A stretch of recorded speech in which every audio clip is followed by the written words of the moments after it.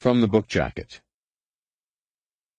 The dazzling Star Wars space adventure The New Jedi Order continues as Luke Skywalker, Anakin Solo, Mara Jade Skywalker, and others battle their deadliest enemy in a tale of non-stop action, shadowy evil, and spectacular triumph.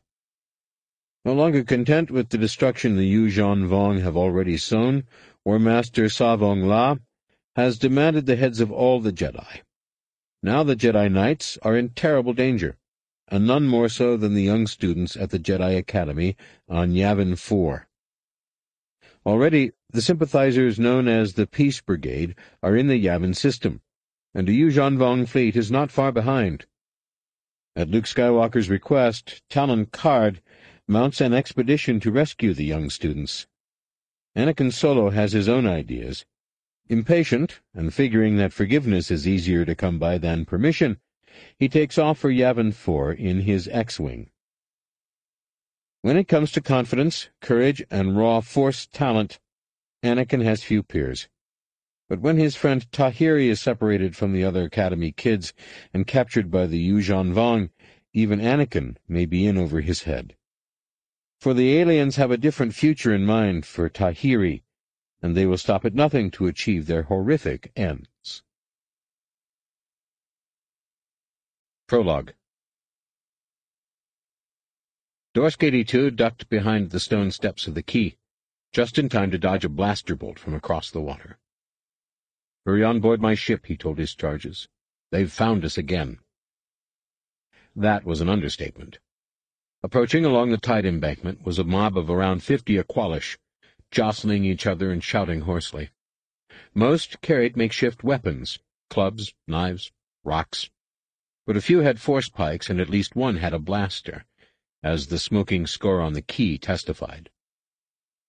Join us, Master Dorsk, the 3D4 protocol droid close behind him pleaded. Dorsk nodded his bald yellow and green mottled head. Soon. I have to slow their progress across the causeway, to give everyone time to board. You can't hold them off yourself, sir. I think I can. Besides, I need to try to talk to them. This is senseless. They've gone mad, the droid said. They're destroying droids all over the city. They aren't mad, Dorsk averred. They're just frightened. The Yuuzhan Vong are on Ando, and may well conquer the planet. But why destroy droids, Master Dorsk? Because the Yuuzhan Vong hate machines, the Khommite clone answered. They consider them to be abominations. How can that be? Why would they believe that? I don't know, Dorsk replied. But it is a fact. Go, please. Help the others board. My pilot is already at the controls with the flight instructions, so even if something happens to me, you'll be okay. Still the droid hesitated. Why are you helping us, sir? Because I am a Jedi, and I can. You don't deserve destruction. Neither do you, sir. Thank you. I do not intend to be destroyed. He raised his head up again as the droid finally followed its clattering, whirring comrades to the waiting ship. The crowd had reached the ancient stone causeway connecting the atoll city of Imthatil to the abandoned fishing platform Dorsk now crouched on. It seemed they were all on foot, which meant all he had to do was prevent them from crossing the causeway. With a single bound, Dorsk propelled his thin body up onto the causeway, forsaking the cover of the step down to the fishing platform. Lightsaber held at his side, he watched the mob approach. I am a Jedi, he thought to himself. A Jedi knows no fear. Almost surprisingly, he didn't. His training with Master Skywalker had been fretted with attacks of panic. Dorsk was the eighty-second clone of the first Khommite to bear his name. He'd grown up in a world well satisfied with its own peculiar kind of perfection, and that hadn't prepared him for danger, or fear, or even the unexpected. There were times when he believed he could never be as brave as the other Jedi students or live up to the standard set by his celebrated predecessor, Dorsk 81. But watching the large, dark eyes of the crowd that was drawing close, he felt nothing but a gentle sadness that they had been driven to this. They must fear the Yuuzhan Vong terribly. The destruction of droids had begun small, but in a few days had become a planet-wide epidemic. The government of Ando, such as it was, neither condoned nor condemned the brutality, so long as no non-droids were killed or injured in the mess. Without help from the police, Dorsk 82 was the only chance the droids had, and he didn't plan to fail them. He had already failed too many. He ignited his lightsaber, and for an instant saw everything around him at once. The setting sun had spilled a glorious slick of orange fire into the ocean, and lit the high-piled clouds on the horizon into castles of flame. Higher, the sky faded to gold-laced jade and aquamarine, and then the pale of night. The lights in the cylindrical white towers of Imtihil were winking on one by one, and so too were the lights of the fishing platforms floating in the deeps, spangling the ocean with lonely constellations. His own planet hadn't any such untamed spectacles. Khomm's weather was as predictable and homogeneous as its people. Likely he, Dorsk 82, was the only person of his entire species who could appreciate this sky or the iron-dressed waves of the sea. Salt air buffeted around him. He lifted his chin. Somehow, after all of these years, he felt he was doing the thing he had dreamed about at last. One of the Aqualish stepped before the rest. He was smaller than many, his tusks incised in the local style. He wore the dappled, slick suit of a tug worker. "'Move, Jedi,' he commanded. "'These droids are none of your business.' "'These droids are under my protection,' Dorsk replied calmly. "'They're not yours to protect, Jedi,' the Aqualish shouted back. "'If their owners do not object, you have no say in the matter.' "'I must disagree,' Dorsk replied. "'I also plead with you to see reason. Destroying the droids will not appease the Yuuzhan Vong. They are beyond appeasing.' "'That's our business,' the self-appointed spokesman of the group shouted. "'This isn't your planet, Jedi. It's ours. Didn't you hear? The Yuuzhan Vong just took Duro. I have not heard, Dorsk replied. Nor does it matter. Go back to your homes in peace. I don't want to hurt any of you. I'm taking these droids with me. You will not see them on Ando again, I swear it. This time he saw the blaster lift, held by an Aqualish deep in the crowd. Dorsk grasped it with the force and whisked it through the air until it came to rest in his left hand. Please, he said. For a long moment, neither side moved. Dorsk felt them wavering, but the Aqualish were a stubborn and violent lot. It was easier to stop a Nova once it had started than to calm a whole mob of Aqualish. He heard a sudden hum and saw a security speeder approaching. He stepped back and allowed it to settle between him and the crowd. He did not relax his guard, even when eight Aqualish troopers in bright yellow body armor piled out and started motioning the crowd back. The officer stepped forward. "'What's going on here?' he asked. Dorsk motioned slightly with his head. "'These people are intent on destroying a group of droids. I am protecting them.' "'I see,' the officer said. "'That's your ship?' "'Yes.' "'Are there any other Jedi on board?' "'No.' "'Very well.' The officer spoke into a small comlink, too low for Dorsk to hear, but the clone suddenly sensed what was about to happen. No! he shouted. He spun on his heel and ran toward the ship, but even as he did so, several flares of light too bright to look upon struck it. A column of white flame leapt toward the sky, carrying with it the fragments and ions that had once been his ship, his pilot Hen, and thirty-eight droids. Dorsk was still watching, mouth working soundlessly, at the pointless destruction, when the stun baton hit him.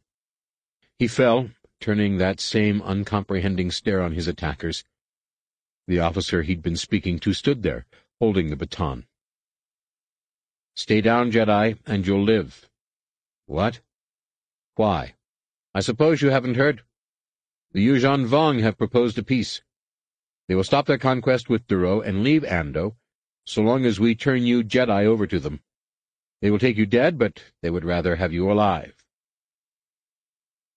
Dorsk 82 summoned the force, washed away the pain and paralysis of the blast, and stood. "'Drop your lightsaber, Jedi,' the officer said.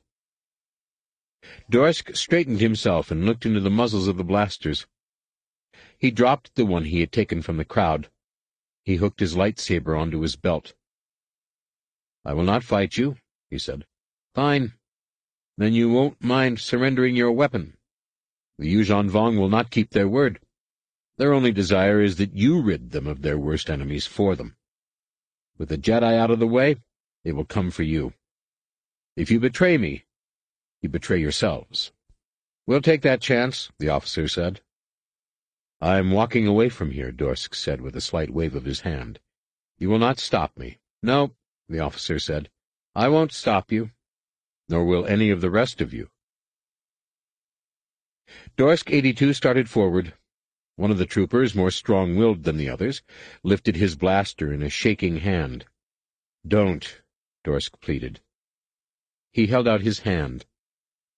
The blaster bolt grazed Dorsk in the palm, and he stepped back, but the action shook the other troopers from the suggestion he had placed in their minds. The next shot seared a hole through his thigh. He dropped to his knees. Stop, the officer said. No more mind tricks. Dorsk tortuously pushed himself back to his feet. He took another step forward. I am a Jedi. A Jedi knows no fear. The dusk lit with blaster fire. Help. The automated signal was weak, but faint. Got him, Uldir said. I told you, didn't I? Datcholder, his co-pilot, clapped him on the back. No doubt about it, lad. You're the best rescue flyer in the unit. I have good hunches, that's all, Uldir replied. See if you can contact them. Sure thing. Datcholder activated the com unit. Pride of Thela to injured vessel. Injured vessel, can you hear me? The answer was static, but modulated static. They're trying to answer, Uldir said. Their comm unit must be damaged. Maybe we can get closer. Hey, there they are now. Long-range sensors showed a craft dead in space, medium transport sized. It ought to be the winning hand, a pleasure craft, that had made a jump from the Corellian sector and vanished somewhere en route. The hand's jump had taken her dangerously near Obroa-skai, which was now in Yuuzhan Vong's space. Though they hadn't moved overtly on any planet since the fall of Duro, the Yuuzhan Vong had been setting up occasional Dovin basal interdictors near their space, yanking from hyperspace ships bold or careless enough to approach their somewhat fuzzy borders. Most were never found again, but the winning hand had managed to get off a garbled transmission, placing them along the Perlemian trade route, not far from the Meridian sector.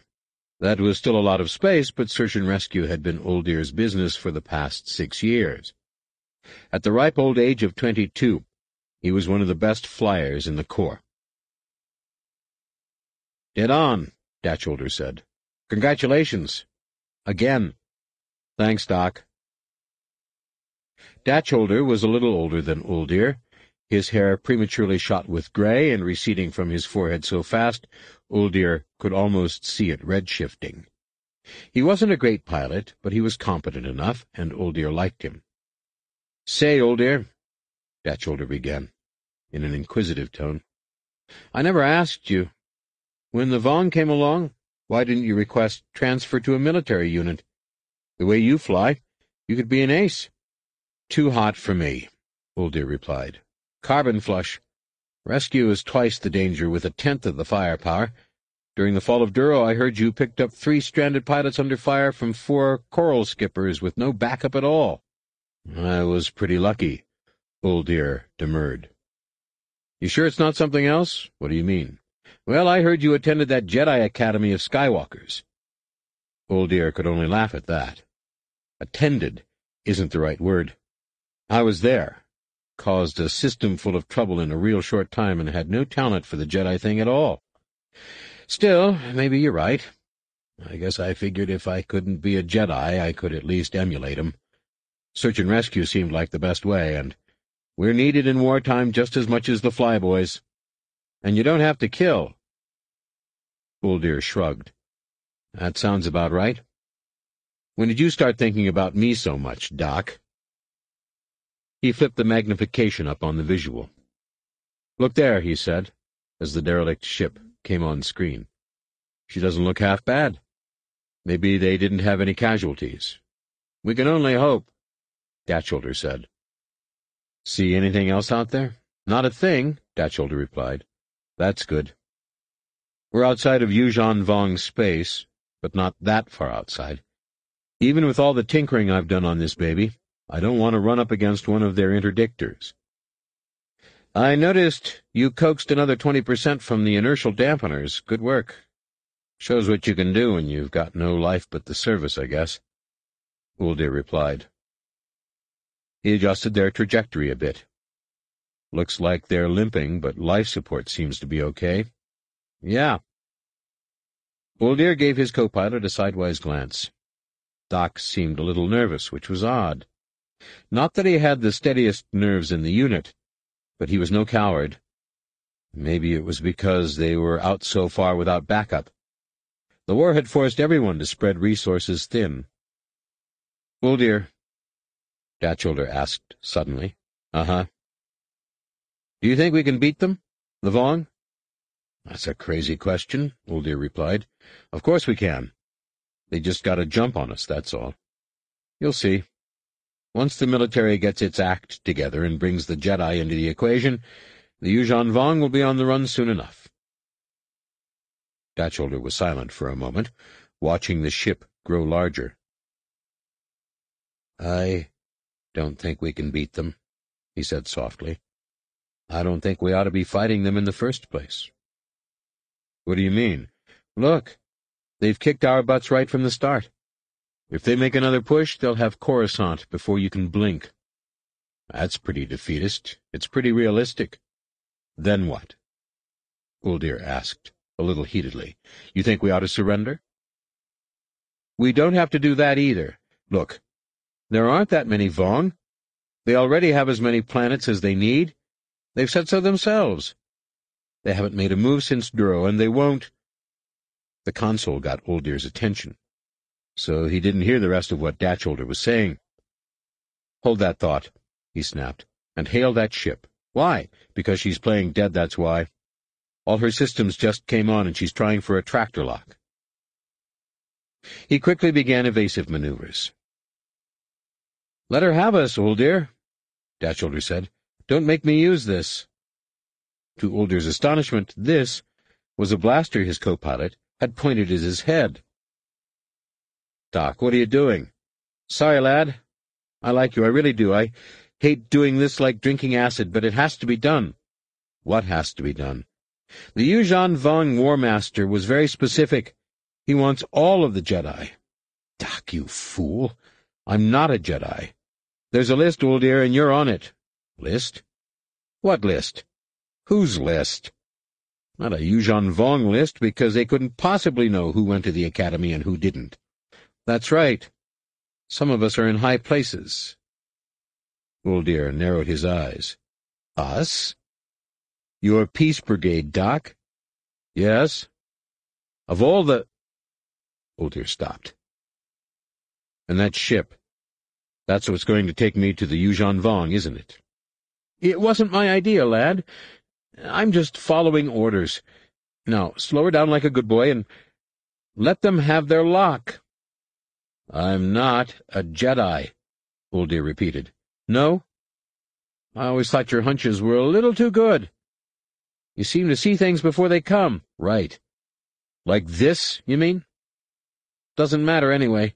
What matters is they think you're Jedi, and I'll bet you know things they would be interested in.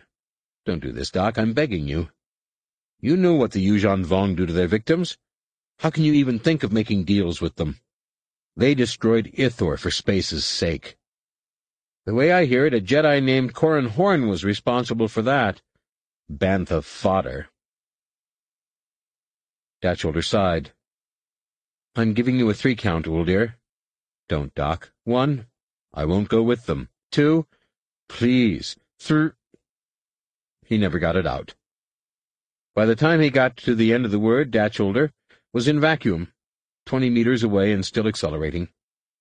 Uldir sealed the cockpit back up, ears popping and face tingling, from his brief brush with nothingness. He glanced at the missing acceleration couch. I'm sorry, Doc, he said. You didn't leave me much of a choice.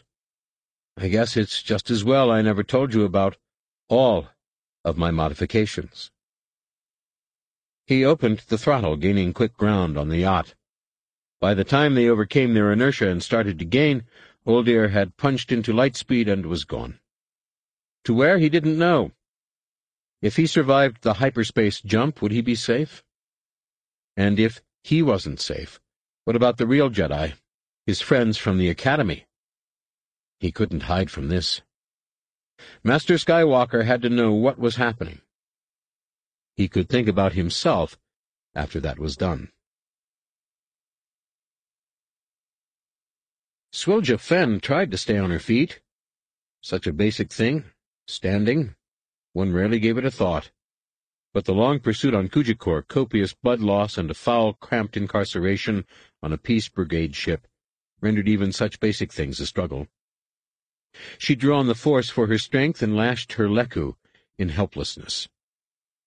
The peace brigade goons had dumped her, bound and half senseless, on some nameless moon, and hauled gravity out of there. Not much later the Yuuzhan Vong had shown up. They had cut away her bonds and then replaced them with a living, jelly-like substance, all the while spitting at her in a language that seemed made entirely of curses. After that, more travel in dark places, and finally here, barely able to keep her feet under her, in a vast chamber that looked as if it had been carved inside of a chunk of raw meat. Smelled that way, too. Swilja squinted at someone approaching from the murk and shadows at the far end of the room. "'What do you lilac dung grubbers want with me?' she snarled, momentarily forgetting her Jedi training. The lapse got her a cuff in the face hard enough to knock her off her feet. When she rose, he was standing over her. The Yuuzhan Vong liked to scar themselves. They liked cut-up faces and tattoos, severed fingers and toes. The higher up the food chain they were, it seemed the less there was of them, or at least what had started as them because they liked implants too. The Yuuzhan Vong standing above her must have been way up the food chain, because he looked like he had fallen into a bin of vibroblades.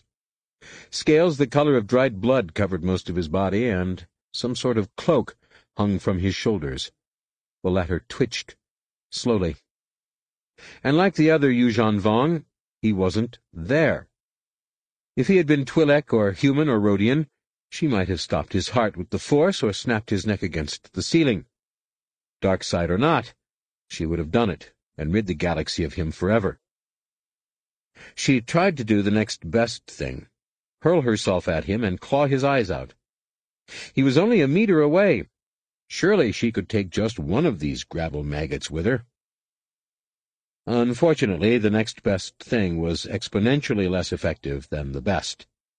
The same guard who had struck her a moment before lashed out faster than lightning, grabbing her by the leku and yanking her back. He held her up to the monster confronting her. I know you, Swilja said, spitting out teeth and blood. You're the one who called for our heads, Tsavong Lah. I am War Master Tsavong Lah, the monster confirmed. She spat at him. The spittle struck his hand, but he ignored it, denying her even the minor victory of irritating him. I congratulate you on proving yourself worthy of honored sacrifice, Tsavong Lah said. You are far more admirable than the cowering scum who delivered you to us. They will merely perish when their time comes. We will not mock the gods by offering them in sacrifice. He suddenly showed more of the inside of his mouth than Swilja ever wanted to see. It might have been a grin or a sneer. If you know who I am, Tsavong Lah said, you know what I want. You know who I want. I have no idea what you want. Given what I know of you, it would probably make even a Hutt sick. Tsavong Lah licked his lip and twisted his neck slightly. His eyes drilled at her. Help me find Jacen Solo, he said. With your help I will find him. Eat poodoo. Tsavong Lah shredded a laugh through his teeth. It is not my job to convince you, he said. I have specialists for that. And if you still cannot be convinced, there are others. Many others. One day you will all embrace the truth. Or death. With that, he seemed to forget she existed. His eyes emptied of any sign that he saw her, or had ever seen her, and he walked slowly away. "'You're wrong!' she screamed as they dragged her from the chamber. "'The Force is stronger than you. The Jedi will be your end, Tsavong Lah.' But the War Master didn't turn. His stride never broke. An hour later, even Swilja didn't believe her brave words. She didn't even remember them. Nothing existed for her but pain. And, eventually, not even that. Part 1 Praxeum Chapter 1 Luke Skywalker stood steady and straight before the gathered Jedi, his face composed and stronger than Durasteel. The set of his shoulders, his precise gestures, the weight and timbre of each word he spoke all confirmed his confidence and control. But Anakin Solo knew it was a lie. Anger and fear filled the chamber like a hundred atmospheres of pressure, and beneath that weight something in Master Skywalker crumpled. It felt like hope breaking. Anakin thought it was the worst thing he had ever felt, and he had felt some very bad things in his sixteen years. The perception didn't last long. Nothing was broken, only bent, and whatever it was straightened, and Master Skywalker was again as strong and confident in the Force as to the eye. Anakin didn't think anyone else had noticed it. But he had. The unshakable had shaken. It was something Anakin would never forget, Another of the many things that had seemed eternal to him suddenly gone. Another speeder zooming out from underneath his feet, leaving him flat on his back, wondering what had happened. Hadn't he learned yet? He forced himself to focus his ice-blue eyes on Master Skywalker, on that familiar age and scar-roughened face. Beyond him, through a huge transparent steel window, the never-ending light and life of Coruscant. Against those cyclopean buildings and streaming trails of light, the Master seemed somehow frail or distracted. Anakin distanced himself from his heartsickness by concentrating on his uncle's words. Kip, Master Skywalker was saying, I understand how you feel. Kip Durron was more honest than Master Skywalker, in some ways. The anger in his heart was no stranger to the expression on his face. If the Jedi were a planet, Master Skywalker stood at one pole, radiating calm. Kip Durron stood at the other, fists clenched in fury. Somewhere near the equator, the planet was starting to pull apart. Kip took a step forward, running his hand through dark hair shot with silver. Master Skywalker, he said, I submit that you do not know how I feel. If you did, I would sense it in the Force. We all could. Instead, you hide your feelings from us. I never said I felt as you do, Luke said gently, only that I understand. Ah! Kip nodded, raising one finger and shaking it at Skywalker as if suddenly comprehending his point. You mean you understand intellectually, but not with your heart. The Jedi you trained and inspired are hunted and killed throughout the galaxy, and you understand it the way you might an equation. Your blood doesn't burn to do something about it? Of course I want to do something about it, Luke said. That's why I've called this meeting. But anger is not the answer. Attack is not the answer, and retribution most certainly is not. We are Jedi. We defend. We support. Defend who? Support what? Defend those beings you rescued from the atrocities of Palpatine? Support the New Republic and its good people? Shield the ones we have all shed blood for, time and again, in the cause of peace and the greater good? These same cowardly beings who now defame us, deride us, and sacrifice us to their new Yuuzhan Vong masters? No one wants our help. They want us dead and forgotten.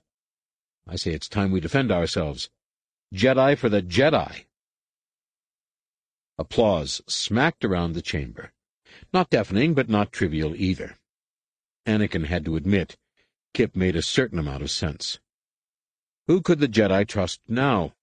Only other Jedi, it seemed. What would you have us do then, Kip? Luke asked mildly. I told you. Defend ourselves. Fight evil in whatever guise it takes. And we don't let the fight come to us, to catch us in our homes, asleep with our children. We go out and find the enemy. Offense against evil is defense. In other words, you would have us all emulate what you and your dozen have been doing. I would have us emulate you, Master Skywalker, when you were battling the Empire. Luke sighed. I was young then, he pointed out. There was much I did not understand. Aggression is the way of the dark side. Kip rubbed his jaw, then smiled briefly. And who should know better, Master Skywalker, than one who did turn to the dark side? Exactly, Luke replied. I fell, though I knew better. Like you, Kip. We both, in our own way, thought we were wise enough and nimble enough to walk on the laser beam and not get burned. We were both wrong.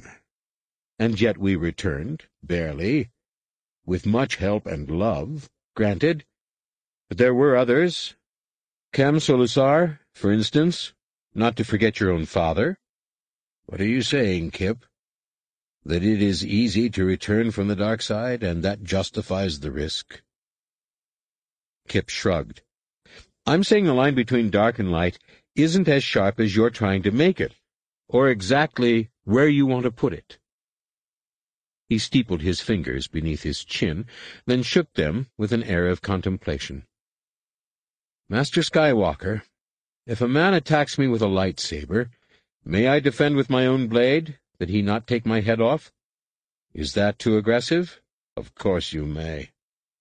And after I defend, may I press my attack? May I return the blow? If not, why are we Jedi taught lightsaber battle techniques? Why don't we learn only how to defend and back off until the enemy has us in a corner and our arms grow tired, until an attack finally slips through our guard? Master Skywalker, sometimes the only defense is an attack. You know this as well as anyone. That's true, Kip. I do. But you back down from the fight, Master Skywalker. You block and defend, and never return the blow. Meanwhile, the blades directed against you multiply, and you have begun to lose, Master Skywalker. One opportunity lost, and there lies Daeshara'cor, dead. Another slip in your defense, and Corran Horn is slandered as the destroyer of Ithor and driven to seclusion. Again an attack is neglected, and Wurth Skidder joins Daeshara'cor in death. And now a flurry of failures as a million blades swing at you. And there go Dorsk too, and Sayurin Atoklo, and Swilja Fen. And who can count those we do not know of yet, or who will die tomorrow? When will you attack Master Skywalker? This is ridiculous. A female voice exploded half a meter from Anakin's ear. It was his sister, Jaina, her face gone red with internal heat. Maybe you don't hear all the news, running around playing hero with your squadron, Kip. Maybe you've started feeling so self-important that you think your way is the only way. While you've been out there blazing your guns, Master Skywalker has been working quietly and hard to make sure things don't fall apart. Yes, and see how well that's gone, Kip said. Duro, for instance. How many Jedi were involved there? Five? Six? And yet not one of you Master Skywalker included, smelled the rank treachery of the situation until it was too late. Why didn't the Force guide you? He paused, and then smacked a fist into his palm for emphasis. Because you're acting like nursemaids, not Jedi warriors. I've heard one of you even refused to use the Force. He looked significantly at Jaina's twin, who sat stone-faced halfway around the hall. You leave Jacen out of this, Jaina snarled. At least your brother was honest in his refusal to use his power, Kip said. Wrong, but honest. And in the end, when he had to use it, he did. The rest of this group has no excuse for its ambivalence. If saving our galaxy from the Yuuzhan Vong is not a good enough cause to flex our true might, let self-preservation be. Jedi for Jedi, Octa Ramis shouted, still in the clutches of renewed grief over losing Daeshara'cor. It's both ourselves and the galaxy I'm trying to preserve, Luke said. If we win the fight against the Yuuzhan Vong at the price of using dark side powers, it will be no victory. Kip rolled his eyes and crossed his arms. I knew it was a mistake to come here, he said. Every second I waste talking with you is a torpedo I might be firing at the Yuuzhan Vong.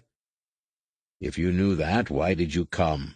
Because I thought even you must see the pattern on the Hudge mat by now, Master Skywalker. After months of doing nothing, of watching our numbers dwindle, of listening to the lies circulating about the Jedi from the rim to the core. I thought now, at last, you had decided it was time to act. I came, Master Skywalker, to hear you say enough is enough, to lead the Jedi united, in a just cause. Instead, I hear only the same vacillating I've grown tired of. On the contrary, Kip, I called this meeting to make some real decisions about how we should face this crisis. This isn't a crisis, Kip sputtered. It's a massacre. And I already know what to do. I've been doing it. The people are frightened, Kip. They're living in a nightmare, just as we are. They only want to wake up. Yes. And in hopes of waking up, they feed the dream monsters whatever they ask for. Droids, cities, planets, refugees, now Jedi. By refusing to act against this treachery, Master Skywalker, you come dangerously near condoning it. Bantha fodder, Jacen snapped, finally breaking his silence. Master Skywalker hasn't been complacent. None of us has. But the sort of naked aggression you condone is effective? Kip sneered. Is it? Jacen challenged. What have you and your squadron really accomplished? harried a few Yuuzhan Vong supply ships. Meanwhile, we've saved tens of thousands. Saved them for what? So they can flee from planet to planet until there's nowhere else to go? Jacen Solo, who denied the Force? Are you lecturing me on what is and isn't effective? What isn't effective is this argument, Luke interjected. We need calm. We need to think rationally. I'm not sure that's what we need at all. Kip shot back. Look where your rational policies have gotten us. We're alone now. Don't you all see that? Everyone has turned against us. You're overstating. Anakin switched his gaze to the new speaker, Cilghal.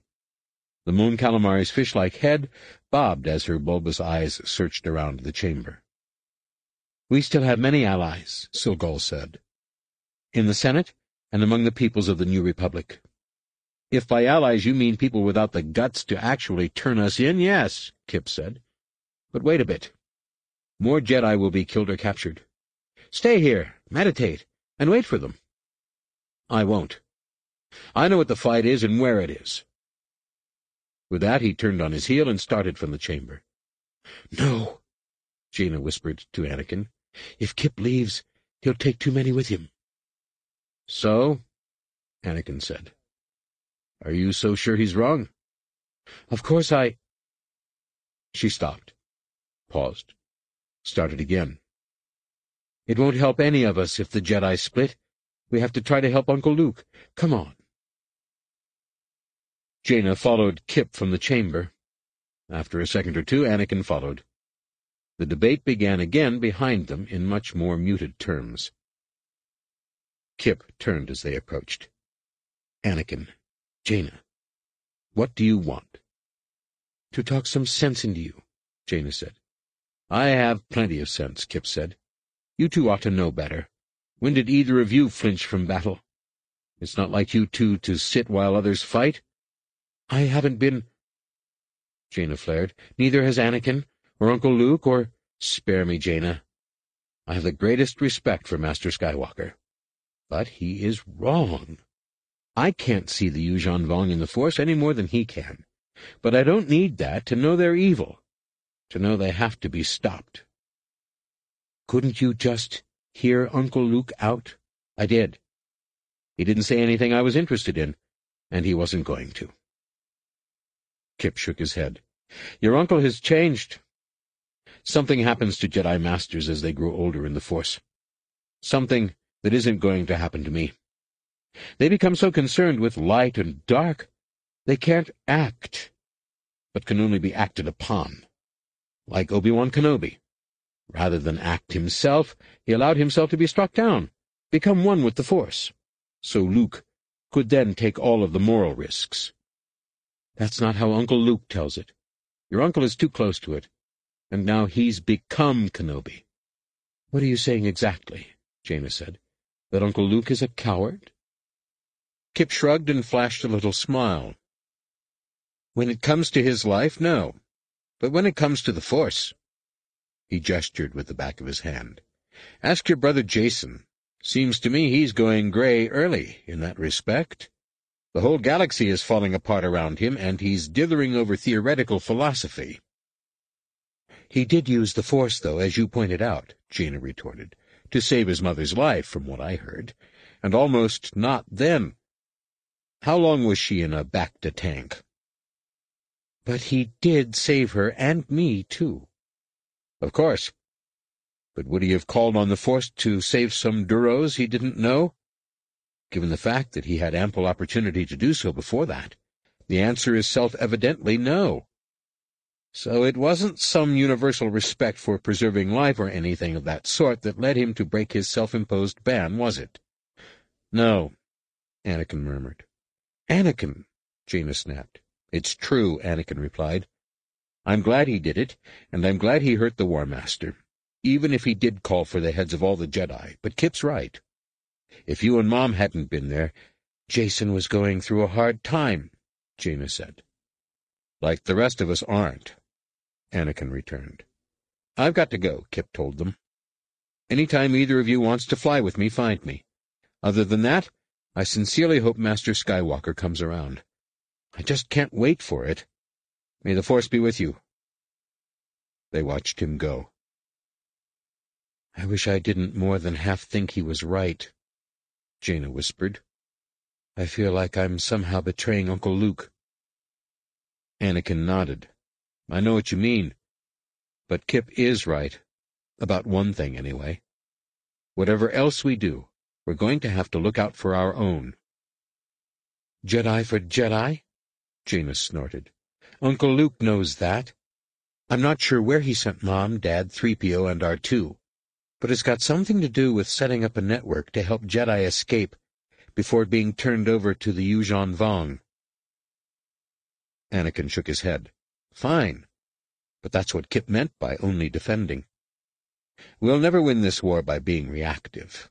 We have to be proactive. We need intelligence. We need to know which Jedi are at risk before they come for us. How can we know that? Think logically. Any planet already taken by the Yuuzhan Vong is obviously dangerous. The planets near occupied space are the next most dangerous because they're desperate to strike a deal.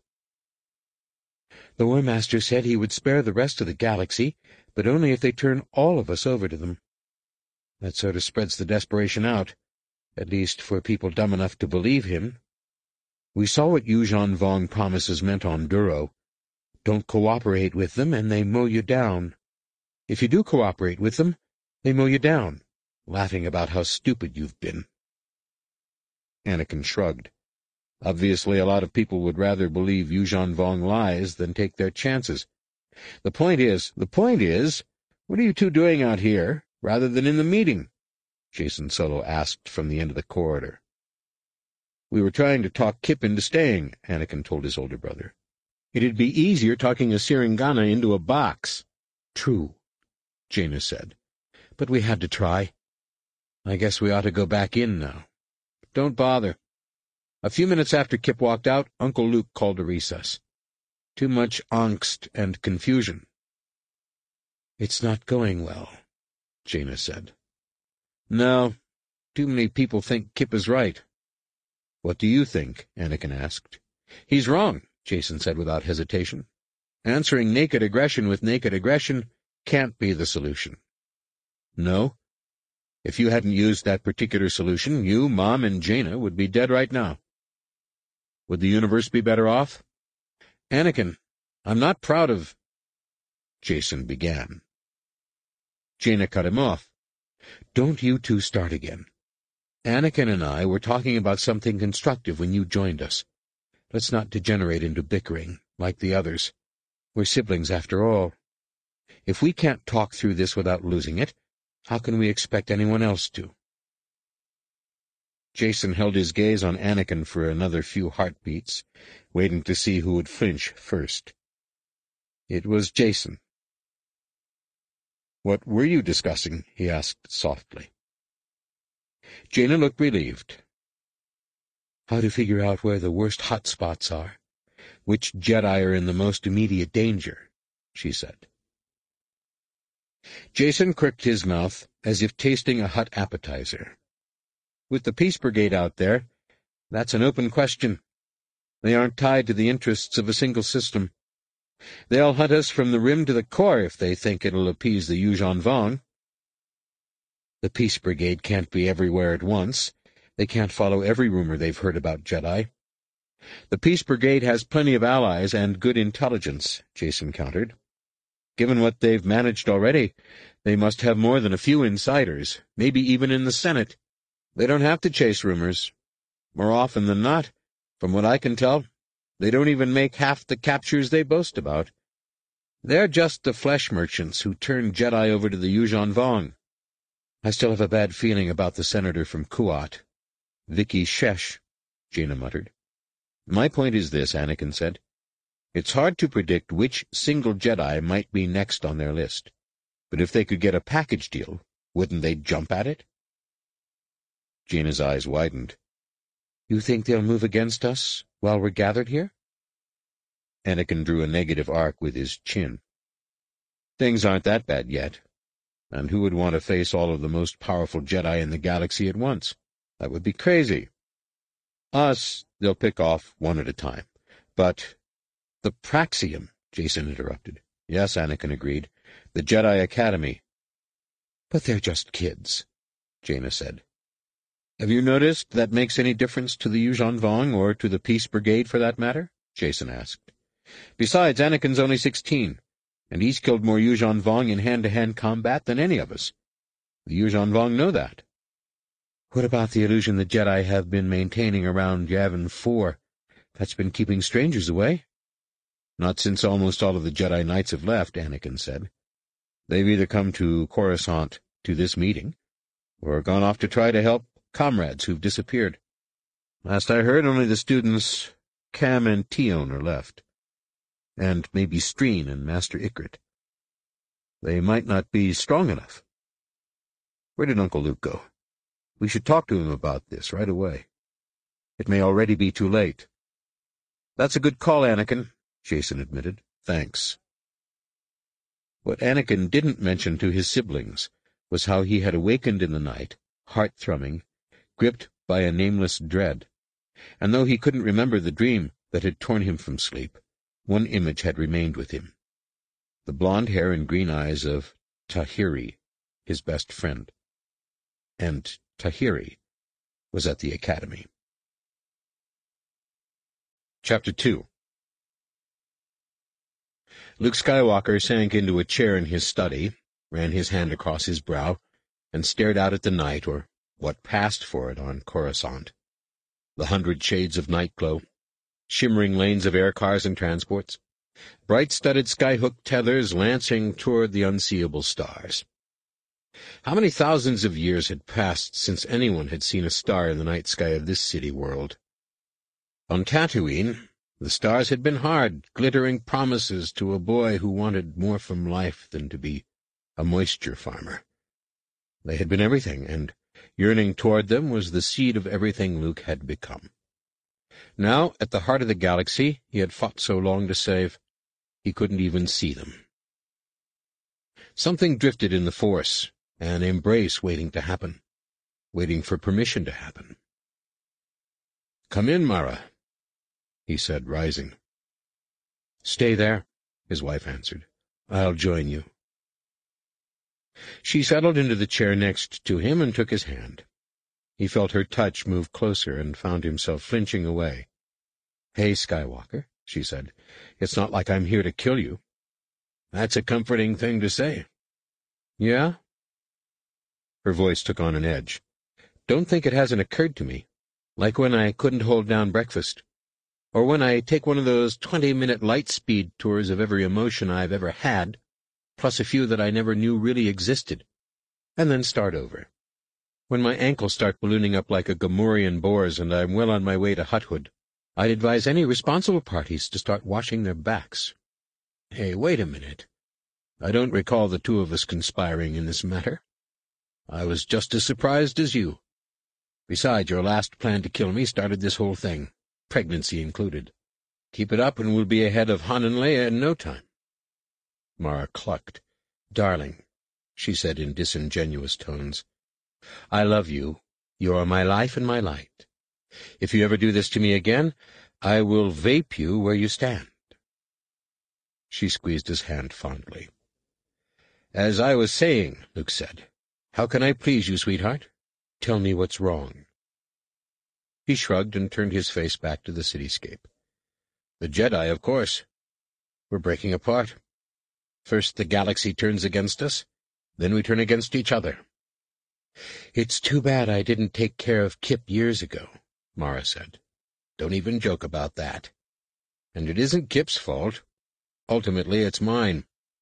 You explained as much to me once, remember? I remember setting you straight about a few things. That doesn't make Kip right now. No, he isn't right, but when children stray, doesn't that say something about the parents? This is a fine time to tell me you're going to be a lousy father. Or maybe you don't think I'll be a good mother? She was joking, but he felt a sudden wave of fear, depression, and anger from his wife. Mara, he asked, it was just a metaphor. I know. It's nothing. Just go on. It's not nothing. It is nothing. Hormones, mood swings. Very annoying being jerked around by chemicals and not your problem, Skywalker. Go on with what you were saying, sans the parenthood metaphor. Fine. What I mean is, my teachings weren't durable enough, or strong enough, or satisfying enough, if the others looked to Kip for their answers. We've been betrayed, and we're being slaughtered, Mara said. Kip's given them an answer to that. You haven't. Wait.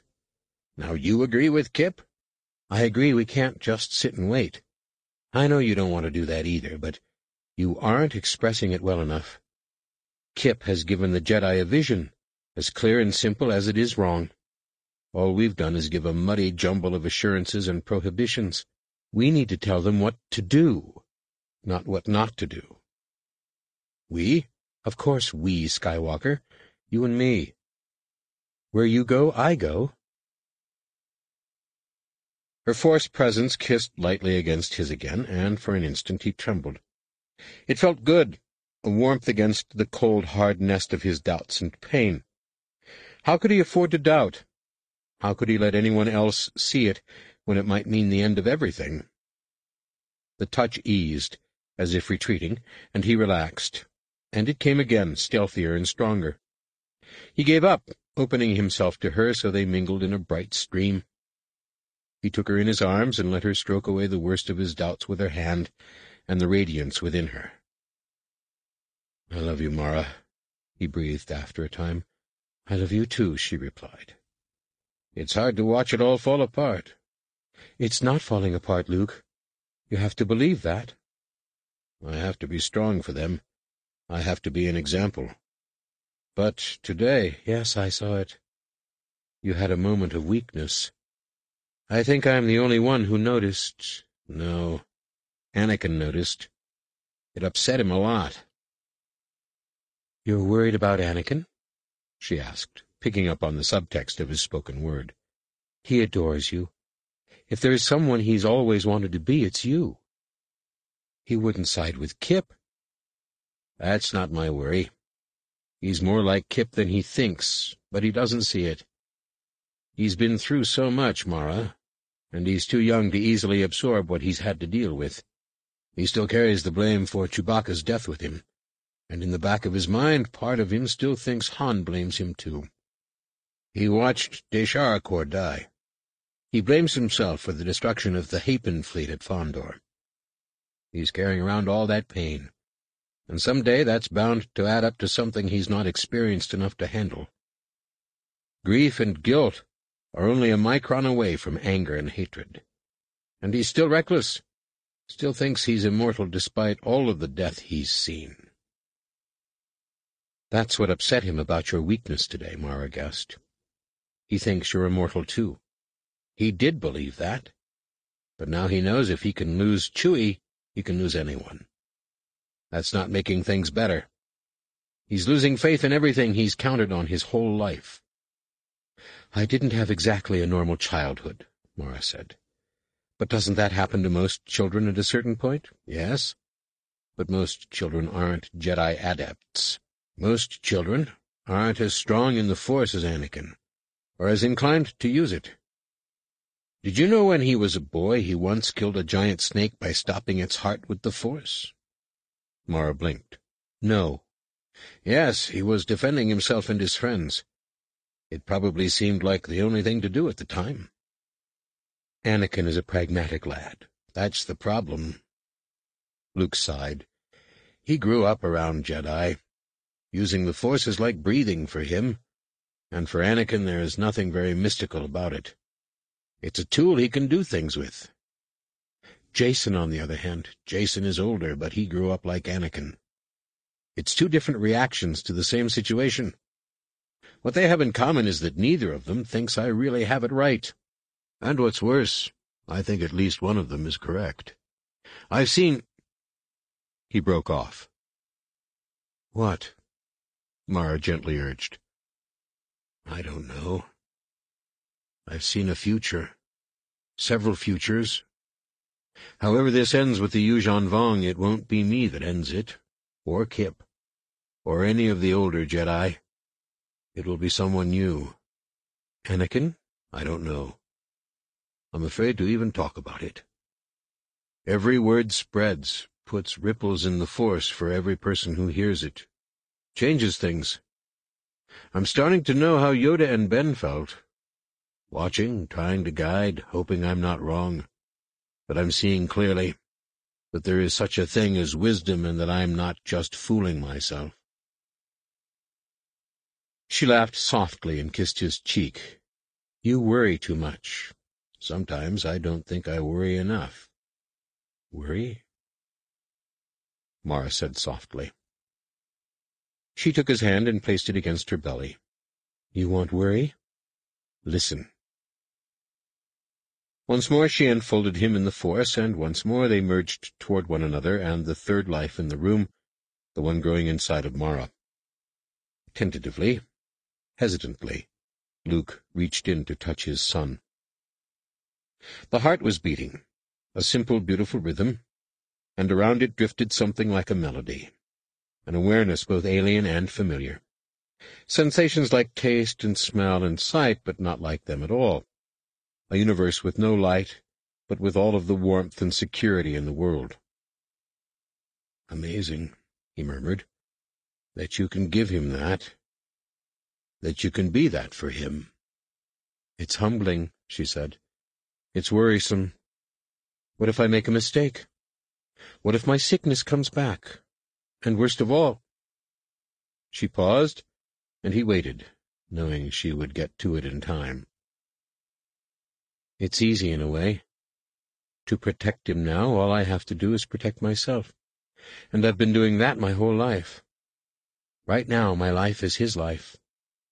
But after he's born, it will never be like that again. That's the part that worries me. Luke wrapped his arm around her and hugged. You'll do fine, he said. I promise you. You can't promise that. Any more than you can hold the young Jedi inside of you or keep them safe. It's the same. It's the same fear, Luke. Of course, he replied. Of course it is. They sat and watched the skies of Coruscant, and spoke no more until someone came to their door. Speak, and they will come, Luke murmured. It's the Solo children. I can send them away. No, they need to talk to me. He raised his voice. Come on in. He stood and brightened the lights. Anakin, Jaina, and Jacen entered. Sorry we left the meeting, Jaina said. I knew what you were doing, and I thank you for trying. Kip... Kip must walk his own path for a while. But that's not why you came, is it? No, Jacen said. We're worried about the Jedi Academy. Right, Anakin joined in. It occurred to me that if I were Peace Brigade and wanted to catch a bunch of Jedi all at once, you'd go to Yavin 4. Good thinking. Anakin's face fell visibly. You already thought of it. Luke nodded. Don't feel bad. It was only a few days ago that we had enough reports to spot the trend and realize just how seriously the War Master's promise has been taken. Trying to deal with all the local fires, trying to find government support to put a stop to this, or at least slow it down. I didn't realize that there are no longer enough mature Jedi in the system to maintain the illusion we were projecting. So what do we do? Jacen asked. I requested the New Republic send a ship to evacuate them, but they're dragging their heels. They might continue to for weeks. We can't wait that long. Jaina said. No, Luke agreed. I've been trying to find Booster Terrik. I think the best thing for the moment would be to not only evacuate the Academy, but keep the kids on the move, in the errant venture. If we just move them to another planet, we don't really solve the problem. So they're with Booster? Anakin said. I can't locate him, unfortunately. I'm still working on it. Talon Karrde, Mara said softly. Perfect, Luke said. You know where to find him? What do you think? Mara said, smirking. But what if the Peace Brigade is already at Yavin 4, or on the way? Anakin asked. It's the best we can do for the moment, Luke told him. Besides, the danger is still hypothetical. The Peace Brigade might not even know about Yavin 4. And even if they did, Kam and Tionne and Master Ikrit are there. They aren't exactly defenseless. It's not the best-kept secret in the galaxy, Jacen said. And with the illusion gone, what could Kam do against a warship? Let us go. Out of the question, Luke replied. I need you all here, and with the bounty on our heads, especially your head, Jacen. it's too dangerous for you to go off alone. Your parents would never forgive me if I sent you into that with them away. Ask them, then, Jaina said. I can't. They're out of contact now, and could be for some time. Shouldn't we at least go check on the Praxeum? Jaina persisted. We could just hide at the edge of the system until Karrde shows up, keep an eye on things, run back here to report if things go wrong. Luke shook his head. I know you're all restless, especially you, Jaina, but your eyes still haven't fully healed. Not to Rogue Squadron specs, maybe, Jaina protested, but I can see well enough to fly. Even if your vision were fully restored, Luke went on, I still don't think sending any or all of you to Yavin 4 is the most productive course. There's important work to do here. Weren't you just telling Kip that, Jaina? Jacen? Yes, Uncle Luke, Jacen said. We were. Anakin, you haven't said much. Anakin shrugged. There isn't much to say, is there? Luke detected something a bit dangerous in that, but it quickly passed. I'm glad the three of you are thinking about the situation. We agree that the Academy is one of our most vulnerable spots. Help me find the rest. Don't think for a second I've thought of everything, because obviously I haven't. And don't forget, we'll reconvene the meeting tomorrow morning. The three of them nodded and left. When they were gone, Mara clucked. They might be right. Luke sighed again. They might be. But I have a feeling that whoever goes to Yavin 4 must go in force, or they won't be leaving it again. I've learned to trust feelings like this. You should have told them that, then, Mara said. He flashed her a sardonic smile. Then they would have gone for sure. Mara took his hand. No rest for the weary. I'll contact Karrde. She touched her belly again. Meanwhile, Skywalker, find me something to eat. Something big and still bleeding. Anakin checked over the systems indicators. How do we look, Fiver? he asked quietly, studying the cockpit readout display. Systems within optimum variance, the R7 unit assured him. Good. Just hang on while I get clearance. Meanwhile, calculate the first jump in the series to get me to the Yavin system. That took a certain amount of finagling, including forging a code that would allow him to fly without a check that might alert Uncle Luke or anyone else who would try to stop him. Because Uncle Luke was wrong, this time. Anakin could feel it in his very center. The Jedi trainees were in grave danger. Talon Karrde would not get there in time. It might already be too late. It was strange that Uncle Luke still insisted on thinking of Anakin as a child. Anakin had killed Yuuzhan Vong. He had seen friends die and caused the deaths of others. He was responsible for the destruction of countless ships and the beings who crewed them, and that only scratched the most recent skin of the matter. It was a blind spot the adults in his life had, an ambivalence and a denial. They didn't understand who he really was, only what he appeared to be. Even his mother and Uncle Luke, who had the force to help them. Aunt Mara probably understood. She had never really been a child either. But even she was blinkered by her relationship with Uncle Luke. She had to take his feelings into account, as well as her own. Well, there would be anger. He could explain to Uncle Luke about the feeling he had in the Force, but that might only alert the Master to Anakin's certainty in this matter. Even if Uncle Luke could be convinced to send someone now, it might be someone else, someone older. But Anakin knew it had to be him. He had to go. If he didn't, his best friend was doomed to a fate much worse than death. It was the only thing in his life he was really sure of right now. Cleared for takeoff, the port control said. Power it up, Fiver, Anakin murmured. We've got some place to be.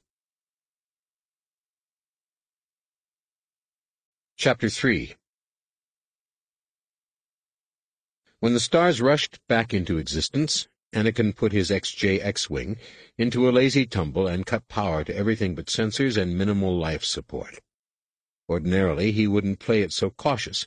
After all, someone would almost have to be watching for the hyperwave ripples of an X-Wing entering the system to have any chance of detecting it. But given the feeling in his gut, there might just be someone doing that.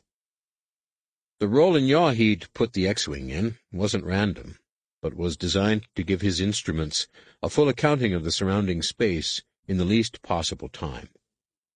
While the sensors did their job, Anakin reached out with the sense he trusted most, the Force. The planet Yavin filled most of his view, its vast orange oceans of gas boiling into fractal, elusive patterns. Its familiar face had marked the days and nights of much of his childhood. The Praxeum, his Uncle Luke's Jedi Academy, was located on Yavin 4, a moon of the gas giant. He could remember watching Yavin in the night sky, a colossal mirage of a planet, wondering what could be there, pushing his evolving force senses to explore it. He'd found clouds of methane and ammonia deeper than oceans. Hydrogen so stressed by pressure it became metal.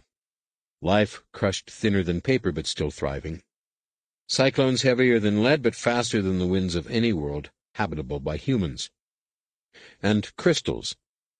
Sparkling Corusca gems, climbing those titan winds, spinning in an ancient dance. capturing what light they could find in the thinner upper atmosphere and gripping it tight in their molecules. He saw none of this as one might with eyes, of course, but over the nights, through the force he had felt them, and with references to the library gradually understood them. In his imagination he had seen more. Pieces of the first Death Star, which had met its end in these very skies, pounded into monomolecular foil by fierce pressure and gravity. Older things, relics of Sith and species even more lost and distant in time. Once a planet like Yavin swallowed a secret, it wasn't likely to give it up again. Given the other secrets that had turned up in the Yavin system, and the Sun Crusher Kip Durron himself had once managed to pull from the belly of the orange giant, that was for the best. Just beyond the vast rim of Yavin, a bright yellowish star winked. Yavin 8, one of the three moons in the system blessed with life. Anakin had a friend there, a native of that world who had trained briefly at the academy and returned home. He could feel her, very faintly. Yavin 4 was just around the rim, where he had other friends. In a way, the whole system was like a familiar room to Anakin, the sort he could walk into and immediately know if something was out of place and something felt very out of place. In the Force, he could feel the Jedi candidates, for they were all strong with it. He could feel Kam Solusar and his wife Tionne, and the ancient Ikrit, not students, but full-fledged Jedi. These were seen as through a cloud, suggesting they were at least trying to maintain the illusion that hid Yavin 4 from the casual eye. But even through that, one presence shone brilliant made brighter by familiarity and friendship. Tahiri. She felt him too, and though he could not quite hear any actual words she might be trying to send, he did feel a sort of rhythm, as of someone talking quickly, excitedly, without pause for breath. One corner of Anakin's mouth turned up. Yes, that was Tahiri all right. What felt wrong was a little nearer and much weaker. Not Yuuzhan Vong, for they could not be felt in the Force, but someone who shouldn't be there, someone slightly confused, but with a growing sense of confidence. Hang on, Fiver, he told his astromech. Get ready to run or fight in a hurry. It might just be Talon Karrde and his crew here ahead of schedule, but I'd sooner bet against Lando Calrissian in Sabacc than to count on it. Affirmative, the display blinked. They tumbled into sensor range, and his computer built a silhouette from the magnified image. That's not so bad, he murmured. One Corellian light transport. Maybe it is one of Karrde's bunch. Or maybe not. And maybe there are a hundred Yuuzhan Vong ships on the other side of the gas giant or Yavin 4, invisible to his Jedi senses and hidden from his sensors. Whatever the case, waiting around wasn't going to improve matters. He powered up, corrected his tumble, and engaged the ion engines. He activated his com system and hailed the stranger. Transport, acknowledge. For a few moments he got nothing, then the audio crackled. Who is this? My name is Anakin Solo. What are you doing in the Yavin system? We're Corusca gem miners. Really? Where's your trawler? Another pause, then words underlined with a bit of anger. We can see the moon now. We knew it was here all along. Your Jedi sorcery has failed you. The transport is arming weapons systems, Fiver noticed. Anakin nodded grimly as the other vessel swung toward him. I'm only warning you once, Anakin said. Stand down. For an answer, he got a blast from a laser cannon, which at that distance he managed to avoid as easily as he might deflect a blaster shot with his lightsaber. Gee, Anakin muttered, I suppose that says it all. He opened his S-foils. Fiver, give me evasive approach six, but I still want the stick just in case. Acknowledged. He dropped toward Yavin 4, and the transport at full thrust, spinning and dancing as he went and when he felt his target firmly enough in the force, He sliced the night of vacuum with ruby red. The transport returned fire and began its own evasive maneuvers, but that was like a bantha trying to dodge a mace fly. They had good shields, though. As Anakin completed his first pass, his opponent was still essentially untouched. To make matters more interesting, four winks of blue flame and his instruments agreed that the transport had just fired proton torpedoes at him. Anakin had been preparing to turn for another pass. Instead, he continued his noseward plunge toward the moon. Four proton torpedoes. These guys really don't like us, Fiver. The transport seems hostile, Fiver acknowledged. Anakin sighed. Fiver was a more advanced astromech than R2-D2, but he missed his uncle's droid's personality at times. Maybe he ought to do something about that. Two laser blasts hit his shields in quick succession, but they did their job. On his tracker, the proton torpedoes continued to close as Anakin met resistance from the atmosphere. He plunged on, and the ship began to vibrate faintly. His nose and wings were starting to heat up from the upper atmosphere.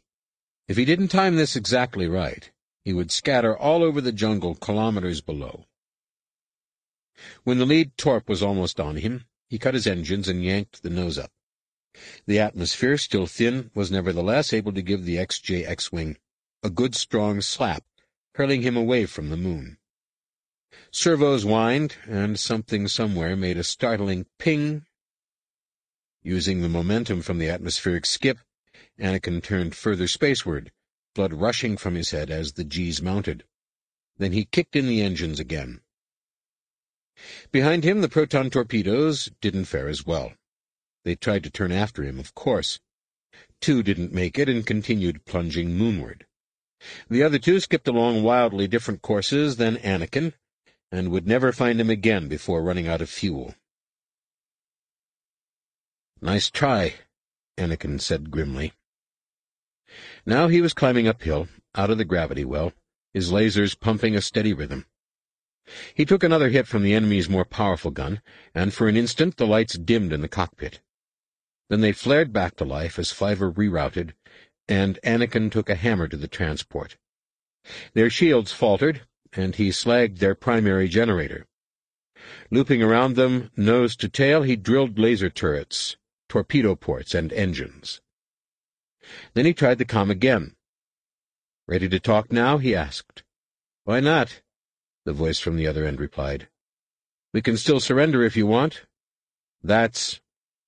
Anakin began, but Fiver interrupted. Hyperspace jump detected. Twelve vessels have arrived, distance 100,000 kilometers. Sith spit, Anakin muttered, bringing his sensors to bear. They weren't Yuuzhan Vong ships. He saw that immediately. Just a motley collection of E-wings, transports, and corvettes. They were hailing him. He opened the link. Unidentified vessel, this is the Peace Brigade, a voice crackled. Stand down and surrender, and you won't be harmed. They were too far away to hit him. Soon they wouldn't be. Anakin closed his S-foils, rolled, opened the throttle, and raced toward the distant viridian of Yavin 4. Anakin vaulted from the cockpit of the X-Wing into silent near darkness. A twilight line of illumination in the distance was the entrance he had flown through into what had once been a part of an ancient Massassi temple complex. Much later, the central hangar for the rebel fleet, and which now saw little use at all, since most ships landing at the Academy set down outside. Anakin's flight boots scuffed the ancient stone surface and the sound grew around him into the hushed beating of enormous wings. He smelled stone and lubricant, and more faintly the musky jungle outside. Someone was watching Anakin from the darkness. Who is that? a voice asked, each word stretching to fill the abyss. It's me, Kam, Anakin. A faint glow appeared, and then a bank of light panels came on. Some ten meters away, Kam Solusar stood, hooking his lightsaber back into his belt. I thought it felt like you, Kam said. but there's been an unknown ship in orbit for several standard days now. We've been trying to keep them confused. Peace Brigade, Anakin explained, and the one ship has friends now, about twelve of them, and they aren't confused any more. He'd been walking toward Kam while he spoke, and suddenly his old teacher swept forward, clasping his arm. It's good to see you, Anakin. And you? You're alone? Anakin nodded. Talon Karrde is on the way with a flotilla. He's supposed to evacuate you and the students. Uncle Luke wasn't expecting the Peace Brigade to show up so soon, I guess. Kam's eyes narrowed. But you were, weren't you? You came here without permission. I came against orders, actually. Anakin corrected. That's not important now. Getting the students to safety, that is. Of course, Kam agreed. How long before the Peace Brigade can land? An hour? Not long. And Karrde, he could be days. Kam grimaced. We can't hold out here that long. We might. We're all Jedi. Kam snorted. You need a sense of your limitations. I have a sense of mine. We might do very well, but we'll lose kids. I have to think of them first. They were approaching the turbolift when the door hissed open and ejected a blond and orange blur. The blur smacked Anakin at chest height, and he suddenly found surprisingly strong arms wrapped around him in a fierce embrace. Bright green eyes danced centimeters from his own. He felt his face go warm. Hi, Tahiri, he said. She pushed back from him. Hi yourself, great hero from the stars who's too good to keep in touch with his best friend. I've been busy. Right. I know all about it. Well, not all about it, because we get the news so late here. But I heard about Duro, and Centerpoint, and... She stopped suddenly, either because she saw it in his face or felt it in the force. Centerpoint Station was a sensitive subject. Anyway, she went on, you won't believe how boring it's been without you. All the apprentices have gone off, and that just leaves these kids. She stepped away, and for the first time he really saw her. Whatever she detected in his eyes cut her off in mid-sentence. What? she asked instead. What are you looking at? I... Now his face felt like it had been grazed by blaster fire. You look... different. Older, maybe? I'm fourteen now. Last week. Happy birthday. You should have thought of it then. But thanks anyway. Dummy. Anakin found himself suddenly unable to meet her eyes. He dropped his gaze. You're, uh, Still barefoot, I see. What did you expect? I hate shoes. I only wear them when I have to. Shoes were invented by the Sith to keep our delicate toes in anguish and misery. I'm sure of it. Did you think just because I grew a centimeter or two, I'd start torturing my feet? She looked up at Kam suspiciously. What's he doing here anyway? I know he didn't come to see me. Anakin flinched at the hurt he heard in that. Anakin's come to warn us of trouble, Kam replied. In fact, you'll need to do your catching up later. Really? Trouble? Yes, Anakin said. Tahiri put her hands on her hips. Well, why didn't you say so? What's going on? We need to talk to Tionne and Ikrit, Kam told her, continuing forward into the turbolift. Now. Anakin added, following him. But what's going on? Tahiri shouted at their suddenly retreating backs. I'll explain on the way, Anakin promised. Fine. She ducked into the lift just as the door was closing. The Yuuzhan Vong War Master basically put a price on our heads, Anakin said. On all our heads, all the Jedi. He announced that if what's left of the New Republic will turn over all of its Jedi to him, and Jacen especially, he won't take any more planets. Boy, that sounds like a lie, Tahiri said. Doesn't matter. People believe him, like the people in the ships approaching right now. They want to turn us over to the Yuuzhan Vong? Let them try. Don't worry, they will. The door opened, and they emerged onto the second level. Kam started down the main corridor, and then through a series of passages that were utterly familiar to Anakin, though they all seemed somehow narrower than when he had last seen them. The Massassi temple that housed the academy had once seemed impossibly huge. Now it seemed merely large. They reached the central area, and twenty-odd faces turned toward them. Human, Bothan, Twi'lek, Wookiee. More than a dozen species were represented. All were quite young except one. Tionne, Kam's wife, a graceful silver-haired woman with pearl-white eyes. Her eyebrows lifted in surprise and her lips in pleasure. Anakin, she said. Tionne, Kam said gently but urgently. We need to talk. Anakin. Sana, a girl of thirteen with brown hair and yellow eyes, waved at him. Even younger Valin Horn was waving, though he wasn't shouting. He's busy, Tahiri told them. But when Anakin went to talk with Kam and Tionne, Tahiri came along. Tahiri, Kam began. Oh, no, she said. You aren't leaving me out of this. I wasn't going to, Kam said gently. I was going to ask you to find Master Ikrit and meet us in the conference room. Oh, okay. She whirled off down the corridor on bare feet.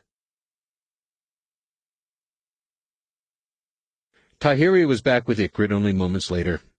The old Jedi Master padded into the room on all fours, his long floppy ears dragging the ground. His normally bright eyes seemed a little dull to Anakin, and he felt an inexplicable pang. Master Ikrit. Young Anakin, it is good to see you, Ikrit replied, though you bring troubling news. Yes, he raced through the details once again for Ikrit and Tionne. They would take our children, Tionne murmured, more darkly than was her wont. The Peace Brigade? Absolutely. Tionne, it's bad for Jedi out there right now. I understand, she said, then clenched her fist. No, I don't understand. Has the galaxy gone mad? Yes, Kam said softly. It's an old madness. War. You don't have any ships, do you? No. Streen went with Peckhum in the supply ship. Where to? Corellia. He should be back soon. Though I suppose they won't. Now. We'll have to hide them here, then, Anakin said. Where? Down the river. The cave beneath the palace of the Woolamander, Tahiri offered. Master Ikrit's cave. Anakin raised his eyebrows. That's a good idea. They'd be really hard to find there, especially if the Peace Brigade doesn't start looking right away. What do you mean by that? Kam said, his voice suddenly cautious. Why would they delay the search? I'll stay behind, Anakin said. I'll make it look as if we're still in the temple trying to make a stand.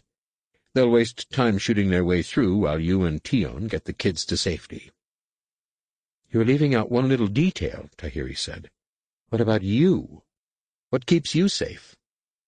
I'll hide the X-Wing. I know a good place. I can slip through them. Then I'll play hide-and-seek until Talon Karrde shows up. Once he's mopped up the Peace Brigade, I'll lead him to you.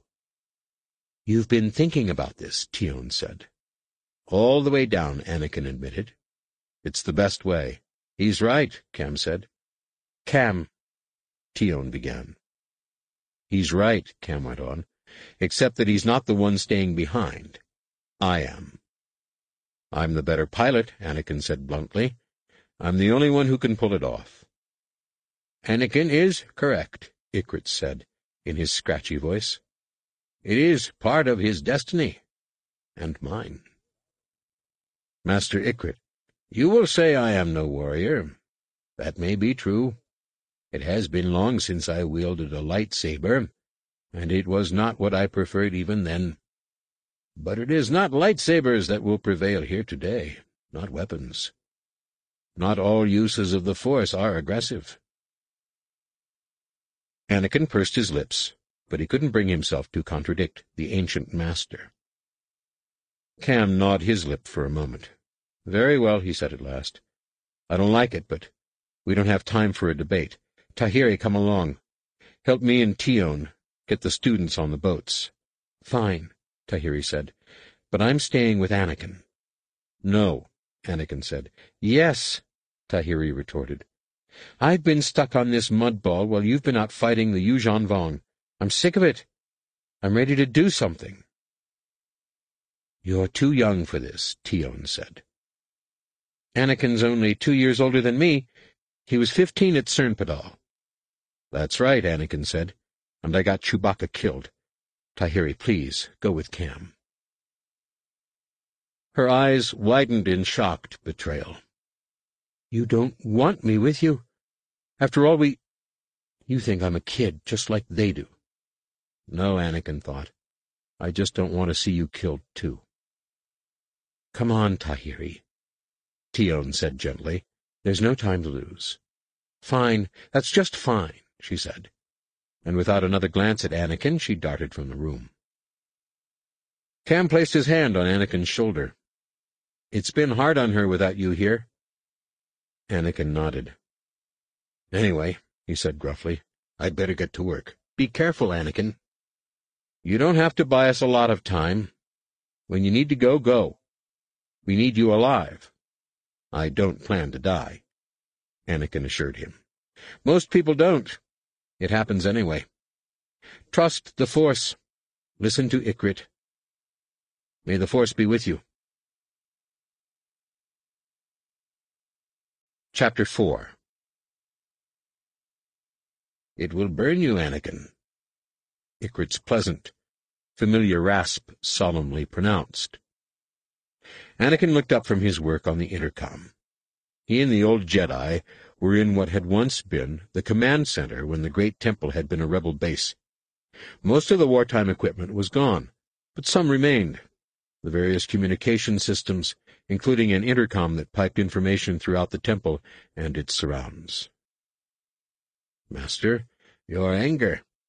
You have built yourself a vessel to contain it, but the crucible itself will one day melt from the heat. Then you will burn, and others with you. Many others, possibly. Anakin slipped the modified data chip in place and straightened. The Yuuzhan Vong make me angry, Master. They're destroying everything I know, everything I love. No. You make you angry. People die. You are angry because you could not save them. You mean Chewbacca, and others. Their deaths are inscribed on you. Yes.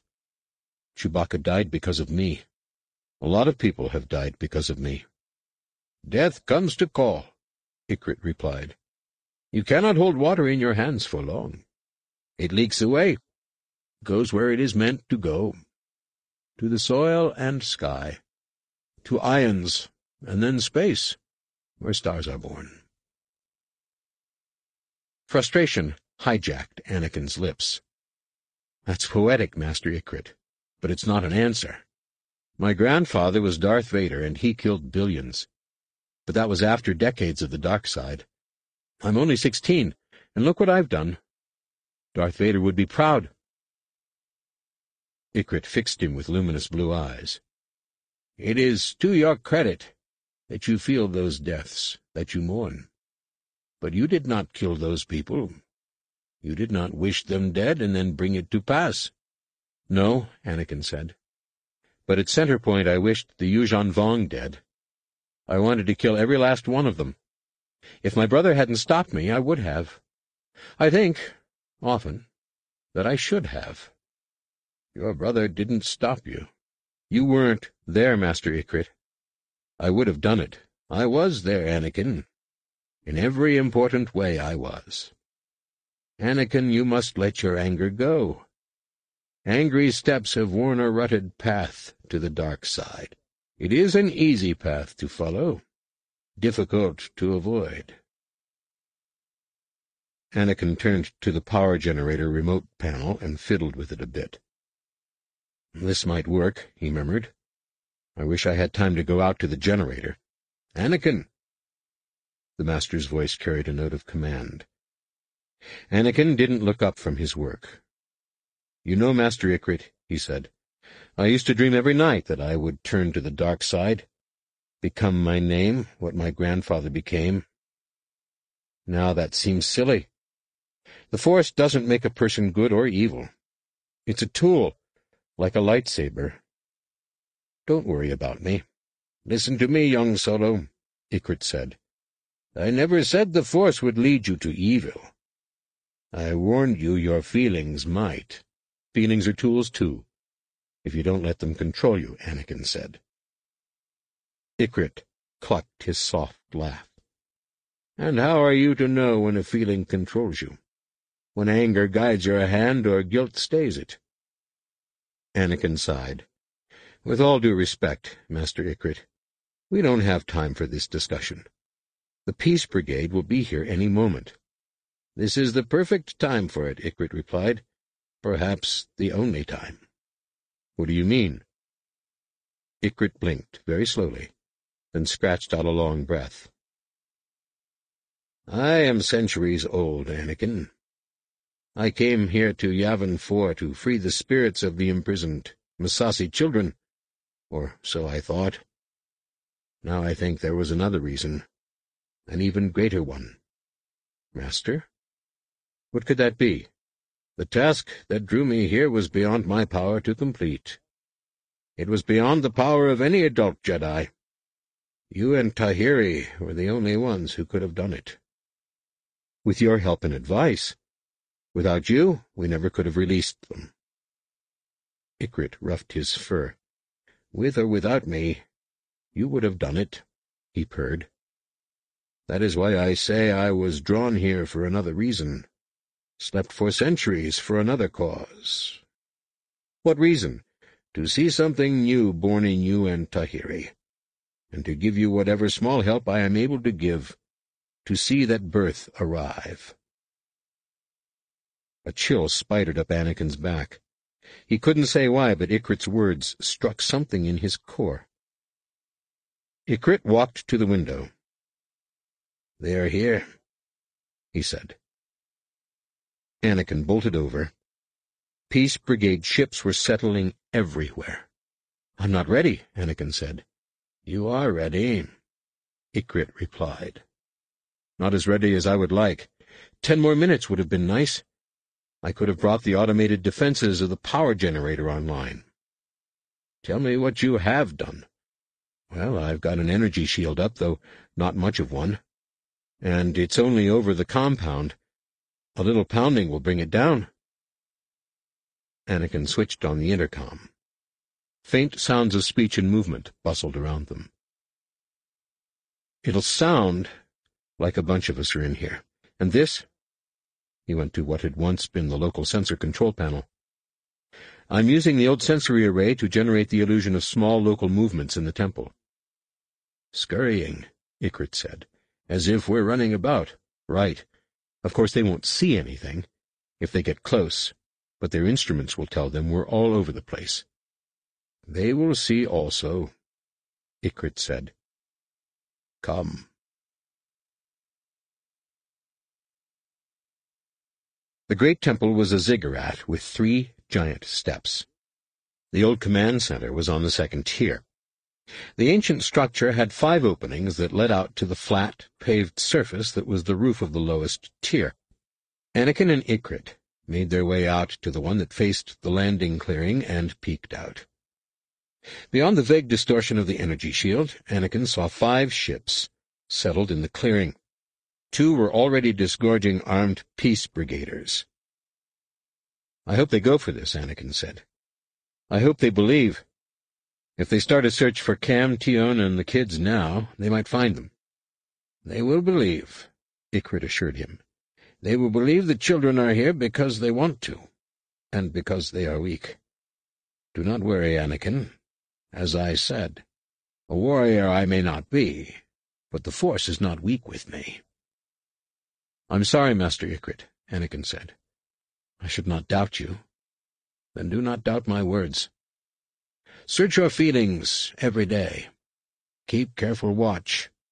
The worst monsters are not those from without. Then the master closed his eyes, humming faintly to himself. Anakin felt a surge in the Force as Ikrit's will went out to touch the beings below, to nudge their credulity over the edge. Anakin lifted a remote com unit and keyed into the outdoor speakers. "'You are trespassing on the grounds of the Jedi Academy,' he said. "'Please leave immediately.' At the sound of his amplified voice, some of the Peace Brigaders dived for cover. A moment later, the exterior speakers of one of the ships boomed on. "'You inside the temple,' the voice said. "'This is Lieutenant Kot Murno of the Peace Brigade. We have been empowered to take control of this facility.' "'On whose authority?' "'The Alliance of Twelve.' "'Never heard of it,' Anakin replied. "'Whoever they are, they don't have any jurisdiction over this system.' "'They do now.' Murno answered. We are their authority. Surrender, and you won't be harmed. Really? You don't think that the Yuuzhan Vong will harm the children you've come to kidnap when you hand them over to them? There was a pause this time before Murno answered. It is the price of peace, he said. I regret it, but it is the case. Weighed against what the Yuuzhan Vong could do to every inhabited world in this galaxy? A handful of Jedi isn't much to ask. You brought this disaster upon us. You must pay the price. You're blaming the Yuuzhan Vong invasion on the Jedi? Anakin asked incredulously. Jedi have provoked this war at every stage, hoping to use it as a way to embellish their own power. Your plans for the domination of this galaxy have long been known. This time, your tactics have reverse-throttled on you. That's the biggest trough of bantha fodder I've ever heard anyone spit up in my life, Anakin said. You are cowards and traitors. You want us? Come and get us. He fired his blaster through the narrow window and ducked his return fire. Heat spalled the ancient stone. Particle shields like the one he had erected did nothing to stop energy blasts. The thick jungle air filled with the hiss and whine of blasters as the fire expanded to other parts of the temple complex. What are they shooting at up there? Anakin wondered aloud. Ghosts of mist and madness, Ikrit told him.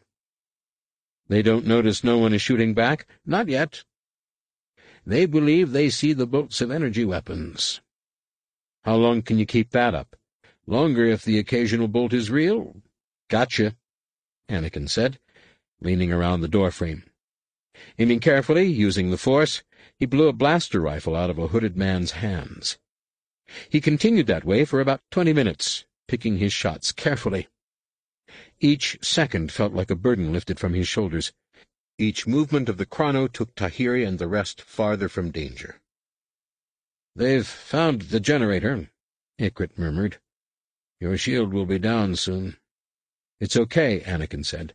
We're almost done here. Even after it's down, they'll come in cautiously. We'll have plenty of time to get to the hangar and get my X-Wing out. Then all we have to do is run their little blockade. He'd noticed three of the five ships had landed facing the closed hangar doors. No surprise there. But what they didn't know was that one of the ion cannons that guarded the hangars was still operational, and had a self-contained power supply good for at least a blast or two. He leaned out for a parting shot. A blaster bolt seared by over his shoulder, lanced down into the Peace Brigaders. Anakin jerked his head around. That shot came from above us. Yes, Ikrit said. Didn't you notice? Didn't you know she would come? Notice who? But in a flash he knew. Tahiri was up there. Tahiri and two other people. All Jedi. Hot slime, he swore. Just what I needed. He turned to Master Ikrit. There won't be room for all of us in the X-Wing. Meet me in the deep grotto. I'll think of something on the way. With that he raced down the corridor blaster in one hand and lightsaber in the other. He found them in the refectory. Tahiri, Valin Horn, and Sannah. They had barricaded the outer door with tables, and had two blasters between them, no telling where they had gotten them. When Anakin entered, Tahiri waved the gun at him. "'What are you doing?' Anakin exploded. "'Helping you,' Tahiri said with a grin. "'How did you, Kam, thought we were on Tionne's boat? Tionne thought we were on his. Simple, with a little planning.' "'But Valin, Valin's only eleven. Twelve, Valin said very seriously. I can help. This is insane. Fine when you are to talk, Anakin. Tahiri snapped. You're the one who left Coruscant without permission, aren't you? You get to do everything while we just run away and do nothing? I don't think so, best friend. Yeah? Well, my plan was to get away in the X-Wing. Now we have too many people for that. What does the brilliant Tahiri propose we do exactly? Oh. Her green eyes went round. I hadn't thought that far. No, I guess you didn't. The floor suddenly vibrated like the shell of a Hapan lute. What's that? Sannah asked. Valin, peeking out the window, answered. The shield is down. Now they're shooting at the doors. Some men are coming up the stairs, too. No more time, Anakin said. We'll have to think as we go. I told Ikrit to meet us in the grotto. Then we'll be stuck underground. I didn't have much time to put this together, Tahiri. You mean there's more to your plan than hiding in the grotto? Anakin blew out a deep breath. Sure. We'll take a peace brigade ship. Tahiri smiled. There. That wasn't so hard, was it? They reached the turbo lift just as a clump of Peace Brigaders appeared at the end of the corridor facing onto the outside stairs. Hey, stop! one of them shouted. Two blaster shots pinged against the doors as they closed.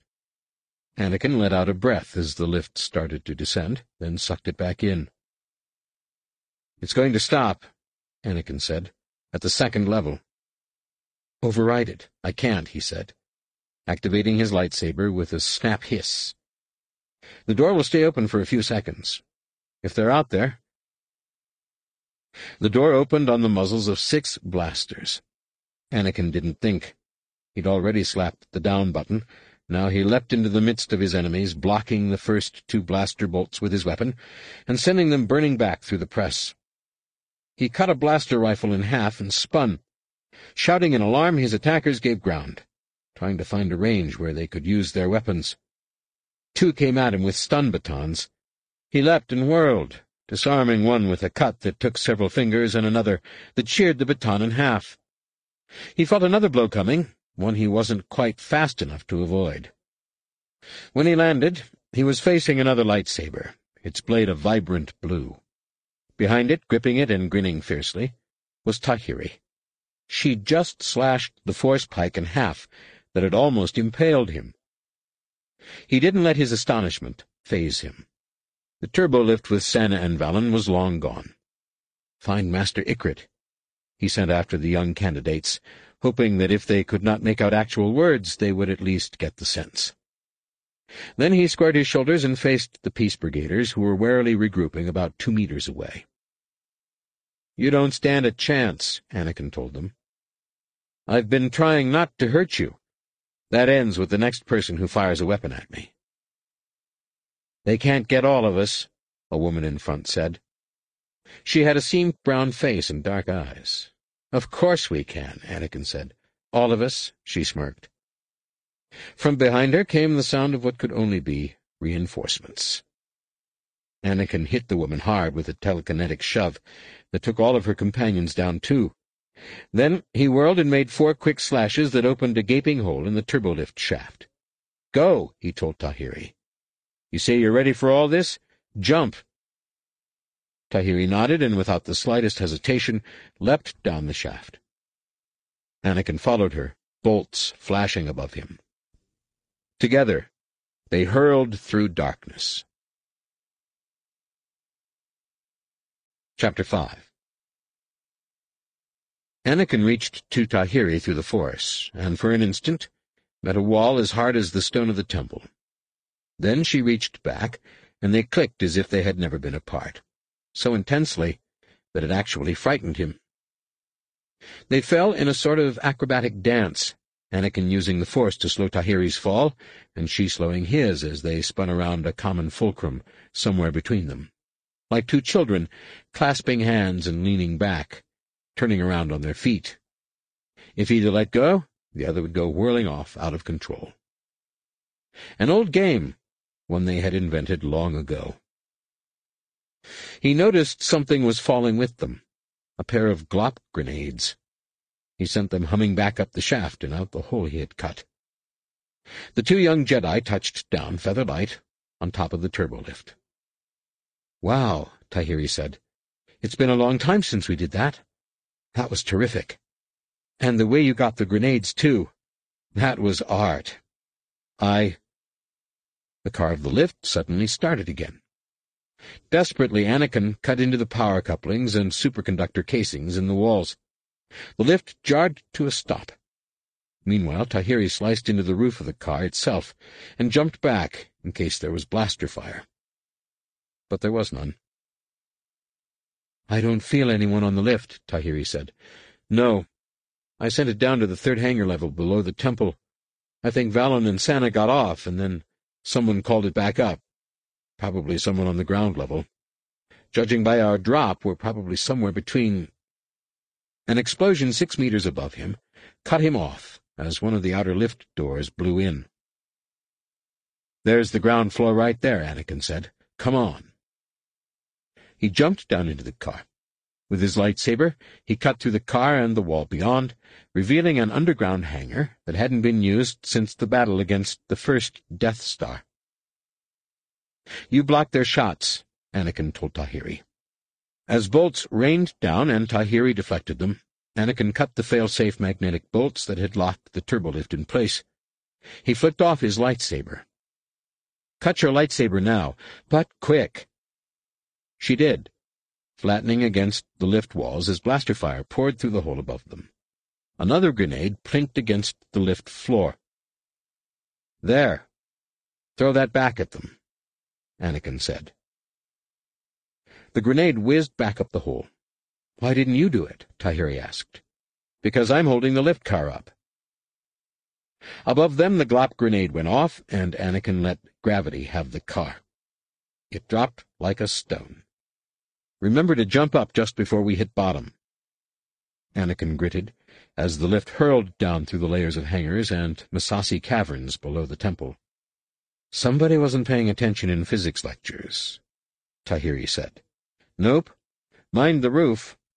And then they did jump, pushing away from the lift floor with the force, up through the jagged hole, into the turbolift shaft. Below them, the car hit bottom with a terrific din. Once again they drifted each other down upon it, but this time the car wasn't exactly level. It had wrenched the lowest doors from their hinges, and they were able to step through. The Rebel Alliance had converted square kilometers of Massassi caverns into hangars, but below that there were chambers and caverns more or less untouched. The turbolift went down only as far as the Alliance had used the caverns. After that it was stairs, winding corridors, and secret panels. They'll look up there first, Anakin said. They'll think we went through into the hangar where I cut the wall. By the time they think to look down here... In fact, hang on. He activated his wrist com. Fiver? Affirmative. Fiver's response scrolled across the small display. I need you to fly the X-Wing out of the hangar. Avoid all pursuit until I call you again. Got that? Affirmative. Good luck, Fiver, Anakin whispered. After a long descent, Anakin stopped in front of a blank wall. Remember this? Is Dagobah up to its neck in mud? Tahiri pushed a patch in the wall, and it swung open. The two stepped through and closed it behind them. Anakin felt around in the rocks and came up with one of the two glow lamps that were usually secreted there. Master Ikrit has already been here, he murmured, with Valin and Sannah. Yeah, I can feel them. That was, um, good back there, Anakin admitted. Where did you get the lightsaber? Anakin Solo, you don't think I can build a lightsaber? I didn't say that. I just didn't think right. You didn't think. And you're still not thinking. And you'd better fix that before you say anything else. Now, let's find Master Ikrit.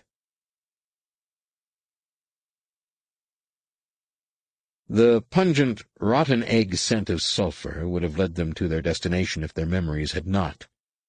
Ikrit, Valin, and Sannah sat on the edges of an underground hot spring, just outside of a shaft of light that fell from a hundred meters or more above, where some long-ago force, natural or artificial, had cut through the soft stone. "'I've never seen it in daylight,' Tahiri murmured. When they were younger, they had come here with Kam and Tionne, to drift in the warm water and turn from inward to outward in force, to contemplate the stars above and the person within. It was a place all the students knew, but which was never spoken of to anyone else. "'Good that you have come,' Ikrit sighed. "'You knew I would?' Anakin said. "'Yes. Still, it is good.' "'What will we do now?' Valin asked. He was trying to look brave, but Anakin could feel his fear. Now, you guys will keep waiting here. It should be safe enough. I'm going to climb up there. Tahiri elbowed Anakin in the side. I mean, he corrected. Tahiri and I will climb up there while we have light to see by. Then we'll hide until dark and ste— er, commandeer one of their ships, one big enough for all of us. And small enough to bring down here, Tahiri added. Right. There's a light transport I think might fit the bill. Do you remember the way up? Tahiri asked. You two did this before? Ikrit asked. Climbed up to the surface from here? Um, yes, Anakin replied. When we were bored, once. I thought I always had my eye on you, Ikrit said. I must be getting old. Somehow the Jedi Master looked old, older than Anakin had ever seen him. He sounded old, too. Are you ill, Master Ikrit? Ill? No. Sad. Sad at what? Ikrit ruffled his fur. It is inappropriate, my sadness. It is nothing. Go, Succeed as you always do. Remember— Ikrit paused, then began more strongly in a voice that made Anakin feel suddenly that he was eleven again. Remember, you two are better than the sum of your parts. Together you two could— He paused again. No. Enough. I've said enough. Together, that's the important thing. Now, go. They reached the top by nightfall and took shelter in a small cavern just under the lip of the pit. It was a tight fit, but impossible to see unless you were hovering right in front of it. They sat shoulder to shoulder, breathing deeply and working the cramps from their muscles. "'You thought I was going to mess things up,' Tahiri said suddenly. "'What brought that up?' "'There hasn't been time to talk about it until now.' "'Well, keep your voice down. It's not exactly the brightest thing for us to be talking.'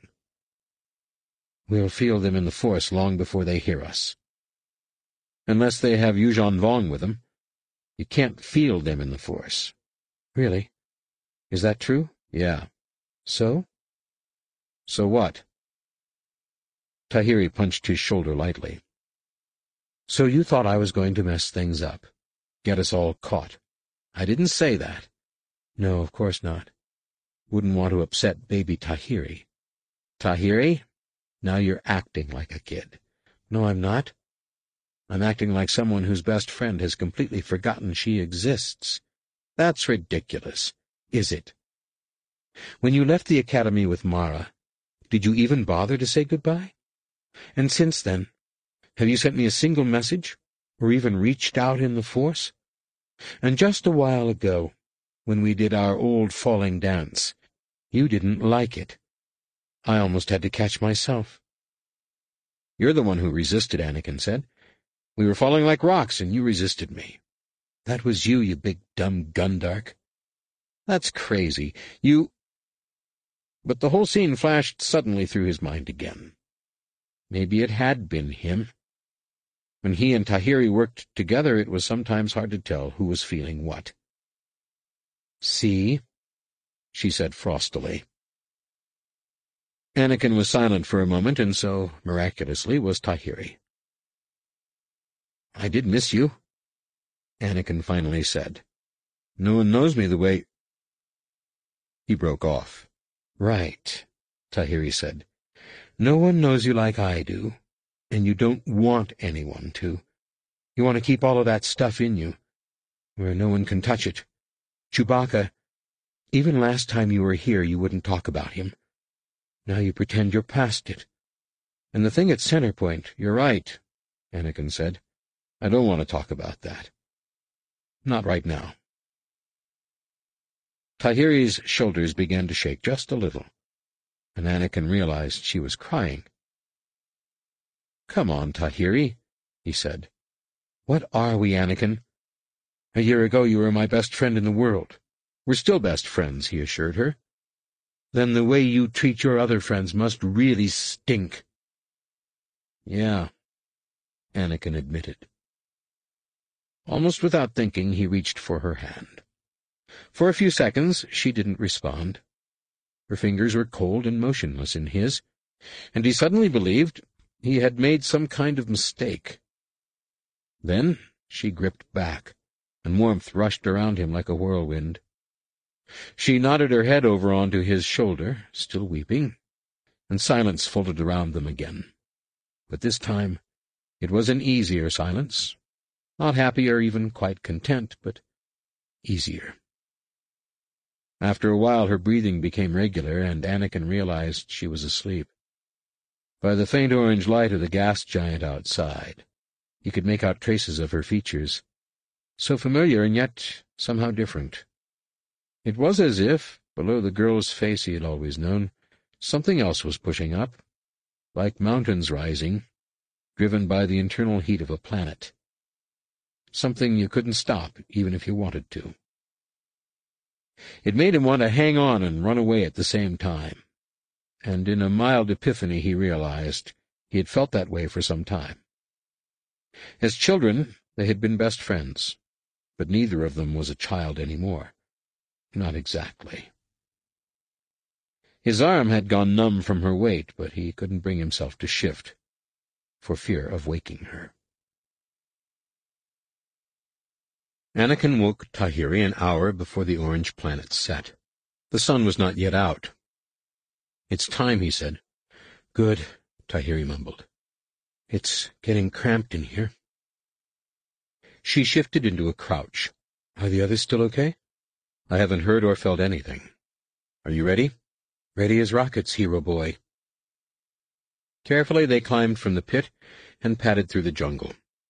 The spicy scent of bruised blue-leaf shrubs suggested a lot of searching had been done in the area, but for the moment it was quiet. Anakin and Tahiri made it to the ship landing clearing without incident. I like that one, Anakin whispered, pointing at a light transport a little apart from the rest. I don't think I'll have trouble flying it, and we can get it down the pit. You're the captain, Captain, Anakin peered more closely at the ship and then began sneaking across the clearing. A guard several hundred meters away glanced in their direction, but it took only a faint suggestion to turn Anakin and Tahiri into shadow and planet light. They found a guard in front of the ship, too, sitting on the open ramp. He came quickly to his feet when they saw him. You're needed around the other side of the temple, Anakin told him, with a slight wave of his hand. The fellow hesitated an instant, scratching his chin. I'm needed elsewhere, he allowed. I'll go then. See you later, Anakin said as the man started away, pace quickening as he went. What the? A young man's face stuck around the corner. He looked as if he had just awakened. Seeing Anakin and Tahiri, the fellow's eyes went wide, and he reached for his blaster.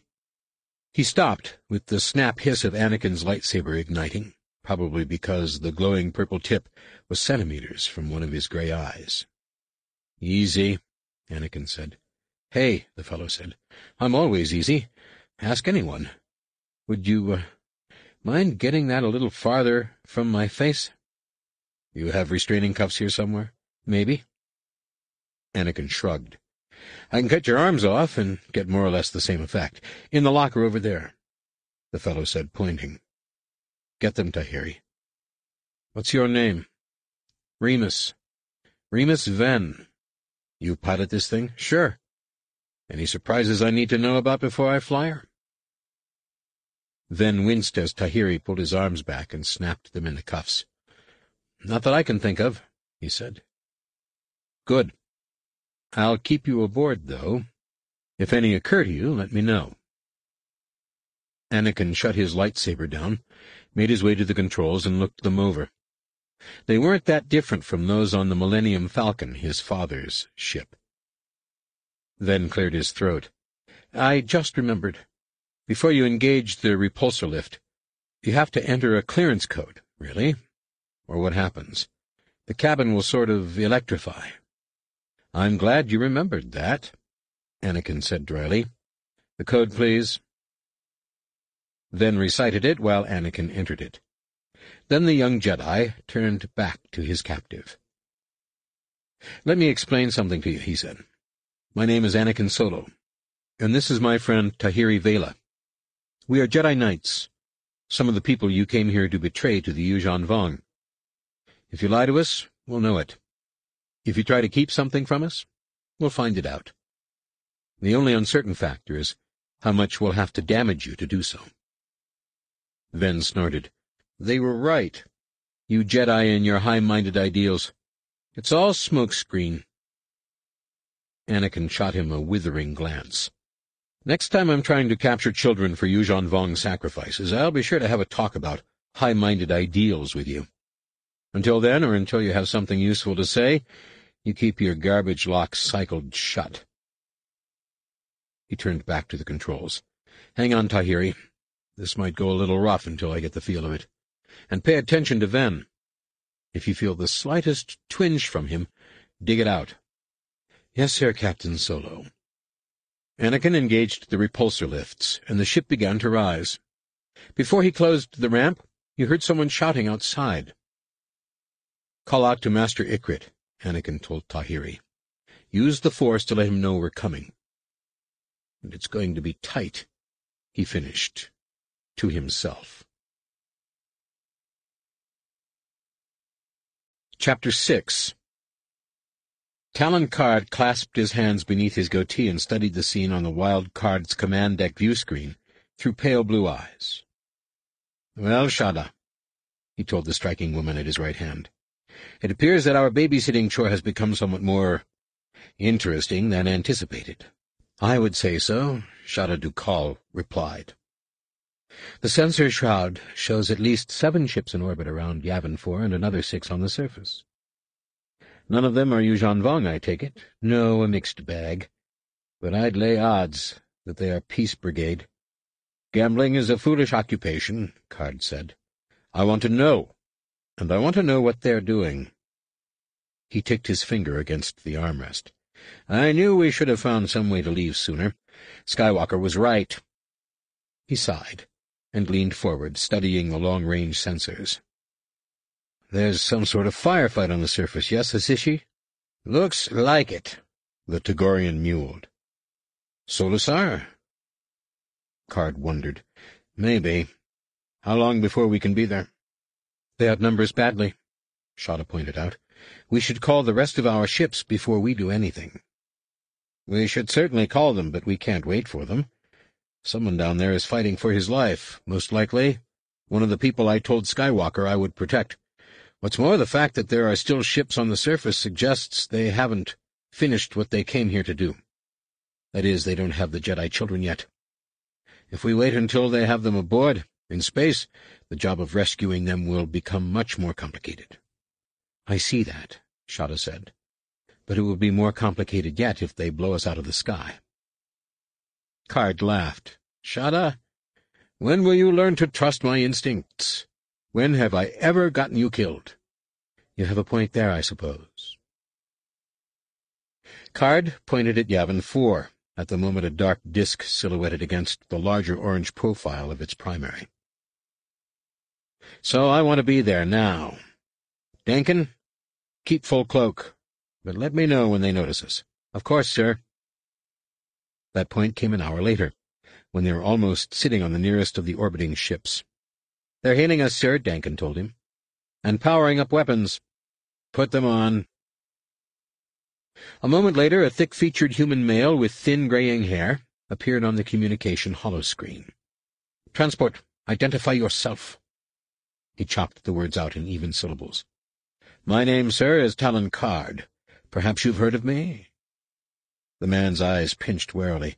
Yes, I've heard of you, Captain Karrde. It's rude to sneak up on someone like that. And dangerous.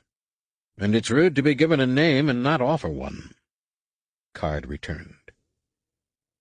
A look of annoyance crossed the fellow's face. Don't try me, Captain Karrde. You may call me Captain Imsatad. What do you want? Karrde favored the man with a wan smile. I was going to ask you the same question. I don't follow you, Imsatad said. You seem to be having some sort of trouble. I'm offering my assistance. We need no assistance, I assure you. And to be blunt, Captain Karrde, I don't believe you. I remember you as a smuggler, a pirate, and a traitor to the Empire. Then perhaps you remember as well what became of those who treated me with disrespect, Karrde said icily.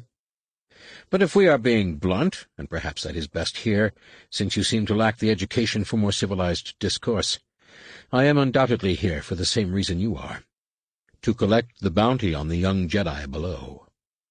I don't know what you're talking about. Karrde leaned toward the screen, eyes glittering dangerously. You are a liar, Captain, and a poor one. I see no reason for us to play games. I trust you've noticed you're outnumbered. I trust you noted. I was able to drop in on you in, shall we say, an unannounced fashion. Do you really think I brought only one ship? Imsatad glared at him, then cut his visual. Karrde waited patiently until, a few moments later, the image returned. This is none of your business, the man said. Profit is always my business. There is no profit here. And if there were, it would already be too late. Oh, I don't think so. Why are your ships still on the surface? Why do my sensors show what seems to be protracted search activity? You've let your quarry slip through your fingers, Captain. Karrde smiled and leaned back in his chair. Consider my offer of help. I ask little in return, and I could be a nuisance if you spurn my kindness. That sounds like a threat. Karrde spread his hands. Take it however you please. Shall we discuss this further or not? You say you ask for little. What exactly would that be? A few kind words in the ears of the Yuuzhan Vong, an introduction. You see, Captain, for some years now, I've been retired from my chosen profession. But these are very interesting times. Exactly the sort of times my kind thrives on, if you know what I mean. I'd like to come out of retirement. Go on. Karrde stroked his mustache thoughtfully. The Yuuzhan Vong have promised a truce if the Jedi are delivered to them. I would like to bargain for passage through Yuuzhan Vong's space once the borders are established. Why should they allow a smuggler to use their space? There may be things they need. I can get them. If not, I would be doing them no harm. All of my activities would be aimed at the scattered remnants of the new republic. But those remnants are separated, at times by Yuuzhan Vong-occupied systems. The cost of circumventing them, frankly, would be prohibitive. Imsatad nodded and a brief look of disgust wrinkled his features. I see. You realize I can promise none of that. I only asked for a mention of my help in this affair. You can promise that. I could. Imsatad acknowledged. What exactly can you offer me? Better sensors than you have, for one thing. Detailed knowledge of Yavin 4 that I believe you lack. A crew that is very, very good at finding things certain special defenses against Jedi, and the means of finding them. Imsatad stiffened and his voice dropped low. I was with Thrawn at Wayland. You still... Ah. You know what I mean, then. I know you betrayed him. Karrde rolled his eyes. How tiresome. Very well, Captain, if you don't wish my services, there are others who will. Wait! Imsatad chewed his lip for a moment. I need to consult with my officers on this. Take a few moments, Karrde said, lifting a finger. But do not bore me. He cut the transmission. Chapter 7 Hutt slime! Remus Ven snapped as the transport scraped along the wall of the pit. Watch my ship! The controls have too much play in them, Anakin complained. No, you're flying like a Twi'lek on spice, Ven replied. Quiet, Tahiri said, or we'll restrain your mouth, too. Ven yelped again as they scraped stone. The fit was tighter than Anakin had thought it would be.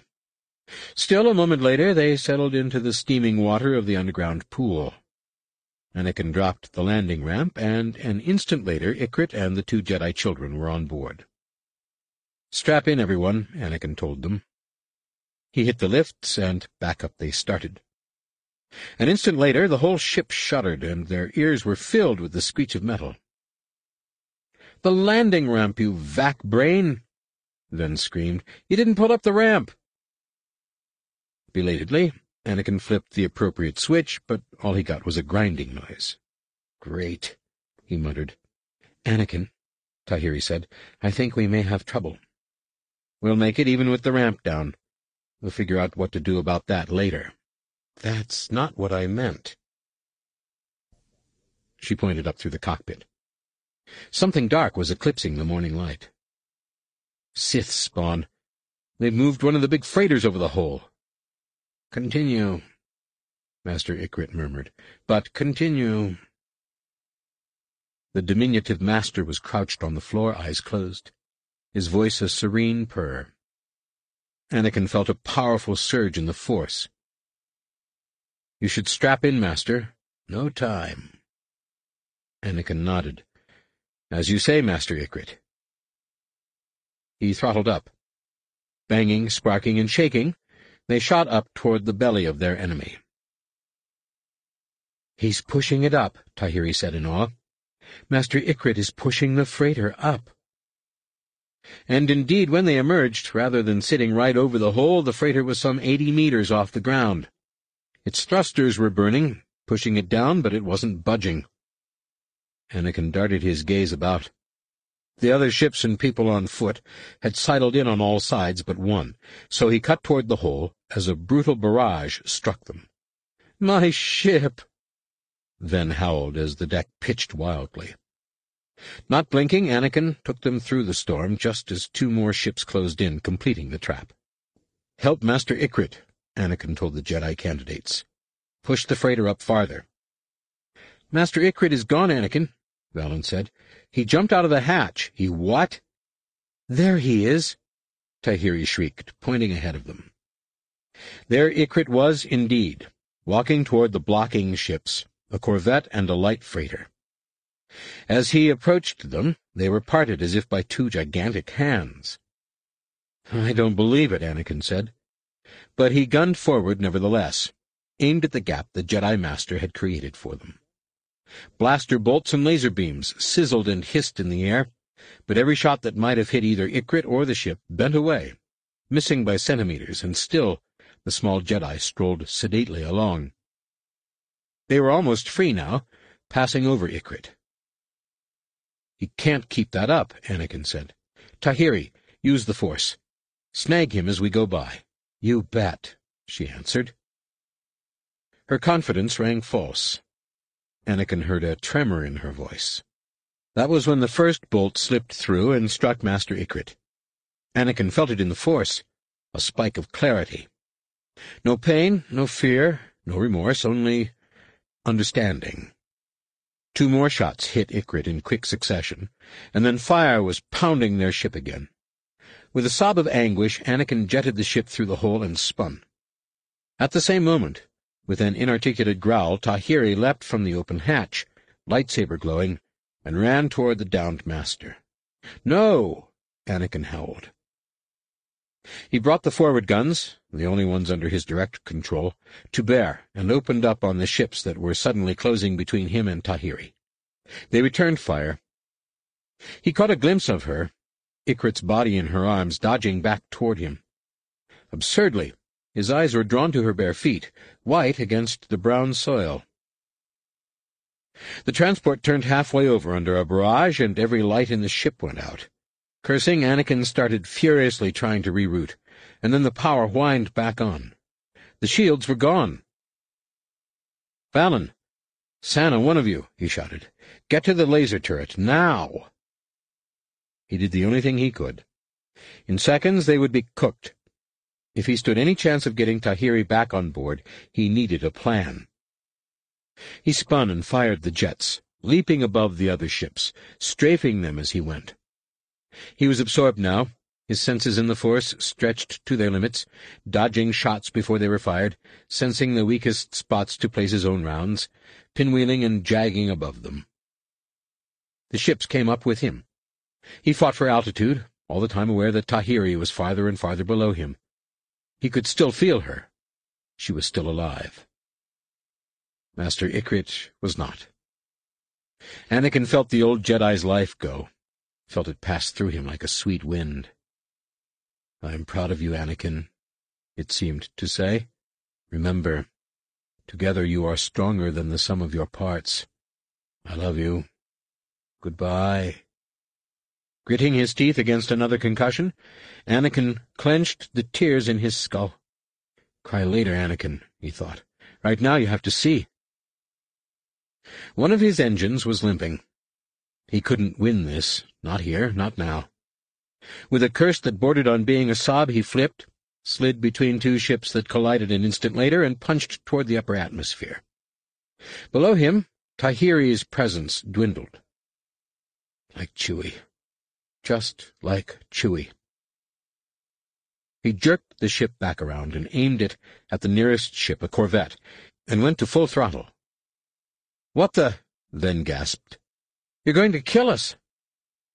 Anakin fired. The other ship held steady. Steady. Anakin pulled up just slightly and skipped off the top of the corvette the way a hurled stone might skip across a lake. The collision tossed them up with a terrible shrieking of metal. The counterforce hurled the corvette down, not far, but far enough to slam it nose first into the great temple. An orchid of flame uncurled from its engines.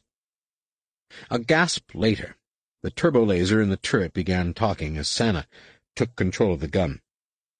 Anakin put the ship into a climb, fighting for distance, though every meter he put behind him tore another stitch from his heart. I'll be back, Tahiri, he said. That I swear. I'll be back. Kam-Solusar gasped and sagged against the damp stone wall of the cave.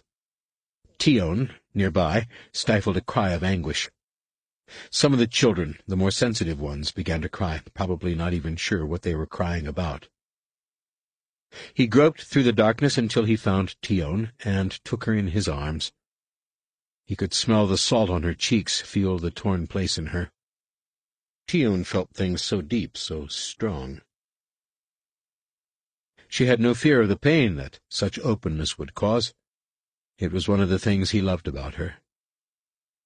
While he put on armor against the universe, she took it all in and gave it back as something better. Her wound would heal, and from it a song would come. Others thought she was weak because her powers in the Force weren't so great. Kam knew better. Ultimately, she was stronger than he. Master Ikrit, she whispered. I know, Kam replied, stroking her silver hair. He knew all along.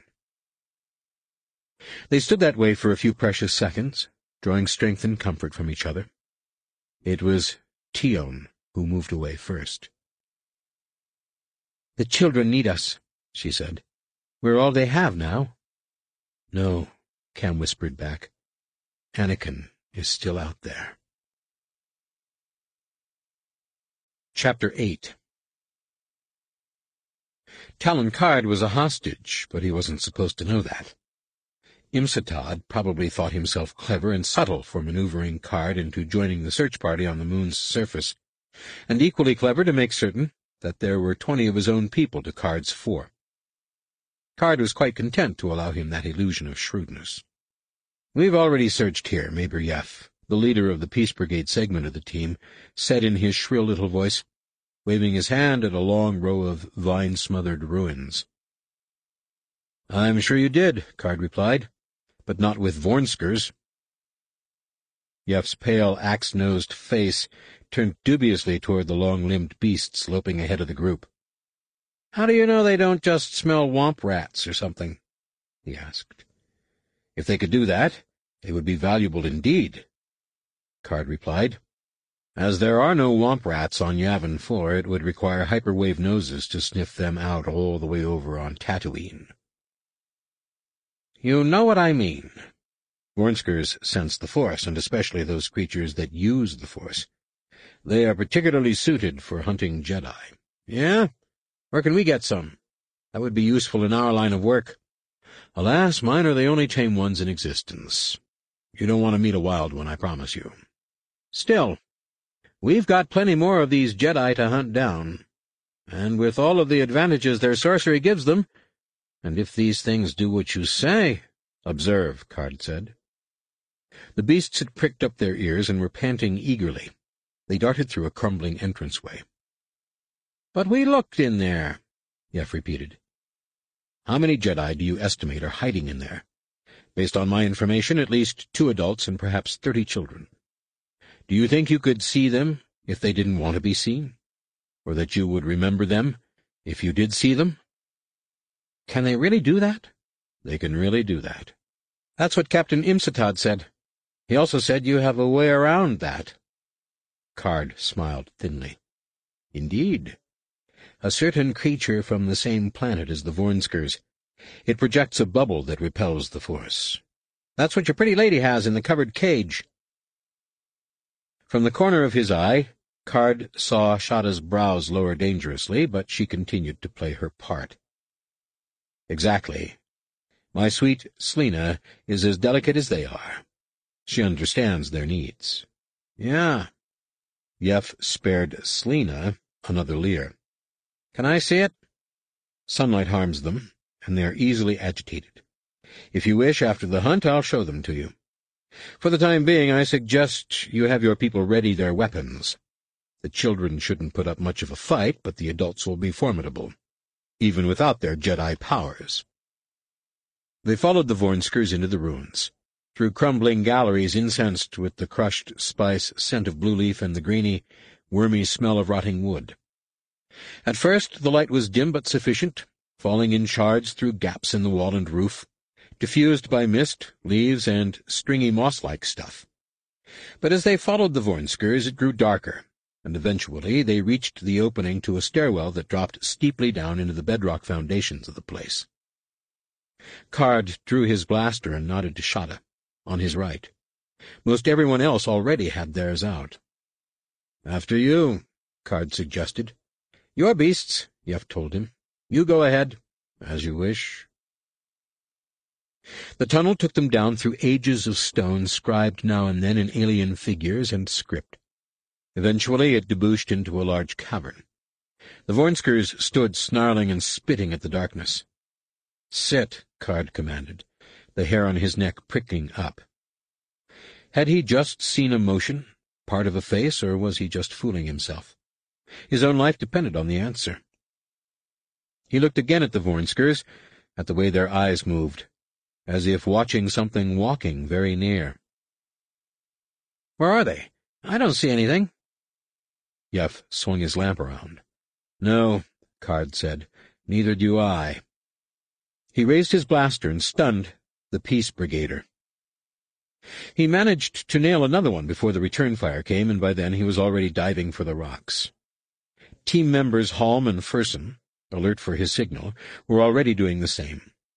Shada, on the other hand, was a gyroscoping blur in the midst of their enemies.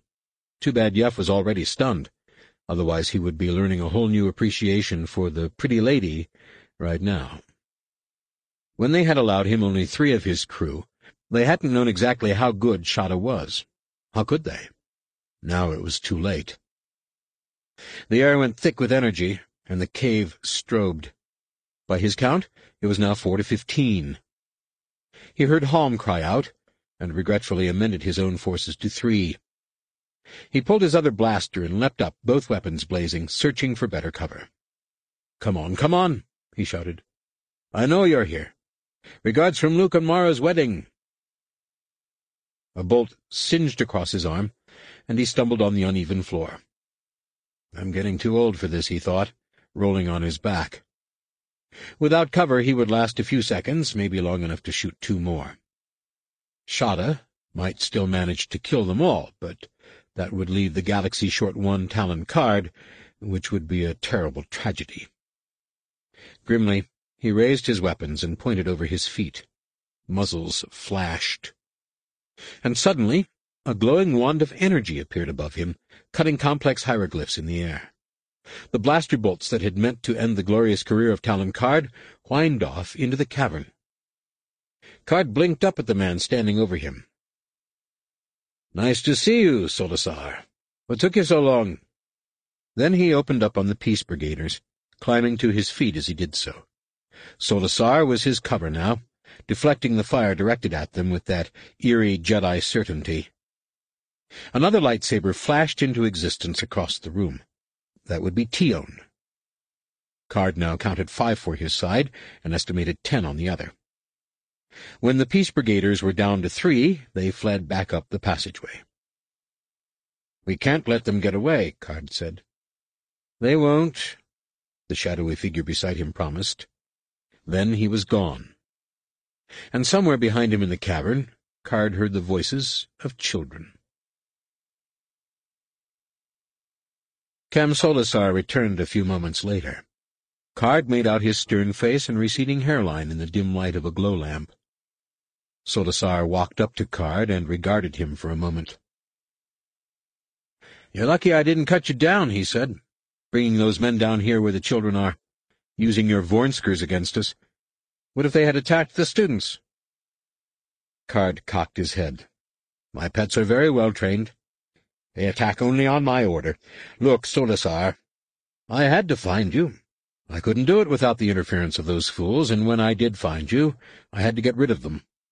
They thought I had an Ysalamiri with me, that your Jedi powers would be blocked. But you didn't bring one. It's an empty cage. So you turned on them, not knowing if we were really here or not. I know my pets. I was certain you were down here, and I didn't want to cripple you by actually bringing an Ysalamiri. That was quite a risk. I told Luke Skywalker I would take his students off of Yavin 4. If keeping my word requires risk, that's acceptable. Solusar nodded impatiently. Understood. But how am I to know you're telling the truth? I know you, yes, and you've been on the right side, but a lot of people are joining the Peace Brigade, and you've changed coats before, Karrde. So have you. Have you ever wanted to put the old one back on?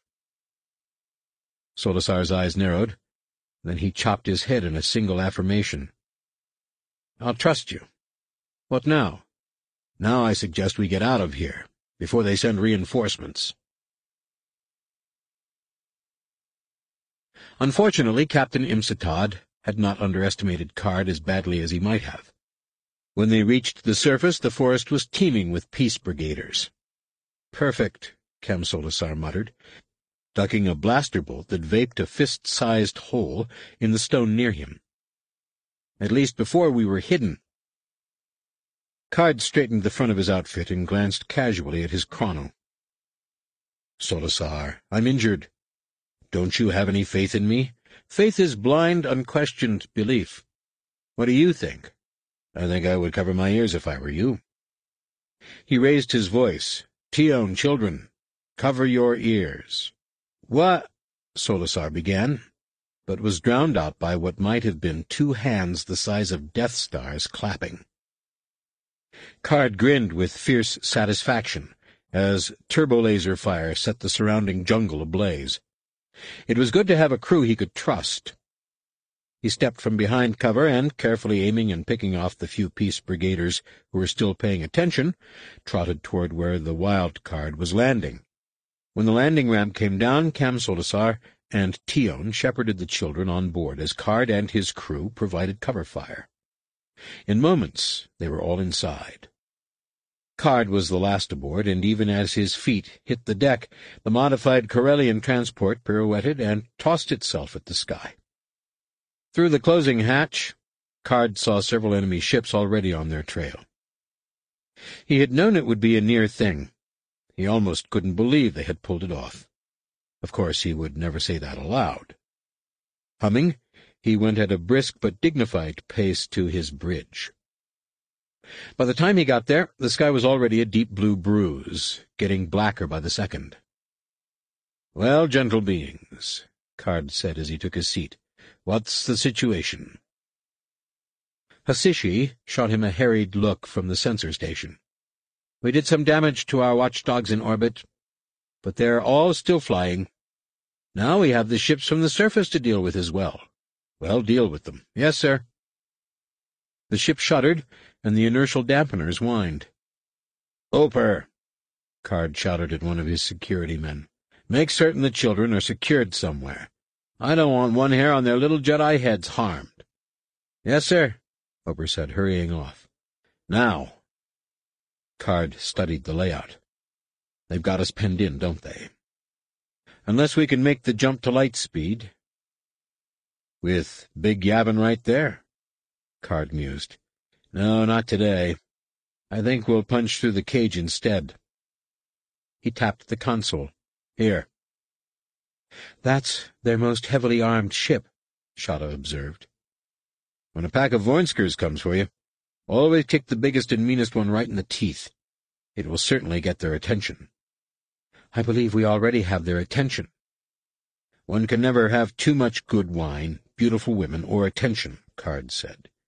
Go, and keep the throttle open. We won't get their shields down before we reach them, Shada said. No, we won't. But we'll certainly see who blinks first. He reflected for an instant. Give me the controls. I thought you said gambling was a foolish occupation, Shada remarked, as the frigate grew larger on their screens. Indeed I did, Karrde replied. But I'm not gambling. On my mark, release proton torpedoes. Don't fire them, just release them. As you wish, sir, the gunner replied, sounding puzzled. They're trying for tractor lock, Shada said. Yes. Let them have it. What? Drop the shields. This time the dampeners couldn't absorb all of the shock. The deck felt as if it was buckling beneath their feet as the tractor beam caught them, killing their forward motion. Torpedoes. Now, Karrde said. Torpedoes released. Shada looked up. The tractor beam has them. Good. Arm them and put our shields back up. Sir, they've commenced fire on the torpedoes. Have they released the tractor beam? No, sir. Detonate the torpedoes, then.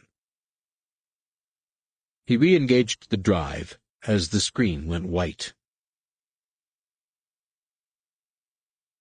Chapter 9 Treetops snapped as Anakin wrestled with gravity. Ven's complaints had deteriorated to a steady moan. Valin, strapped in the co-pilot's seat, looked very ill. Sannah was still firing the turbo laser. From her, Anakin could sense both frustration and anger. Tahiri had been her friend, too. Was still her friend. Tahiri was alive. Anakin could feel that as certainly as he could feel his own skin. The transport cut a smoking swath across the tree line for a kilometer before Anakin saw what passed for a clearing. He dropped in, straining the inertial dampeners well beyond their parameters, fetching up against a wall of vines and secondary growth, dense but without much mass. If he hit a big tree... He tried not to think about it. Instead, he dumped a torpedo in reversed direction, traveling into the more open forest beyond on repulsors, drifting back toward the treetops, hiding in the canopy. The torpedo went, taking a hundred square meters of the forest with it, in a carbon-rich plume.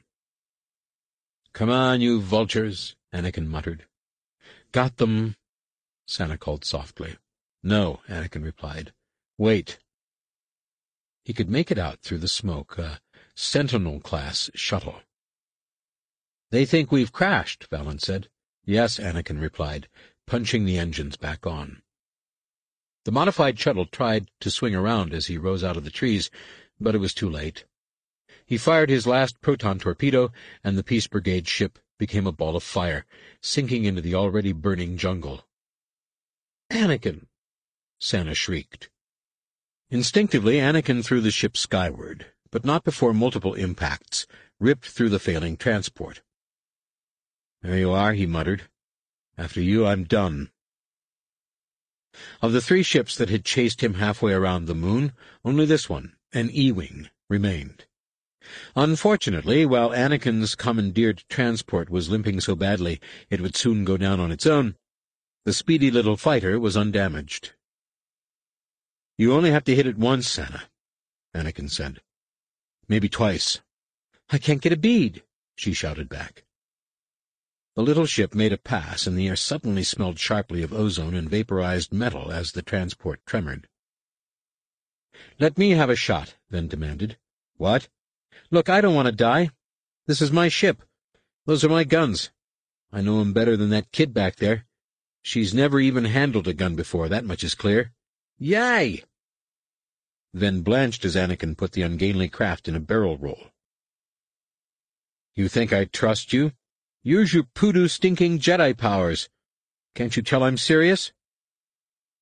To Anakin's surprise, he really didn't sense deception from the fellow. You'd shoot down your own friends? They're not my friends. Again, no deception. Anakin made his decision. Valin, uncuff him. Take him to the gun. Then I promise you, if this is a trick, no matter what else happens, you'll be sorry. Sorrier than I am now, I doubt it. Anakin dropped low again, trying to buy a few more seconds. He had only one engine left online, and one more hit would finish that quickly enough. I'm on it, Ven reported from the turret. Give me a little altitude, that's all I ask. You've got it, Anakin said. Once more he put the ship in a climb. The E-Wing saw its opportunity then, darting in and chewing what was left of the engine to shreds. It coughed offline, and for an instant the transport seemed to hang suspended a hundred meters above the treetops. In that in-between moment, Ven needled red lines across the sky, stitching through the E-wing. It spun wildly out of control. Then the transport was falling, and Anakin hit the repulsors, and the sound of tearing metal deafened him. Anakin came to with the taste of blood on his tongue. He didn't know if he had been out for seconds or days, and a glance at the controls didn't help. Through the cockpit transparisteel, he could see only crushed vegetation. Sannah, Valin. They're okay, Remis Ven said from behind Anakin. A little battered, but no worse for the wear. Anakin twisted in his seat and found himself confronting the muzzle of a blaster. He blinked, then looked up at the young man's cool gray eyes. You want to put that down, don't you? Anakin asked, pushing with the Force. Well, Ven considered. You'll put it down, Anakin commanded. Sure, Ven replied. I'll put it down. Great. Anakin unfastened himself from the flight harness. He took the blaster and stuck it in his belt. Vaping moths, Ven swore. You Jedi are sorcerers. Keep it sealed, Anakin warned him, turning to Sannah. Sannah was unconscious but breathing evenly. Valin was awake, but the hull near him had crimped in such a way that Sannah's harness was stuck. Anakin sliced through it with his lightsaber. The Melodie Girl moaned softly. Then carry Sannah out, Anakin told the Peace Brigader. The ship may have a few surprises for us yet. My ship, Ven said. I can't believe what you did to my ship. Your buddies did it, Anakin said. The same buddies who just murdered a Jedi Master and took my best friend captive. Don't expect me to cry any tears for you. First of all, Ven said, they aren't my buddies. I was strictly in this business for the money, and I thought we were taking on adult Jedi, not little kids. Second of all, I don't expect you to get all weepy, but without my ship, how do you plan to get off this snarly jungle? Anakin didn't answer Ven, but examined Valin instead. Are you okay? he asked. Can you walk? I'm fine, Valin answered. Good. I want you to go outside and find cover in the trees. Be careful. The jungle isn't exactly safe, though the crash probably scared most everything off. He then examined Sannah. She was bruised, but he didn't sense anything seriously wrong with her. Take Sannah out, he repeated to Ven. I'm right behind you. On his way out, he picked up the stun cuffs. This isn't right, Remis Ven complained. You just finished talking about how dangerous the jungle is, and you not only won't give me a weapon, you've restrained me. What if something comes along wanting lunch? It would have to be a carrion eater to stomach the likes of you, Anakin replied. Very funny. I helped you. You really think you're going to get thanks from me? Anakin snorted. You were saving your own skin, nothing more. Now quiet. Is she going to be all right? Valin asked, staring down at Sannah. I think so. Anakin touched the Melodie Girl's forehead and very lightly brushed her with the Force, strengthening her where she was weak, gently tugging her toward consciousness.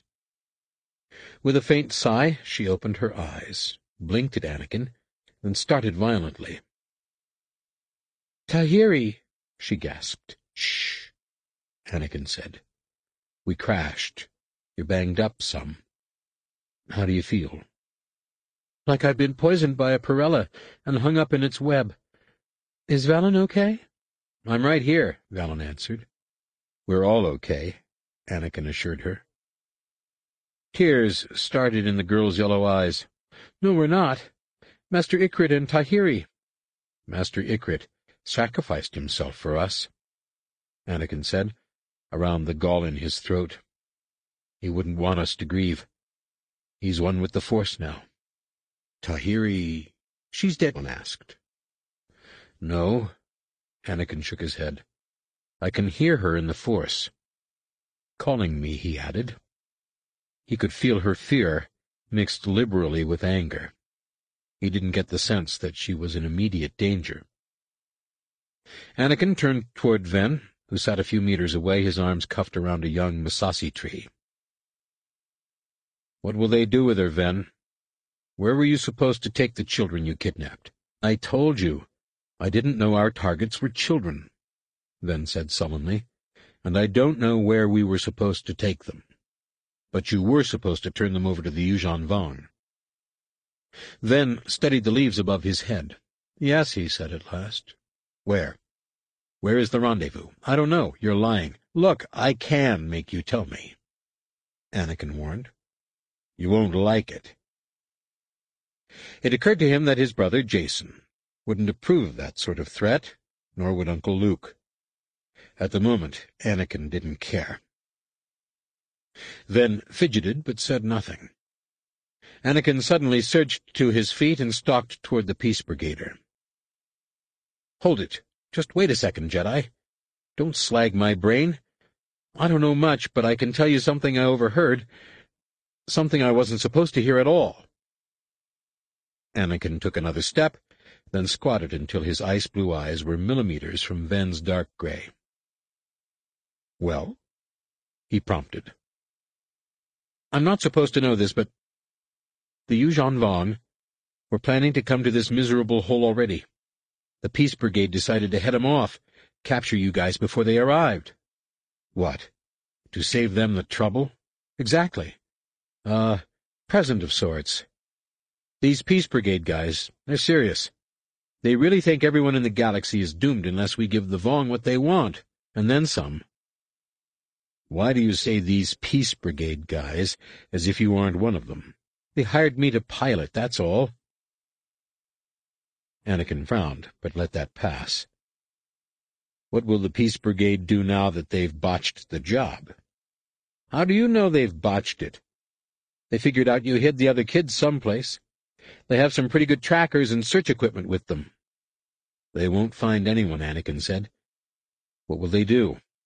The Yuuzhan Vong might assume the brigade really came here to hide the kids. At the very least, they'll be upset that you were so inept you let thirty or more Jedi slip through your fingers and caught only one. Ven looked thoughtful. They might cut and run. They might try to bluff it out with their one captive. I don't know them well enough to say. Anakin, Sannah said softly, you and Tahiri saved my people.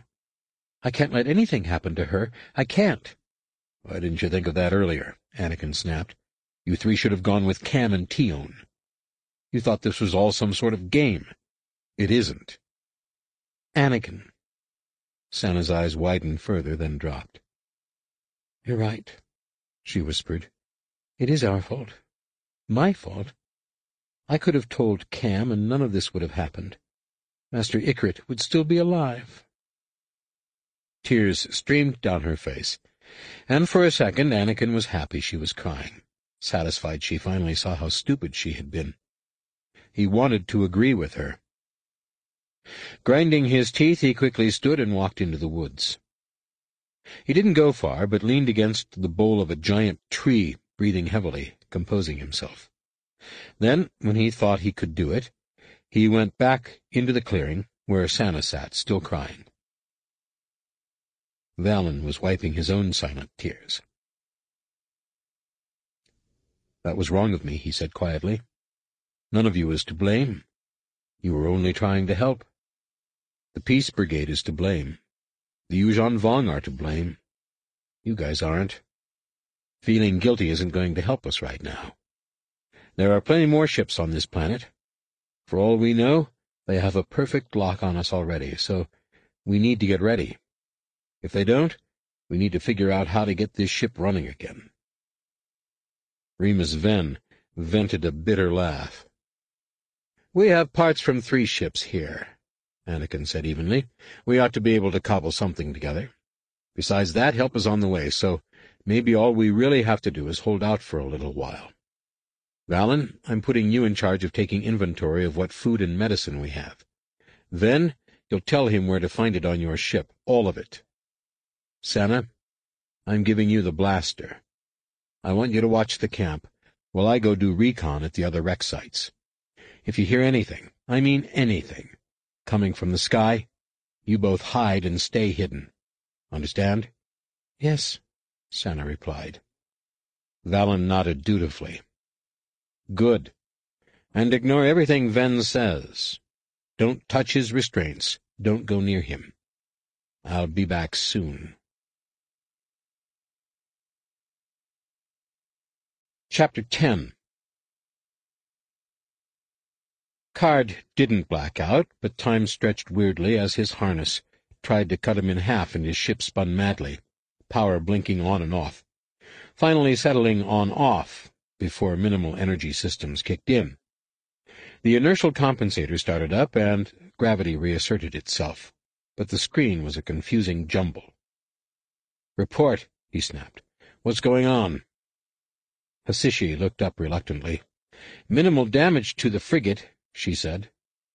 We took a pretty hard bounce, and we're limping a bit. Limp away from them, at least, Karrde said. Head for the outer system. The hyperdrive core took some of the worst damage, Dankin pointed out. I don't think we can jump. Well, we certainly can't here. Not in the hole Yavin's dug for itself. The big ships we can still outrun, at least for a while. The frigate will catch us eventually, but we've got a lead it will take them at least an hour to cut down. We've got a couple of E-wings that will be harassing us shortly. Good luck to them, Karrde grunted. We do have some weak points in the hull now, Shada pointed out. That's why we'll shoot them out of space, Shada, my dear, Karrde answered. And our shields? We'll hold up long enough. Long enough for what? Shada said. Without hyperdrive... H'sishi, suddenly grated out a yowling snarl. What's the matter, H'sishi? I can give you something better than a working hyperdrive, Captain, the Togorian said. And what might that be? Her toothy grin nearly split her head in half. The rest of our fleet, sir. You asked what I was waiting on, Shada? Don't ever doubt that the gods favor me. How far out are they? Um, er... H'sishi was suddenly more sober. Two hours at least, sir. Well, Karrde said cheerfully, then I'm taking suggestions on how to stretch the... It's what, eight minutes now? Into the two hours we need. The hull suddenly rattled. E-wings on us, sir, Dankin reported. Well, don't keep them waiting. Show them what this helpless old transport has in store for them. Shada, you have the bridge. You're leaving in the middle of a fight? It won't be a long one. When that capital ship catches us, give me a call. I need to talk to Solusar. Four hours later, a weary Imsatad appeared on Karrde's screen. You're a fool, Karrde, he opined. What does that make you, Captain? Karrde replied. In any event, our positions are now reversed. I have considerably more firepower than your little flotilla. And yet, as you once observed of me, you're still here, which means you aren't finished, Imsatad said. What do you want? By my count, four of the young Jedi are still missing. You wouldn't know anything about that, would you?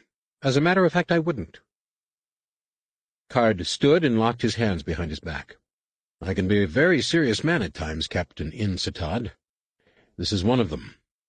I gave my word to deliver the Jedi students and their teachers safely from the hands of scum like you, and I intend to do that. Not in part, but in full. You're endangering our work here, Imsatad said. The Yuuzhan Vong will not stop until they have all the Jedi. If we do the work for them, show our good faith. Karrde cut him off with a mordant chuckle. The Yuuzhan Vong have conquered half of our galaxy in an unprovoked crusade. What about this obligates us to show them good faith? Listen, Karrde. I was at Dantooine, with the military. I saw what they can do.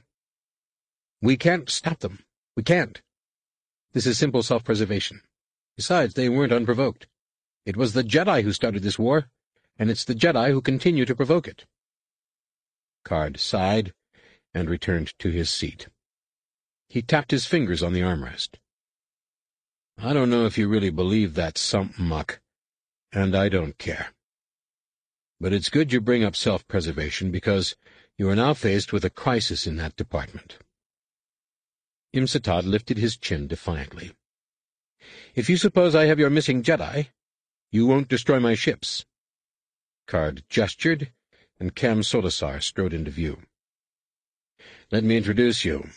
This is Kam Solusar, one of the teachers at the Jedi Academy whose curricula you have so rudely interrupted.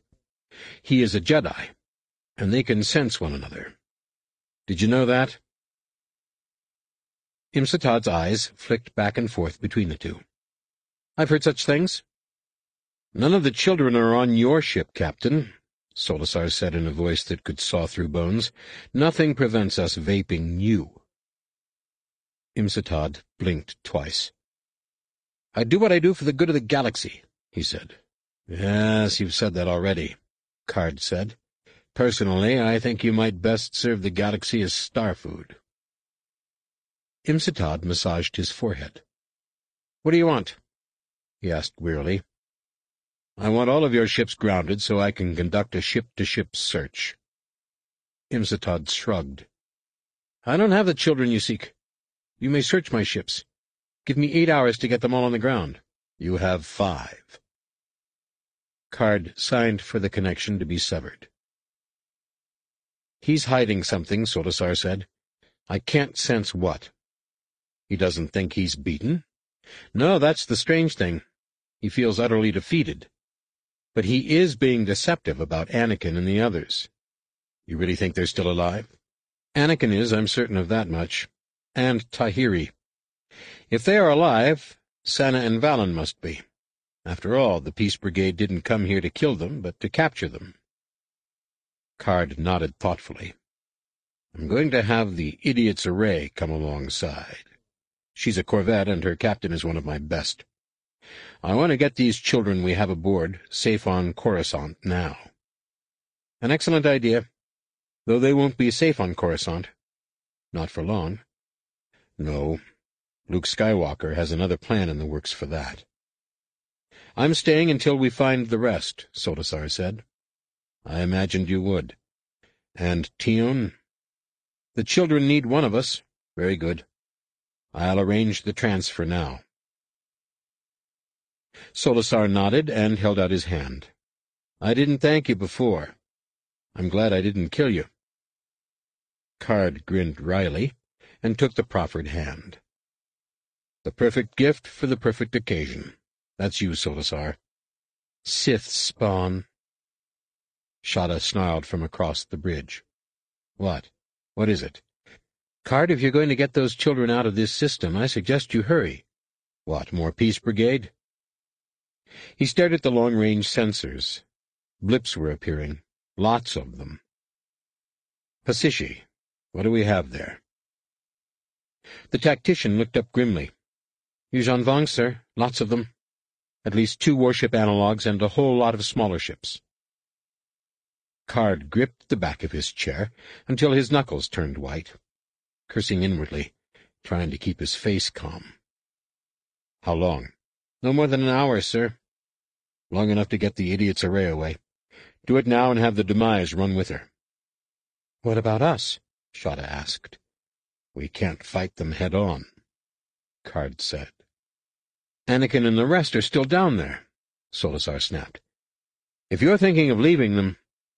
Karrde cut him off with a wave of his hand. I'm thinking of no such thing.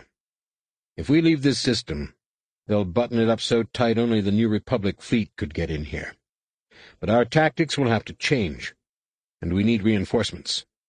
Shada, I want you on the Idiot's Array. Bring back whatever it takes. You're crazy if you think I'm leaving you here. We'll be fine. It's a big system, and we're not without resources. If the Yuuzhan Vong plan on occupying Yavin 4, we can make things very unpleasant for them. You ought to know by now, Shada, that if there's anything I'm good at, it's surviving. Now go. We have no time to argue about this. I'll be back, Shada promised. Of course you will. And I'll be here to meet you. Now get going. Chapter 11 Anakin watched the distant dots buzzing around the crash site. They'd been there for hours, but in the last few minutes they'd been leaving one by one. He felt a constriction in his belly. If he had one of those flyers, he could get back to the temple and find Tahiri. And do what? Leave Valin and Sannah with Ven and a sky full of flitters? Try to drag them all along on another aerial battle and then a rescue? No. He couldn't pin all of their hopes on that. He felt a tremor in the tree, and his hand went to his lightsaber. But then he felt Valin, below him, climbing up. The younger boy reached him and settled in the crotch between two branches. As he watched, the last of the flitters seemed to be moving off. You should have stayed in the cave, Anakin told Valin. Maybe, Valin replied, but I didn't. He nodded at the departing craft. I thought they would search longer, he said. Anakin shook his head. Two days is longer than I thought they would give it. They're after the bigger prize, the rest of the students. They've got a time limit, remember? When the Yuuzhan Vong show up, they've got to be successful or gone. The last thing the Peace Brigade would want the Vong to know is that they were the ones who spoiled their motherlode. He motioned down. Get back in the cave, though. They might make a last-minute sweep. Anakin, why do the Yuuzhan Vong want us so bad? Anakin blew out a breath. I'm not sure. Mostly because they hate us. The fact that they don't seem to exist in the Force cuts both ways. We can't sense them or affect them directly, but we can do things they can't understand. And we're the ones who have hurt them most. I guess the last stroke was when Jacen humiliated their war master. But those guys with Ven weren't Yuuzhan Vong. No, they're worse. They think by turning us in, they'll get the Yuuzhan Vong to stop their conquest at the planets they have. Will they? Anakin snorted. Senator Elegos A'Kla turned himself over to them. He hoped he could come to understand them, forge a common bond of trust, something to begin the process of finding a peaceful solution. They killed him, Valin said quietly. I heard about that, and sent his polished bones back to us. But then my dad killed the Yuuzhan Vong who killed Elegos. Anakin hesitated. He hadn't thought through where his example might lead. Yeah, he said briefly. But now everyone hates my dad and not the Yuuzhan Vong. Anakin shook his head. No, it's not like that. It's just... It's politics, Valin. What does that mean? I don't know. I hate politics. Ask my brother next time you see him, or my mom. But what it means, Anakin interrupted, is that your father, Corran Horn, is a good man. And everyone, with even a little sense, knows that. The problem with people is that a lot of them don't have any sense and a lot of others are liars. You mean they would say my dad was bad, even if they didn't think so? You got it, kid. I'm not a kid. Anakin looked into the determined young face, and suddenly saw what Kam, Tionne, Uncle Luke, Aunt Mara, all the adults in his life, must be used to seeing by now on his face. Maybe not, Anakin replied. But here's what I was trying to get around to saying a minute ago. The Yuuzhan Vong have never shown the slightest tendency to keep their word. I don't think they even believe lying is wrong. And Elegos, well, it was a worthy try, and I honor him. But what the Yuuzhan Vong want from us is our worlds and our people as slaves. They believe our machines are abominations, and they won't rest until they've all been destroyed. The only way to avoid fighting them is to surrender and let them do whatever they want with us. That's the only terms of peace they can understand. The Peace Brigade think they can do something in between. Elegos was brave, noble, and wrong. It cost him his life, and that was his to spend. The Peace Brigade are cowards, and they're stupid, and they want to spend our lives. Our lives are not for them to spend. Valin nodded, then smiled a little. You talk more than you used to. Tahiri said she would rub off on you eventually. It struck Anakin that Valin was right. He'd been practically pontificating, something he wouldn't have dreamed of doing a few years ago, except maybe in an argument with his siblings or Tahiri. It was something he wasn't good at, didn't like, avoided like raw cobalt. His father had once joked that it was easier to drag a neutron star with a land speeder than it was to drag two words out of him. But more and more, people seemed to want something like this from him. Some of the things he had done had gotten around, and he guessed he had something of a reputation. That part was fine, and though he wouldn't say so out loud, he sort of liked it. It made him feel that he could be like Uncle Luke, back when he was young and fighting the Empire. Like a hero, though he knew he wasn't really that. He felt a pang, and suddenly knew where these thoughts were taking him. Why did you and Sannah and Tahiri come to help me, Valin? Why didn't you go with Kam and Tionne? Valin looked up at him with guileless eyes. We want to be like you, Anakin. We all do. And you, you would never have run from a fight. Anakin's lips tightened and his eyes felt gritty and hot. That settled that. He'd lied when he told Sannah and Valin that the Yuuzhan Vong and the Peace Brigade were responsible for this mess. Like Chewie's death, like Centerpoint, this was his mess, Anakin Solo's mess. But this time, he would clean it up. Somehow. Doesn't look like they took much, Sannah observed, as they picked through the wreck of Ven's transport. Four days had come and gone since the crash, and a day since they had seen the last of the flitters. Why should they? Valin asked. There's not much left they would want. No, Anakin said. There's plenty. It would have taken too much time to salvage it, that's all. But you think you can. Ven sneered from where he sat, cuffed hands resting on his knees. I can fix it, Anakin replied. The hyperdrive is fine. That's great. We'll just go to light speed from here. At least, no one would have to worry about disposing of our remains. And we sure wouldn't have to worry about the Vong anymore. If Anakin says he can fix it, he can fix it, Valin snapped. Shut up, you smelly little Hutt. Ven grunted. I may be your prisoner, but that doesn't mean I have to listen to your smart mouth all day. I... Hey, ow! Ven was suddenly scratching furiously at his legs, then thrashing on the ground. Anakin straightened. Stay away from him. It's a trick. Trick! Ven screamed. I'm being eaten alive. That's when Anakin noticed Valin was laughing. So was Sannah, but she was hiding hers behind her palm. Valin, are you doing that? He deserved it. Stop it. Right now. Immediately. I just... Now. Yes, sir, Valin said. And he didn't sound sarcastic.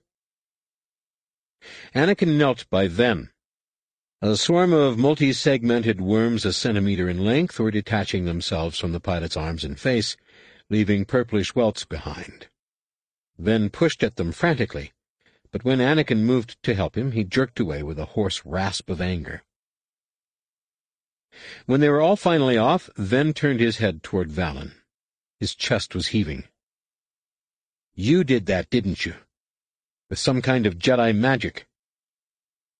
He rose clumsily to his feet. I hope the Vong do get you. The whole lot of you. Yeah?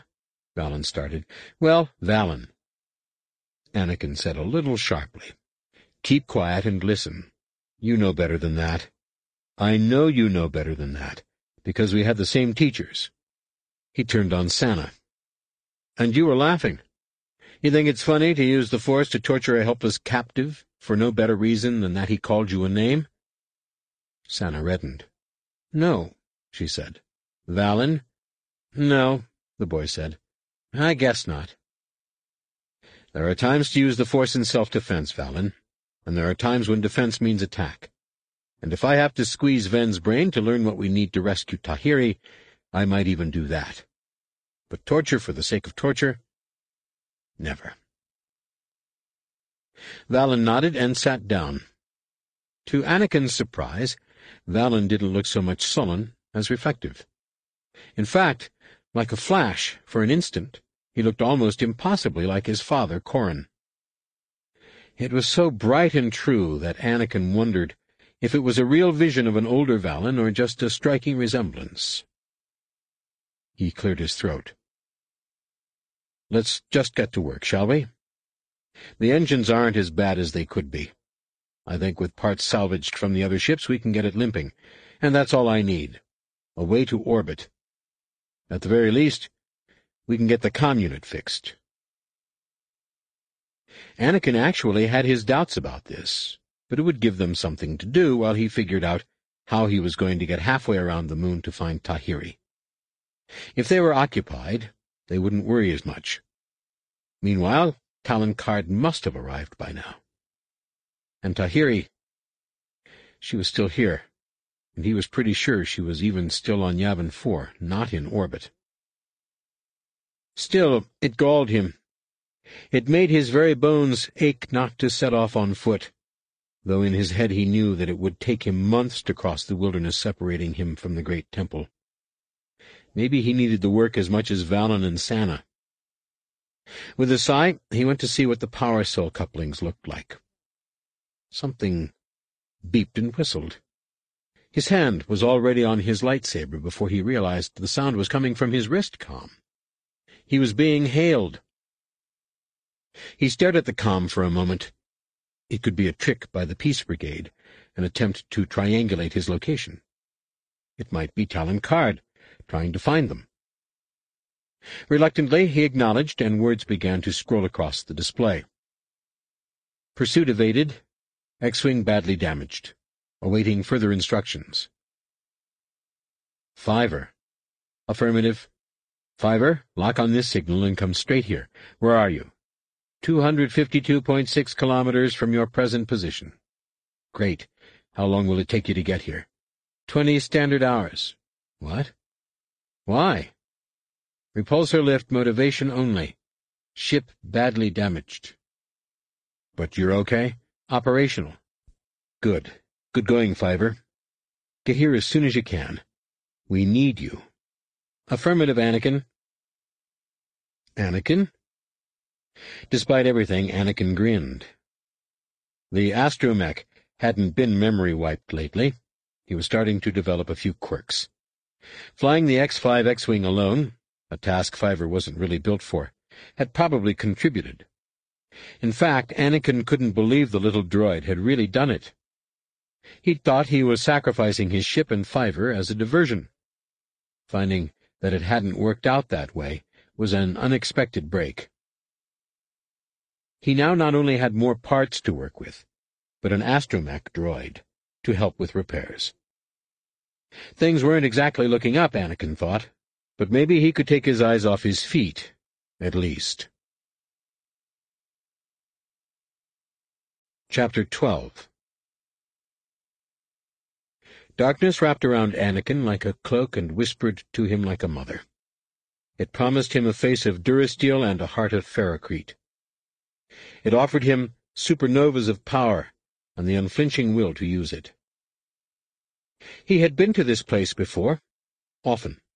It was his oldest dream, perhaps dreamed for the first time when the clone of the Emperor Palpatine touched him through his mother's womb. And when he learned about his namesake, his grandfather Vader, the dreams grew stronger, more detailed. He saw futures in which he was grown, his blue eyes gone as gray as hull plating. He saw himself in Darth Vader's mask, the Knight of Darkness reborn. He had made a sort of peace with his dreams in the cave on Dagobah, the same cave where his uncle Luke had faced his own dark side and failed. But peace did not mean silence, and here, on a moon as deeply stained by the dark side as the Sith themselves, the dreams were particularly troubling. But now something broke, a dam holding back ebon waters that hit him so cold and strange that the tattoo in his chest stopped, as if a fist had closed on his heart. Soft laughter began, familiar yet strange. The pitch and timbre were wrong, but the cadence was as known to him as his father's speech. A woman's laughter, throaty and sardonic. It made the hair on his neck prickle up. He turned and saw her. Her hair was gold, the gold of a vein in a sunset on Coruscant, or on the sudden spark of an inferno. One of her eyes was jade and the other obsidian. Her lips were fringed by a hundred incisions, and a white scar ran from the top of her forehead to her chin. Armor of a black and grey banded chitinous substance fit close to her body, a very adult, very human body, though the armor was plated and jointed like an insect's. Knobs and spurs stuck out from her shoulders and elbows. She smiled at him through those split lips and held up something baton-shaped, which flexed in her grip like a sluggish pupa. Sudden light blazed from one end of it and resolved into a blazing blue blade. Dark-side energy crackled around her, calling to him, and he felt a sudden terrible attraction to her, every part of him yearning for her in a way he had never even begun to feel before. She grinned more widely and laughed again, and with sudden understanding Anakin realized that she wasn't looking at him at all, but at someone else in the vision, someone Anakin couldn't see. The last of your kind, the woman said, her voice made whispery by what had been done to her mouth. The last of my kind. And she raised the blade, and Anakin recognized her. Tahiri, he shrieked. She paused, as if she might have heard something very far away. Then she came forward, sweeping the weapon down, and Anakin choked on the look in her eye, the mixture of glee and despair, joy and sickness. He awoke, still choking. A strong hand was clamped over his mouth. He squirmed, but the grip on him was sure and strong. He tried to get his feet under him and failed. Calm. No fear, he thought. Get it together, Anakin. You're supposed to be on watch. They won't even hear this in the cave if you die. He used the force to twist the hand away from his mouth and shove his attacker sprawling, and in the next instant got his feet under him and his lightsaber in hand. In its sudden light, he made out a bearded face, a blaster. He leapt forward. "'Wait, Jedi! I'm... I'm a friend!' "'Yeah? Why did you attack me? Didn't know... didn't—' He wheezed off, his voice sounding strange, weak, as if he rarely used it. "'Name's Qorl. I have been a friend to Jedi. I didn't know who you were.' Qorl? My brother and sister knew a Qorl. He made them fix his ship at Blaster Point. Jacen. Jaina, the old man said. Coral also saved them from the Shadow Academy. You were a TIE fighter pilot, stranded here when the Death Star was destroyed. You went off and came back. I left as an enemy to your brother and sister. I came back their friend. You're really their brother? He squinted. Can't see so well any more. What are you doing here? Saw some ships fly over, fighting. Thought I saw one go down, so I followed to see. He shrugged. Seven days later, here I am. So you are. Anakin struggled to remember what he knew about this grizzled old man. Jacen and Jaina had found his wrecked TIE fighter and set about fixing it, not realizing its pilot was still around, hiding in the jungle, unaware that the war was over. Qorl had forced them to finish the repairs and left them to die, but had later helped them escape the Shadow Academy. Anakin remembered that Qorl had ended up back on Yavin 4, but none of the details. He did know that Jacen and Jaina counted him a friend, and Uncle Luke had been content to leave the old man alone. Qorl gestured at the lightsaber. "'Could you put that away, please?' "'Oh, sure. Who are you fighting? Peace Brigade. Who? Er, how long since you've had news from the outside, Qorl? I don't know. Old Peckhum dropped off some supplies for me, maybe two or three years ago. I told him not to come back. Oh, well, this will take some explaining, then. A lot of explaining. Will it explain the new ships I've seen, the strange ones? Anakin felt his chest constrict. What ships? They looked like growths of some kind. Ugly. Oh, no. Anakin whispered. Okay, I'll have to tell this as fast as I can, and then...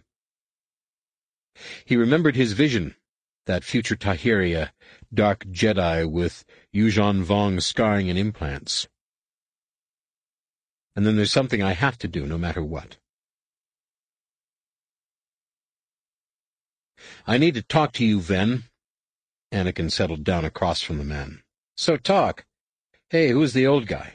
A hermit of sorts. I'm putting him in charge of you. What do you mean? Ven asked suspiciously. Anakin drew a deep breath and plunged into it. Okay, here's the thing, then. I need your help. I've been telling you that for a while. And you were right. Yeah, well, too bad. You've treated me like hot slime. Why shouldn't I return the favor? The Yuuzhan Vonger here. That got his attention. Ven's face closed over his fear, but Anakin could still feel it. Qorl's seen their ships. They'll find us, Ven said flatly. Why should they? They aren't looking for us. Unless the Peace Brigade tells them about the crash. But I don't think they will. It would only show their incompetence, right? So the Yuuzhan Vong see us only if they notice us on a random patrol, and the odds of that depends on how many ships they have patrolling, Ven interrupted. You don't know the one, so you don't know the other. True. The thing is this. I'm going after my friend back at the temple. I'm going now. I want you and Qorl to get Sannah and Valin off of this moon. What? Have you got some kind of fever? You can finish the repairs on your ship, can't you? Ven continued to stare at him as if he was crazy. No. The sublight drive is nearly repaired. I'll show you. Impossible. Nope. You still need some parts, but Qorl knows where you can get them. And you have Fiver.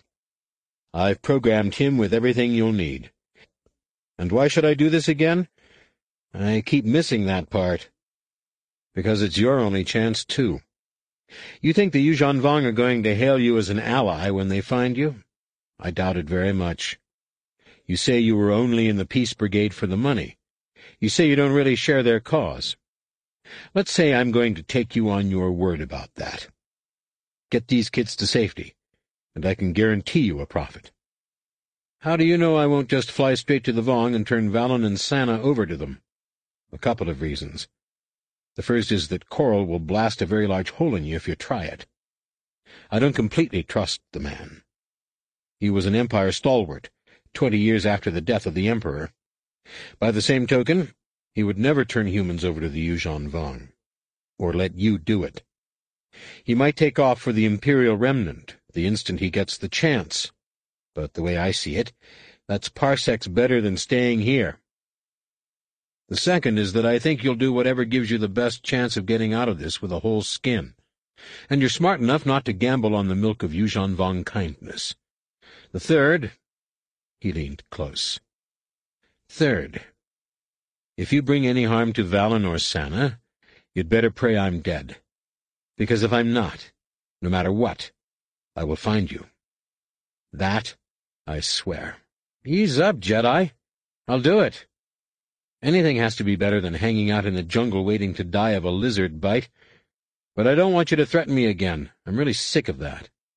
I've said what I meant to say. I won't say it again. Anakin raised his voice. Qorl, could you come here, please? The old pilot shuffled over and treated Ven to a thorough once-over. He knelt on creaky joints and shook his finger in Ven's face. I know you, he muttered. You're crazy, Ven said. I've never seen you before in my life. Oh, no. Even if you saw somebody like old Qorl, you wouldn't recognize him. You don't have the database. On the other hand, old Qorl has seen a hundred like you. You won't give Qorl any trouble. You'll do what he says. Right, Ven said. Just stay away from me, yeah? Or take a bath at least. You smell like a Wookiee's armpit. Qorl laughed brusquely, put his hands on his thighs, and rose painfully to his full height. He looked squarely at Anakin. You sure about this, then? he asked. I've got to do it, Anakin said. The Force is pulling me to do it. The Force? Ha! Will the Force get you halfway around the moon in less than a year? Because that's how long it will take you to walk it, if you don't get gobbled by piranha beetles or die of creek fever. You might as well wait until we have the ship fixed. I don't have to walk, Anakin said. The repulsor lift system in the E-wing was salvageable. I cobbled together something that will pass for a speeder. Already? Days ago.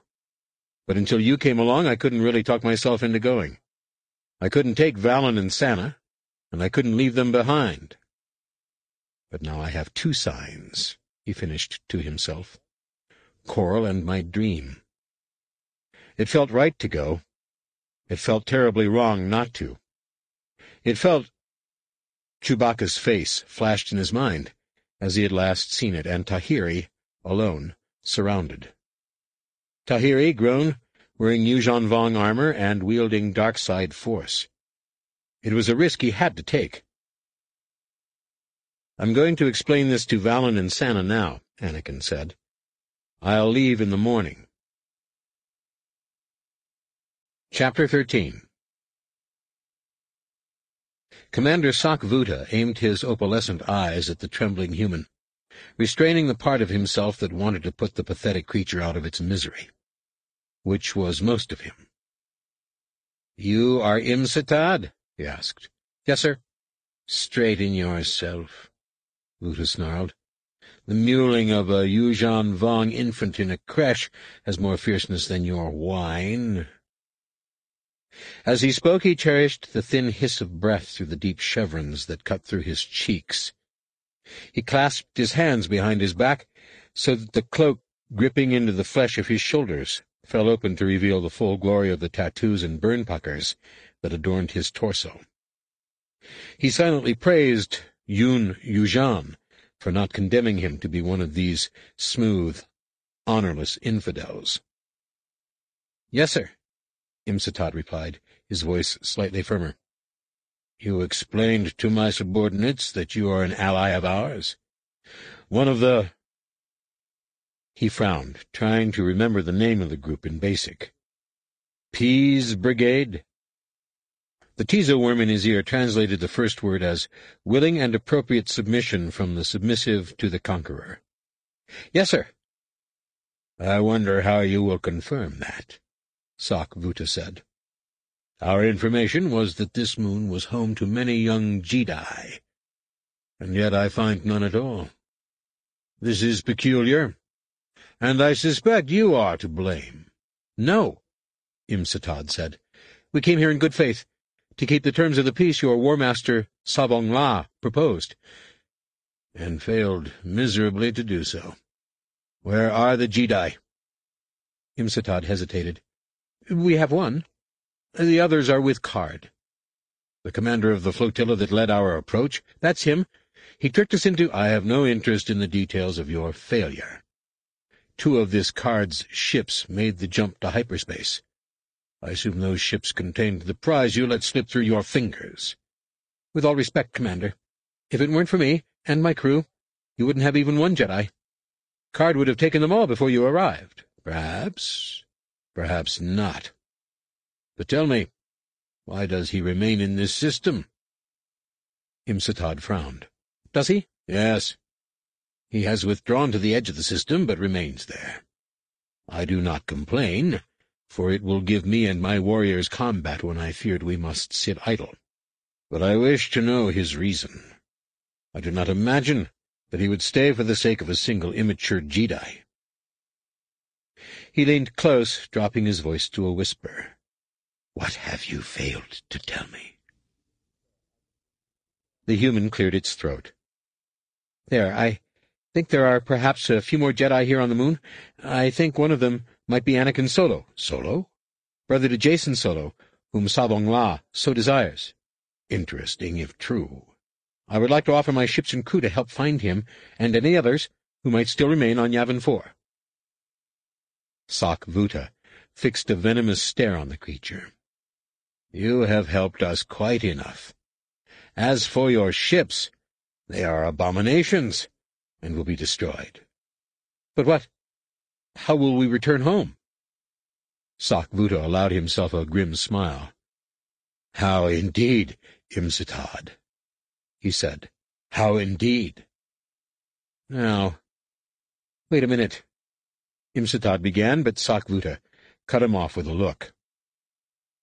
I wish to see the captured Jedi, he told the human. You will take me, now. I'll do no such thing until you— Tsaak Vootuh nodded in a certain way, and Imsatad was suddenly staring in astonishment at the head of an amphistaff poking out of his belly. He looked questioningly at Tsaak Vootuh, coughed blood from his mouth, and died.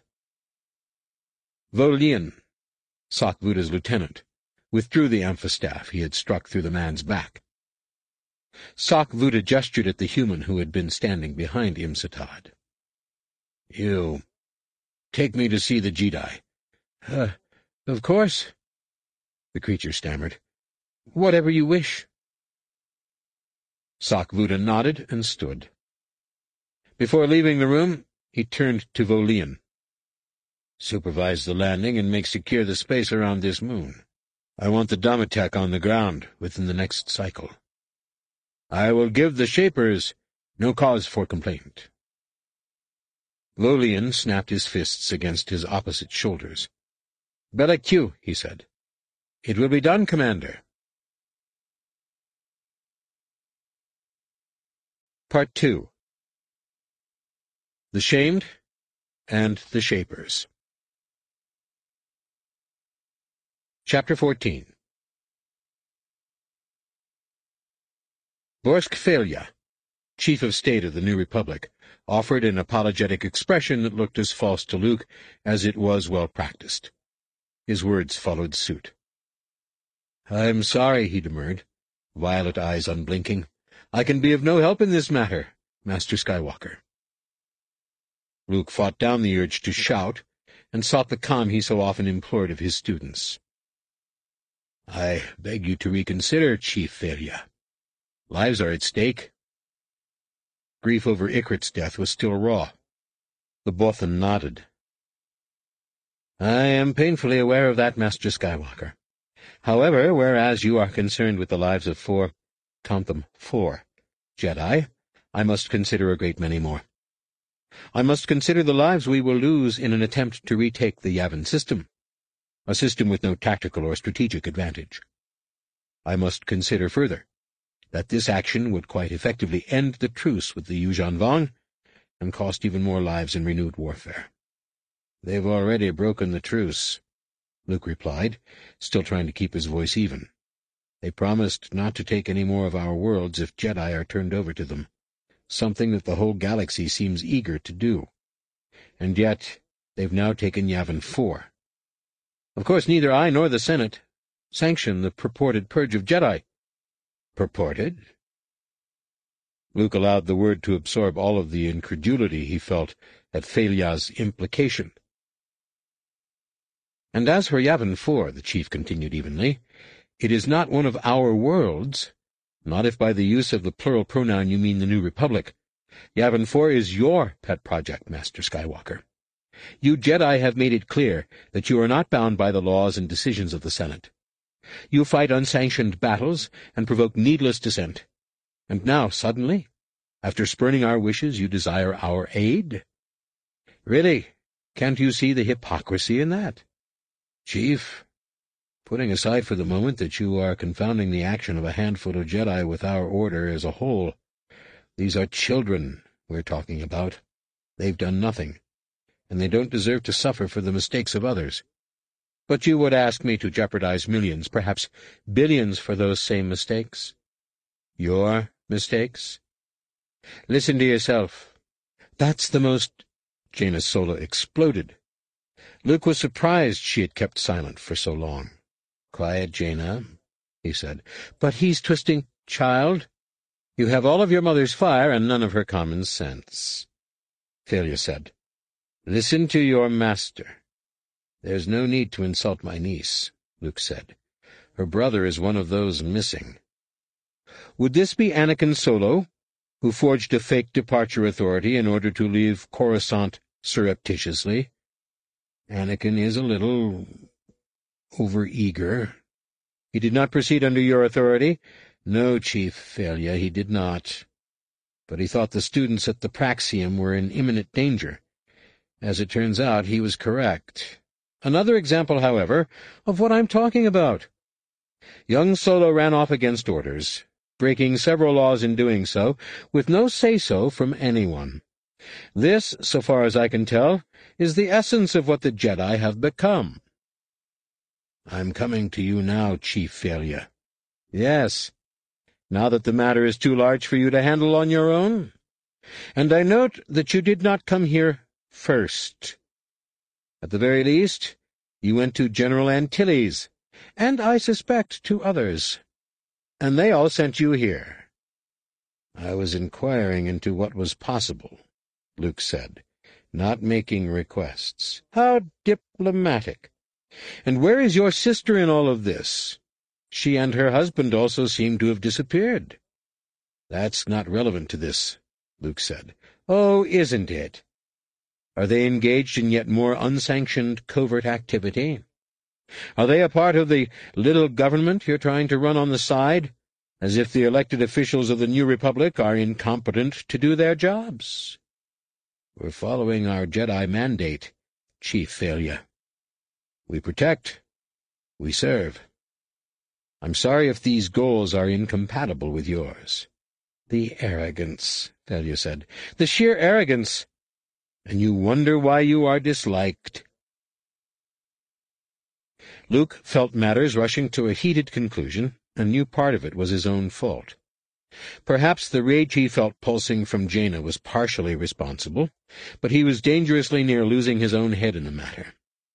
He placed his palms together. Chief Fey'lya, if you won't consider military action, at least consider a diplomatic solution. The Bothan reclined in his chair. The matter has already been brought to our attention. Negotiations have been, and are, occurring. Brought by whom? The Yuuzhan Vong, of course. The Yavin situation has already generated a good deal of tension. What? You knew? The Yuuzhan Vong assure us that their occupation of the system is temporary. They went there in search of raw materials, not captives. They knew nothing about your Jedi Praxeum. Luke bore down on the chief of state with his gaze. I ask again, he said softly. You knew the Yuuzhan Vong were going to Yavin and didn't see fit to warn me. Don't be absurd, Fey'lya snorted. Do you think I could keep that from your Jedi spies? No. The Yuuzhan Vong entered the Yavin system peacefully. There was already some sort of scuffle between smugglers going on when they got there. And some of those smugglers remain, and continue to harass the Yuuzhan Vong water mining activities on Stroikit Sea. It took considerable diplomatic effort to convince them that these outlaws have nothing to do with the New Republic. He cocked his head. You know nothing of these pirates, do you, Master Skywalker? This wouldn't be yet another example of unsanctioned Jedi activity, would it? Luke narrowed his eyes. You sold my students out. I won't forget that. Ever. I see. Instead of answering my question, you threaten me. Fey'lya waved the back of his hand. You've taken up enough of my time, Skywalker. Let me just leave you with a warning. I'm formally cautioning you that the Yavin system is off-limits to you and your followers. If the forces there are in any way connected with you, you will recall them. Under no circumstances are you to go there yourself or send Jedi in your stead.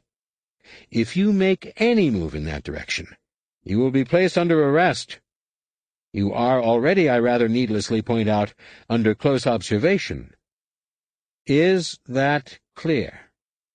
Oh, it's clear all right, Luke replied. Suddenly a lot of things are very clear indeed. He felt Fey'lya's mind snap down and vacuum seal.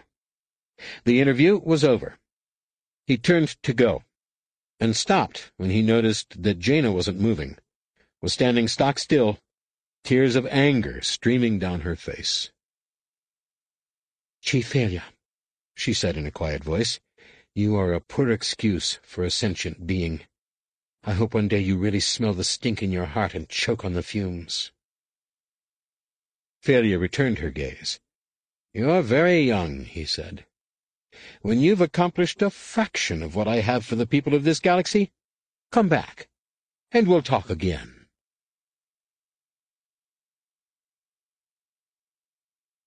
It makes a certain amount of sense from his perspective, Jacen said later, when Luke and Jaina had returned to the Jedi Master's quarters. Luke had just finished relating the substance of his talk with the Chief of State to Shada D'ukal, Tionne, Mara, and Jacen. I do not believe you said that, Jaina snapped. This is Anakin we're talking about. It's the Praxeum. You don't have to remind me who my brother is, Jacen said. But that's the point, don't you see? We can hardly be impartial in this case. Vape impartiality, Jaina replied. Theory is not impartial. No, he's not. But his concerns are different. Yeah, he's more concerned about the Vong than he is about his own citizens. That's not true, Luke said gently. To be honest, I never thought he would send ships to the Yavin system. I had to ask, though, and we did learn some things. Right, like Fey'lya sent the Vong there in the first place. I doubt that very much, Luke said. I think things happened pretty much as he said. When the Yuuzhan Vong showed up, they found Karrde fighting the Peace Brigade, and when they took occupation, Karrde turned on them. They then contacted the New Republic. And Fey'lya's right. I should have seen this coming. Long ago. The Yavin system has been at risk for months now. Only the concentrated effort of the Jedi there even allowed us to think it was safe. That's perfect, Luke, Mara said. Blame yourself. Luke lifted his eyebrows, surprised at the brittle anger in her tone. I'm not trying to allocate blame, Mara. Then spare us your apologies for failure and the Senate. What are we going to do? What Anakin did, Jaina said. Talon Karrde is out there right now, fighting a holding action for help that will never come. He'll stay there until they pick all of his ships off one by one. Won't he, Shada? Yes. Luke fixed her with his gaze. I understand your concern, Jaina, but what good will one more X-Wing do Karrde or Anakin? More good than sitting here. And we can contact Mom and Dad, have them bring the Millennium Falcon. First of all, Han and Leia are still out of contact. More important, you heard what Fey'lya said. Oh, please. Let them try arresting us, Mara grunted. You think I care even faintly what that scruffy Bothan said? Jaina chimed in. Uncle Luke, we can't do nothing.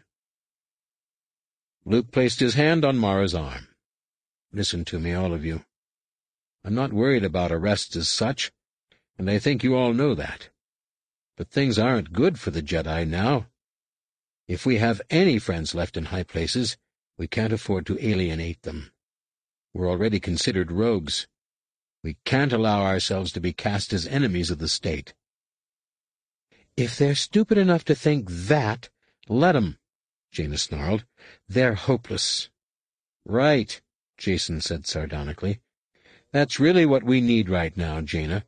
A civil war within the New Republic, as if the war with the Yuuzhan Vong isn't already enough. Besides, Uncle Luke is right. I don't think the weight we could add to the battle would help not considering the situation as Shada outlined it. What then? Shada asked. Karrde can't do it alone. What if we added a Star Destroyer to the equation? Luke said. Shada looked thoughtful for a moment, then nodded slightly. If the Yuuzhan Vong don't get more reinforcements, maybe. Terrik, Mara said. Terrik, Luke agreed. I thought you said you couldn't find him, Jacen asked. No, but I have some ideas about where to look. All I need is someone to look for him. Jaina stared. Jacen nodded. Yes, he said. No, now wait a minute, Jaina said. You want us to chase halfway around the galaxy for a Star Destroyer we might never find? Jaina, Jacen interrupted. Do you think Anakin is dead? She hesitated fractionally. No. I know he's not. Right. I don't think he's dead either. I don't even think they've caught him. Anakin knows Yavin 4 as well as we do, maybe better. The Yuuzhan Vong don't know it at all. If they didn't catch him when they landed, it would take a miracle for them to find him. Unless he ran right up to their ships, lightsaber swinging, which is just what Anakin is likely to do. Jaina said. He's headstrong, Jacen said, but he isn't stupid. He knows help is on the way. He probably knows Karrde is there already. The problem is, he can't get to Karrde or Karrde to him because the Yuuzhan Vong are in the way. Uncle Luke is right. A couple more X-Wings, or even the Falcon, won't change that equation much. The errant venture would. Jaina's nostrils flared. Uncle Luke, you aren't just trying to get us out of the way, are you? Luke shook his head. How do you plot that course? No, Jacen's laid out the situation perfectly. Let me add to that the fact that since Valin is Booster Terrik's grandson, Booster will be more than happy to help. And Terrik isn't tied directly to the Jedi. What are you talking about? Mara interrupted. Corran Horn is Valin's father, and last I heard he was with Booster. Corran distanced himself from us after Ithor, Luke replied. Fey'lya might suspect something, but he won't be able to prove it. Which reminds me. Shada got here without revealing she has most of the Jedi candidates with her. If they turn up here on Coruscant, with us, Fey'lya will know we're behind Karrde being there. That may or may not be a situation I can control. But they aren't safe here anyway. When you go to find Terrik, I want you to take the candidates with you. What? In an X-Wing? We have Shada's ships, Jacen began.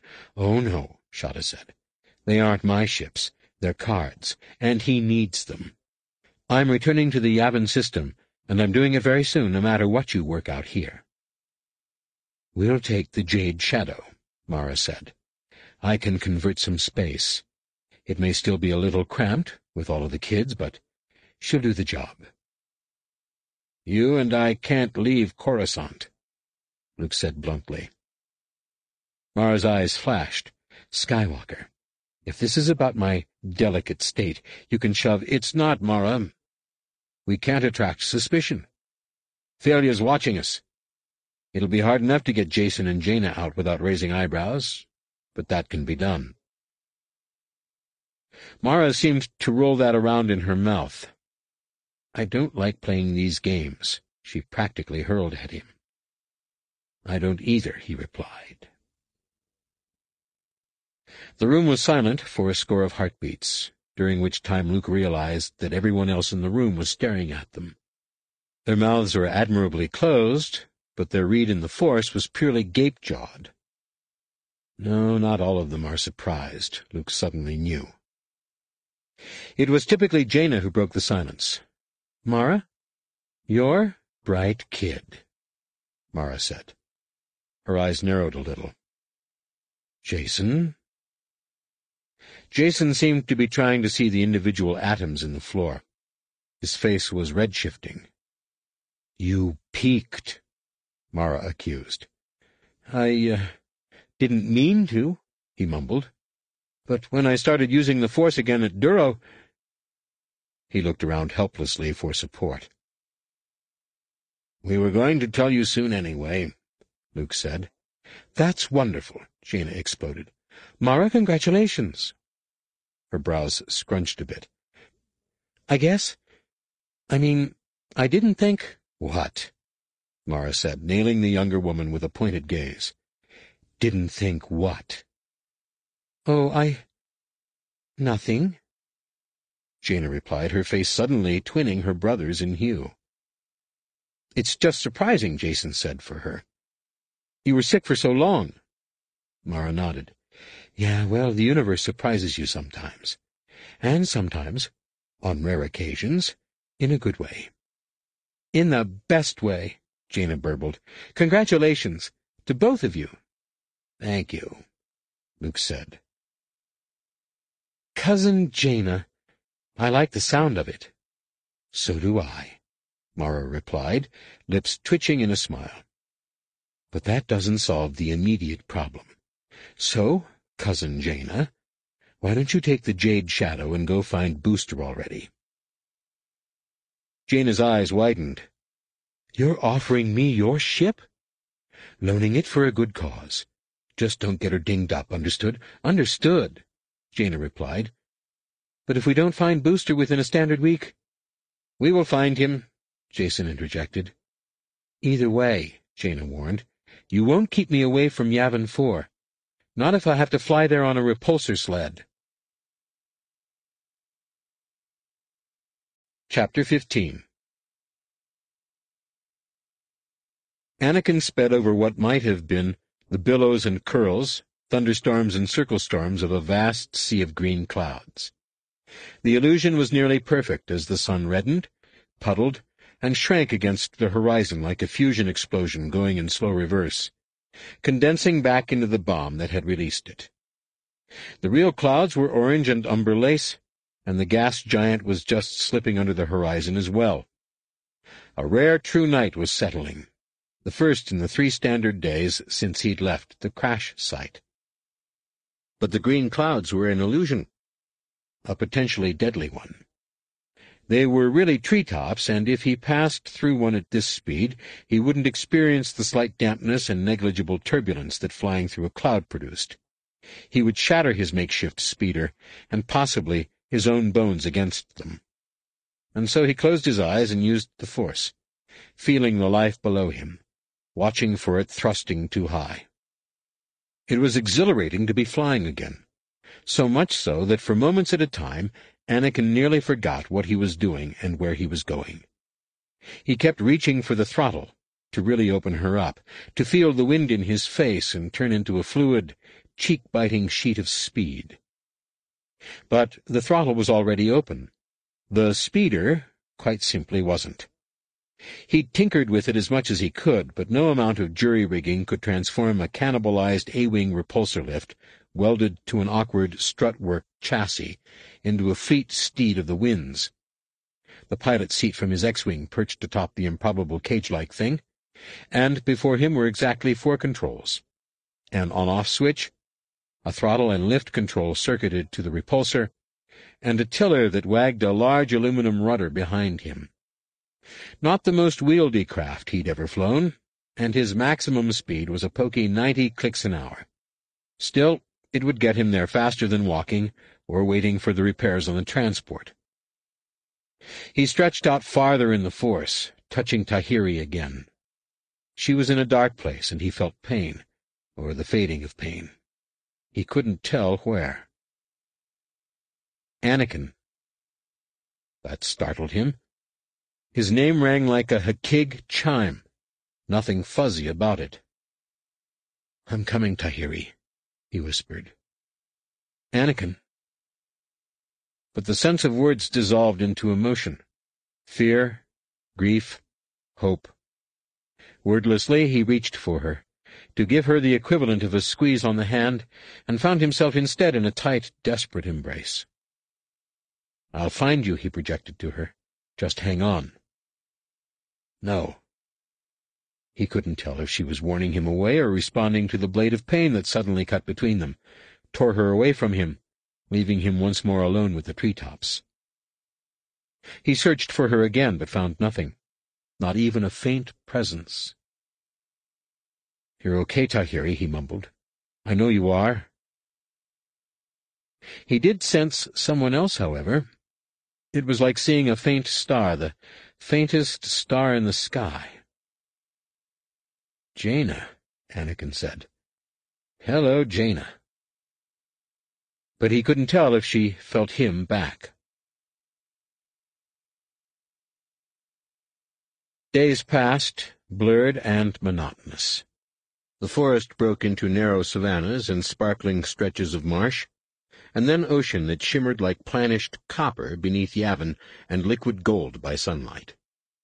He watched the crawling, V-shaped wakes of behemoths he had no names for, and could make out only as shadows in the deep.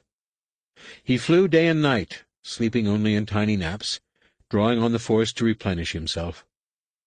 He ate the last of his rations after ten days, but even two days later did not feel hungry. He felt light and humming, like a flash of lightning, given human form. Water he did need, and stopped to distill it when his body required more. But mostly he flew, and lost himself in the life around him. He searched for Tahiri, trying to understand what was happening to her, trying to give her hope. Yavin eclipsed the sun and then rolled under the sky, and once more Anakin found himself in full darkness. He was slipping into the arms of fatigue, considering a short nap, when he heard an odd noise. At first he thought he was imagining it, for he felt nothing in the Force.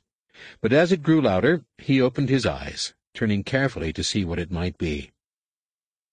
Pacing him, perhaps fifty meters away, was something large and dark, something that did not exist in the Force at all. Oh, Sith spawn, he muttered under his breath. Otherwise he froze, watching the thing. It was flying perfectly parallel to him, which couldn't be an accident.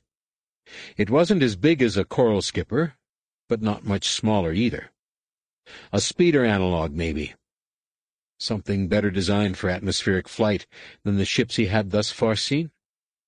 He couldn't make out a silhouette, only a tactile impression of size. And there, again, he could be wrong. Did they think he hadn't seen them yet, or were they still trying to figure out what he was? He got his answer a few moments later, when the craft subtly changed course and their flight paths began to converge. This is no good, Anakin muttered.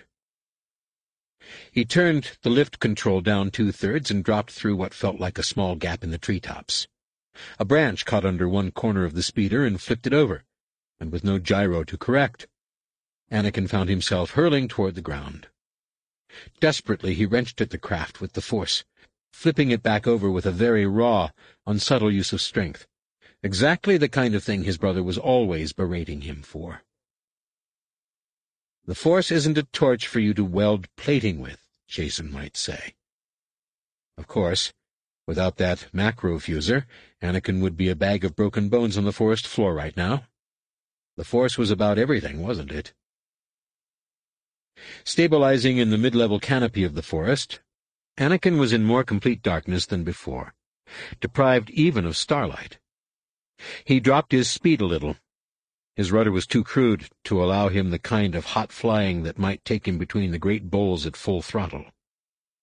He let the forest guide his hands on the rudder and used his gaze to track the dark for any sign of his pursuer.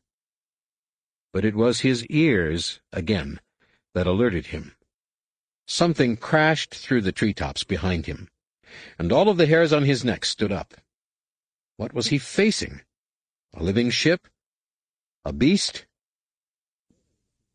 He dropped and cut a sharp turn, slipping between two trees, scraping one of them. For an instant he thought it had worked, but then he heard the whirring turn to follow him. How does it see, he wondered. Infrared? Or given that the Yuuzhan Vong used only living technology, maybe it smelled him. Whatever the case, it certainly had a lock on him. It was faster, too, though less maneuverable in the trees due to its greater size. He thought he was evading it pretty well until something hissed past his ear. Not a branch, not anything he could feel in the force. Desperately he increased his evasive tactics, spinning and rolling, coming as near the trees as he dared, slipping through the narrowest spaces he was able to. Dark things licked past him, hissing in the leaves, and then something caught the speeder in a grip that stopped it dead in the air. Anakin didn't stop, however. With all of the forward momentum that had just been stolen from his craft, he was hurled into the night, a rocket of blood and bone. He tucked and spun, slowing himself with the force, and dropped onto a branch bigger around than he was. He turned and found himself facing a hole in the night. A thin tendril whipped out from the thing and wrapped around his waist, cinching painfully tight. With a hoarse cry, he snapped on his lightsaber and cut, just as the strand started to tighten further, as if reeling him in. Incredibly, the strand, it seemed no thicker than his thumb, resisted the first cut, though it yielded to the second. By then he had been jerked off the branch, and once again he was falling. Closing his eyes, he nudged his course to another branch and used it as a springboard to propel himself toward the next unseen landing place. He never made it. Another of the strands caught him in mid-air. He managed to twist himself and chop it, but by that time another had fastened on him. He managed to cut it too, but noticed the severed pieces weren't dropping off, but retained their grip on him. If this kept up... He saw pretty clearly what he had to do. The next time his feet hit a branch, he hurled himself up and out, feeling the breath of several strands passing beneath and by him. He aimed himself at the hole in the force. The problem with that, of course, was that he couldn't sense a landing place. He came down on top of the craft, but the surface was uneven and he slipped, bounced once on the rear of the thing, and slid off. He caught a projection as he fell, and for a brief moment felt an odd disorientation, as his inner ear suddenly told him that down was in two different directions, as if he stood on the dividing line between two different gravities. In a flash, He knew what that must mean. Whatever this thing was, it was, like other Yuuzhan Vong craft, propelled by a Dovin Basal, the creatures that somehow generated gravitic anomalies. He was hanging next to the craft's lifts. The craft jerked and spun over. Anakin lost his grip, but he had a fix on the gravity source now. The Yuuzhan Vong and their creatures might not exist in the Force, but gravity did. As he fell, he hurled his lightsaber up, guiding it with the Force. It struck at the heart of the gravitic anomaly, and sparks showered the canopy below. As Anakin fell through the first layer of leaves, he saw his lightsaber rupture into a bright purple flare. Concentrating on the weapon, Anakin glanced off a branch, falling like a rag doll. Trying to focus through the pain, he found the forest floor, pushed against it, pushed, until it pushed him back. All of his breath coughed out in a rush, and he folded around his gut, sucking for wind that would not come.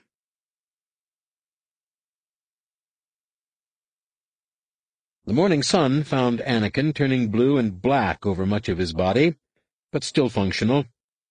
In the dim light, he cautiously climbed from his hiding place in the hollow of a tree and looked around. The Yuuzhan Vong craft was down, perhaps eighty meters away. It reminded Anakin of some sort of flat, winged sea creature, though it looked as if it were grown from the same stuff as the coral skippers. It was fetched up against a tree. The cockpit was a transparent bubble extruding from the top. The pilot inside looked quite dead. Anakin found he'd been right about the Dovin Basal. It looked roughly the same as the larger ones he'd seen, except it had a huge, oozing gash in it. His lightsaber lay nearby.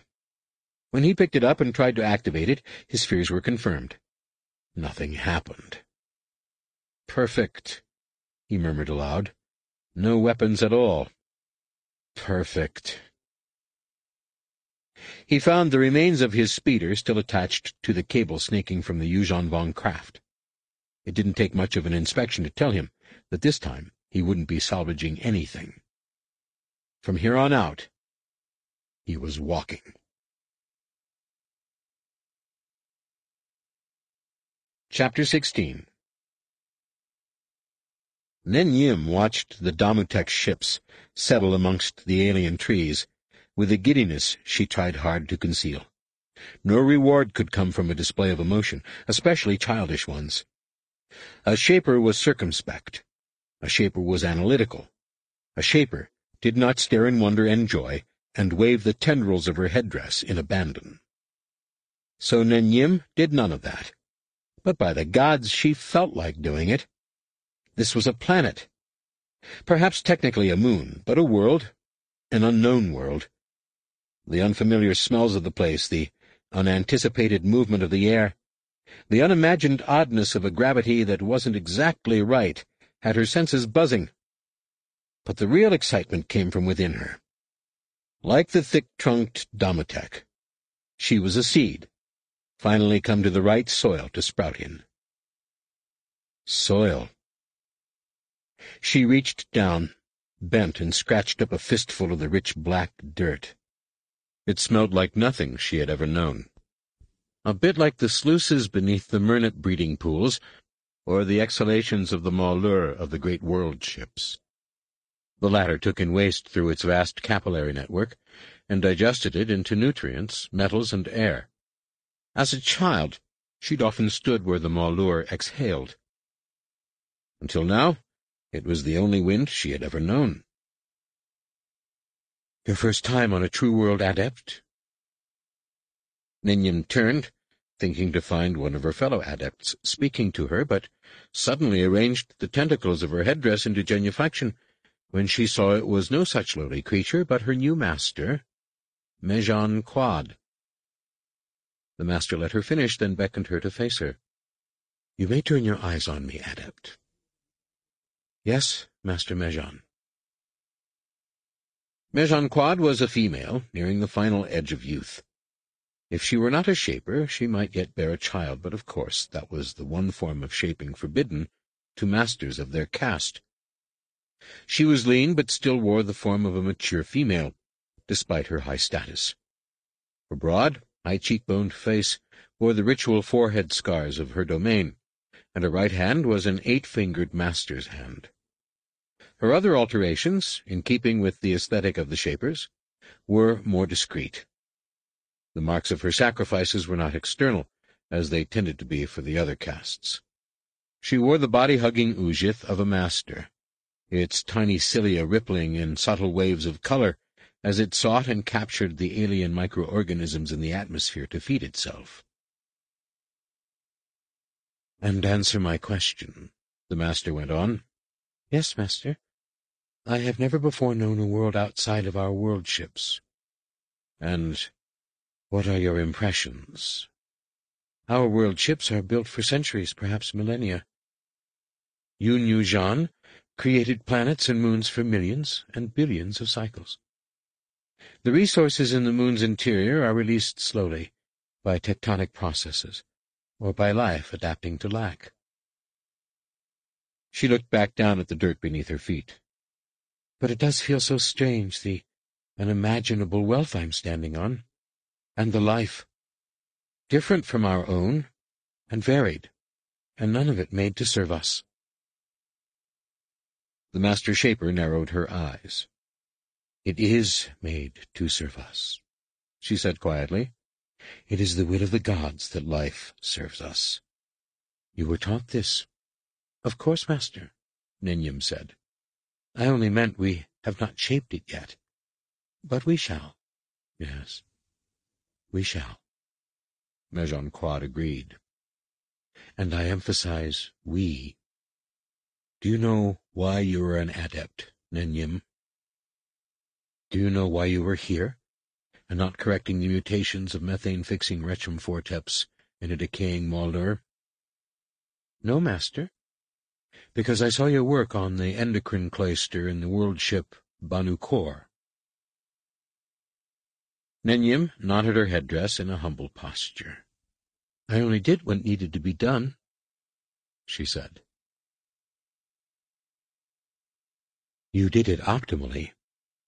Many would have stopped short at the molding of tea, but you went beyond that. You applied the Vul-Ag protocol, though such has never been used in an endocrine cloister. I thought it would make the outer osmotic membranes more efficiently transpire. Yes, Tradition and propriety are of absolute importance to our task, and yet immersion in those qualities can lead to hidebound thinking. I need adepts who are resourceful, who can use the sacred, unchanging knowledge in new ways. Do you understand? I believe so, Master. Nen Yim answered cautiously. A small lump of fear formed in her throat. Did the Master know? But she couldn't. If she knew that Nen Yim had dabbled in heresy, she would never have promoted her, unless she herself... No, not a master. That was impossible. Don't believe, the master said. No, and you shall go far. Do you see? As you say, after generations we have a whole new galaxy of life at our fingertips. It is time to demonstrate exactly what Yun Yuuzhan intended for us. Nen Yim nodded, watching the Damuteks again. They were already splitting from their protective skins and beginning to expand, to grow into highly specialized shaper compounds. Come, adept, the master said. It is time to receive your hand. So soon? Nen Yim asked. Our work begins tomorrow. We have one of the Jedi, you know. Only one, but we shall have more. Supreme Overlord Shimrra himself is watching what we do here most carefully. We will not disappoint him.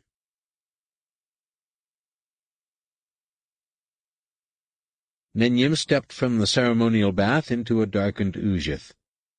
At her touch it wrapped itself firmly about her, and she felt the tingle as it inserted cilia into her pores. It was not a full-skin Uzhith. but a shortened garment that left her arms and most of her legs bare. She smoothed back her short dark hair and held out her right hand, looking at it as if for the first time rather than the last. Then she allowed the attendant to escort her into the darkened grotto of Uneshel, where the master waited. The grotto smelled of brine and oil. It was close and damp, and reacted faintly to the touch. The grotto was a distant relative of the Yammosk. What you felt in the chamber came back to you, enhanced. And so now both her eagerness and her trepidation had her pulse hammering as she knelt at the mouth of the grotto, a hole the size of a fist surrounded by a massive bulge of muscle. Without pausing or flinching, she placed her hand through the opening. For a moment nothing happened. Then the teeth slid out of their sheaths, eight of them, and pricked into her wrist. Sweat started on her brow as she surrendered to the pain, as the teeth, with glacial slowness, sank through tissue, grated into bone. The lips closed occasionally to suck away the blood. The grotto gave her back her pain, amplified, and her breath went choppy. She lost her sense of time. Every nerve ending in her body was raw, as if the cilia of her garment were writhing needles. Until, finally, the teeth met in the center of her wrist. She felt them click together. She tried to take a long, calming breath to prepare for what was to come next. It happened quickly. The mouth suddenly rotated ninety degrees. Her arm twisted with it no more than a degree or so, and then the hand came off with a wet snick. Nen Yim held up the stump of her wrist and stared at it in dull astonishment. She barely noticed the attendant taking her by the shoulders, guiding her toward the dark basin in the center of the grotto. "I can do it," she whispered. She knelt by the basin, her head spinning. Dark things moved in the waters five-legged things that came to the scent of her blood eagerly. She pushed her gushing stump into the water.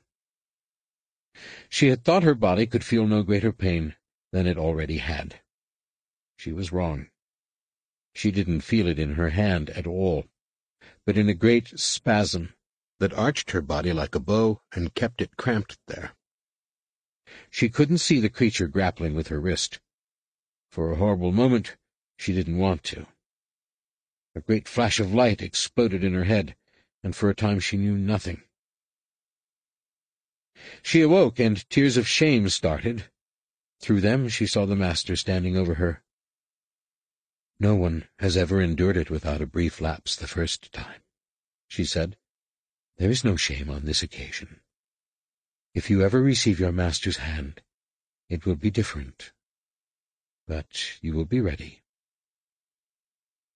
hand. Nen Yim raised it before her. It was still seating itself, a thick greenish secretion marking the line between it and her wrist. It had four narrow fingers and a thumb, protruding from the thin but flexible carapace that now served as the top of her hand. Thousands of small sensor knobs covered the fingers and palm. The two fingers farthest from her thumb ended in small pincers. The finger nearest the thumb had a thin, sharp, retractable claw. She tried to wiggle the fingers. Nothing happened. It will take some days for the nerve connections to complete themselves, and some time after that for your brain to become used to the finer modifications. The master said, Rejoice, Nen Yim. You are now truly an adept. You will join me in shaping the Jedi, and will bring glory to our caste, our domain, and the Yuuzhan Vong. Chapter 17 Anakin sank farther beneath the roots of a marsh grubber tree, and submerged himself up to his mouth, peering through the twisted growths at the elusive sky. For long moments he thought perhaps he had been mistaken, that the noise from above had been his imagination. But then he saw a shadow much too large to be any native bird pass across the fetid U-shaped lake that concealed him. His hand went to his useless lightsaber and then fell away. For three days he had been avoiding the Yuuzhan Vong speeder analogues. It helped that he knew the sounds of the jungle moon. The irritated cries of woolamanders in the distance, or a flight of a group of lesser kite-hawks, had become his best allies, warning him of approaching flyers kilometers before they passed overhead. Still, as he approached the site of the academy, the searchers came with greater regularity. He didn't think they were random flights, but rather that they were part of some sort of expanding search net, spiraling out from the flyer he had brought down with his lightsaber. Well, at least now he knew better than to cut into a Dovin Basal. From what he could tell, his weapon had passed through or very near the part of the thing that warped gravity. The crystal in his weapon had been subtly warped, then fused by the energy it generated. That was both good news and bad. Focusing crystals had been found on Yavin 4 before, in the old Massassi temples, and they could be used in lightsabers. Unfortunately, Massassi temples had been in short supply lately. Sighing, he renewed his grip on the makeshift shaft he had managed to cut with his utility knife. He doubted very much that it would be of any use whatsoever against Yuuzhan Vong armor, but it was better than nothing. He'd run across some explosive grenade fungi earlier, a local plant that, when dry, could generate a respectable bang. At the moment, however, they weren't available. He'd stashed them on dry ground before hiding here. So he sat, waiting for the shadow to return, and tried not to think about what would happen when he finally reached Tahiri and her captors. How many Yuuzhan Vong were there? Why were they still here? All good questions. All totally moot if Anakin Solo died or was captured on the way. He would have to face the answers soon enough, of course. By his calculations, he was only about twenty kilometers away from the academy. He was so busy watching the sky that he didn't notice ripples of a wake approaching him until it was nearly too late. Even then, he first thought it was a large crawfish one of the harmless crustaceans that had been furnishing him with food since he came to ground. He caught a glimpse of mottled chitin as it approached. But crawfish got to be only a meter or so long, and he suddenly realized that this creature was more on the order of three meters. He quickly lowered the sharpened end of his staff, which was promptly yanked from his hands by something very strong. The head surfaced, then, a nightmare of mandibles and hooked feelers reaching for him. For an instant, fear and shock got the better of him. Then he grabbed its mass with the force and pushed. As it blew back and up, he got a good view of it. Flat, wide, and segmented, with thousands of legs. It splashed down, milled about, and started for him again. Quickly he clambered out of the water. Someone called behind him in a language he didn't understand. He spun and saw one of the Yuuzhan Vong craft, side extruded open. A Yuuzhan Vong warrior was just stepping out. The warrior hesitated for a second, and stepped back into the craft. As it rose into the air, Anakin uttered a brief curse and ran. He paused only long enough to grab his pack. The flyer stayed with him, but kept its distance. Adrenaline hummed in Anakin's blood, but his mind was curiously calm. He dodged through the undergrowth, looking for a cave, temple ruins, any place to remove him from his observer. His fatigue sloughed from him like dead cells in a bacta tank, and the force flowed through him like a river, wild, almost frightening in its sheer, joyous strength. It was not a state he had quite ever achieved before, an utter awareness of everything around him. Yavin 4 was so alive. And in that matrix of living pulsing force, the flyers were bubbles of nothing. The Jedi had learned to detect the Yuuzhan Vong by not detecting them. But before it had always been a matter of focus. He would look at a suspected Yuuzhan Vong, and if he felt nothing, that was likely what he had. But this was different.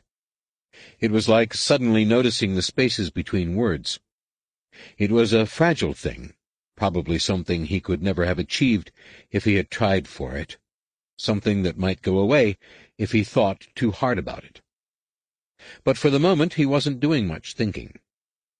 He knew before he should have that the first Yuuzhan Vong he came across on foot was there. The warrior sprang from behind a tree, long, snake-like amphistaff held in a guard position. He was missing two fingers at the knuckle, and his ear had been cut into fringe. He wore the usual vonduun crab armor, and an expression of gratification. Anakin snapped a heavy tree bough, already rotten and fatigued, and yanked it with more than the force of gravity down upon the warrior. The Yuuzhan Vong was quick and nearly dodged, but nearly wasn't enough, as half a metric ton of tree crushed him into the ground. Anakin didn't know if the warrior was dead or alive, injured or merely compromised. He didn't care, but changed beats, aiming himself away from the bubbles of the nothing crawling at the edges of his expanded senses, tightening themselves around him like a vast noose. The next Yuuzhan Vong caught him by surprise, telescoping his amphistaff across the path so it caught Anakin just below the knees. Pain was a bright line across his shins, but he wrapped himself in the life of the forest and shifted himself up, returning to ground three meters away. The Yuuzhan Vong was charging by then, weapon retracted but ready to flip out once more. Anakin spun to face him, dancing back from the attack, until his enemy whipped the weapon out with a peculiar snap of the wrist.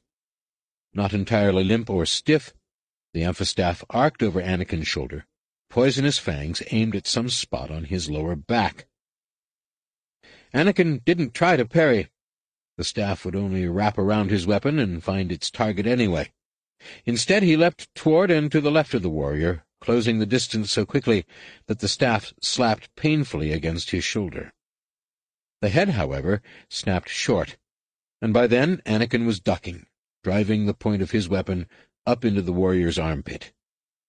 He pushed his own body and the staff away from the forest floor with the force, resulting in a blow that sent the warrior hurling almost vertically three meters in the air.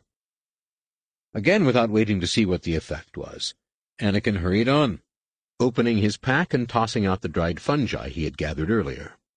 He didn't let them fall, but held them gently aloft with the force spread out around and just ahead of him. Two exploded because his force grip was too tight, but then he was in the zone again, one with everything but the Yuuzhan Vong. A pair of warriors hit him next, but he hardly slowed down. Each got two explosive grenade fungi.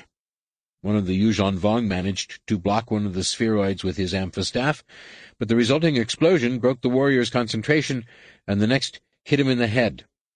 His companion went down as well, venting a hoarse cry of anger. The net was tightening, but there was a way out.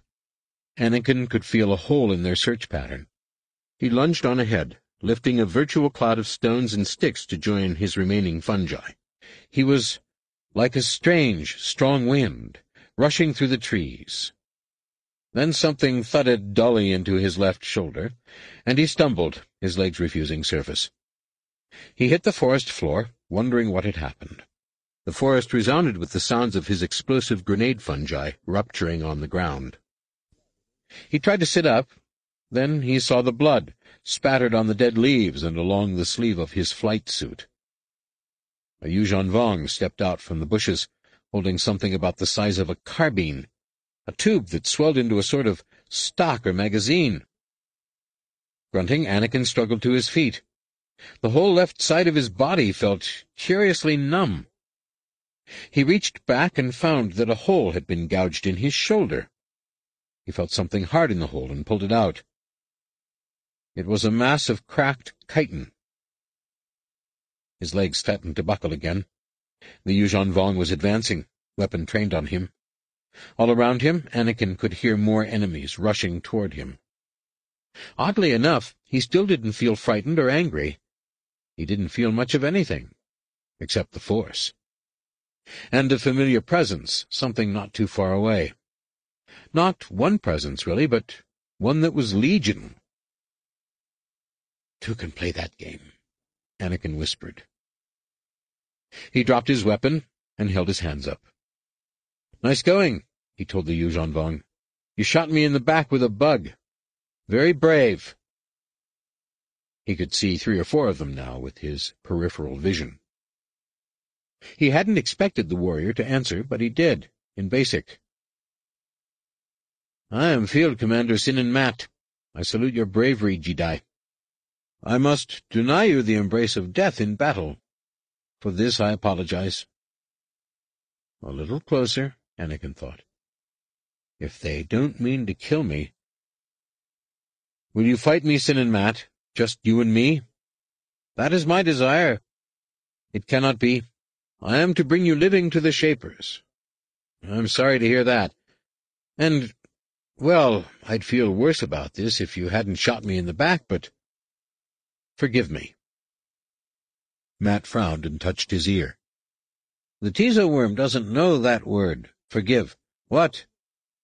Then his eyes widened. The forest was screaming a song of death. The piranha beetles fell upon the Yuuzhan Vong in a cloud. Sinan Mat dropped his weapon and clawed at his face as it disintegrated beneath the fierce mandibles. The piranha beetles didn't spare the other Yuuzhan Vong either, and a chorus of pain and rage rose counterpoint to the strident song of the insects. Anakin picked up his staff and hobbled away, knowing his legs wouldn't carry him much farther. He needed to find a place to hide. Ten minutes later, he leaned heavily against a tree. In the distance, the ravenous piranha beetles had finished their task, and now, finally, Anakin felt his control of the Force slipping. His shoulder at last understood what had been done to it, and the pain was like burning liquid, dripping down his ribs, drooling across his chest and the side of his head. Each footstep brought a new wave of dizziness and nausea. He tried to take another step and found he couldn't. With a sigh, he sank down onto the moss. Just a little rest, and then... A shadow fell across him. He looked up to find two Yuuzhan Vong warriors looking down at him, obviously not a part of the group he had just killed. He called on all of his energy, trying to find the piranha beetles again, but they were a distant presence engorged now, not as easily attracted to a meal by Anakin's will. A third warrior appeared from the forest behind the first two. He looked different somehow, mutilated like every other Yuuzhan Vong Anakin had seen, but he was more strikingly grotesque. Unlike the other two, this one was empty-handed. The newcomer snarled something in his language, and the other two turned. Anakin wondered, then, if he had slipped into a dream. The first two warriors grunted and spat words at the third. Anakin had heard the tone before. When the Yuuzhan Vong spoke of machines or other things that they considered abominations, it was a tone of pure contempt. For a moment the newcomer seemed to cringe beneath this abuse, but then he grinned, all needle teeth and malice. Then he slashed one of the warriors in the neck with the edge of his gloved hand. The other warrior gave a hoarse cry of outrage, lowered his amphistaff, and thrust at the attacker. The unarmed warrior caught the shaft, leapt high in the air, kicking with both feet and striking the staff-wielder in the face. The first warrior down was coming back up, clutching his throat. The unarmed one grabbed him by the hair and drove stiffened fingers deep into his eyes, lifting him from the ground by the sockets. The warrior went rigid, and when the newcomer let him drop, he fell to the forest floor, twitching. The warrior who had been kicked in the face didn't get up. Anakin suspected his neck was broken. The unarmed Yuuzhan Vong was the only one still standing. He squatted next to Anakin and peered at him with eyes like algae-infested pools of water. He looked sick. The Yuuzhan Vong showed their rank by scarification and the sacrifice of body parts, but this one looked like an example that had gone horribly wrong. His hair hung in dank patches, and his face and neck were covered with scabs and open wounds. His scars looked swollen and unhealthy. Spiky growths that looked like dead or dying implants mouldered on his shoulders and elbows. He stank of putrefaction. After observing Anakin for a long moment, the Yuuzhan Vong rose, approached one of the bodies, and dug into its ear. He pulled out what looked like a worm of some sort and fed it into his own ear, or rather the festering hole that might once have been an ear. He shuddered, and his body spasmed as if in great pain. A thin drool of blood leaked from the orifice. He turned back to Anakin and held out his hand. I am Vua Rapuung, Jedi. You will come with me. I will help you. Chapter 18 The young Jedi fell, her body gripped with convulsions. A strangled cry filled the vivarium. Interesting, Mezhan Kwaad said, watching the reaction. Do you see, Adept Yim, that... I fail to see what interests you, Master Mezhan Kwaad, a voice said from behind. Nen Yim turned and immediately supplicated. Another master had just entered the vivarium. Once so incredibly ancient, the signs of his domain were entirely obscured. His headdress was a fragile cloud-like mass, and both hands were those of a master. Both of his eyes had been replaced by yellow myates. He was accompanied by an adept aide. Master Yalfath. Mezhan Kwaad said, How good to see you, ancient. Answer me, Mezhan Kwaad. What so interests you about this creature's agony? She is an infidel and cannot embrace the pain. There is no surprise in that and nothing interesting in it. It is interesting because the provoker spine ray causing her pain has been designed to do so selectively. Mezhan Kwaad replied. One nerve array at a time. What we have just seen is a reflex unknown in Yuuzhan Vong. We may now confidently map a part of the human nervous system that has no counterpart in our own. And this is of what use? Yalfath asked. We cannot shape what we do not know, Mezhan Kwaad answered. The species is new to us. It's strange, the protocol, the old master said. What can be discovered that is not codified already? But, master, Nen Yim Sem, supplicating as she did so, surely in a new species— She broke off when the master flicked the gaze of his Ma'its toward her. Are all of your adepts so insolent? he asked dryly. I should hope not, Mezhan Kwaad said stiffly. Yalfath turned back to Nen Yim. His headdress writhed slightly in the air, turning a pale blue. Adept, if knowledge is not to be found in the archives and sacred memories, what then does a Shaper do? Fear glittered in the Nen Yim's nerves. What could he see with those strange eyes? The Myaits probed the hidden regions of the spectrum, of course, and the domain of the microscopic. But did they peer farther yet, into the sins crouched beneath her skull? She contracted the tendrils of her headdress into a ball, a deep supplication.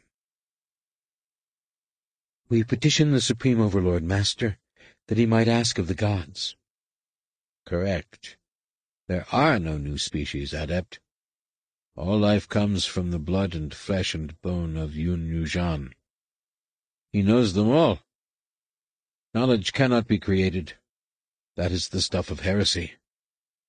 If the gods do not grant us knowledge, it is for good reason, and to seek further is an attempt to steal from them. Yes, Master Yalfath.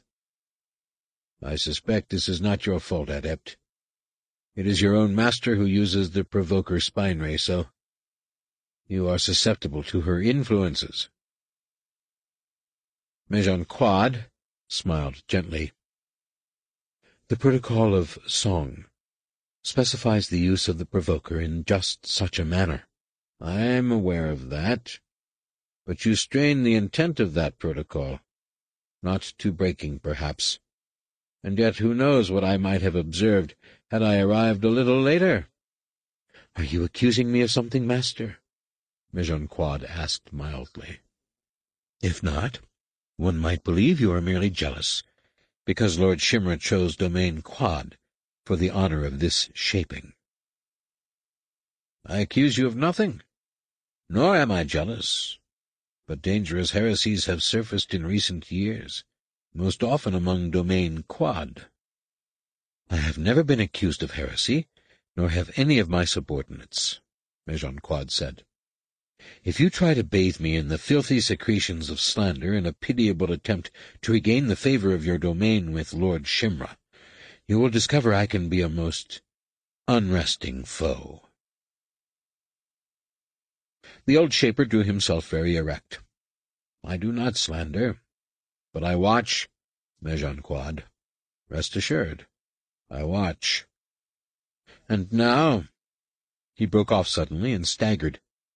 His aide caught him. Nen Yim was still wondering what had happened when she suddenly felt something pressing her entire body, as if she were deep under water. Her lungs labored to draw the syrupy air, and her pulse hammered. Through flashes of blue and black, she saw that Mezhan Kwaad and Yalfath's aide were also struggling to breathe. The pain increased sharply. Soon her eyeballs would collapse, then her heart. Striving for calm, she spun her failing gaze around the room. The young Jedi stood at the side of the vivarium, hands pressed against the transparent membrane. Her green eyes blazed, and her teeth were drawn back from her lips in a rictus of fury. Nen Yim saw murder there, and suddenly understood. She staggered toward her master. Mezhan Kwaad had already collapsed. The ulvilip that controlled the provoker spine ray had fallen from her hands. Nen Yim took it up and stroked the variable tissues, all of them at once. The Jedi screamed and pounded on the membrane, and for an instant the pressure actually increased, crushing so hard that Nen Yim couldn't breathe at all. Then, more suddenly than it had come, the uncanny pressure relented, and her lungs jerked in a much-needed breath. The Jedi writhed on the floor of her chamber. Nen Yim watched her, reaction starting to set in. An eight-fingered hand fell on Nen Yim's shoulder. Adept, her master said in a strained voice, the old villa, please, before the specimen dies. Nen Yim nodded dumbly and handed Mezhan Kwaad the organism. Mezhan Kwaad adjusted it until the Jedi stopped her contortions and succumbed to unconsciousness. That was well-wrought thinking, Adept, Mezhan Kwaad told her. What happened? Tell me, Yalfath demanded impatiently. The Jedi did it, Mezhan Kwaad replied. Surely you've heard of their powers. Do not insult me. I am, of course, current on the information concerning the Jedi. They can move objects, communicate with one another as villips do, even influence the minds of weaker creatures, but there has never been any evidence that they can affect Yuuzhan Vong. Quite the contrary. I beg the Master for permission to speak, Nen Yim said. Yalfath gave her a reluctant glance. Speak. The Jedi did not affect us, not directly. She affected the molecules of the atmosphere, compressing them. She tried to crush us with our own air. And would have succeeded but for my adept, Mezhan Kwaad observed. Amazing.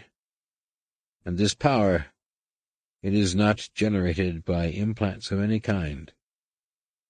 She has no implants, either biological or... Her voice lowered. Mechanical. From our earlier interrogation, she believes that she is manipulating a kind of energy produced by life.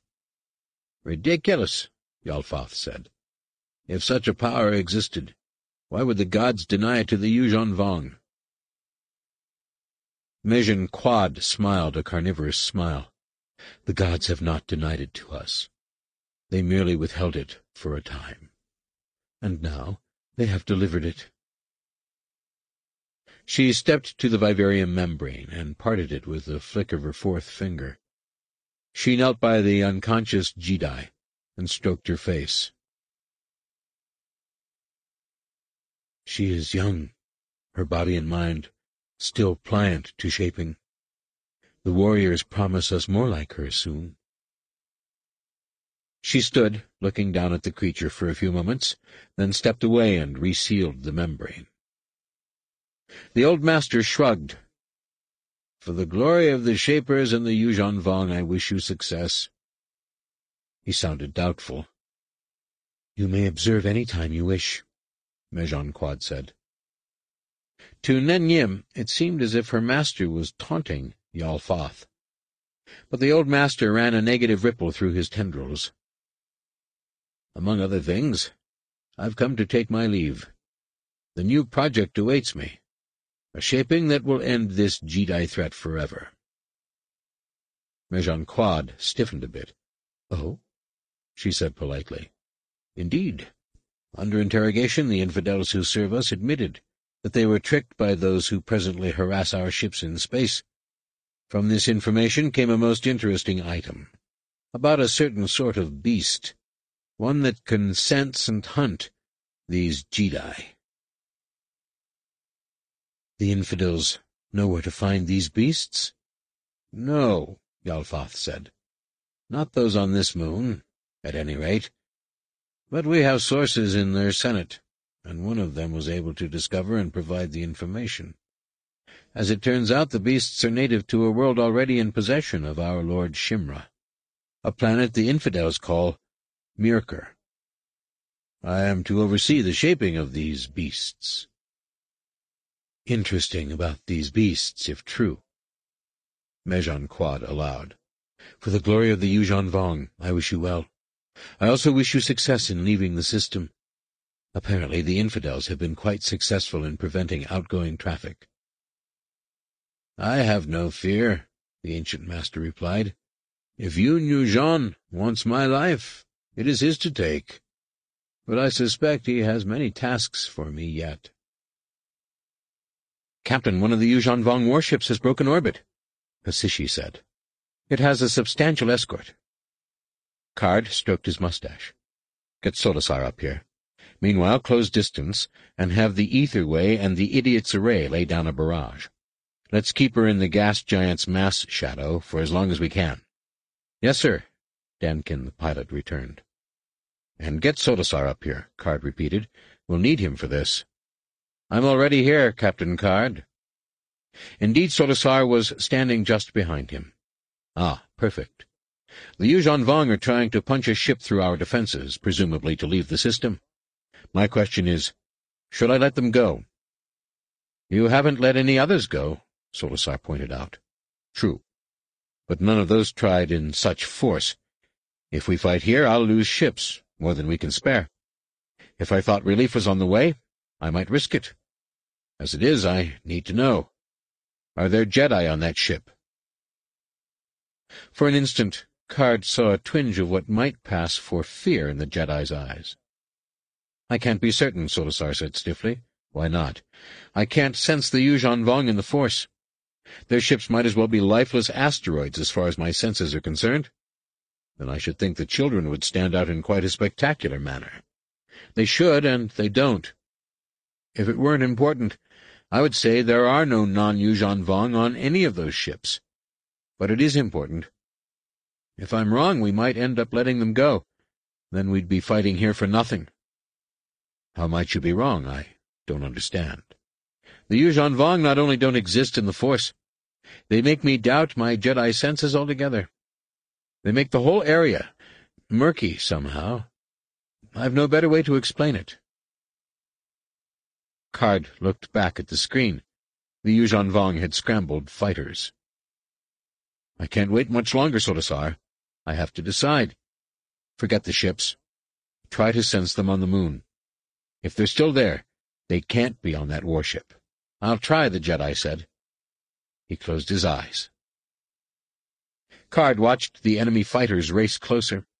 So far he had managed hit-and-run operations at minimal risk to his people.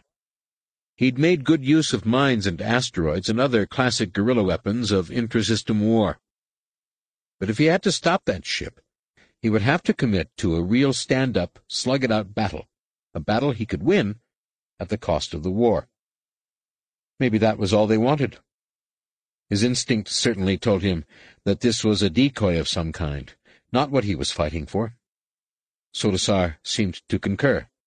But if they couldn't be sure— First fighter wave in thirty seconds, H'sishi said tonelessly. Get ready, people. A good crew, they would die if he asked them to.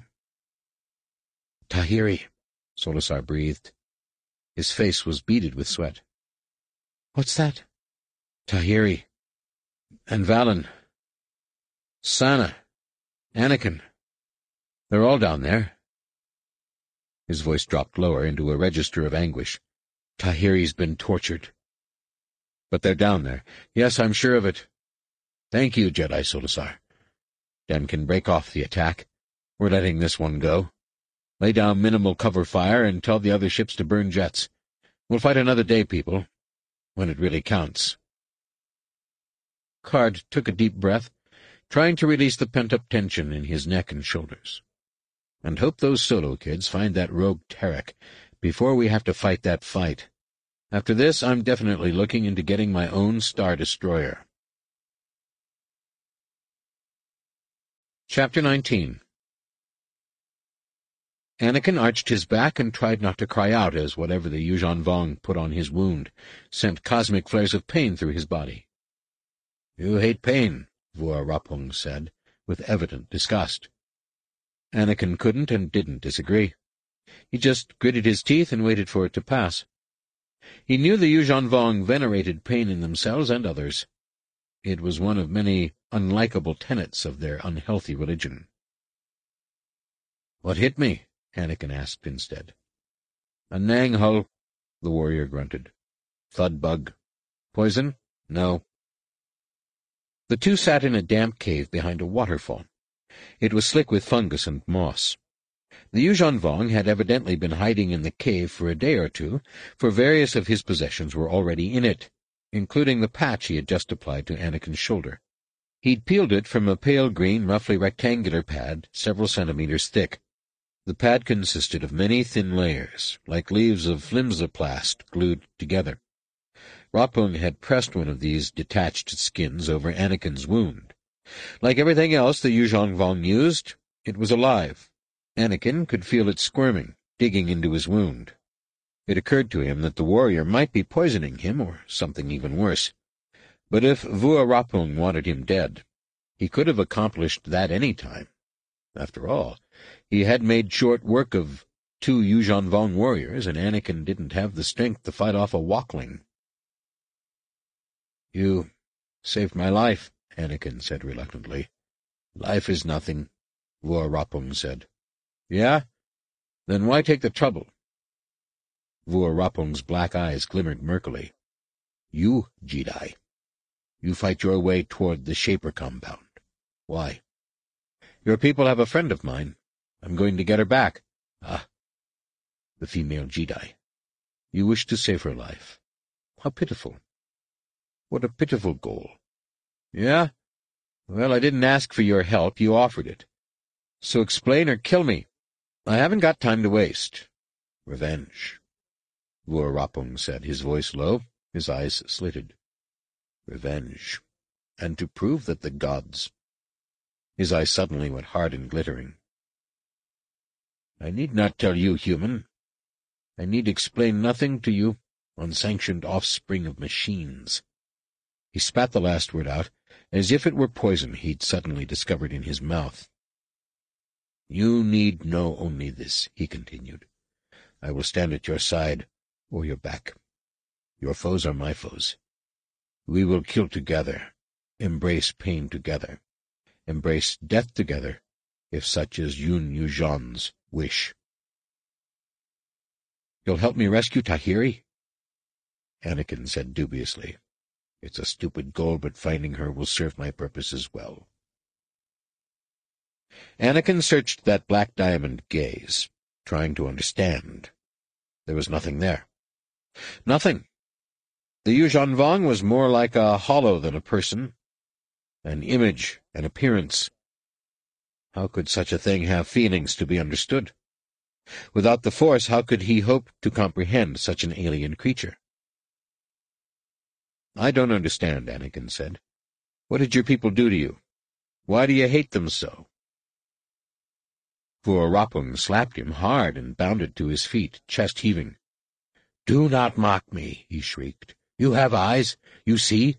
Do not mock me. The gods did not do this to me. They did not.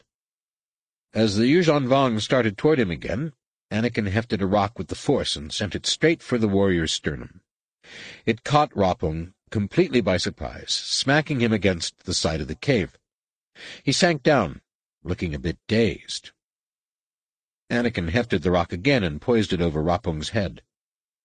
The Yuuzhan Vong looked up at the stone and suddenly started hacking, as if he had the Dagobian swamp cough. It took half a minute of this before Anakin recognized it as laughter.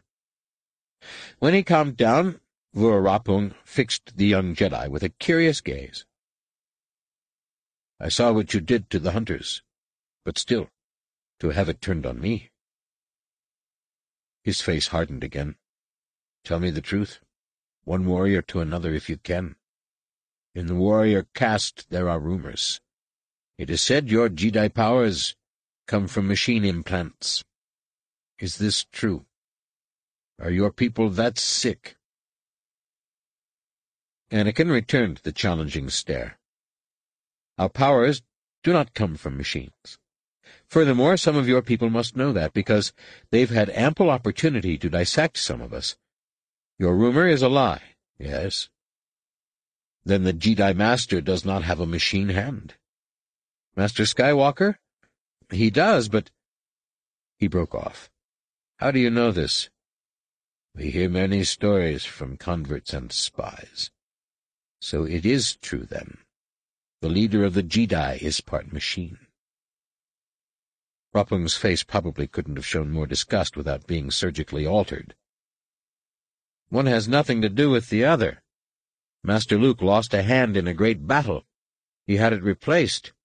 But his power, like mine, flows from the Force. Do you have implants like your master? No. Will you receive them as you attain rank? Anakin laughed briefly. No. Vua Rapuung nodded.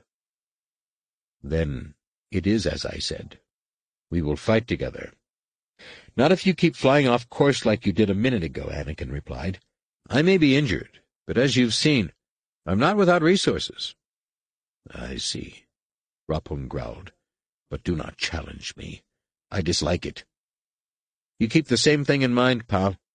Now, you say we're going to fight together, but you won't tell me why. Can you at least tell me how? The Shapers have planted five Damuteks on this moon. That is where your Jedi companion is held. Anakin let pass the precise definition of Damutek for the moment. Why? What will they do to her? Murder flashed in Rapuung's eyes again, but this time he mastered it without an outburst. Who can know the mind of a shaper? he said softly, but you can be sure they will shape. I don't understand. What is a shaper? Your ignorance is... Rapuung stopped, blinked his eyes slowly closed, open, closed, and started again. The Shapers are a caste, the caste nearest the great god, Yun, Yuuzhan, who shaped the universe from his body. It is they who know the ways of life, who bend it to our needs. Bioengineers, scientists? Rapuung stared at him for a second. The tizowyrm that translates for me makes no sense from those words. I suspect they are obscene. Never mind. There was a Jedi named Miko Reglia.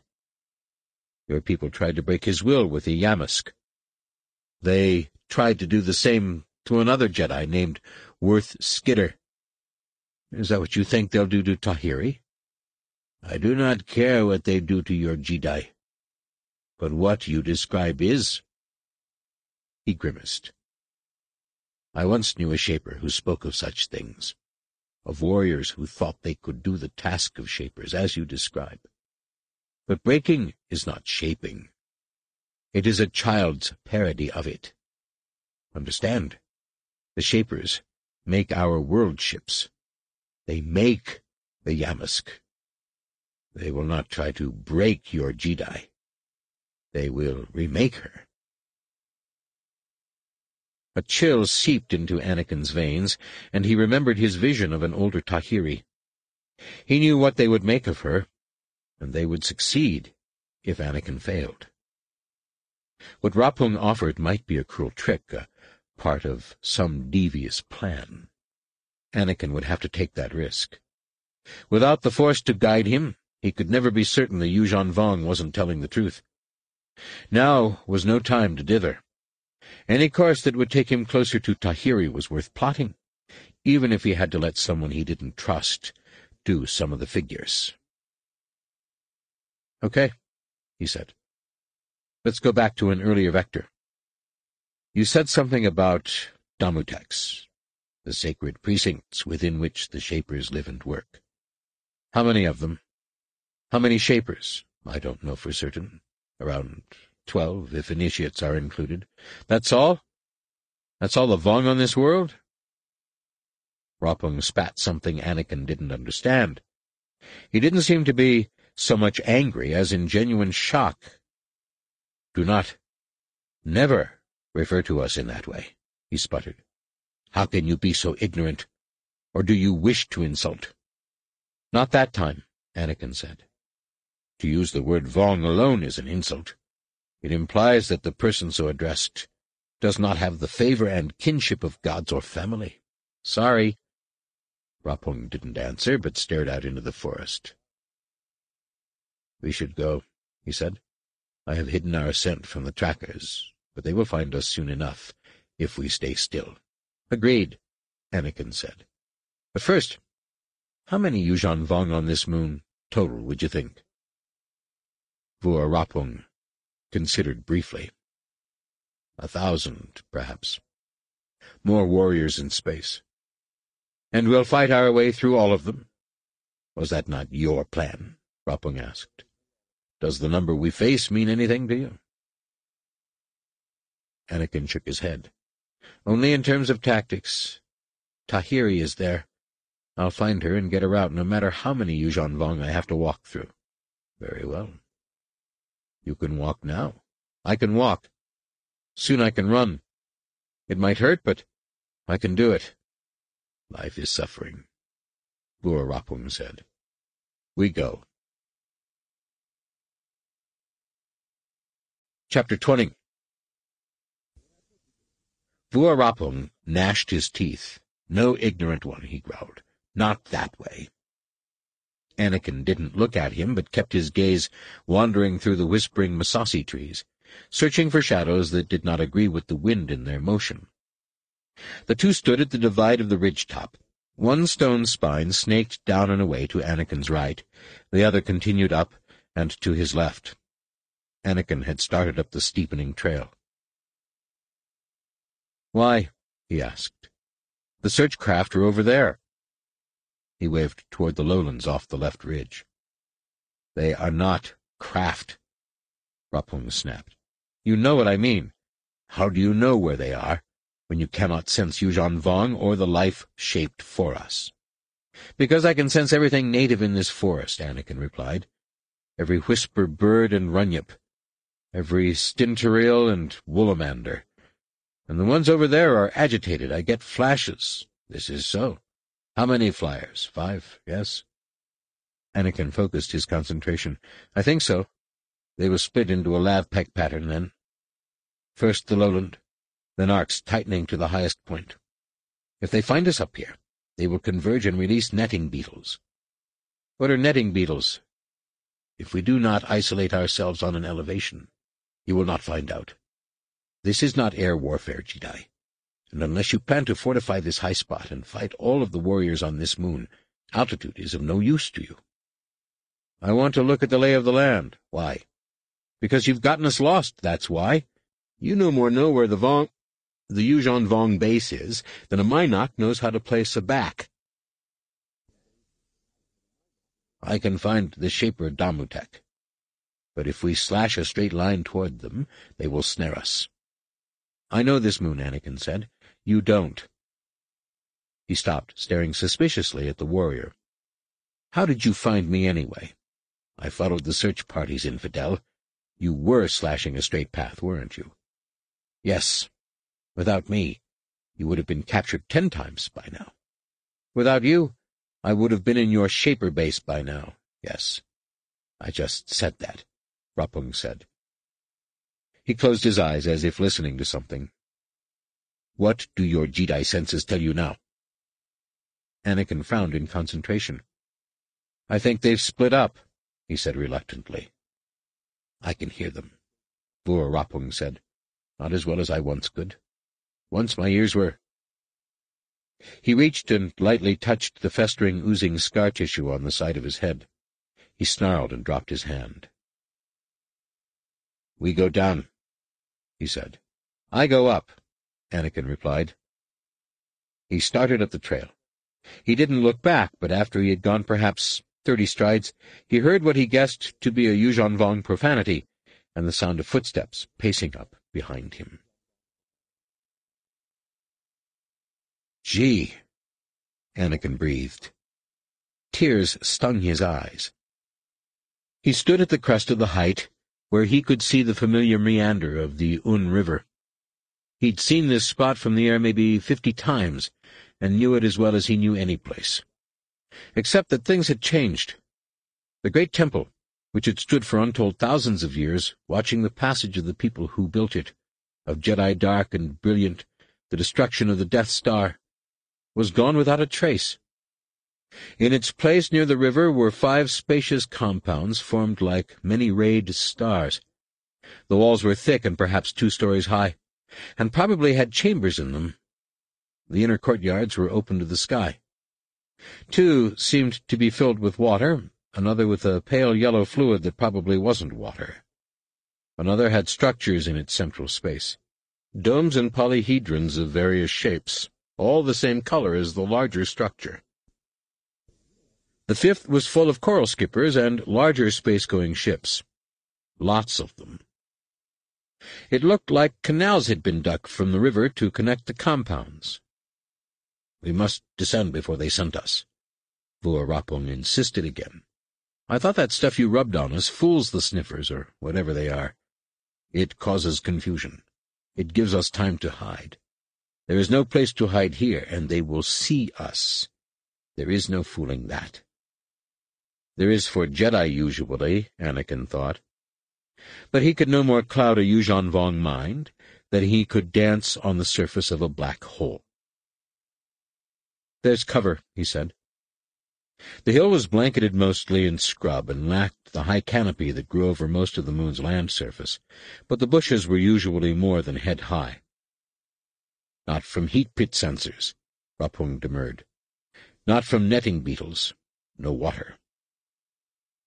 Anakin nodded thoughtfully, but he was really still examining the Shaper base, barely paying attention to the Yuuzhan Vong beside him.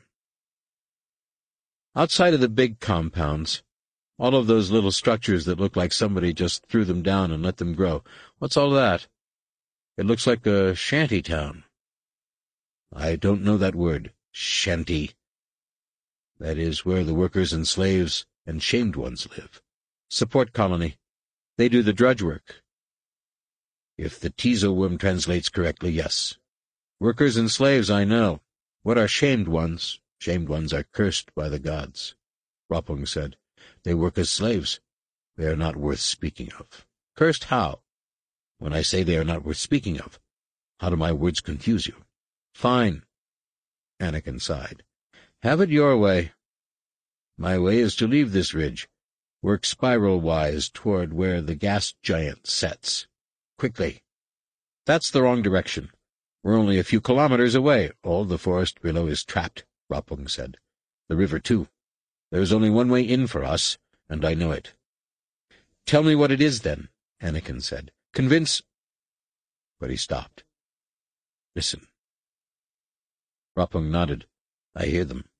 They are weaving the lav peck. I was foolish to trust you. You think with something other than your brain. He pressed his frayed and ulcerous lips together in an expression of contempt. We aren't caught yet.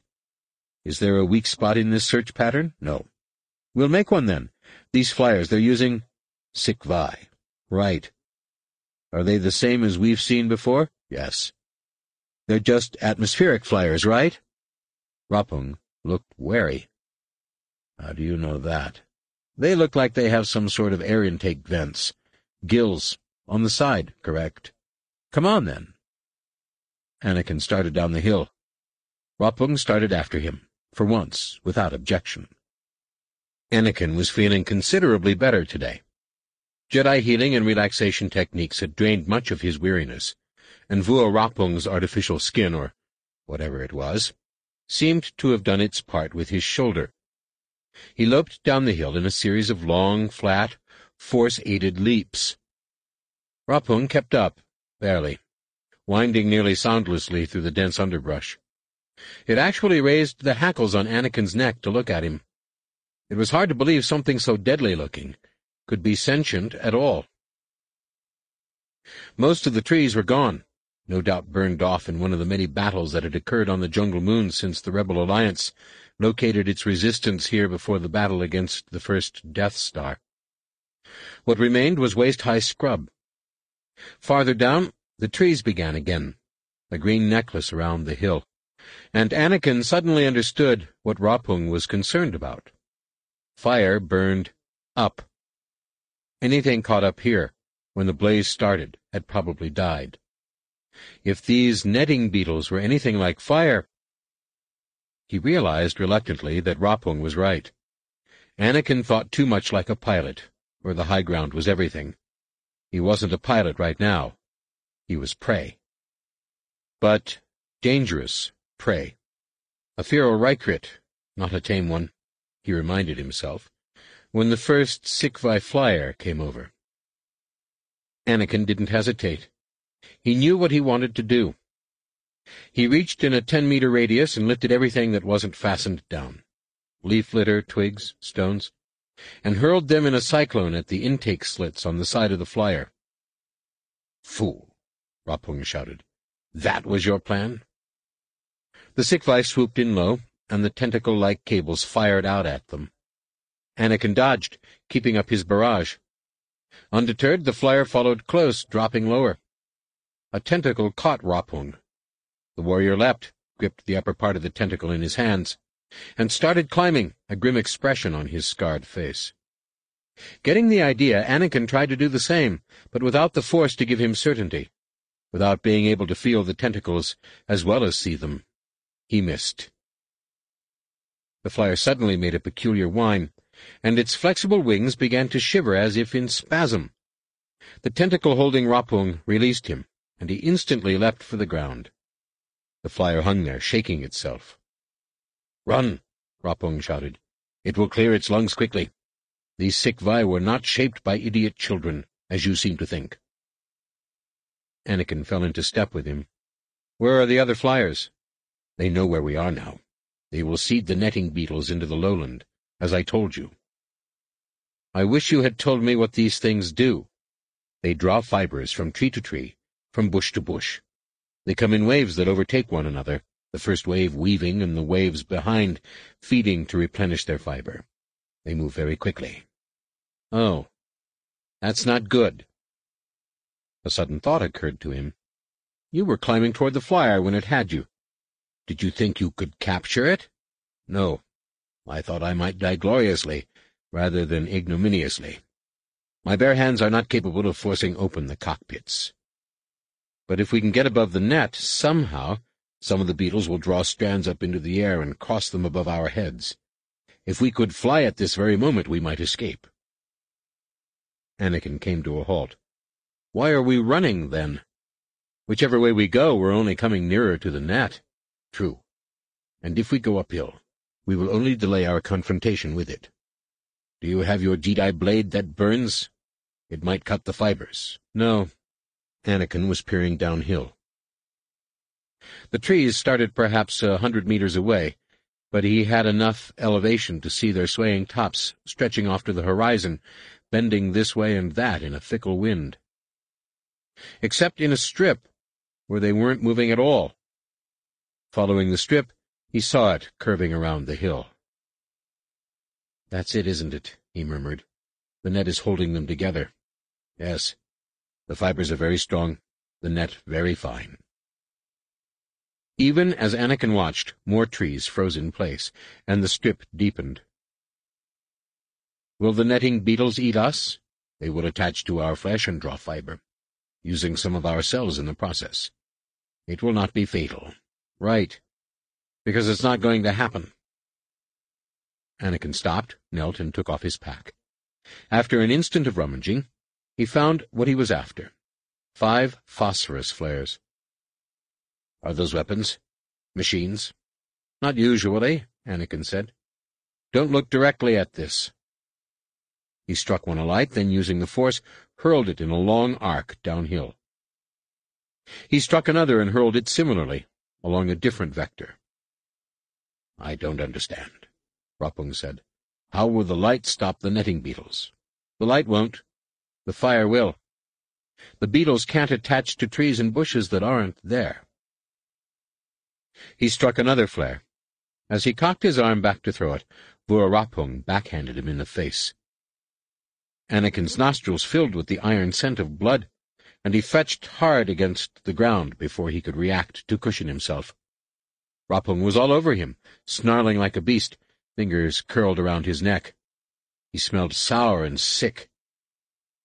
Spots dancing before his eyes, Anakin did the only thing he could. He found a stone with the force and hit the crazed warrior right between the eyes with it. Rapuung's head snapped back and his hands came away. Anakin hit him in the chin so hard that sparks of pain exploded in his knuckles. The Yuuzhan Vong fell off of him, but by the time Anakin had scrambled to his feet, Rapuung was up, assuming a martial stance. Sith spawn, Anakin snapped. What are you doing? Combustion, the Yuuzhan Vong roared. The first abomination is the use of fire from a machine. What? This is forbidden, you stinking infidel. Don't you understand what you've done? You're insane, Anakin shouted back, rubbing knuckles that felt shattered, drawing breath through an aching windpipe. You were just asking me if I could use my lightsaber. You think that's not a machine? A look of what might have been horror dawned on Rapuung's face. I... Yes, I prepared myself for that. But fire! The first of all sins... Wait! Anakin snapped. You're not making any sense. The Yuuzhan Vong have used fire breathers against us in the past. Living creatures producing flame is another thing entirely. Rapuung shrieked. How can you possibly imagine it is the same as what you've just done? As well say that the hand of a Yuuzhan Vong warrior and the metal grip of one of your made-thing abominations are the same thing because either can hold an amphistaff. Anakin took a deep breath. Look, he said, I don't pretend to understand your religion. I don't even want to. But you've chosen to fight with an infidel against your own people, haven't you? You are perfectly willing for me to use my abominable lightsaber. Now you deal with this, or go your own way, unless you've got another way out. No, Rapuung admitted. It's just the shock. He dropped his head. You really don't understand. The gods don't hate me. I know they don't. I can prove it. But if I soil myself like this, they will have reason to hate me. Ah, what have I become? The wind shifted, and the charred pepper scent of burning blue leaf set Anakin to coughing. The last flare had gone only about three meters, and now the bushes upwind of them were blazing merrily. It was the dry season, and jungle burned very well in the dry season. You'd better get a grip fast, Vua Rapuung, or the first abomination is going to eat you alive. The Yuuzhan Vong stood there for a long moment, head cast down. But when he raised his head, his eyes were beacons of rage. Anakin tensed, preparing to fight again. She has driven me to this, the warrior said. These sins will settle on her. I leave it to the gods to judge. Does that mean we can go? Anakin asked, watching the fire sweep toward them. Down the hill smoke poured thickly from where the other flares had lodged. Yes, let us go. We still embrace pain together, Jedi. The fire drove them around the side of the hill and up it. The change in the wind seemed to be a lasting one. Smoke boiled and crept close to the ground. The jungle burned fast. My opinion of you as a strategist improves, Rapuung said. The fire drives us directly into the other side of the net. We have our choice of being burned to death by the first abomination, or being captured and then burned. The wind shifted. My plan was to follow along the fire's exhaust, walk on the ashes. The net will collapse where the fire burns through, and then we're clear. Then perhaps the gods have spoken after all, Rapuung said. He coughed violently on the smoke, which was becoming so thick that Anakin was seeing spots in front of his eyes. He remembered most people who died in a fire were dead before the flames ever reached them. Keep low, he said. The smoke rises. Low. Crawling like a soasu. If you want to live, yes. I do not fear death, Rapuung choked out. But my revenge will not be thwarted. I... He convulsed in another series of racking coughs, fell, climbed back to all fours, and collapsed again. Get up, Anakin exhorted him. Rapuung quivered, but did not move. Through the smoke the yellow teeth of the fire appeared, chewing toward them. Chapter 21 Everything went pale gold as Anakin dropped to his knees next to Vua Rapuung. His breath felt like broken shards in his lungs, and his head rang like an alarm. He lay flat, trying to find sweeter, cooler air, but if it was there, it was traveling in disguise. If he was going to find something he could breathe, it would be somewhere above him. Sure, it would be smoky up there, too, but it was worth a shot. Anakin reached up and pulled, creating a tube that sucked higher air straight down on him and the Yuuzhan Vong. His breathing eased immediately. The fire liked it, too, the underbrush exploded like a bomb. Anakin felt the heat briefly, heat he knew would blacken and crack his flesh in seconds. He had not tried to alter energy before, but Corran Horn could do it. Their lives depended on his success. Anakin opened himself again to the Force, focused his efforts, and leached the fire's heat from a radius around them both. How long he kept this up, Anakin did not know. He slipped into a sort of fugue state, each breath pulling life from the sky, each exhalation bleeding heat into the crust of Yavin 4. But eventually he blinked and realized it was over, that the fire had burned past him, and he knelt in ashes. Rapuung still lay motionless. Anakin shook him. Where did one check for vital signs on a Yuuzhan Vong? Did they have hearts like humans, linear pumps, something stranger? He slapped Rapuung hard, and the warrior's eyes flickered open. "'Are you okay?' Anakin asked. "'Pray me you are not one of the gods,' Rapuung muttered. "'If you are, death will be tedious.' "'Yeah, you're welcome,' Anakin replied. "'Can you walk? We need to go before the flyers think to look here.' "'Smoke and heat will confuse them,' Rapuung said. He sat up and looked around.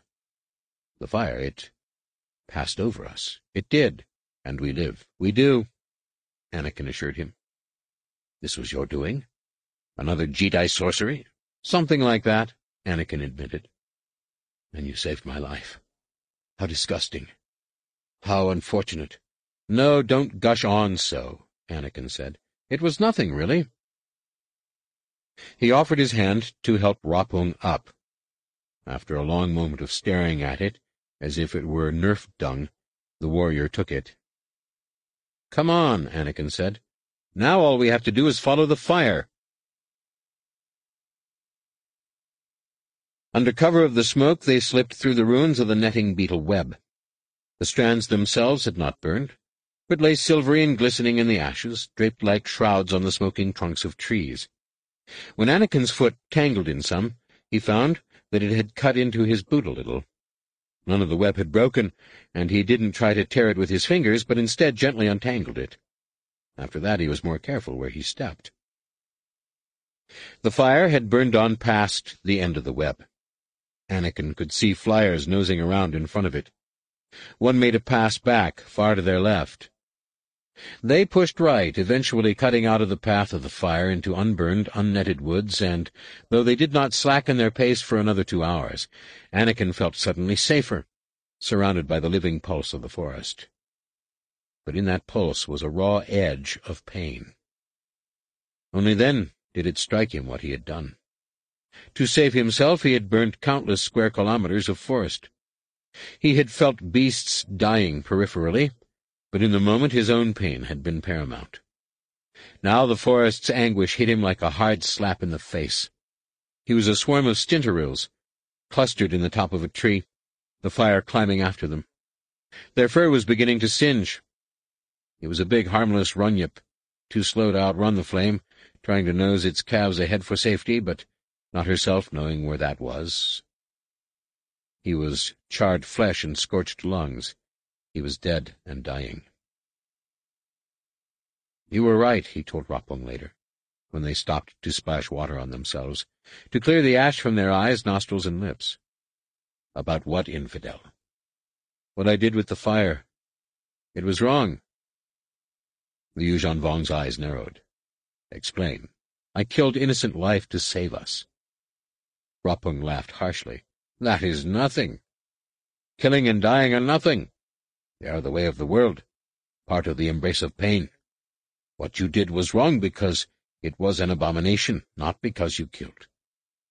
Do not fool yourself.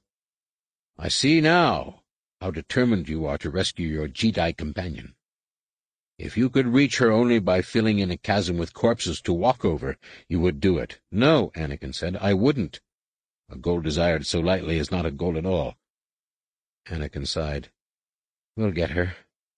But I don't like to kill. Then the warriors will kill you. Warriors are different, Anakin said. I will defend myself with extreme prejudice. But the forest did nothing to me to deserve what I did to it. You make no sense, Rapuung said. We will kill who and what we must. And I say no, indeed. So you would have me pollute myself with the first abomination, in order to achieve your purposes. And yet you will force me to cling to a childish fear of killing? All life ends, Jedi. Anakin felt that one. Did the Yuuzhan Vong really think non-biological technology was as wrong as the Jedi philosophy taught indiscriminate killing was? Intellectually, he supposed he'd understood that, but it had never reached his gut. Only now, when they both agreed something terrible had been done, but for absolutely different reasons, did it make any kind of sense to him at all. If only he could feel Rapuung in the Force. If only he could tell if the Yuuzhan Vong were of the light or of the dark side. Or was that even a relevant question without the Force? Were Jedi so dependent on their Force-given senses that without them they were moral cripples? Rapuung had kept a stinging gaze on Anakin as the Jedi searched for a response. Now he suddenly looked away toward some middle distance. You make no sense, Rapuung said. But I acknowledge you have saved my life. My revenge will owe to you when it is complete. You've saved me a couple of times, Anakin replied. We're not even yet. Not what? What is that word? Never mind. Vua Rapuung, what is this revenge you seek? What has been done to you that would make you turn against your own people? Rapuung's eyes hardened. Do you really not know? Can you really not see? Look at me. I see your scars fester. You have implants that seem dead or dying. But I don't have the faintest idea what that means. It does not concern you, Rapuung said. Do not presume, infidel. Fine. Then tell me this plan of yours, the one that will get me to Tahiri. Follow and see, Rapuung answered. They crouched in a tangle of roots at the water's edge on a tributary of the great river. We're farther away from the Shaper base than we were yesterday, Anakin complained. Yes, but in the right place now, Rapuung said. Right place for what? Wait. See. Anakin's mouth twitched around a retort, but didn't form it. Was this what people were complaining about when they accused him of being tight with words? Rapuung was as stingy with facts as a Bothan courier. Six days running and fighting together, and Anakin still knew nothing about the warrior, except that he was mad about something, maybe even crazy. He'd mentioned some she, and seemed to have an obsession with his worthiness before his gods. But maybe all Yuuzhan Vong were like that. It was not like Anakin had chatted with a lot of them. Maybe Rapuung was as normal as normal could be. Maybe he kept his motives and plans secret because that's just the way Yuuzhan Vong were.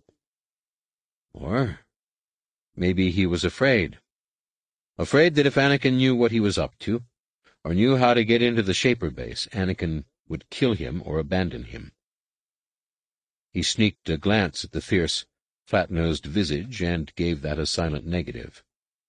He couldn't imagine Vua Rapuung being afraid of anything. Maybe prudent was a better word. So Anakin waited, quietly, and found himself gradually mesmerized by the gentle flow of the stream. He stretched out tentatively to the life around him, feeling again the shadow of the pain and death he had caused. I'm sorry, he told the forest. How close was he to the dark side? Was Rapuung right? He'd argued with Jacen that the Force was a tool that was neither good nor evil, but that could be used, like any tool, to do good or evil with. Could evil be as simple as not thinking? He supposed so. Corran Horn had once told him that selfishness was evil and selflessness good. In that light, selfishly causing death to save himself was evil, regardless of the fact that he simply hadn't considered the consequences of his actions at the time. And yet he wasn't just fighting for himself, was he? Tahiri's life was at stake. Maybe more than her life, because if the Tahiri of his vision ever came to be, it could mean the end of a great many people. If he was honest, he had to admit he hadn't been thinking about those larger consequences either. He'd had a problem to solve, and he'd solved it. The same as he might solve a mathematical equation or a problem with the hyperdrive motivator in his X-Wing. He just hadn't thought about the problems his solution might cause, which seemed pretty typical of him lately.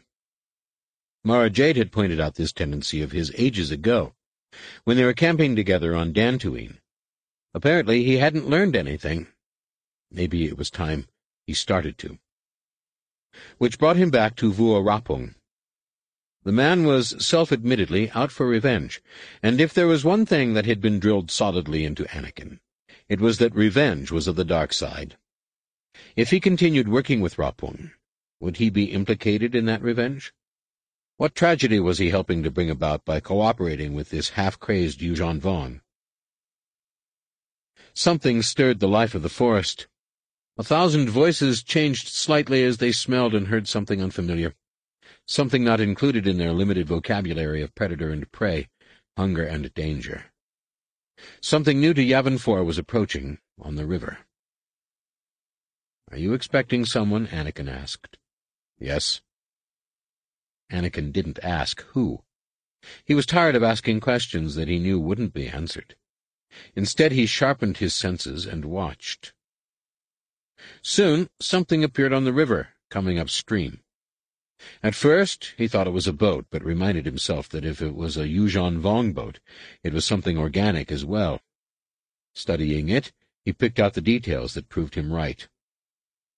The major visible portion was a broad, flat dome poking up from the water, banded with scutes or plates. Whatever moved it was below the surface of the water, but it did move. Now and then something that might be the top of a head broke the water in front of it. If it was a head, it was a big one, nearly as wide as the visible portion of the shell, and scaled and dull olive in color. Sitting on top of it was a male Anakin could not feel in the Force, but the closer he came, the less he looked like a Yuuzhan Vong. At first Anakin didn't understand why he got that impression.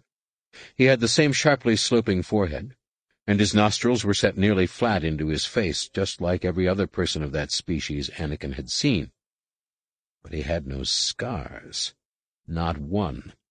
Not a single tattoo that Anakin could detect, and he could see most of the fellow because he wore only a sort of loincloth. Now and then he touched something on the surface of the carapace, and the boat creature altered course slightly. Stay hidden, Rapung said, and stood. Keu, he called. Through the concealing roots, Anakin saw the other man's head snap around in surprise. He uttered a string of words Anakin didn't understand, and Vua Rapung replied in kind. The floater began turning in their direction, and Anakin dug himself lower. The two Yuuzhan Vong continued their conversation as the floater drew nearer to shore. Anakin took several deep, steadying breaths. He'd been thinking about Vua Rapung's prudence. It was time to start thinking of his own. When would the Yuuzhan Vong stop needing him? Now? When they reached the Shaper base? When he'd exacted whatever revenge he was after? It could be any time. He remembered what he had told Valin about the Yuuzhan Vong and their promises. Was there any reason to believe Rapung would keep his? Anakin suddenly noticed that the two had stopped talking. Just as he was thinking about taking a look, he heard a loud splash. You may come out from cover now, infidel, Rapung said in basic. Anakin rose warily from his hiding place. Rapung stood on the floater, alone. Where did he go? Anakin asked. Rapung gestured toward the water on the other side of the floater. In the river. You threw him in? Will he drown? No, he is already dead. You killed him? A broken neck killed him. Mount the Vangak and let us depart. Anakin stood there for a moment, trying to master his anger. Why did you kill him? Because to leave him alive was an unacceptable risk. Anakin almost retched. Instead, he climbed up onto the floater, trying not to look at the corpse floating beyond. That was one innocent, unarmed, sapient being, dead because Anakin had saved Rapung's life. How many more would there be? Rapung began manipulating several knobby projections on the carapace. Anakin assumed they were nerve clusters or something of the sort. Who was he? he asked, as the floater turned sluggishly downstream. A shamed one, a person of no consequence. No one is of no consequence, Anakin said, trying to keep his voice steady. Rapung laughed. The gods cursed him at birth. Every breath he drew was borrowed. But you knew him, yes. They continued down the river at a leisure. How did you know him? Anakin persisted. What was he doing up here? Trawling the stream. It was his usual route. It used to be mine. You're an angler? Anakin said incredulously, among other things. Why so many questions? I'm just trying to understand what happened. The warrior grunted and held his silence for five minutes. Then, almost reluctantly, he turned to Anakin. To find you, I had to disappear. I faked my death out here on the water. I made it appear as if some water beast had eaten me. They gave Kau my route. I will return and tell the story of how I survived, lost on this strange world until I came across the Vangak, pilotless. I will not know what happened to Kau. Perhaps a Jedi killed him, perhaps he met the same water beast I did. Oh, and they'll let us through the security on the river, but why should they believe that story? They will not care. He was a shamed one. His death will be of no concern. Even if they suspect I killed him for some reason, no one will question my story. And how will you explain me? Rapung grinned nastily. I won't. They won't see you. Chapter 22 Nen Yim found her master staring into the waters of the succession pool, the heart, lungs, and liver of the Damutek. It rippled slightly as the native food fish of the moon investigated her shadow. It smelled faintly of sulphur, iodine, and something oily and burnt, almost like singed hair. Master Mejan Quad's headdress was woven into an expression of deep contemplation, so Nen Yim stood behind her, waiting for her attention. A drop of something plunked into the succession pool, just below the master's feet. Another followed, and another. When Mejan Quad finally turned, Nen Yim saw it was blood drizzling from her nostrils. Greetings, adept, the master said. Have you come in search of me? Or of the succession pool. Of you, master. But if you would speak at another time, there will be no better time until my cycle of sacrifice is complete, and my Va tumor is removed. You had your first implanted yesterday, did you not? I did, master. I cannot feel it yet. Bear it well. It is one of the oldest mysteries. She cocked her head, focusing her regard on Nen Yim's face. You wish to know what it does, the Va tumor. I am content in the knowledge that the gods desire the sacrifice of our caste, Nen Yim replied dutifully. Once passing to adepthood, you enter the mystery, Mejan Quad said, as if speaking in a dream. As warriors take on the outward aspects of Yun Yamka, so we take on the inner qualities of Yun Neshel. She who shapes. The Va-Tumor is her most ancient gift to us. Yun Neshel plucked a fragment of her own brain to make it. As it grows, it models our cells, changes our very thoughts, takes us nearer the mind and essence of Yun Neshel. She sighed. The journey is painful. It is glorious, and regrettably, we must return from it, excise her gift from our bodies. But though we return to a semblance of who we were, each time that we are vessels for that pain and glory, we are forever changed. Something of it remains with us, until... Her words seemed to fail her. You shall see, Mejan Quad finally said. And now, what have you come to tell me? Nen Yim glanced around, making certain no one was within hearing. It is quite safe here, Adept, Mejan Quad assured her. Speak freely. I believe I have finished mapping the Jedi's nervous system and brain structure. That is good news. Very commendable. And how would you proceed now? It depends on what results we want. If we wish her obedience, then we should use restraint implants. Why, then, have we mapped her nervous system? Nen Yim felt her headdress fidgeting and tried to calm it. I don't know, Master. It was your command. Mejan Quad tilted her head and smiled faintly. I am not trying to trick you, Adept. I chose you for very particular reasons. I have told you some of them.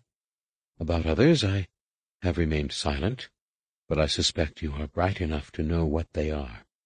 Suppose, just for a moment, that there are no protocols to be followed. In the absence of direction, what would you do? Hypothetically. Hypothetically, Nen Yim said. She felt as if she were poised over the digestive villi of a Mauldor. She could almost smell the sour scent of the acid. If she answered this question truthfully, she might be revealed as a heretic. If what she had come to suspect about her master was wrong, this conversation would be her last as a shaper, and one of the last in her life.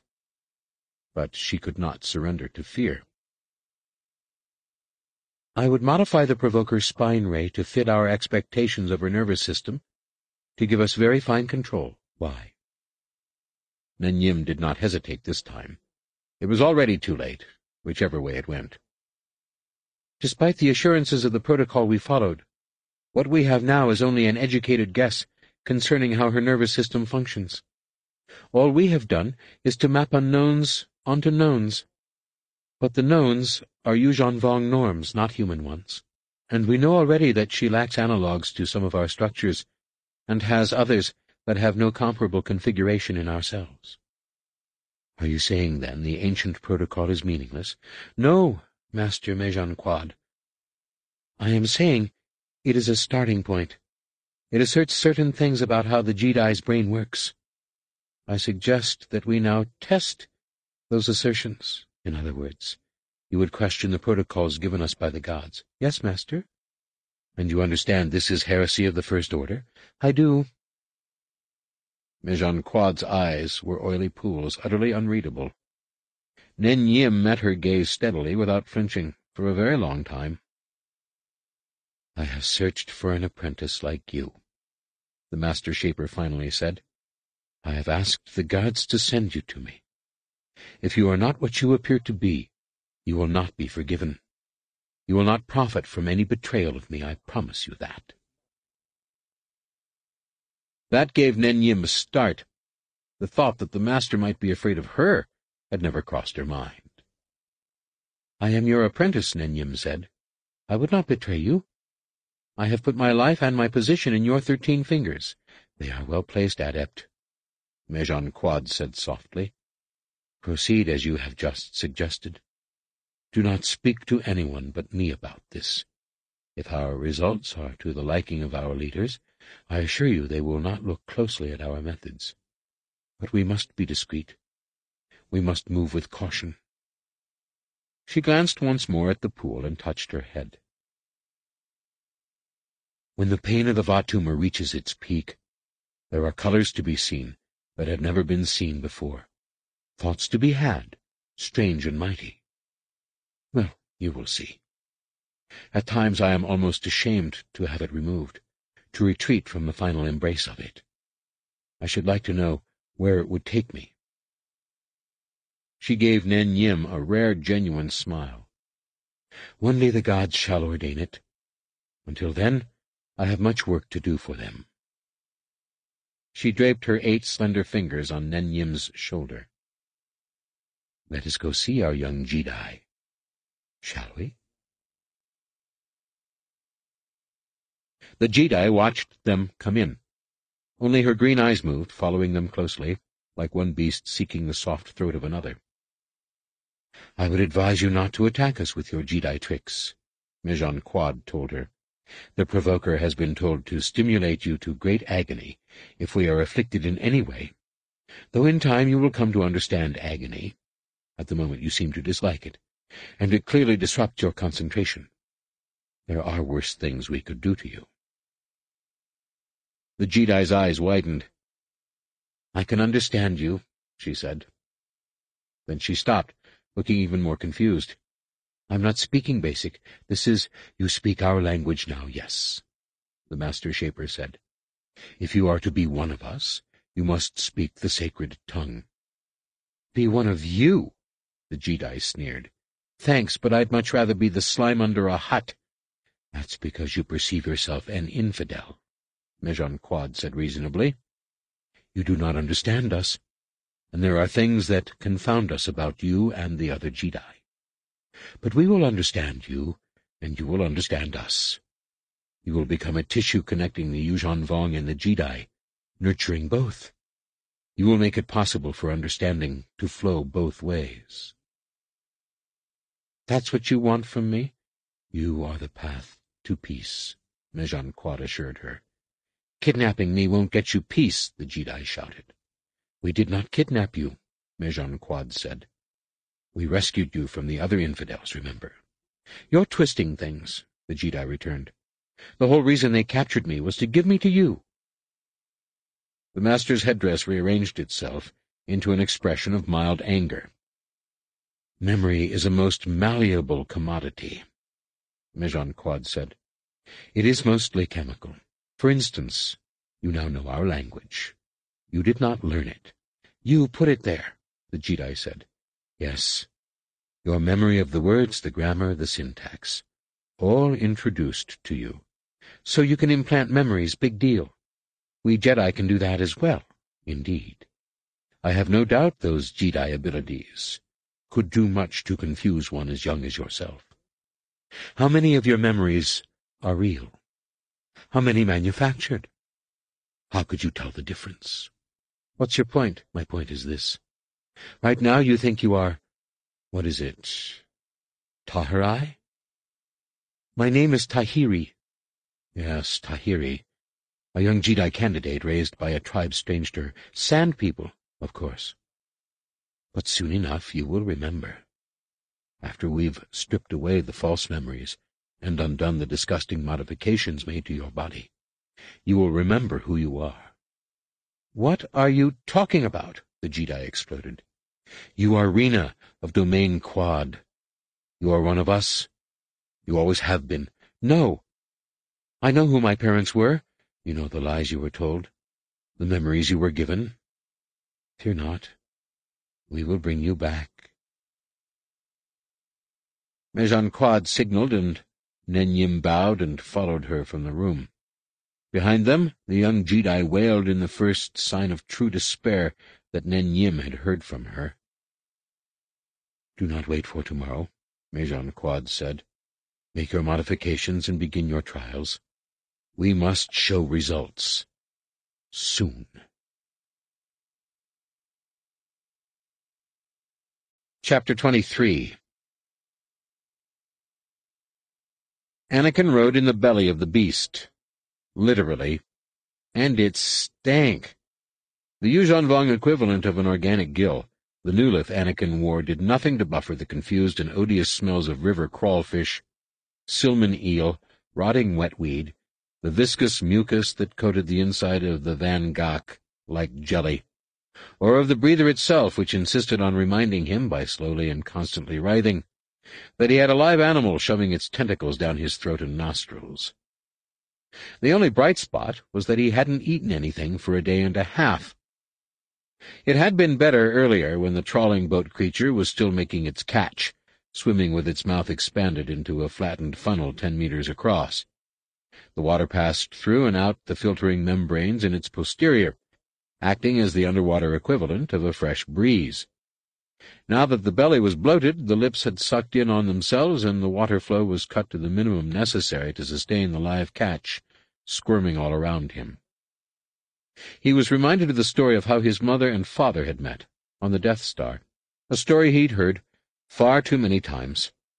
Seconds after seeing each other for the first time, they'd ended up fleeing stormtroopers into a garbage hold. What an incredible smell you've discovered, his father had sarcastically told his future wife. He hadn't been very happy with her at the time. I've found a better smell than you did, Mom, he thought. The thought of Rapung above, in the warm breezes of Yavin 4, no doubt delighted over the discomfort of his infidel ally, did nothing to improve Anakin's mood. If he'd had a working lightsaber, he would have long ago slashed his way through the Vangak, even if it meant facing a hundred Yuuzhan Vong warriors. Some things made death seem pretty. He immediately regretted that thought.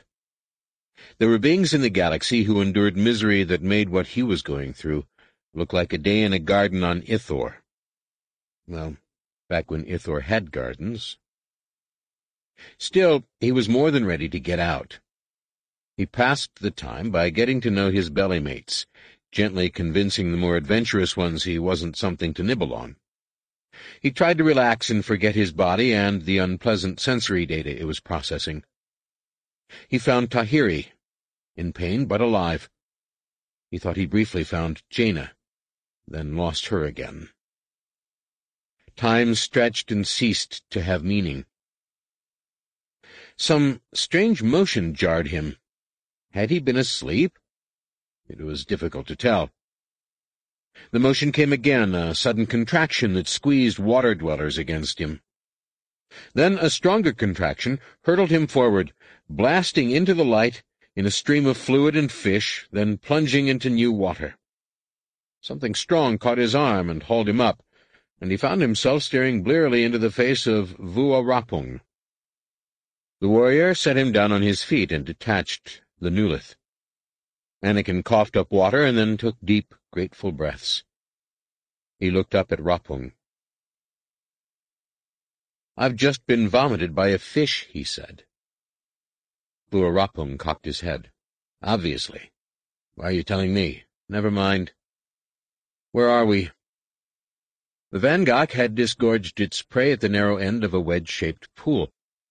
The larger end of the wedge, about twenty meters away, opened into an even larger aquatic space. Anakin and Rapung stood on a landing, of sorts, bounded by slightly uneven coral walls six meters high. Every six meters or so, the walls were marked by ovoids the size of doorways, obvious because of their darker shade. The Vangak had apparently entered this complex through one canal opening at the end of the wedge. Anakin could see daylight and swaying Massassi trees beyond. He could see the sky above, too. I see, Anakin said. We're in one of the... what did you call them? Damuteks. Right. They're shaped like rayed stars. We're at the end of one of the rays. This is one of the compounds filled with water. Each Damutek has a succession pool. Some have coverings over them so the space can be used for other things. Anakin pointed at the canal. We came up that. It goes to the river, right? Correct again. Why is the water in the canal flowing toward the river, then? Why ask after such irrelevancies? The succession pool is filled from below. Its rooting tubes seek water and minerals. The outflow goes to the river. And that is enough talk. You're right, Anakin agreed. Let's find Tahiri and get out of here. Rapung glared at him. It isn't so simple. First we must disguise you. An unbound human, walking free.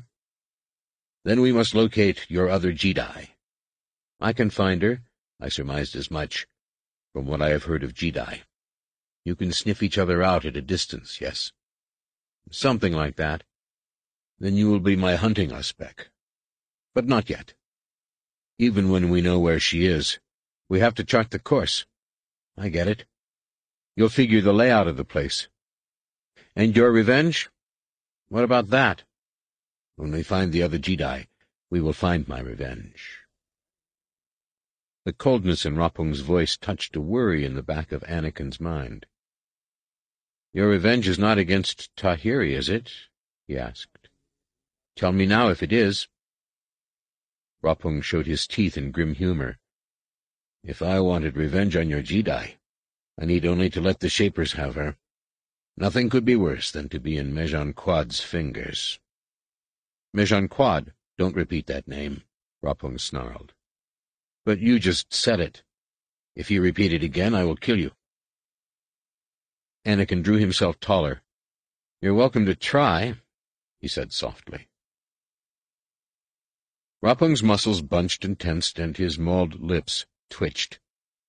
Again he seemed more like a dangerous, poisonous animal than a person. But then he rasped a sigh. Here, I know what is best. You must learn to listen to me. How else would you have entered the perimeter of the base? But from here, the dangers we face have increased. You must make peace with my commands. Furthermore, the longer we argue, the more likely it is that we will be thwarted here and now. We're lucky no one has yet chanced by. You have passed through the nostrils of this beast, but you will not live to find the beating heart without me. That was probably true, Anakin reflected. Pride was not the way of the Jedi. Rapung kept pricking at his pride, and he kept twitching like a Twi'lek's Lekku. He could almost hear Jacen and Uncle Luke scolding him now. I apologize, Anakin said. You're right. What do we do now? Rapung nodded curtly. Now we make you a slave. Anakin had thought he'd been through some hard things before, but nothing had prepared him for the ordeal of letting Vua Rapung implant the coral growth on him. It looked exactly like the sickening, ulcerous growths he'd seen on more Yuuzhan Vong slaves than he could count.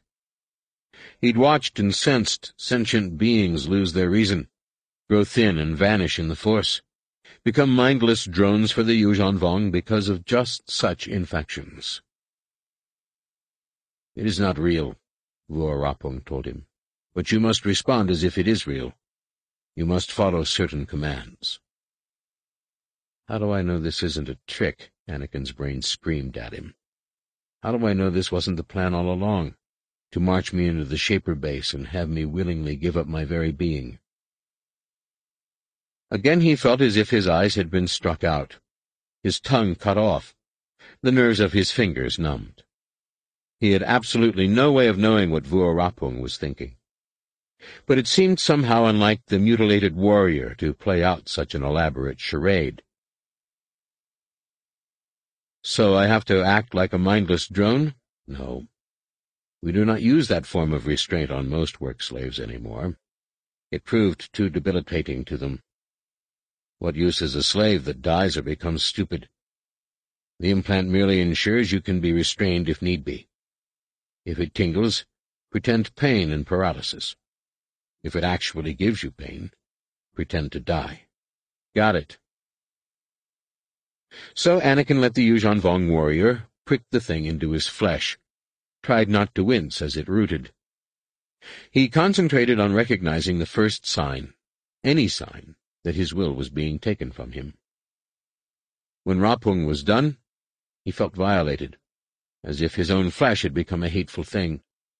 But he still felt in control, for the moment.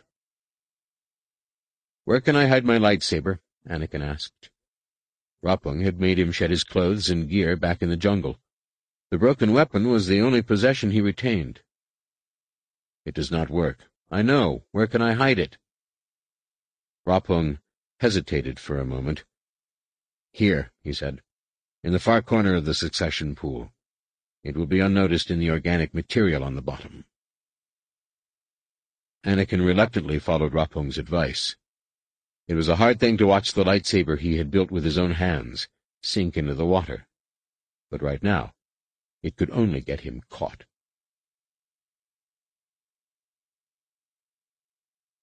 Moments later, Anakin was suddenly surrounded by Yuuzhan Vong, hundreds of them. They'd exited the larger compound at the same point the boat creature entered it, walking along the quay that ran parallel to the canal.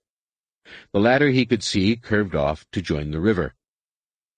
Between the river and the Damutek complexes was the shanty town he had observed from the ridge. Unlike the orderly compounds, the dwellings here seemed placed almost at random, a series of organic domes and hollow circles pierced by openings. Most seemed barely large enough to sleep in, and he didn't see many people coming in or out of them. Most of the Yuuzhan Vong he saw were like the angler Rapung had killed. They were unscarred or had very few scars. Some had malformed or festering scars like Vua Rapuung, and they wore the same sort of loincloth that Rapuung and now Anakin had donned. Of course, it wasn't a cloth at all, but something alive. If he pulled it away from his flesh, it slowly sealed itself there again. He also had a tizowyrm secreted in his ear, and the speech of those around him reached him in little starts and flurries. But almost no one was talking. They went about their business quietly, rarely making eye contact. He wasn't the only non-Yuuzhan Vong either, he saw. There were a fair number of them, all with the coral restraining implants. Their expressions he readily recognized. They ranged from utter hopelessness to mere misery. Now and then he caught a glimmer from one that suggested he or she still hoped for escape. Like the Yuuzhan Vong, none gave him more than a glance. You! A voice called from behind. Rapuung turned toward it, and Anakin shambled around more slowly, trying to keep the expression of the humans he had seen. The Yuuzhan Vong who had addressed them was a warrior, the first Anakin had seen here. He struggled to keep still, up until now, being this close to a warrior meant a fight to the death, and he had had more than his share of those. The warrior twitched when he saw Rapuung's face, and for a brief moment he looked almost as if he were about to genuflect. Then his eyes turned to obsidian. "'It is you. They told me at the port you had returned.' "'I have,' Rapuung answered. "'Many thought you had fled your shame.' Many were glad not to have to look upon it. The gods know no shame is on me, Rapuung answered. Your flesh says otherwise, the warrior answered. So it may be, Rapuung replied. Do you have a command? No. What task has your executor given you? I go to speak to him now. The trawling schedules are filled for another four days.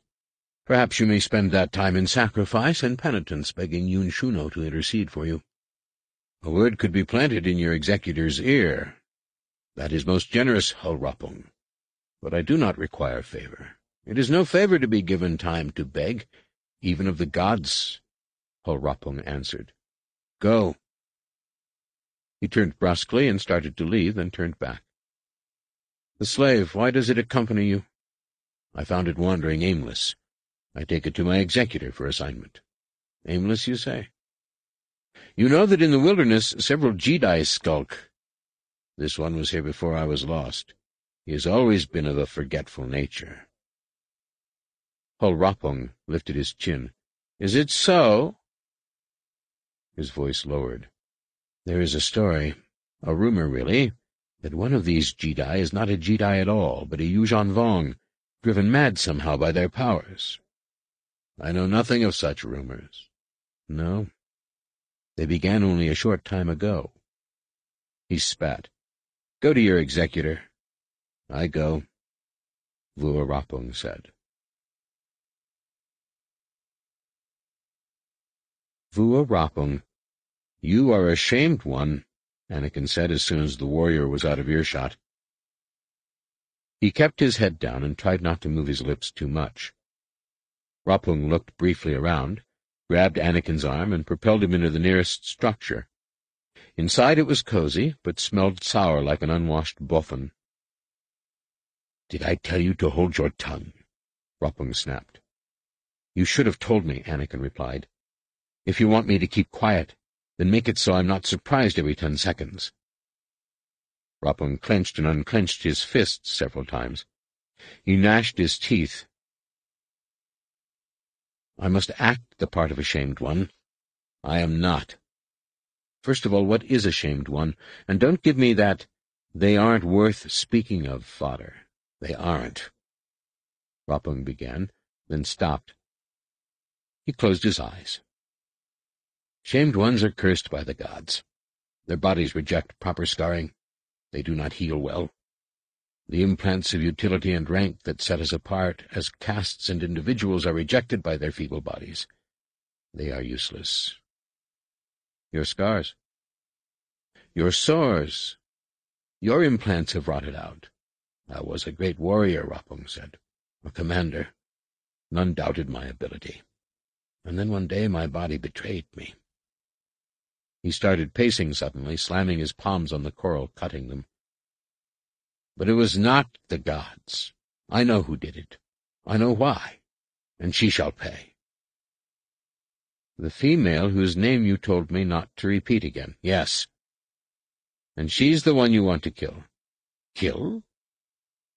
Rapuung's eyes widened. Then he spat. Infidel.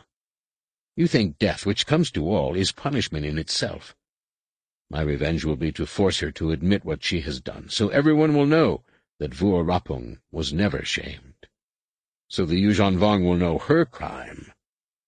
My revenge will be to know that when she does die, however she dies, it will be in ignominy. But kill her? I would not give her the honor. Oh, Anakin said. That was all he could think of. Despite Rapuung's secrecy, Anakin had at least thought he knew what the Yuuzhan Vong meant by revenge. In two quick reversals, everything he knew about Rapuung fell apart. Is that enough of my blood in your ears for the moment? Rapuung asked in a low, strange voice. One more question. The warrior we just met. Part of your name is the same as his, as it should be. He is a sibling of my creche. Your brother? Rapuung inclined his head slightly in the affirmative. We go to the executor now. I will suggest you once worked clearing fields for going lambans. Those slaves live the longest. We will meet when I can manage it without suspicion. Play your part. Do not falter. Use your powers to locate the nearest point where the other Jedi is. I will see you in seven days or so. Until then, we will not speak another word. Watch the other slaves. Speak as they speak or not at all. Now, come. He glanced outside, then walked out, towing Anakin by the arm. No one seemed to notice. Together they walked toward the largest building, unnoticeable among the other slaves and shamed ones. Or so Anakin hoped. Chapter 24 A spike of pain drove through Anakin's forehead, so unexpected and strange that his legs buckled and he fell to his knees on the black jungle soil, grasping for the wound in his forehead. It felt as if it had been gashed from his hairline to the bridge of his nose. The blood stung his eyes and brimmed his nostrils. But when he brought his hands down, they were clean. Chapped, blistered and friction-burned from days of pulling tough weeds from the soil, but not bloody. Cautiously, he felt his head again. The pain still throbbed, but now he felt only unbroken flesh. You, slave, the tizowyrm chittered in his ear, apparently translating the brutal shot from one of the guards. The coral growth on his neck gave him a faint shock, and he knew he was being given the force of command. He went rigid and fell to the ground, jerking spasmodically. It was easy, given the agony already creeping into his head. When he thought he'd played that role long enough, he climbed back to his knees and went back to work, knotting his chapped raw hands around plants and uprooting them. The Yuuzhan Vong did not care for machines even as complicated as a lever. They had biotic methods of clearing fields other than slaves, but they seemed determined to go through the slaves they had first. Grab weed, wriggle, pull. For the ten billionth time. The pain reverberated behind his eyes, fading a bit, and he began to pick out details through the static. Not his forehead, not his blood, not his senses. It was Tahiri who had been cut, scarred like a Yuuzhan Vong. It was almost too much. He had been feeling her pain sporadically since her capture. Sometimes it was like an itch, sometimes like burning methanol poured down his nerves. But this time it was somehow real, intimate. He could smell her breath and taste her tears. It was like holding her in that last moment of peace they had had together. Except she was bleeding, and here he was pulling weeds, if his lightsaber was working. But that was the problem, wasn't it? Or one of them. And it was days before he would see Rapuung again. Slave! An amphistaff lashed lightly across his back, and it took everything in him not to leap up into the guard's face, take his amphistaff, and kill every Yuuzhan Vong in sight. What are they doing to you, Tahiri? But he didn't. Instead, he stood compliant, arms at his side. Go with this shamed one, the guard told him. He then turned to the person indicated, a young female with no obvious scars. She had a deeply worn look to her, but her eyes had a certain brightness many of the other shamed ones did not. Go to the third lambent field nearest the perimeter. Show him how to harvest. I will need more than one faltering slave to make my quota, she said. You feel it is your place to argue with me? The warrior snapped. No, she replied. I think it is a prefect's place to assign workers. The prefect is busy today. Would you rather make your quota alone? She maintained an expression of defiance for another beat, then grudgingly hung her head. No. Why are you doing this to me? I treat you as I treat everyone. She narrowed her eyes, but did not reply. Instead, she beckoned Anakin. Come along, slave. We have a long walk. He followed her, trying to re-establish contact with Tahiri. She was still alive, he could get that much, but more distant than the stars. Almost as if she was fighting contact. What's your name, slave? The woman asked. It so shocked Anakin that his step actually faltered. Well? Begging your pardon, but when did any Yuuzhan Vong care to dirty her ears with the name of a slave? Where did a slave get the idea that insolence would go unpunished? she responded. My name is Bail Lars, he replied. What's wrong with you, Bail Lars? I saw you nearly collapse. So did that filth-bather Vasi. That's why he sent you with me. So I'll fail to meet my quota. He has something against you personally? Poole. It's what he couldn't get against me that bothers him. Really? I would think. He suddenly thought better of what he was saying and didn't finish the sentence. The female did, however. Would think what? That I wouldn't refuse a warrior? No, that's not it, Anakin said. I suppose I thought they, the rest of the Yuuzhan Vong, I mean, were, well, that they didn't think shamed ones were, you know, desirable. We aren't, not by normal people. Not even by each other. But Vasi is not normal. He likes sick things. He can command a shamed one to do things that no true caste would ever do, or want to do, or want done. But he commanded you, and you didn't. He knows if he commands me, I will make him kill me. So he didn't command me. He wants me to come to him. She stopped and dropped her eye ridges angrily. And this is not your business. Never forget. What I am to them, you are to me. One day, Yun-Shuno will grant me redemption, and my body will take the scars and implants. I will become true caste, while you will forever be nothing. Do you really believe that? Anakin asked. I don't think you do. She slapped him then, hard. When he did not react to the pain, she nodded thoughtfully. Stronger than I thought. Maybe we can meet my quota, she said. If you help me do it, I will find some reward for you. I would do it for no other reason than to disappoint Vassie, Anakin replied, though I may feel differently if you keep slapping me. You say filthy things, and don't expect to be punished? I didn't know it was filthy. I have heard you slaves are infidels, but even infidels must know the gods and their truths. I would think that not knowing that is exactly what makes me an infidel. Anakin said. I suppose. It makes no sense, and I've never spoken to an infidel before, not like this. She hesitated. It is interesting. Perhaps as we work we can pass the time. You can tell me of your planet. But restrain yourself. Shamed I may be, but I have not abandoned myself to shame. It's a deal, Anakin said. Will you tell me your name? My name is Uunu. She pointed ahead, to a low coral wall. We're nearly to the lambent field now. They are just past there. What is a lambent? Another moment and you shall see.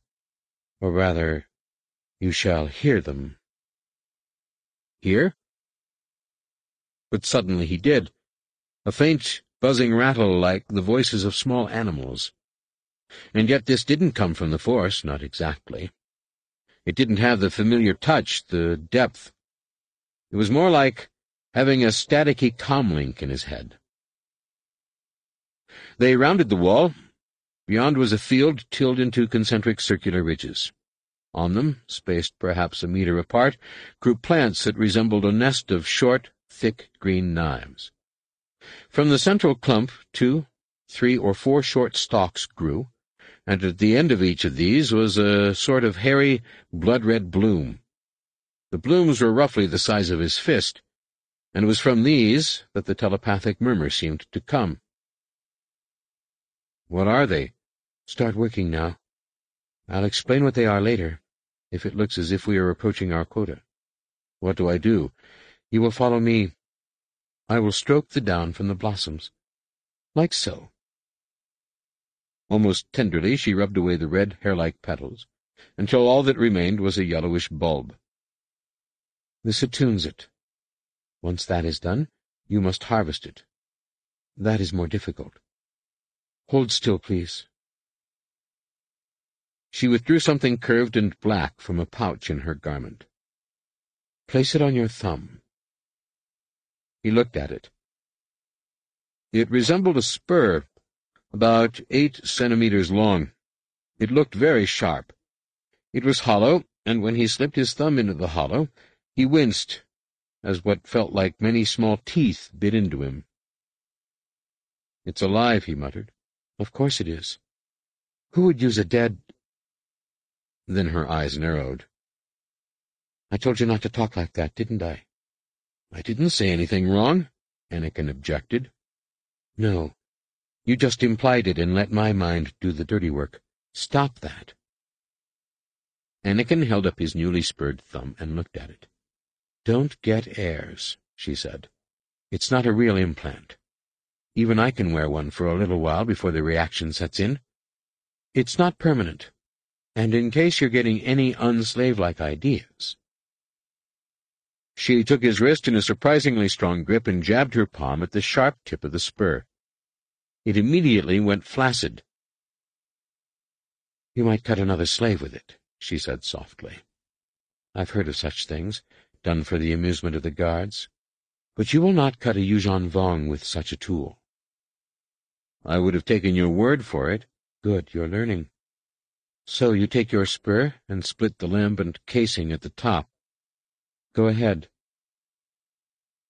He knelt by the plants and pressed the sharp tip into the yellow bulb. It split, and a pale milky substance oozed out.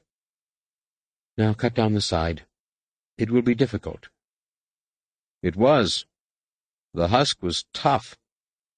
When he had scored three sides, he managed to peel the skin away. The entire time he did this, he was acutely aware of the thing's telepathic voice, a quiet peeping somehow different from its companions, probably because of Uunu's attunement of it. The big surprise was the inside. When he had cut it free, Anakin held it up, fascinated. It looked very much like a gem of some sort. What is it? he asked again. Later. Go, now. You will be slower at cutting them than I am at attuning them. You must work to keep up with me. Normally two or three huskers come after the attuner. When you have a rhythm, and I am certain you are not losing ground, then we will try talking. Not before. It didn't happen that day. While Anakin eventually caught the rhythm of the work, it was only after he was far behind Uunu. The lambents distracted him. They could tickle his mind, and he could touch them, but not through the Force, not in the conventional sense. He was told that Wurth Skidder had had a similar experience with the Yuuzhan Vong Yammosk, the creatures that coordinated the actions of Yuuzhan Vong warcraft. Yammosks bonded telepathically with their daughter ships, and with the crews of its fleet. It then protected them as it would its own offspring, directing their battles to minimize loss. Skidder had apparently achieved some sort of mental linkage between the Force and Yammosk telepathy, at least according to his surviving companions. Were these Lambents Yammosk relatives? Uunu was doing something to them. They changed as she stroked them, became more distant to Anakin because she was bonding them to herself? Could Anakin bond with one? Maybe if he did, he would find out what their function was. Were they what they looked like and felt like? They couldn't be exactly, of course, because they were alive, but still. He hadn't realized how much hope he had lost until he started to get some of it back. He slept in a dormitory for slaves, a low-roofed, creeping building with four sleeping areas carpeted in a spongy moss-like growth. A total of eighteen slaves occupied the building, sleeping as thick as stintarils. It was nearly impossible to sleep without being in contact with someone. To Anakin's relief, they weren't all Peace Brigade. In fact, Anakin gathered that, while most of the brigaders in the system had indeed been captured, most of those had been sacrificed to the Yuuzhan gods. The slaves he shared his quarters with were from various points along the route of conquest, and seemed to represent members of some sort of slave core population, one that the malcontents and firebrands had been largely eliminated from. None of them had the old style of slave implants like those Anakin had seen on Dantooine. They use those mostly for the ones they send into battle, a Twi'lek named Poi told him when he asked about it. The thing is, if they fit you with the stuff, it takes a lot out of you, makes you dumb. The Shapers don't want dumb slaves that keep forgetting directions. The warriors just need bodies to absorb blaster fire, so it doesn't really matter there. His twitched pensively. But act up or act stupid, and they'll fit you with it, and send you to the front. The most comforting thing about the slaves was that Anakin could feel them in the Force, but other than that, he didn't see much hope for helping them, and indeed enormous potential for betrayal if they had any hint of who or what he might be. He gave it out that he had been captured on Duro, and suggested to the more inquisitive that they didn't need to know the details. Uunu collected him for the second morning, while it was still dark. He'd slept sporadically, trying to locate Tahiri in the Force. She was still withdrawn, difficult to find, but he was pretty sure he knew which Damutek she was in. He was a little groggy as he fell into step with the shamed one. Here, she said a bit gruffly, holding out something in her hand. What? Just watch Infidel. A wisp of phosphorescence appeared in her palm, and quickly sharpened into a substantial light. As it fleshed out, Anakin could see that it was a lambent crystal, like the ones he had been harvesting the day before.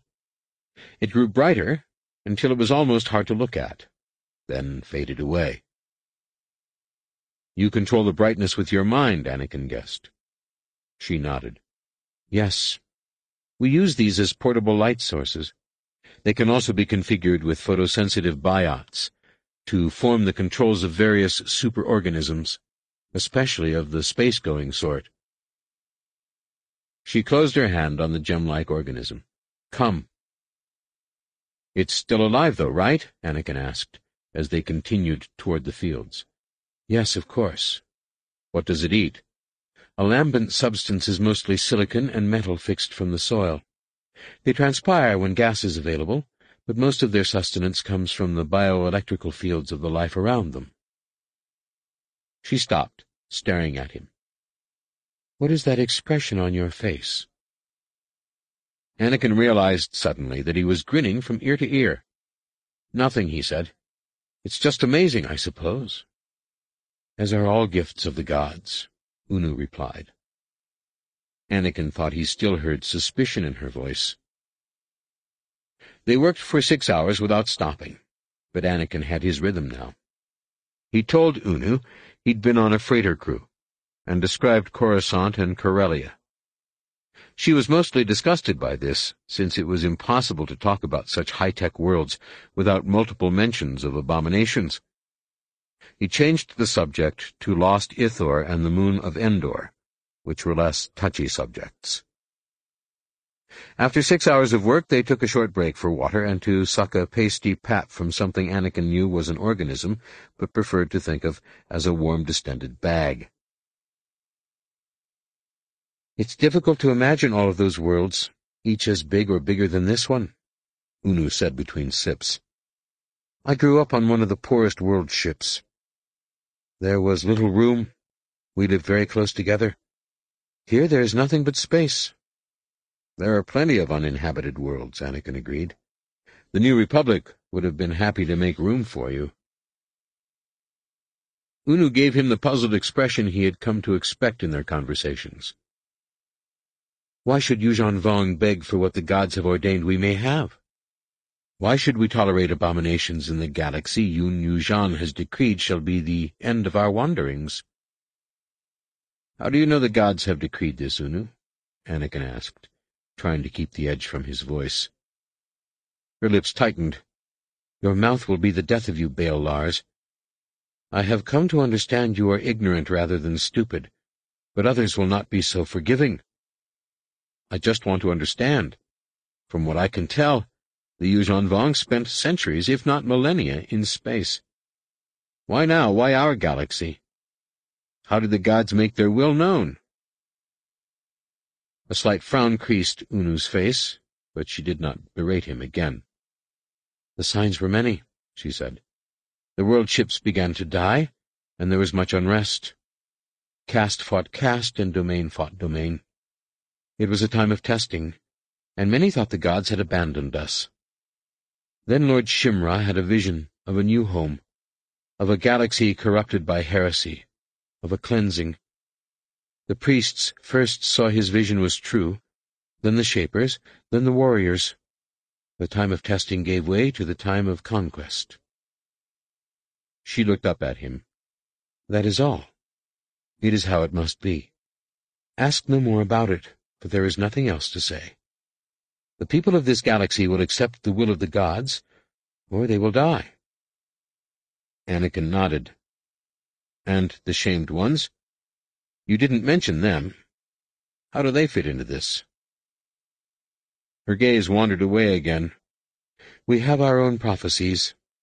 In this new galaxy, Yun-Shuno has promised us redemption. In what form?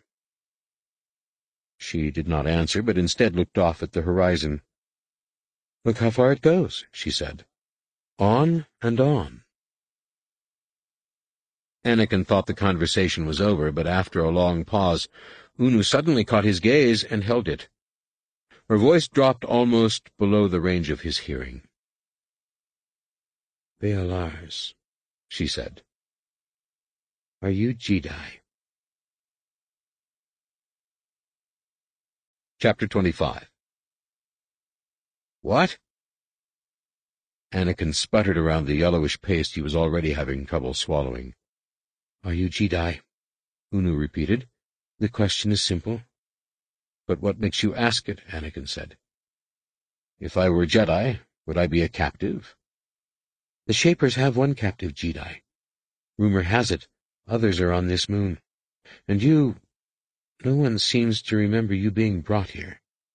As well, you do not act like a slave somehow. You seem too unbent. She eyed him speculatively. Rumor also says that Jedi sometimes allow themselves to be captured. Well, I didn't allow myself to be captured, Anakin said. He figured that wasn't a lie, since he hadn't been captured at all. He wouldn't be captured now, either. He was alone with Uunu, and she was no warrior. He readied himself, trying to keep his breathing normal. He didn't want to hurt Uunu. She'd treated him like more of a person than she had to. That wasn't much, but he couldn't discount it. Then he noticed something about the set of her eyes.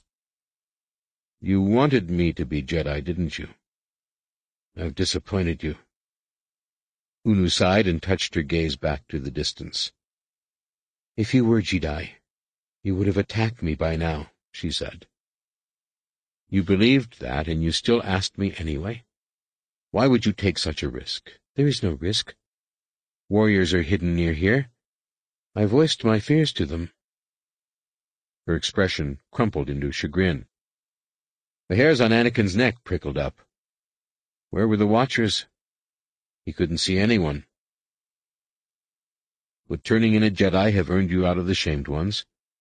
Not in and of itself, she said a little wistfully. Only the gods can change my condition. But I should like to meet one of these Jedi and the discovery of a Jedi might give Yun Shuno much leverage to intercede for me. You've mentioned her before. She's your superior? She's a goddess infidel. The goddess of the shamed ones. The only one who can make me a true Yu Yuuzhan Vong. Oh, return to your work. They started again, she stroking the blossoms bald and he cutting out the lambents. How does one become shamed? Anakin asked. Another impolite question, Unu said. But her tone was light, belying the chiding. Some of us are born so. Others are cursed for misdeeds or sins. I've heard that some shamed ones do not think they deserve their status, Anakin said as casually as possible. She barked a harsh laugh. Deserve? What is deserve? We merely are. She looked back at him, her expression suddenly knowing. Ah, you speak of Vua Rapung, the one who brought you to the prefect of clearing fields. That might be his name. I'm not sure. But he muttered some things, not to me. He hardly seemed to know I was there. He is insane, Vua Rapung, Unu said. Once he was a great warrior. Now he is nothing. He cannot bear it, so he invents lies. Perhaps he even believes them. Lies? He claims a shaper infected him with something to produce the marks of shame from spite. Why? Anakin asked. Because she loved him, Unu said, and he spurned her. Love? Somehow, it had never occurred to Anakin that Yuuzhan Vong fell in love. Yes, but his story is impossible. How so? More ignorance. Because the gods who govern such things, the lovers Yun Shin and Yun Ka, would never weave passions between a warrior and a shaper. Yun Yuuzhan eternally punishes the twin gods for their own transgressions. They would never dare his wrath again. It is not possible, and so Rapung's ravings are those of insanity. He is merely cursed, like the rest of us. Of late he has become even more erratic. I think the intendants will destroy him soon, if they have not already. Destroy him? Shamed ones must show usefulness and humility. We do the work no true caste Yuuzhan Vong may dirty their hands with. If we do not do these things, we are not worth feeding. Her head came up. You have concern for Vua Rapung? I have concern for all living beings, Anakin said. And now you sound like a Jedi again, she said. How do you know so much about the Jedi philosophy, Anakin wondered. Where would a shamed one get such information? Why would she be interested? Tell me, Unu went on, would a Jedi be concerned about the fate of a shamed one? As concerned as he would be for a person of high caste? Yes. I have known Jedi. They protect all life. Not Yuuzhan Vong. Jedi kill Yuuzhan Vong. Only when they must, Anakin replied. Jedi do not like to kill. They are not warriors, then? Not exactly, not from what I know. They are protectors. Protectors. And they protect everyone? Everyone they can. She chuckled again, a bit uneasily. An amusing lie. The sort of lie that gives hope to those who do not deserve it. A destructive lie. Some shamed ones even... She broke off again, this time angrily. How is it you make me talk so, infidel? Work and do not speak. Ask me no more questions.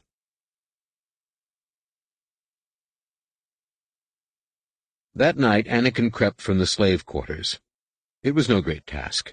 For most slaves, there was no escape from the camp itself. If they wanted to waste the precious hours of sleep they were allotted, the Yuuzhan Vong didn't prevent it. Reaching the fields was more difficult, but Anakin had plenty of experience with stealth. In a few moments, by the light of the orange gas giant, he knelt in the lambent field. The plants lisped softly, like a nighttime breeze through dark treetops. Beyond the perimeter of the camp, across the river, he faintly felt the life of the jungle. Somewhere inside of it, in a bed of aches and misery, he knew Tahiri's fading touch. He found the last of the harvested lambents and knelt beside the first of the next day's harvest, staring for a long moment at the faintly illuminated stalk. Then, hardly daring to breathe, he reached for the swollen blossom and began to stroke exactly as he had seen Unu do hundreds of times. The petals were as soft as silk, rubbing easily from his fingers, and Anakin felt a faint touch, like an electrical shock, traveling up his arm. It was neither pleasant nor unpleasant, but more like the first taste of a food so exotic his tongue had no baseline for judging it. As he stroked, the feeling deepened, and finally he felt not just his fingers rubbing the flower, but also the blossom being rubbed. He was the lambent for a moment, and not only felt it wakening, but felt himself awakened. He continued until the small hum in his head was louder more obvious than any impulse from the other plants, until the pod was smooth. Then he blinked and carefully searched around him for movement. Here in the camp, he was nearly blind and deaf. He couldn't even use the jungle moon's native life to sense what danger might be coming. If he couldn't see it and hear it, it wasn't there. But his eyes found no shadows creeping. His ears registered no faint susurrus of motion. And so, producing his spurred thumb, he cut into the plant and stripped away the husk until he had the gem inside. He gripped it tight in his fingers, and almost without asking it, it flared into gentle radiance. Yes, he hissed. Willing it dark, he clenched his fist tighter around it in a gesture of triumph. Then it was back across the fields and through the houses. They were not silent at night. He passed the shrine of Yunshuno and heard moaning within. Whispers drifted from other doorways, and here and there someone paced in the darkness, restless. Anakin kept going until he reached the edge of the star-shaped compound where he had exited the living boat. He slipped within. The pool shone with a gentle phosphorescence that did not reach far below the surface. Anakin felt with the Force, hoping desperately his lightsaber was still there, where he had placed it days before. The water was murky, he could sense it in the force, but as if through a cloud. The crawfish and their aquatic cousins were sensible too, but somehow diffuse. It took longer than it should have for him to feel the play of life and current and energy in the heart of the shaper Damutek. But at last he had it in his mind, wavering like a mirage, but there. The current had carried his lightsaber to fetch at the edge of the compound, against a barrier that kept the fish in. He exerted his will, and his lightsaber shifted, moved, broke the surface, and came to rest in his hand. "'Who's there?' A voice asked, from the shadows around the pool. Anakin stepped back quickly, heart running toward light speed, and withdrew into the darkness in the far corner of the compound. "'Your pardon,' he rasped, grateful for the tizowyrm in his ear. He tried to make his voice sound as much like a Yuuzhan Vong's as possible. I am no one ashamed one. The figure in the darkness shifted, and he could suddenly see more of her silhouette. Something was strange about her head. It wriggled like a nest of snakes, like nothing he had yet seen among the Yuuzhan Vong. This is the compound of the Shapers, the woman's voice said. You have no business here, shamed one. I beg pardon, Great One, Anakin said. I wished only... I had hoped the waters of the succession pool would inspire me to beseech Yun Shuno persuasively. The silence stretched. I should report you, you know. Only those shamed ones with passage pheromone are allowed here. I... He heard a little gasp of pain. Is anything the matter, Great One? No, she replied in a strained voice. It is only my suffering. I came here to contemplate it. Go, shamed one. I would not interrupt my reverie over you. Go, leave me in peace, and count yourself fortunate. Thank you, great Shaper, as you will. And with that he withdrew. Sweat was coursing down his brow, and his limbs trembled slightly, but triumph was a supernova inside of him. He had what he needed now, the supernova cooled a little as he left the Damutek and padded back into the village of the Shamed Ones. He needed more than the lambent and the lightsaber.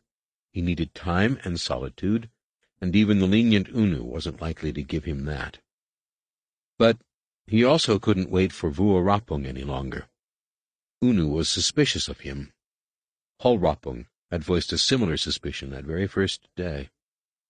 And Vua Rapung might be dead so he needed to hide somewhere. Where? Puzzling over that, he ran headlong into someone. A Yuuzhan Vong cursed, and a strong hand knotted his hair. Startled, Anakin dropped both his lightsaber and the lambent, which flared into sudden light. In the illumination, a mutilated face stared down at him. Vua Rapung, he gasped. Yes, the other growled. Quiet that lambent. Let go of me, then. The Yuuzhan did so, and Anakin dropped to one knee, retrieving both items. Be still, he thought at the lambent, picturing it dark. The light paled and vanished. What are you doing with that? Rapung snarled. Never mind, I'm glad to see you. I've heard they tried to kill me. Rapung said shortly. We must act now. Tonight or never. We can't, Anakin said. There's something I still have to do. Impossible. No, listen. You said one reason you wanted me was because of my lightsaber, right? It would help us a great deal, Rapung growled reluctantly. Without it, I am not certain how we will circumvent the portals and safeguards. He cocked his head. You lied to me? You have the weapon? It doesn't work, but I can fix it. With the lambent, I can fix it. Do so then, and hurry. Even if I hurry, it could take a day or two. Again, impossible. We cannot hide for two days here, and if we go beyond the perimeter, we will never come back in. I need two days, Anakin said stubbornly. Tomorrow they will realize I am alive, Rapung said. Unless you have a Jedi sorcery to make us invisible. No, Anakin said. But, listen. The temple that was here, the one built of stone, how was it destroyed? What? A Damutek was landed on it. Its substance was dissolved and used to nourish the coral. But did they fill in the caverns below it? Caverns? Yes, Anakin said excitedly. If they just flattened the temple with one of those Damuteks, the caverns underneath might still be there. Didn't you say that Damuteks drive down roots or something? For water and minerals? Rapung swore. Of course, he said. If there are indeed caverns of size below, and if the gods are with us, but of course they are, I am Vua Rapung. He said this last as if repeating a mantra, and Anakin felt renewed apprehension, remembering Unu's opinion of Rapung. If there had indeed been an official attempt on his life, he might have gone from being a solenoid short of a transformer to a fused mess of circuits. But did it matter? Mad or not, Rapung was the closest thing to an ally Anakin had. Right now, he would take what he could get. Rapung kept talking, almost to himself, it seemed. They will think we have run into the jungle again. She will search for us there, never in the very roots of her stronghold never below her very feet. But we will need gnullith breathers. You can get those, right? Anakin asked. I can get them. But this is a risk. Rapung warned him.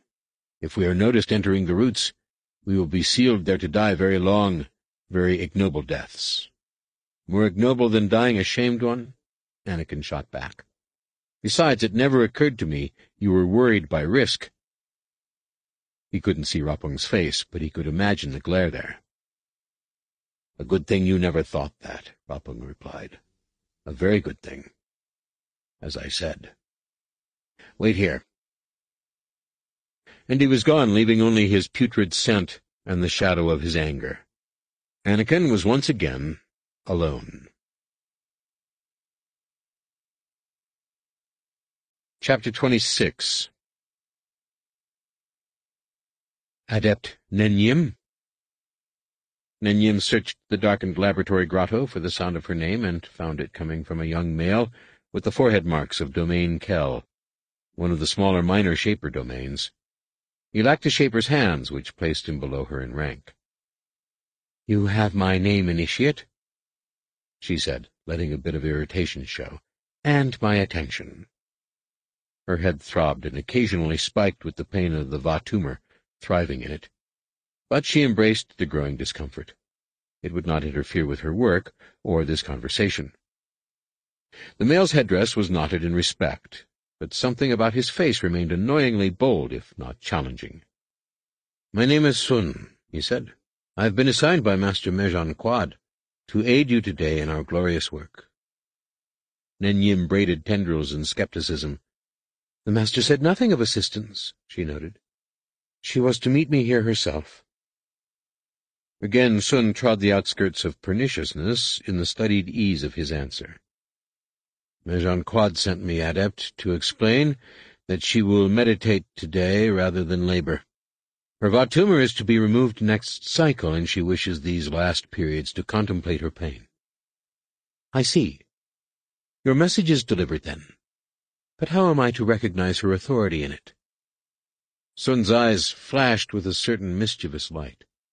I must say, he purred, I am honored. I have much wished to meet you, Adept Nenyim. That had a strange effect.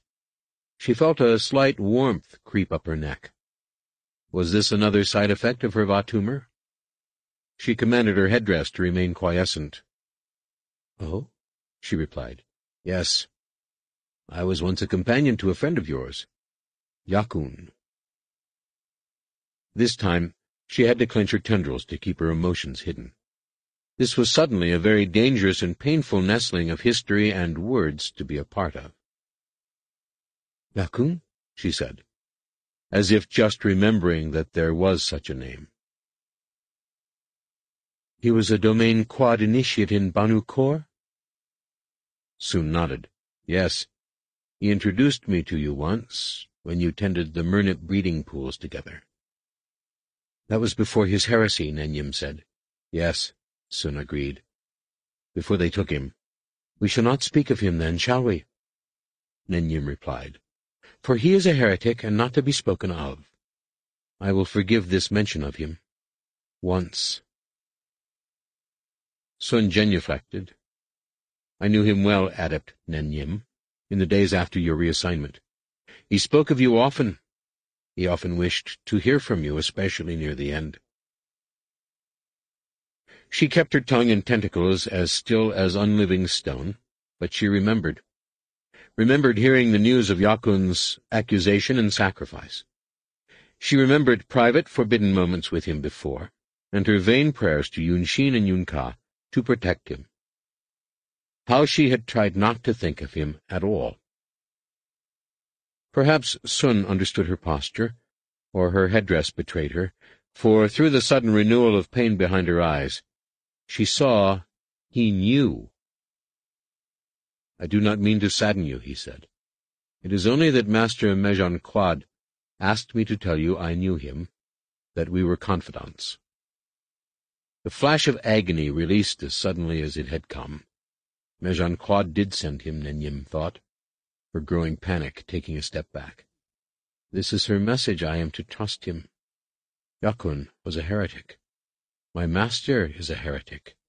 So is Sun. Initiate Sun, she said firmly. I said we should not speak of that person. I mean it. Now, let me show you our work. The Jedi's eyes had lost much of their focus. She no longer glared like a predatory beast. Instead, she stared for long hours at nothing, a look of puzzlement on her face. She seems stunned, Sun noticed.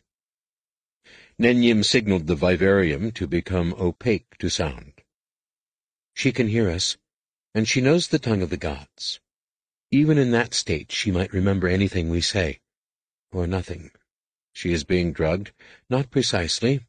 We are altering her memories. Ah, Sun said knowingly. The protocol of Ka. No, Nenyim corrected. Not exactly. That protocol was ineffective on her human brain. How can that be? It is a simple biotic protocol in which clumps of memory neurons are introduced into a Yuuzhan Vong brain. The Jedi's brain is too different.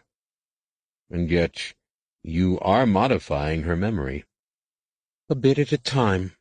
Soon we will be able to do so much more efficiently. You have prayed for a new protocol? Sun asked slyly. No, Nenyim replied. Our approach has followed two axes. We have mapped and remapped her nervous system. We have identified her memory networks and are using the provoker spine ray to discourage their use. You mean her old memories trigger pain? Yes. Accessing her long-term memory extracts a pain sacrifice. The more connected memories she tries to bring to conscious thought, the greater her suffering. Why not simply wipe clean the centers of memory and begin again? Because she retains the knowledge of her Jedi powers. A day will come, after we've shaped her, when we'll want her to remember how to use them. Sun studied the human. I see you have scarred her forehead with the domain Kwaad sign. We will do more in time. We will alter her face, especially that strange nose of hers. But that is superficial. Attend. Nenyim squatted near the vivarium membrane, opened it again to sound, and spoke to the Jedi. What is your name? she asked. The Jedi didn't react. With a sigh, Nenyim stimulated a minor pain center and cortical nerve with the provoker spine ray. What would have once made the young Jedi shriek in agony only cycles before now, merely made her flutter her eyes and frown.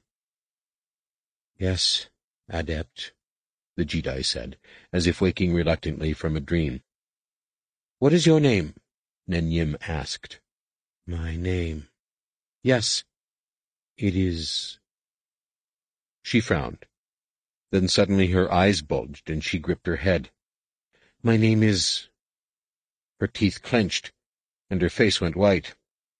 Then, as if in sudden remembrance, the Jedi's face cleared. My name is Riina Kwaad, she said. Very good, Riina, Nenyim said. You have learned. And today you will learn more. I see now, Sun said. You trellis her thoughts. Unwanted responses bring pain. Desired ones do not. No. Nenyim replied. That name came from an implanted memory. But you just said that the protocol of Ka was ineffective.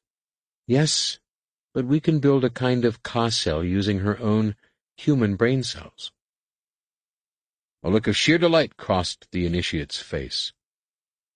So it is true, he whispered. Here you pursue our dream, the super protocol, the methods of finding new knowledge without asking the gods.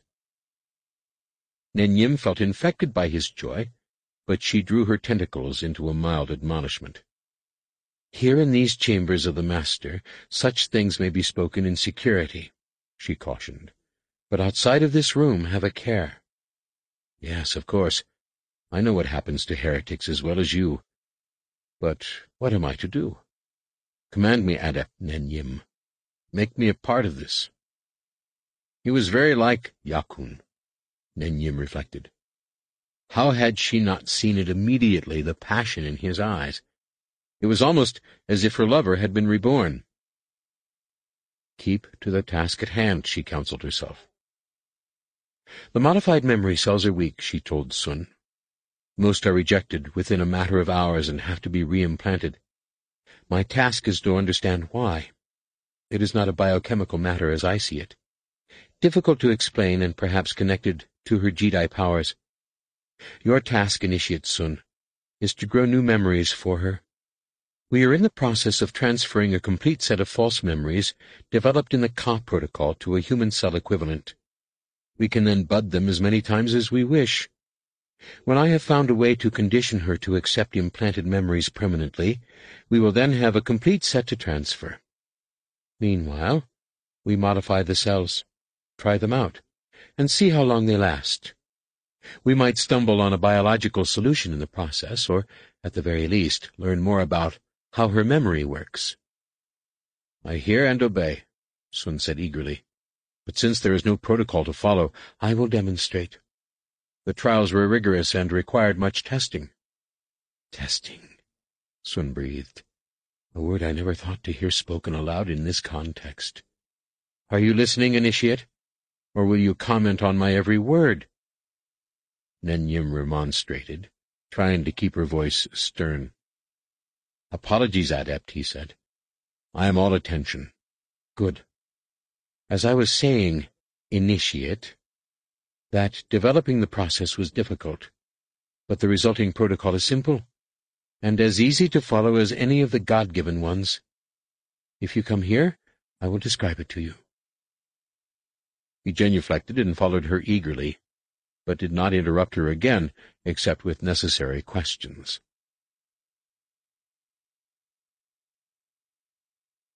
Riina watched the two Yuuzhan Vong go about their work in confusion. Who were they? Why was she here? Discontinuity. She came to, trembling, her thoughts drifting in angry swarms, unwilling to associate with one another. She remembered the female asking her name, and answering Riina. That hadn't hurt. But somehow it was wrong. There were things she could see from the corner of her eye she could never see looking straight on. Her real name was like that, lurking just out of sight.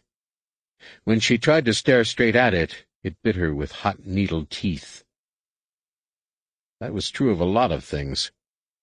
The face that kept appearing in the dark of her mind, the voice that sometimes rang in her head, the memory that kept trying to surface of how she had gotten here. All were shifting trails in the sand. All led to agony. But she couldn't give up. She wasn't supposed to be here. Or was she? Brief flashes of color and sound came, now, of a world turned inside out, with no sky but only land that curved up to meet itself. A creche mother with a sloped forehead and nearly noseless face. The prickly sweet scent of fuming Amapau during the ritual of appellation. The spicy, slightly rotten taste of Vanu, a rare treat given her by her naming father. Riina, they called her. Riina Kwaad. She felt as if she were drifting down a stream of soothing water, surrounded by comforting voices. She rubbed her forehead and felt the marks of her domain, and even the raw pain of them felt good, in its own way. Tahiri! The voice again. Memories of her past splintered like crystal and cut into her brain. Other images flashed, names. One name. Anakin. The stream became a river, raging, sucking her under, and Anakin was in it with her. She held to the image, though paroxysms shook her body. This was real. This happened. We were little, at the academy. We were following dreams that drew us together. She screamed, leapt, and slammed into the barrier that separated her from the Yuuzhan. She reached out in the force to try to choke them, but they weren't there somehow.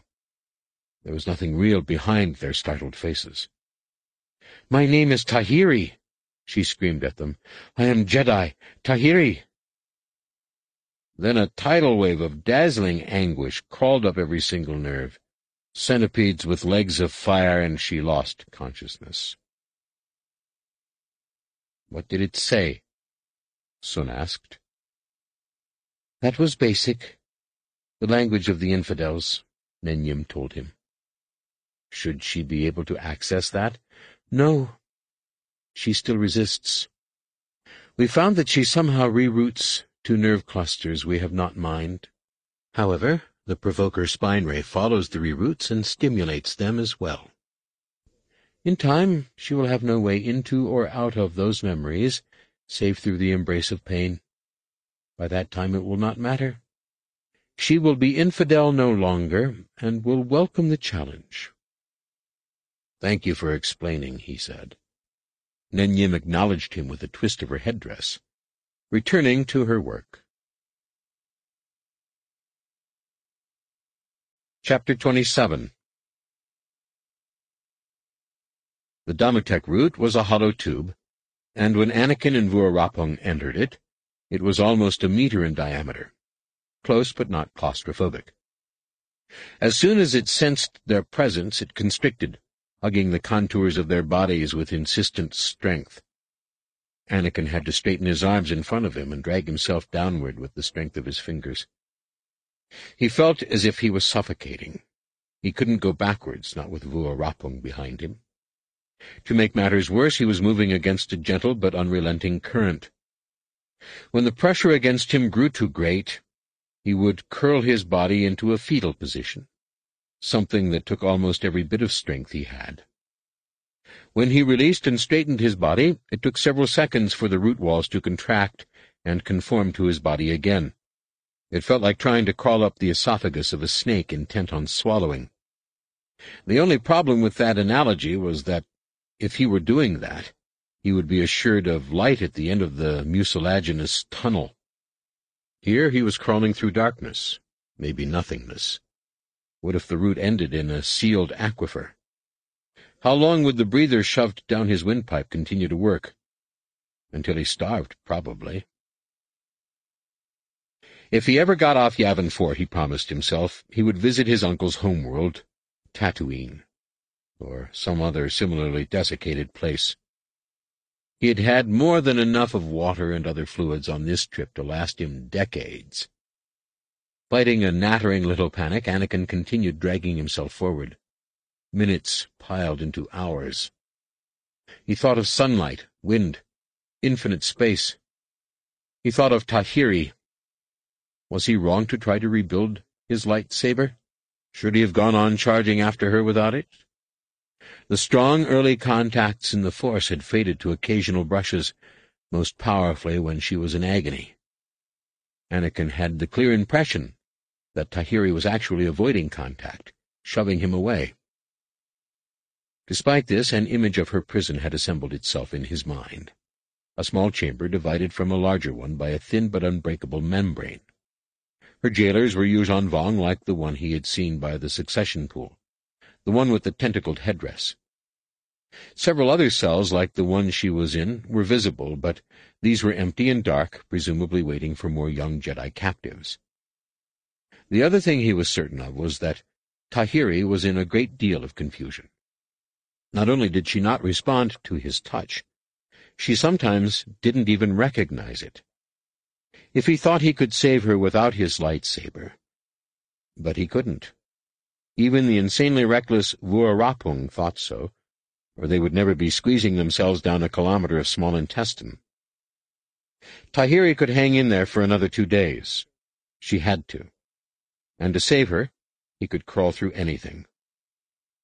Muscles trembling, even when he freshened them with the Force, he moved on. When he finally emerged into a space large enough that he could float free and touch nothing, he silently celebrated it by stretching, bending, kicking his arms and waving his feet. It was the most delicious feeling he could imagine at that moment. For perhaps a minute he thought of nothing but this simple jubilation. But then the darkness lurking in his mind reminded him he would have to crawl right back up the Sith-spawned thing if this cavern didn't go anywhere. He took out his lambent crystal and willed it to life. Rapuung appeared, floating facing him, looking like a reptilian water monster. Beyond him, Anakin saw the tube opening extruding from a stone surface that bent to envelop them in a cavern of indeterminate size. Anakin found gravity's direction and started following the surface up, trailing one hand on it. At the same time, he stretched out with the force, sensing water drumming slowly through stone, searching for the sounding boards, the hollow places where air held court. Anakin thought he'd been happy to leave the tube. Pulling himself onto damp stone, yanking the gnullith from his mouth, was infinitely better. He sat there, gasping and wet, as Vua-Rapuung climbed out of the water behind him. I hope this was worth it, Rapuung growled. It will be. Heal your weapon so we can leave this skulking pit. I'll start in a moment, Anakin said. But first, Vua-Rapuung, tell me something. Do you really believe that the marks of your shame were inflicted upon you by a shaper? That she did this to you for rejecting her love? Who have you been talking to? The other shamed ones talk. They saw me with you. Rapuung's face contorted as if he had swallowed the foulest thing in the world, but his head chopped affirmatively. Our love was forbidden. We both knew it. For a time neither of us cared. We believed that Yun-Txiin and Yun-Q'aah had taken pity on us, dared the wrath of Yun Yuuzhan, and given us a special dispensation. Such things have happened before, no matter what ignorant things you may have heard. His lip curled. It did not happen with us. We were wrong. And you broke it off, yes. Love is a madness, when my sanity began to return, I knew that I could not violate the will of the gods. I told her so. And she didn't like that. Rapuung snorted. She blasphemed. She said there were no gods, that belief in them was superstition, that we are free to do whatever we dare so long as we are strong. His eyes turned away from Anakin. Despite her heresy, I would never have told anyone her words. She did not believe that. She feared I would denounce her, or that one day our forbidden twisting would come to the attention of her superiors. She is ambitious, Mezhan Kwaad. She is spiteful. She made me appear shamed because she knew no one would credit my words then, that anything I said would be taken as the ravings of a lunatic. Why didn't she just kill you? Anakin asked. Give you some poison or fatal disease. She is more cruel than that. Rapuung snarled.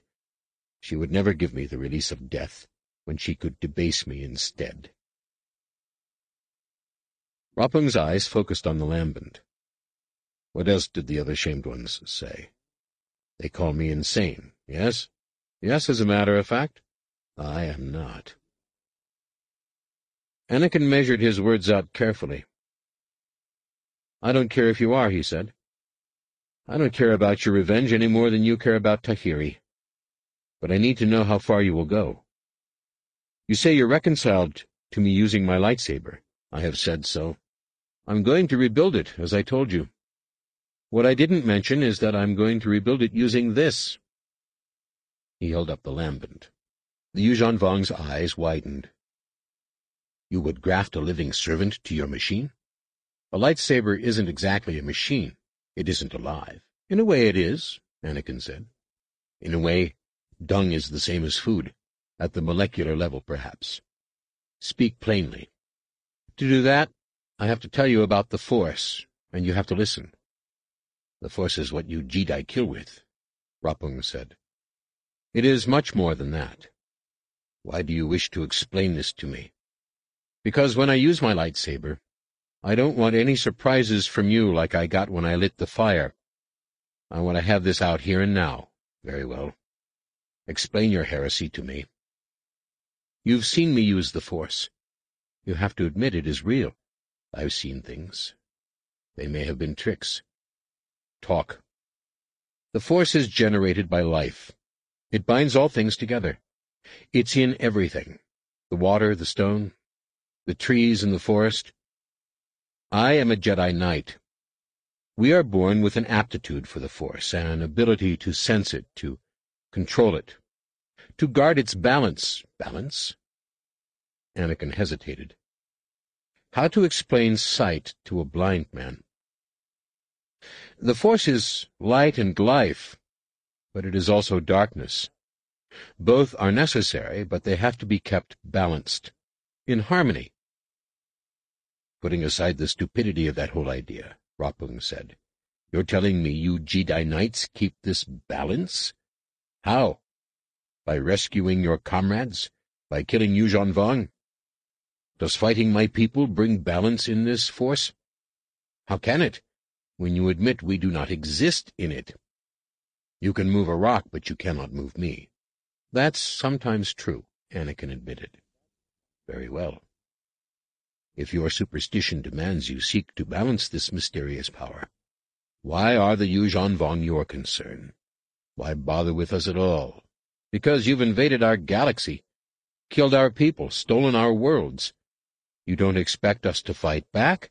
I expect warriors to fight, to embrace pain and death, to sing the song of slaughter with bloody lips. That is what Yuuzhan Vong do. And we do it not to bring balance, but truth. What you describe makes no sense.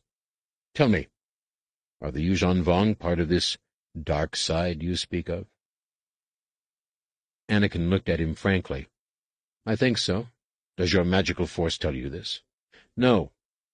Because, because we do not exist in it. It is not a part of us, or we a part of it. So again, how do you judge us a part of your dark side? By your actions, Anakin said. Actions? We kill in battle. You kill in battle. We kill in stealth, you kill in stealth. You fight for your people, I fight for mine. It's our galaxy. The gods have given it to us. They have commanded we bring you the truth. This Force of yours is for lesser beings, those who do not know the gods. I do not accept that, Anakin said. And yet you would have me accept something I cannot see or smell? Something you merely tell me exists? Do you believe in the gods? Anakin hesitated, then tried again. You've seen me use the Force. I've seen you do amazing things. I haven't seen you do anything that we Yuuzhan Vong could not accomplish. Our Dovin Basals can move planets. Our Yammosks and even the lowly lambent you hold there can speak mind to mind. I admit what I see, that you have powers I do not have. I need not believe your superstitions as to where these powers come from. Then don't, Anakin said hotly. And what does all of this have to do with building your abominable weapon? A lightsaber is more than just an ordinary weapon. Each Jedi builds his or her own. The pieces are bound together by the Force, and by the Jedi's will, and make something greater than the sum of its parts. It becomes a thing alive in the Force. It is made of inanimate parts. It cannot be alive.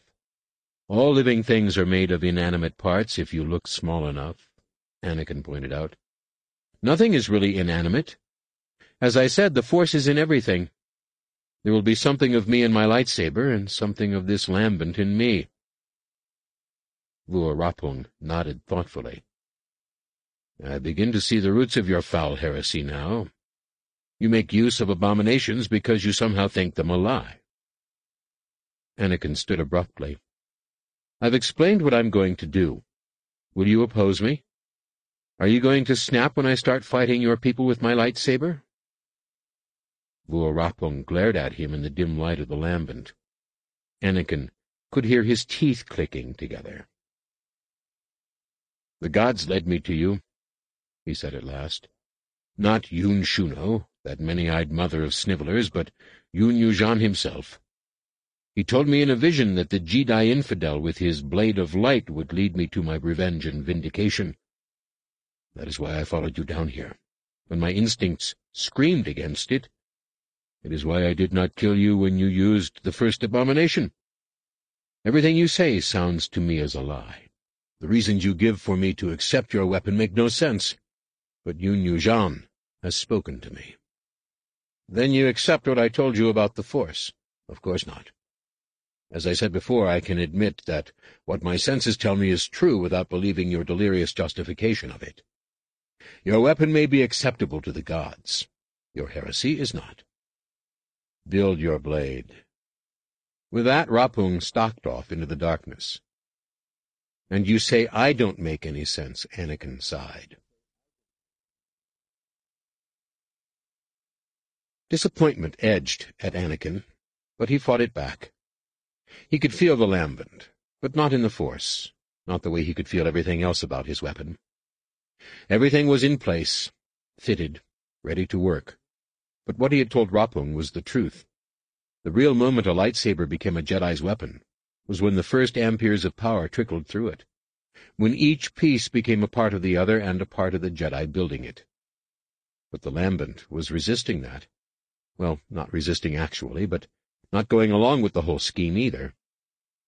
And time was passing, each moment bringing Tahiri closer to something terrible. Concentrate, he thought. There is no try. But there was failure, especially here. Master Yoda's words, his entire philosophy, required the presence of the Force in everything. But the Force wasn't in the Yuuzhan Vong. It wasn't in their biotech. They could be fought only indirectly, with things that could be sensed in the Force. Something slapped him then, something that had been cocking his hand back for a long time. Master Yoda was wrong. The Jedi were wrong, and Vua Rapuung was right. If the Jedi stood for nothing but seeking balance in the Force, then he did have no business fighting the Yuuzhan Vong. Oh, he could rescue Tahiri. After all, preventing her from becoming a dark Jedi was at the core of the philosophy. But were actions, however bad or evil they seemed, were the actions of the Yuuzhan Vong in and of themselves worth opposing if they had no effect on the Force? To be sure, the aliens were killing people, which always disturbed the Force. But did it unbalance it? The Yuuzhan Vong weren't gathering dark energy about themselves. If anyone ran the risk of doing that, it was Jedi like Kip, and maybe even himself. Seen like that, fighting the Yuuzhan Vong was more likely to unbalance the Force than any action they themselves might take. Sure, that all made sense. It almost sounded like something Jacen or Uncle Luke would say. But that was all predicated on the certainty that the Force was in everything. And it wasn't. And while the facts of the matter were staring them all in the face, no Jedi had had the guts to confront the new reality. Instead, they were acting like spoiled children, complaining that the Yuuzhan Vong didn't play fair, weren't following those black-and-white rules. So Kip went out to shoot them, to try to make the problem go away by killing it. Jacen huddled away in indecision. Maybe he was right. No. It wasn't right for the Yuuzhan Vong to kill whole planets. It wasn't right for them to enslave people. Those actions were evil, they were wrong, and they had to be fought. If the Force did not draw that line and set great dark side alarms wailing, then maybe Anakin didn't serve the Force. Or to put it more precisely, he served something more fundamental than the Force, something of which the Force was a manifestation, an emanation, a tool. Not Rapuung's gods, or any god, but some fundamental truth built into the universe at a subatomic level. In his galaxy, the Force was the servant of that truth. Wherever the Yuuzhan Vong were from, some other manifestation must prevail. But light remained light, and dark, dark. And whatever had happened to the Yuuzhan Vong, they had turned to the dark side long ago. If the empire of Palpatine had prevailed, and travelled to another galaxy on an errand of conquest, a galaxy where the Force was not known, what evidence would the people there have of the light side of the Force? Could they know that the Empire was an aberration of what ought to be? No. Similarly, Anakin didn't know, couldn't know, what manifestation of the light the Yuuzhan Vong had left behind them. But they had left it behind. Maybe this was even the result of a whole people turning entirely to the dark side. Maybe the Force simply rejected them, or they it. That didn't make them all evil, any more than everyone who served the Empire was evil. But it made them worth opposing. Without anger or hatred, yes, but they had to be stopped. And Anakin Solo would never turn his eyes from that. With a sudden surge of confidence, he reached for the parts of his lightsaber in the Force, and then pressed deeper. So, he had to work indirectly with the Yuuzhan Vong and their things, fine.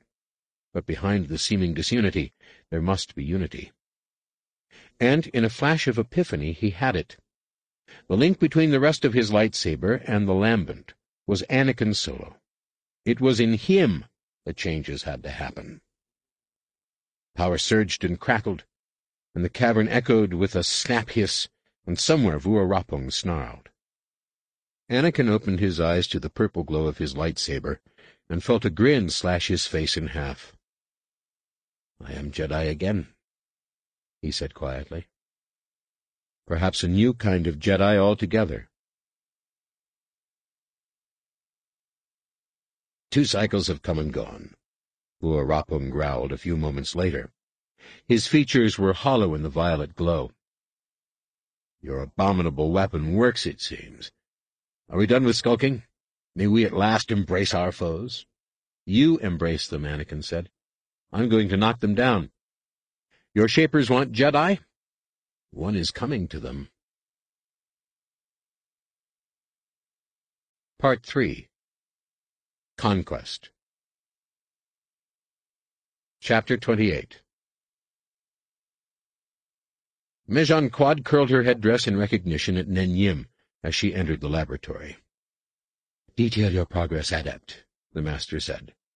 Her tone was curt, and her tendrils suggested irritation. "We made good progress in your absence, Master," Nen Yim said cautiously. "I think with only minor genetic adjustments, the memory implants will be permanent. She resists them less than she did when last you were here." "Yes," Mezhan Kwaad replied, anger twitching her tendrils. "Valuable days missed." She turned to Nen Yim. "But at least you were here, my adept and competent to carry on. Nen Yim watched Mezhan Kwaad cross to the vivarium. The Jedi still had a blank look most of the time, but now and then Nen Yim thought she saw something working behind those alien green eyes, something more Yuuzhan Vong than human. "'Can you tell me your name?' Mezhan Kwaad asked the Jedi. Only a slight hesitation this time. "'Riina,' the Jedi said. My name is Riina. Very good, Riina. Did Nen Yim explain what has been done to you? A little? Tell me what you remember. The infidels captured me as a child, at the rim of their galaxy. They made me look like one of them and gave me false memories with their Jedi powers. This seems right to you. Not always. Sometimes I think I am... She gasped and clenched her hands. Someone else. The infidel conditioning was excellent. Before we rescued you, they tried to wipe your mind clean. There was much damage. I feel that, the Jedi answered. There is something I need to know, Mezhan Kwaad replied. You were born with certain powers. You were taught lies about these powers, but we are attending to that. What I fear, Riina, is that your injuries may have crippled those powers. I cannot even think of them, the Jedi said. Small droplets of water formed in the corners of her eyes and ran down her face. I'm going to help you with that, the master said. She gestured to make the vivarium opaque to sound and spoke to Nen Yim. Quiet the provoker's spine ray. Nen Yim started. Master, that might not be wise. She still has moments when she asserts her real identity. We have closed most of those neural paths, but if we remove the promise of pain, the new memories are in place for now, yes? They seem to be working quite well. They will keep her in check. This will not take long. This will confuse her, Nen Yim argued. It might set us back. Who is master here, adept? Mezhan Kwaad asked brusquely. Are you seriously questioning my expertise? Nen Yim quickly genuflected. I am pitiable, master. Of course I shall do as you say. I merely wished to voice my concerns. They are noted. Now silence the spine ray. Nen Yim did so, and Mezhan Kwaad once again made the membrane permeable to sound.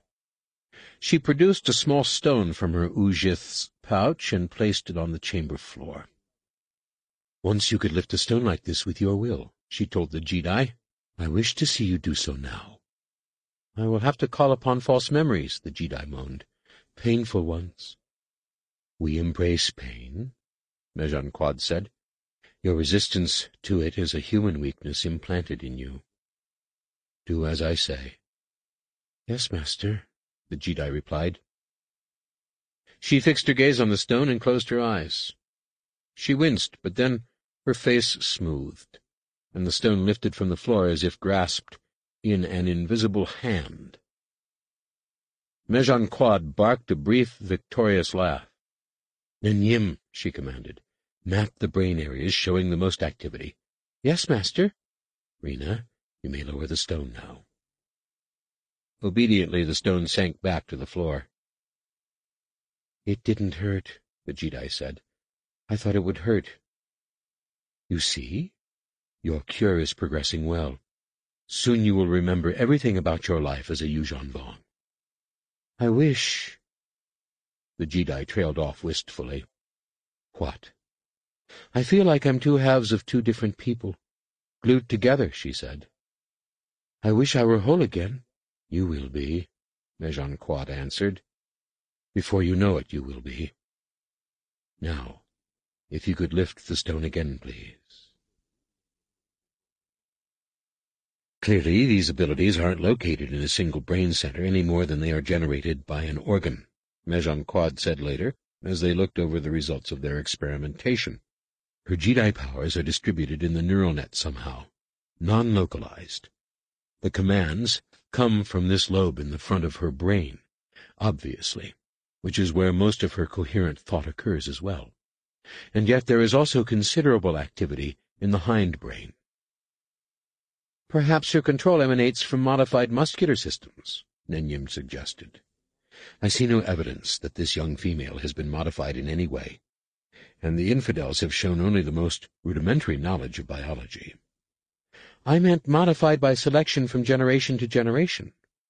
Selective breeding? Interesting. We know from our infidel sources that this force runs more strongly in some families than others, and that Jedi often mate with Jedi.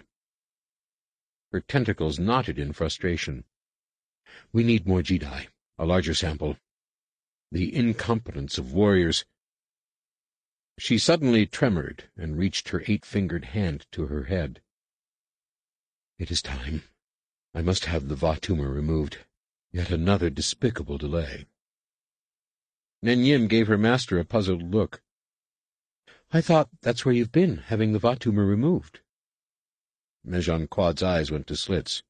What? Why did you think that? You were gone for two cycles, Master, indeed. Engaged in meaningless political exercises with Master Yal Phaath. He called via Villip for a formal convocation of masters on the matter of delegating responsibilities on the New World ship. I was forced into a ritual seclusion, and at a quite inconvenient time. But the assistant you sent said nothing of that. He did say you were having your va tumor removed. That had a remarkable effect on Mezhan Kwaad. Her tendrils fell limp, and her tone went colder than frozen nitrogen. What? Assistant. Sun? I know no one by that name, Mezhan Kwaad said. But he told me you sent him. And that I was having my va tumor removed? Yes. But he knew things about me, about what we do here. Mezhan Kwaad folded down to a sitting mat and rubbed her head. No, she sighed. He guessed that we were engaged in heresy, and you confirmed it. The convocation was a ruse to keep me busy. Yal Phaath now has his evidence, thanks to you. No. Oh, I'm afraid so, a voice from the doorway boomed. Nen Yim spun to see Commander Tsaak Vootuh, standing in the doorway, an escort of his personal guard just behind him. Mezhan Kwaad drew herself to her full height. This is a Shaper Damutek. You do not have my permission to enter it. I do not need it, the commander replied. I have the authority of Master Yal Phaath. I'm also afraid I must take both of you captive and search your chambers for evidence. Evidence of what? Accuse us, Mezhan Kwaad snapped. Do not insult us with captivity without challenging. The accusation is heresy, of course, Tsaak Vootuh replied. An accusation readily borne out by the evidence, I feel certain.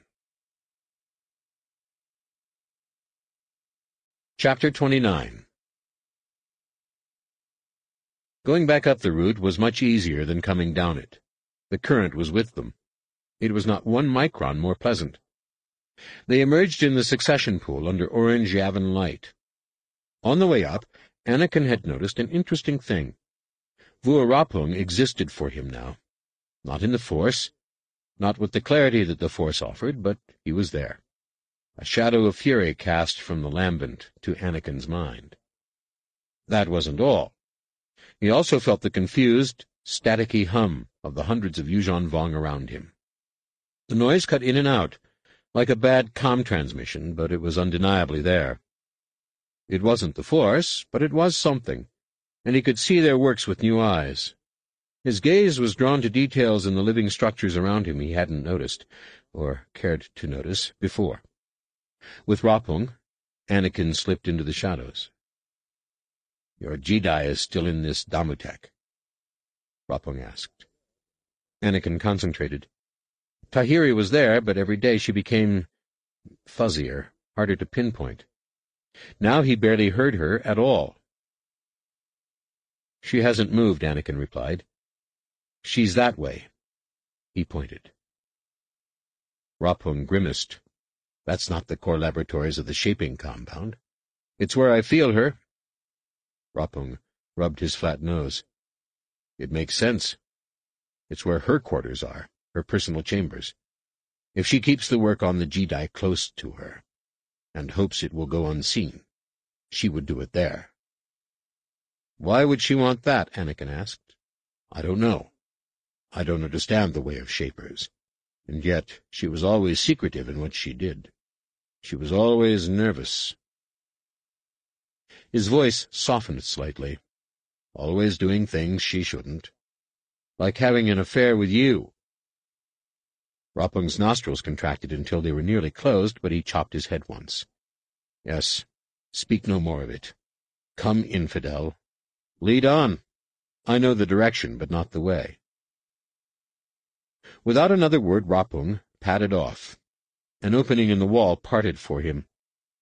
The Shaper compound was an eight-armed star with the pool in the center. The corridor they entered took them up one of the arms. Within, the compound was illuminated by phosphorescence, punctuated by the occasional lambent that sparked to life when Rapuung came near. A faint smell of seaweed and lizard permeated the corridors, which were at turns quite regular and wildly asymmetric. The pool was not the crosswalks of the place, a torus of connecting corridors joined the rays of the star and served that purpose. Anakin tensed as they met their first Yuuzhan Vong. A cluster of them stood together, discussing something he couldn't quite catch.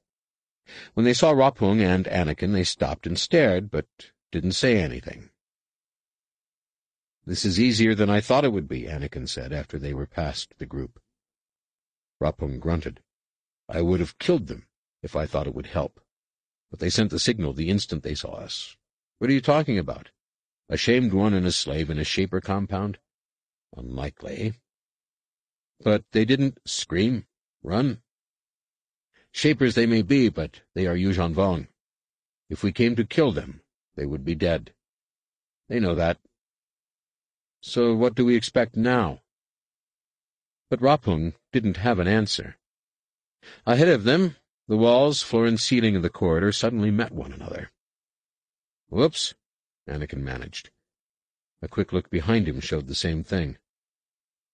We have seconds, Rapuung said. Do not inhale. Anakin nodded and ignited his lightsaber. The fierce purple light highlighted the mist emerging from the corridor walls. Anakin approached the obstruction and cut into it with broad strokes. Vongdoon crab armor it wasn't. After the first cut, the stuff actually flinched away from his blade. In moments, he had carved a hole large enough to step through. Beyond, the corridor continued another four meters and ended in another dilation. This section was already full of mist. Anakin cut through that too, but his lungs were starting to hurt now, and black spots danced before his eyes. So rather than attacking the inevitable barrier that had closed beyond the second one, he cut through the wall to his right. That spilled the pair into a large chamber, where two startled Yuuzhan Vong looked up from examining something that resembled a twined bundle of black vines as big around as Anakin's thigh. He couldn't tell if it was animal or vegetable, and he didn't care. Which way now? Anakin asked. Rapuung stabbed a finger at the two shapers. One of you, take me to the personal laboratories of Master Mezhan Kwaad. The shorter of the two frowned. You're a shamed one. Rapuung reached him in two strides and struck him high in the chest, lifting the shaper from his feet and slamming him into the wall. He slumped to the floor, blood spilling from his lips.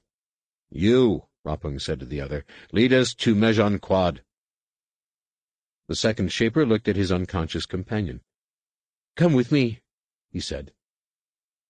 Can they fill this chamber with gas? Anakin asked Rapuung. Of course. However, now that we've exited the corridor they think we're in, they'll have to consult with the Damutek brain to find us. That will take time. By then, the warriors will be here. I was wondering why there weren't any guards. This is a Shaper place. Warriors must be invited here, and then only in times of duress. Normally, there is no need for guards.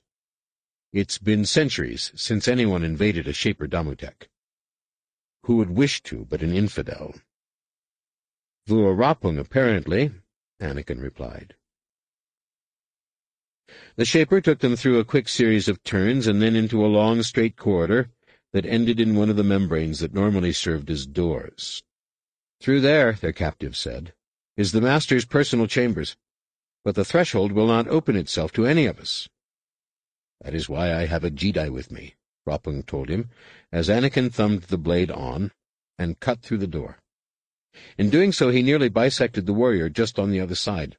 The Yuuzhan Vong blinked at him in astonishment, then jerked his amphistaff to an attack position. Rapuung charged past Anakin, lunged beneath the warrior's not-quite-ready guard, and struck him under the chin with the deteriorating talon on his elbow. The implant jammed in the being's mandible and tore out. Rapuung hardly seemed to notice, turning his attention instead to the roomful of warriors beyond. Anakin leapt in behind him and turned aside an amphistaff slashing toward Rapuung, with the blade of his lightsaber. Rapuung's attacker, recognizing the new danger, twisted the amphistaff and let it go limp. Then he whipped it underhand toward Anakin's throat. Anakin did a quick circular parry, wrapping the limp staff around his blade, and did a jumping front kick. The Yuuzhan Vong blocked that with his free hand, but some of the blow's force got through. Anakin cut his blade, dropped in at close quarters, jammed the blade emitter under the warrior's armpit, and flicked it back on. The warrior jerked and fell away, exhaling a cloud of steam. Anakin sensed a blow from behind, and without thinking he ducked. Did a behind-the-back block and felt the sharp rap of an amphistaff. He dropped, swept his unseen attacker's feet, and tumbled away from yet a third attacker. Only when he was back in the clear, preparing to meet the two, did he realize what had happened. He had sensed the Yuuzhan Vong behind him. Not as clearly as he might in the force, but it had been good enough to save his life. They came at him with a certain caution, which gave Anakin time to notice that Vua Rapuung had downed another warrior and was busily engaged with three more. That seemed to complete the count of warriors in the chamber, though others might run in from the large opening at the other end of the room. One problem at a time. One of the Yuuzhan Vong slashed at Anakin's left leg, while another did a whip-over toward his right shoulder. He leapt over the low attack and sliced his blade down the semi-rigid side of the high one. His blade hit the Yuuzhan Vong's fingers, and two of them came off. From there Anakin lunged toward his second foe's eye. The fellow jerked his head back and yanked his amphistaff up to parry. Anakin disengaged, avoiding the parry, and finished his blow right where a human sternum would be. The Vongdoon crab armor scorched, but did not split. But the blow was strong. The Yuuzhan Vong was already off balance from avoiding the thrust to his eye, and now he sprawled heavily to the ground. In those two or three seconds, Anakin's other opponent whipped the amphistaff in such a way that it coiled around Anakin's head and blade, the latter of which he had just drawn to an inner guard at his shoulder. Only turning the blade off kept him from being cut by his own weapon. But then there was nothing to prevent the amphistaff from closing around his neck like a garrote. Anakin reached reflexively for his throat, dropping his weapon. With a cry, the Yuuzhan Vong warrior turned his back, clearly intending to heave Anakin in a hard shoulder throw and snap his neck in the process. Anakin went with the throw and came down face to face with the warrior, his neck still intact. Of course, he couldn't draw the tiniest sip of air. Almost contemptuously the warrior lifted him from the floor, both hands still gripping the ends of the amphistaff. The Yuuzhan Vong didn't see the lightsaber lift from the floor behind him, but he did notice when the purple blade appeared in his neck. He dropped Anakin then. Unfortunately, the amphistaff continued with the business of choking Anakin, and his second foe had found his feet. Anakin managed to get his blade in hand in time to block a dozen blows from the warrior's staff before he felt his lights going out. His blood screamed for air, and his legs felt like they were made of wood. He fell away from the attack, dropped like a rag doll, and in the minute pause when his enemy thought he had really collapsed, he turned the fall into a roll that took him past the Yuuzhan Vong, where he cut both legs behind the knee. Then Anakin saw space. How long was I out? Anakin asked Vua Rapuung. The Yuuzhan Vong dropped the amphistaff that had been coiled around Anakin's neck. Only heartbeats. Anakin pushed himself up. Are there more warriors? None capable of fighting? Not in this chamber. There may be more nearby. Anakin gingerly massaged his neck. I thought you said there wouldn't be warriors in here. I was wrong. But they must be here for some purpose. Maybe they knew we were coming. Perhaps. I do not think so. These are the commander's personal troops. Wonderful. We'd better hurry this up, then. Our guide fled, but we need him no longer. We must be near now. Anakin looked around at the fallen warriors. Not that you seem to need it, he said, but why not take one of these amphistaffs? I have sworn an oath to the gods, Rapuung said. Until I am redeemed before my people, I will not lift the weapon of a warrior. Oh, that makes sense. Anakin took a few steps and windmilled his arms, making sure everything worked. I don't like the warriors being here, Rapuung said. I'm not fond of it myself. That's not what I meant. If they are here without the permission of the Shapers, it could mean they've come to arrest a Shaper or to take something from them. Can they do that? Vua Rapuung rasped a laugh. You know too little of our ways, infidel, and too little about Mezhan Kwaad. But what— Anakin began. But then he got it. Tahiri, come, Vua Rapuung said. There is still time. This is the place, Anakin said. This is where they had her. His gaze searched wildly about the room. It didn't resemble a laboratory so much as a vivisectorium, each surface covered with internal organs, except some of these pulsed and mewled the way severed body parts didn't, usually. A quarter of the chamber was walled off by a transparent membrane. She was in there, he clarified. Of course. Where would they have gone? I don't see any other way out, Rapuung replied. Well then. But as before he sensed something at his back. Another section of the wall had just gone transparent and permeable. Yuuzhan Vong warriors were pouring through it. Behind them, Anakin could make out the yellow of Tahiri's hair. Tahiri, he shouted, and threw himself at the wave of enemies. Chapter 30 Vua Rapuung howled. Anakin fought in grim silence. Their initial charges carried them into the midst of the warriors, but unlike the group they had just bested, these weren't scattered around a room, unprepared for a fight. Anakin and his companion were soon forced back toward the first vivarium by the six warriors who had engaged them. The other six, one of whom was vastly more scarred than the rest, probably a leader, let Tahiri and what appeared to be two female shapers back out the door Anakin and Rapuung had entered through. No! Anakin exploded. He tried to leap over the warriors blocking his way, but one snagged his ankle with the amphistaff and used the momentum of his leap to slam him into the floor. Anakin cushioned the fall with the force, but his enemy was still between him and the door, and his foot was still caught. That is, until Rapuung hit the fellow on the back of the head so hard that teeth flew out. Rapuung stood over Anakin, and for a moment they weren't under attack. The warriors merely stood there, watching the shamed one and Anakin warily. Vua Rapuung, one of them snarled finally, what are you doing here with this infidel? You should be in the Shamed One's village pursuing your redemption. I have nothing to be redeemed for, Rapuung said. I have been wronged. You all know it. We know your claims. You, Talak Nop. You fought beside me only a few tens of cycles ago. You believe me cursed by the gods? The warrior he had addressed flared his nostrils, but did not reply. The one who had spoken before, however, lowered his voice. Whatever you were, whether you are cursed or not, you have clearly gone mad. You fight with an infidel against your own kind. I seek my vengeance, Rapuung said. Mezhan Kwaad, where is she going? The Shaper Master has been taken up for her trials. The accusation is heresy. They're taking her out system? I do not know. I cannot let her be taken, not until she admits she has wronged me. Any who stand in the way of that will leave this life on wings of blood. We will stop you, Talaknop said, but we will fight you as the warrior you once were.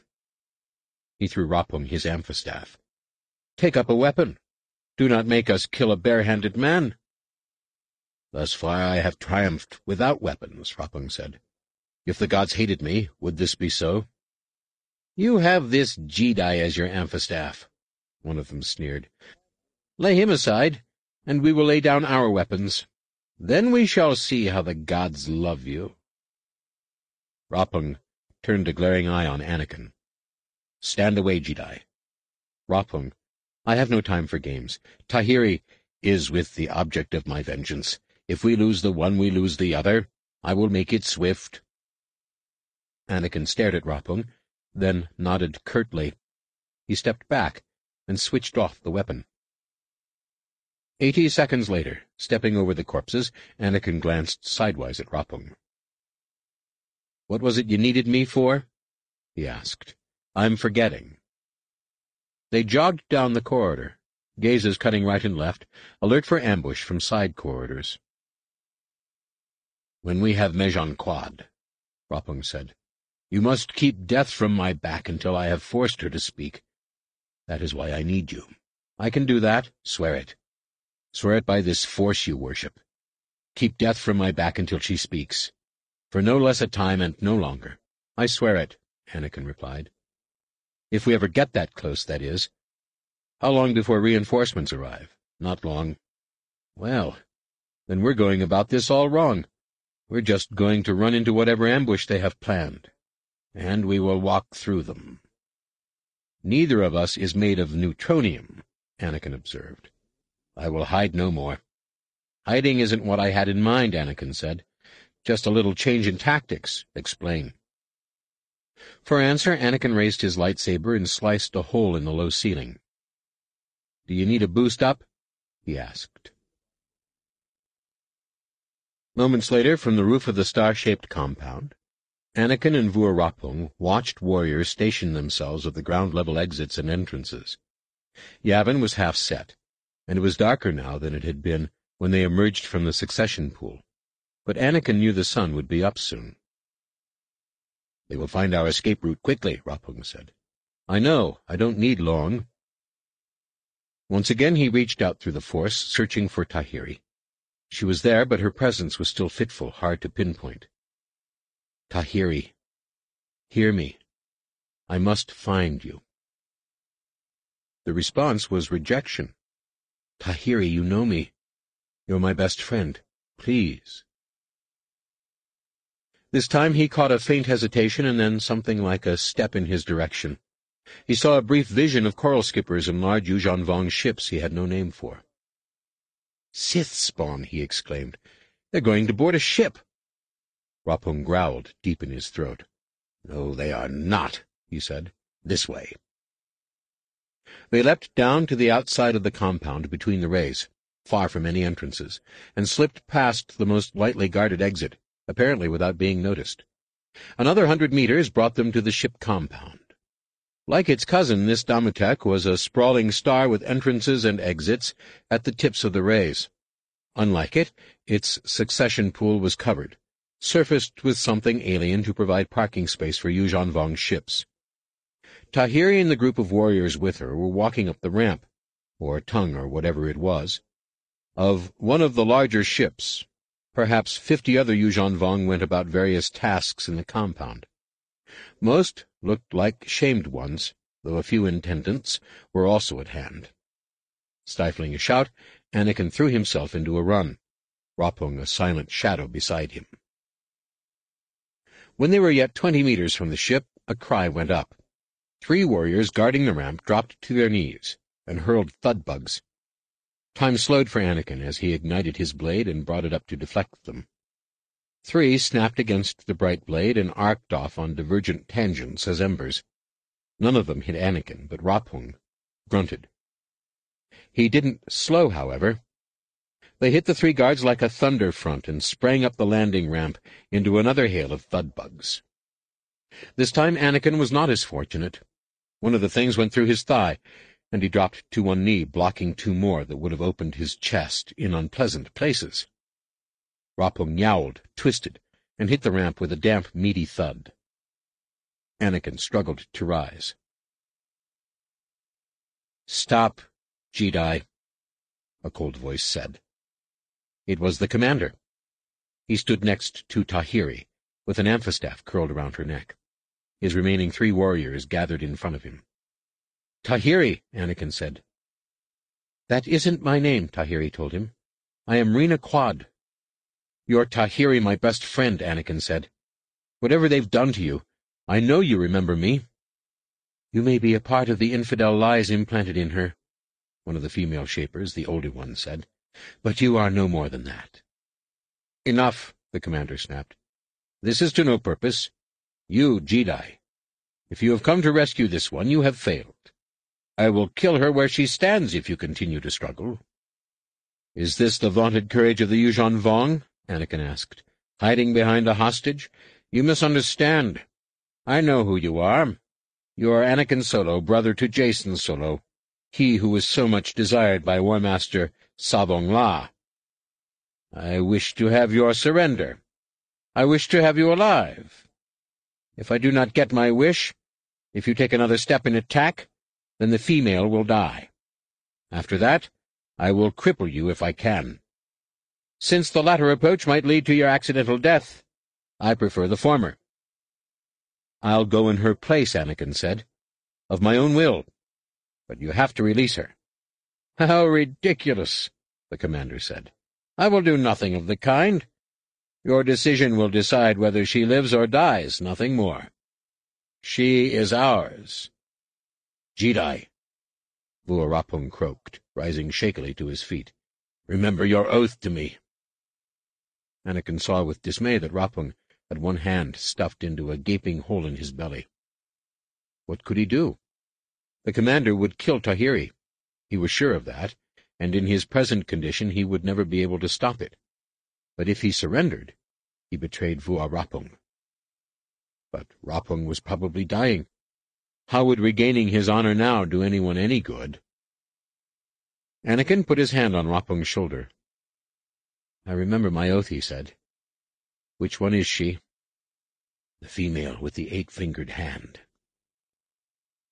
Anakin looked back up at the commander.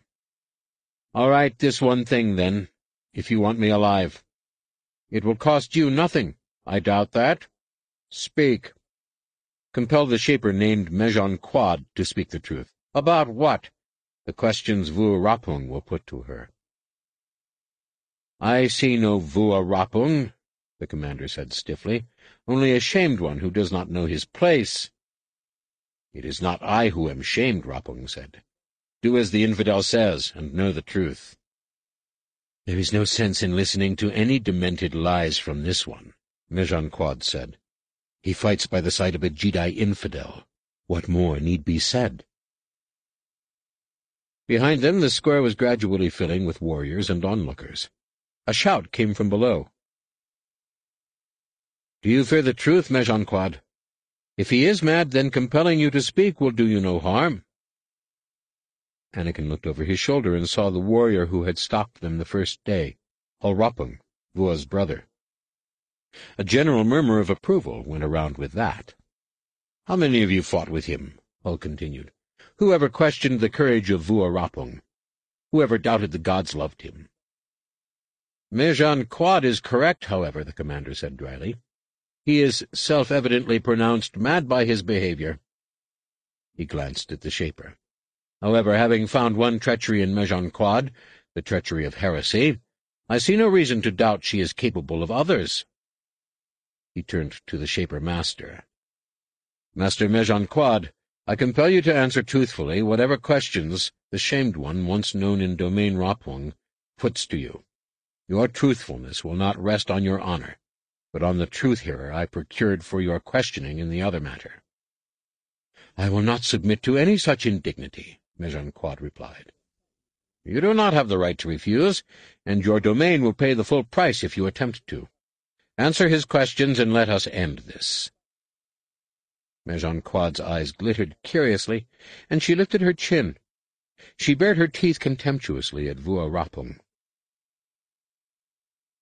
Ask your questions, shamed one. I have but one, Vua Rapuung said. Mezhan Kwaad, did you intentionally rob me of my implants, ruin my scars, give me the appearance of being shamed? Did you do these things to me, or did the gods? Mezhan Kwaad stared at him with an unreadable expression, then lifted her chin even higher. There are no gods, she said.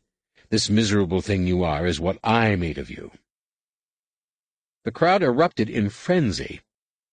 Mezhan Kwaad spread her eight fingers, as if waving. Faster than the eyes could catch, those fingers elongated, spearing out. Before the commander could even blink, one went through his eye and out the back of his skull. The warriors around all dropped without a sound, similarly murdered. Anakin lurched forward, but a flick of the Shaper's wrist, and one of the finger spears pierced his forearm and wrapped around it. Torment contracted every muscle in Anakin's body, and his lightsaber went clattering down the landing ramp. Vua Rapuung, a blur of motion, fell from a similar wound in the leg. His face flopped next to Anakin's eyes fluttering open and shut a confused expression on his face. His lips were wet with blood. Jedi, he croaked, but his words drowned in a fit of hacking. Anakin's pain lessened, but he found he could move little more than his eyes. He could see Mezhan Kwaad held something in her other hand that resembled some sort of nut. This is Hoon, Mezhan Kwaad shouted to the crowd. It releases a nerve toxin sufficient to kill each and every one of you. I am immune to its effects. Your deaths will be useless. They will not serve the Yuuzhan Vong. Commander Vootuh, and these others are the real traitors. I am Mezhan Kwaad, and I answer only to Supreme Overlord Shimrra. When he hears of these incidents, he will set things right. In the meantime, I will take this ship, to better defend myself. I do not wish to harm my fellow Yuuzhan Vong. I will do so only if I must. The crowd, led by Hul Rapuung, had started up the ramp. Now they stopped. Mezhan Kwaad turned to her assistant. Nen Yim, drag those two on board. She motioned toward Anakin and the fading Vua Rapuung. The younger Shaper hesitated, then started toward Anakin. She stopped when she saw Anakin's lightsaber floating up from behind him. Mezhan Kwaad saw it too. She sent a jolt of pain coursing through Anakin's body that scrambled his thoughts into random impulses. But the lightsaber continued on. Mezhan Kwaad redoubled her torture of Anakin. Tahiri plucked the blade from the air and ignited it with a snap hiss. Mezhan Kwaad's expression froze halfway between puzzlement and the sudden fatal understanding that it hadn't been Anakin levitating the weapon at all. Then Tahiri decapitated her. Tahiri stood for a moment looking at what she had done, and smiled. Like heat lightning, Anakin's vision struck back into him, the older Tahiri, the dark force around her, her pitiless, glacial laughter. Tahiri, he managed. She looked at him, then, and took a hesitant step toward him, then another. She let the point of the blade drop so it was almost stroking his cheek. My friend, she said, her voice low and weird. My best friend. You left me. Her eyes were wrong. They were the same color they had always been, but they had once been warm, full of laughter. Now they were chlorine ice. I've been trying to find you, Anakin said. This whole time you aren't real. Tahiri said, None of this is. You are a lie. He held her gaze and saw the bleakness there, the confusion. He could sense her turmoil. It's not a lie, Tahiri. You are my best friend. I love you. The blade stroked off a lock of his hair, but he didn't flinch. I love you, he repeated, the seeds of his vision beginning to take root. Tahiri closed her eyes, and when she opened them again, they became the green eyes he knew. Or almost. Anakin, are you really? She looked around as if noticing the crowd for the first time. Oh, this doesn't look good, she observed. Anakin saw what she meant. With Mezhan Kwaad down, the warriors in the crowd had come to the forefront. Armed to the teeth, they stood watching the strange spectacle only meters away. They wouldn't just watch for long. We have to get out of here, Anakin said. And this is your plan? Tahiri asked in something like her old voice. Hey, I'm doing my best. I'll hold him off and you run into the ship. No, I don't care about dying, Anakin. Not after what they did to me. Let's just take as many of them with us as we can. She lifted the lightsaber. Her eyes were cooling again. Can I have that back? Anakin asked softly. She looked as if she would say no, but then shrugged and handed it to him. Sure, it's your blade. I lost mine. Anakin took the weapon, stood shakily, and faced the gathered warriors.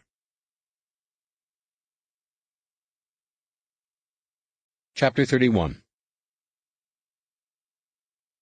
Hull raised his amphistaff to guard. Jedi, you have proven yourself a great warrior. It will be my honor to kill you. No, a voice from behind Anakin grated. Impossibly, Vua Rapung rose to his feet. He took an amphistaff from one of the dead guards. No. While I live, none of you shall fight the Jedi. Vua Rapung, his brother said, we all heard what Mezhan Kwaad said. You are shamed no longer. I was never shamed. But now you know it is a warrior you face. Vua no, Anakin said. This is over for you. Rapung turned to him. I will die soon, he said. I am able to give you only a small chance. Take it. Now. He turned back to the crowd. A salute to the Jedi, he shouted. A salute of blood. With that he leapt at the front rank of warriors, amphistaff spinning. His first blow struck his brother, knocking him to the ground unconscious, but still alive. The others he attacked with much more lethal precision. Anakin? Tahiri asked. Into the ship, he shouted. If he could get her safe, maybe he could come back for Rapung. No, his first duty was to Tahiri. If he tried to help Rapung, they would all die. Can you fly it? Tahiri asked. We'll worry about that once we figure out how to get the boarding ramp up. They ducked inside the hatch and started searching frantically for some sort of control. What are we looking for? Tahiri asked. A knob, a smooth place, a cluster of nerves, I don't know. I don't see anything like that. This is hopeless, Tahiri said. Anakin ran his hands over the spongy interior of the ship. Tahiri was right. If they couldn't even get the ramp up, what chance did he have of flying the stupid thing? Next to none, probably, but he had to try. He couldn't have come this far just to fail. He saw Vua Rapung die. Already surrounded by a pile of corpses, his feet were trapped, forcing him to fight without footwork. An amphistaff struck Rapung a downward blow in the neck and came out the small of his back. He dropped his own amphistaff down like a blaster bolt, and crushed the skull of the one who had wounded him before collapsing. Then the other warriors were on him, amphistaffs slashing, surging past him up the ramp. Sith spawn. Anakin snarled, planting himself in the doorway, lightsaber blazing, determined to go out at least as well as Rapung had. Oh, Tahiri exclaimed. Sida Punsi. The tizowyrm translated it as the mouth caused to close. The ramp sucked in, out from under the feet of the charging warriors, and the hatch shut. You have to know how to talk to it, I guess, Tahiri said. She'd tried to say it lightly, but it was almost a parody of her old self. She knew it, too. Tears brimmed in her eyes. They put things in my head, Anakin. I don't know what's real anymore. He reached for her shoulder. I'm real, and I'm going to get you out of this. Believe me. She folded into him, suddenly, and his arms went around her without him even telling them to. She felt warm and small and good against him. Then his wounded leg refused to support him any longer. They cut part of Tahiri's garment to make a tourniquet. The living fabric worked even better than anticipated because, after the shock of being severed, it contracted, perhaps dying. Anakin wished he had some of Rapung's healing swatches. Maybe they could find some on the ship. They found the controls just as the craft rocked to a tremendous blast. Boy, that didn't take long, Anakin said. I wonder why they didn't just open the hatch. I sealed it, Tahiri said. It won't listen to anyone outside. How do you know? I just do. I mean, I'm sure they have someone who can open it, but not before we get off the ground. Assuming we can get off the ground, Anakin said, looking at the controls and fighting a feeling of helplessness. He recognized a Villip and an acceleration couch, and that was all. A wide array of not quite geometrical shapes extruded from the console, along with a variety of patches of different color and texture. Nothing about any of them spoke to him. There seemed to be no writing or numerals either, no gauges or readouts. The walls of the room were opaque as well. He couldn't even see what the Yuuzhan Vong outside were doing, though it was obvious they had dragged up some sort of big gun or explosives. The ship rocked again, and several of the patches emitted a dull phosphorescence, which probably indicated damage to something or other. Okay, Anakin said. Maybe I can't fly anything. Tahiri lifted a sort of loose bag from the acceleration couch. A thin creeper attached it to the console. Put this on your head, she suggested. That's right, Anakin said, remembering. Uncle Luke tried one of those on. It's some sort of direct brain interface. He looked at the thing dubiously, then tried it on. Immediately he heard a distant voice, murmuring something he couldn't understand. The tizowyrm isn't translating, he said. I guess it's being bypassed by the hood. He tried a few mental commands, with no result. This could be bad, he muttered. It must be like the lambent. Without attunement, our brains won't interface directly with Vong technology. Yuuzhan Vong, Tahiri corrected absently. Right. Maybe it's just the language barrier. Maybe... Tahiri, you try it. Me? I'm no pilot. I know. Try it anyway. Tahiri shrugged and placed the sack over her head. It squirmed and shrank to fit. Oh, she said, wait. The walls became transparent as another concussion set the ship quivering. Anakin could now see what was causing this. Another ship, also grounded, was firing on them with one of its plasma weapons. The Yuuzhan Vong had cleared out a safe lane for the shots. Anakin reflected that they probably hoped to break through the hull. Skin? Without seriously damaging the ship.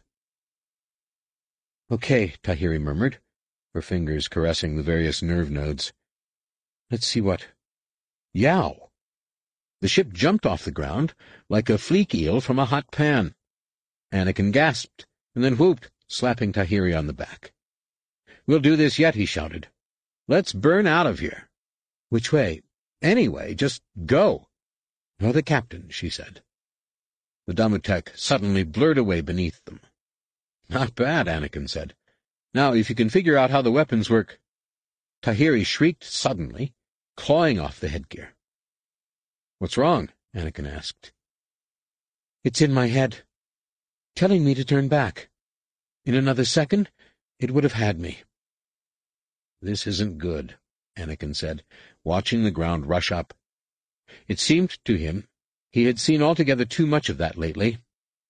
Gravity was highly overrated.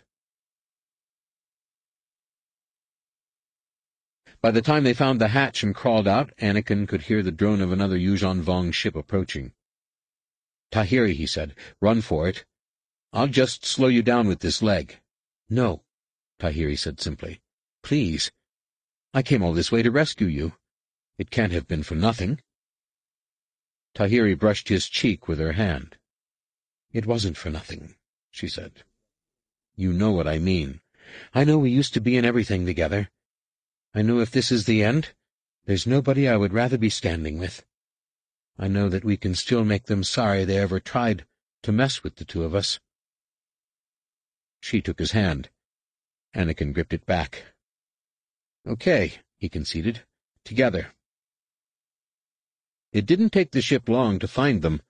They hadn't made it more than a kilometer beyond the river. This was no speeder analog either, but something more corvette-sized. Tahiri touched Anakin in the Force, tentatively, and for the first time he really felt what they had done to her.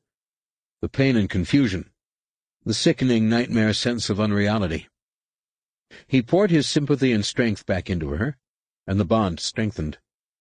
And as she gripped his fingers tighter, as he finally surrendered the last of his barriers against her, against them, the force blew through him like a hurricane. Tahiri laughed. It was not a child's laugh.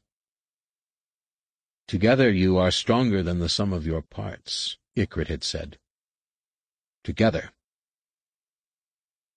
They wrenched a thousand-year-old Massassi tree out of the ground and launched it straight up. By the time it struck the Yuuzhan Vong ship, it was traveling as fast as a speeder. It smacked into the Dovin Basal and splintered, twisting the ship half around. Another tree jerked out of the ground, and another. The ship listed, firing gobs of molten plasma into the trees, not understanding exactly what was happening. One of the trees rammed into the cannon structure, and flame burst out all along one side of the ship. In theory, a Jedi could use the Force effortlessly, without tiring. In practice, it seldom went that way. Anakin and Tahiri had gone beyond their limits, and now their strength was ebbing. The ship wobbled and molten fire dripped from its ruined weapon, but it was still there, and there were plenty more where it came from. Still, Anakin gripped Tahiri's hand. Together, he said. The air above them shrieked and strobed, and sharp lines of red light carved into the Yuuzhan Vong ship as if it were a root vegetable. A too-bright-to-watch ball of flame followed close after, striking the craft in its already bleeding wound, and then the Yuuzhan Vong ship was a corpse hurtling to the ground. Anakin looked up, mouth open. Another ship was descending, a ship made of metal and ceramic, not living coral. It was Remis Ven's battered transport, and it was the most beautiful thing Anakin had ever seen. It dropped on repulsor lifts, and the hatch swung open. Qorl stuck his head out. "'What are you waiting for?' the old man shouted. "'Come aboard!' Chapter 32 Talon Karrde followed the pinpoint on the long-range scanner with a raptor gaze. Still he was fully aware when Kam Solusar came silently up behind him. "'What is it?' the Jedi asked. "'Long-range sensors tell us some sort of transport just broke the atmosphere of Yavin 4, Karrde told him. "'Only moments ago I felt an incredible surge in the Force,' Solusar said. "'I'm sure Anakin was involved, and I think Tahiri as well. Can you feel them now?' Are they on that transport? I think they must be. Solusar replied. Karrde shook his head. Not good enough. If I commit that deeply to Yuuzhan Vong territory, there is every chance not a single ship in my fleet will come back out. I need to know. What if it's just a peace brigader or two who've been hiding on the far side of Yavin? It's Anakin, Solusar replied. Karrde let his shoulders relax. Well, that's better. As long as you sound certain, he said.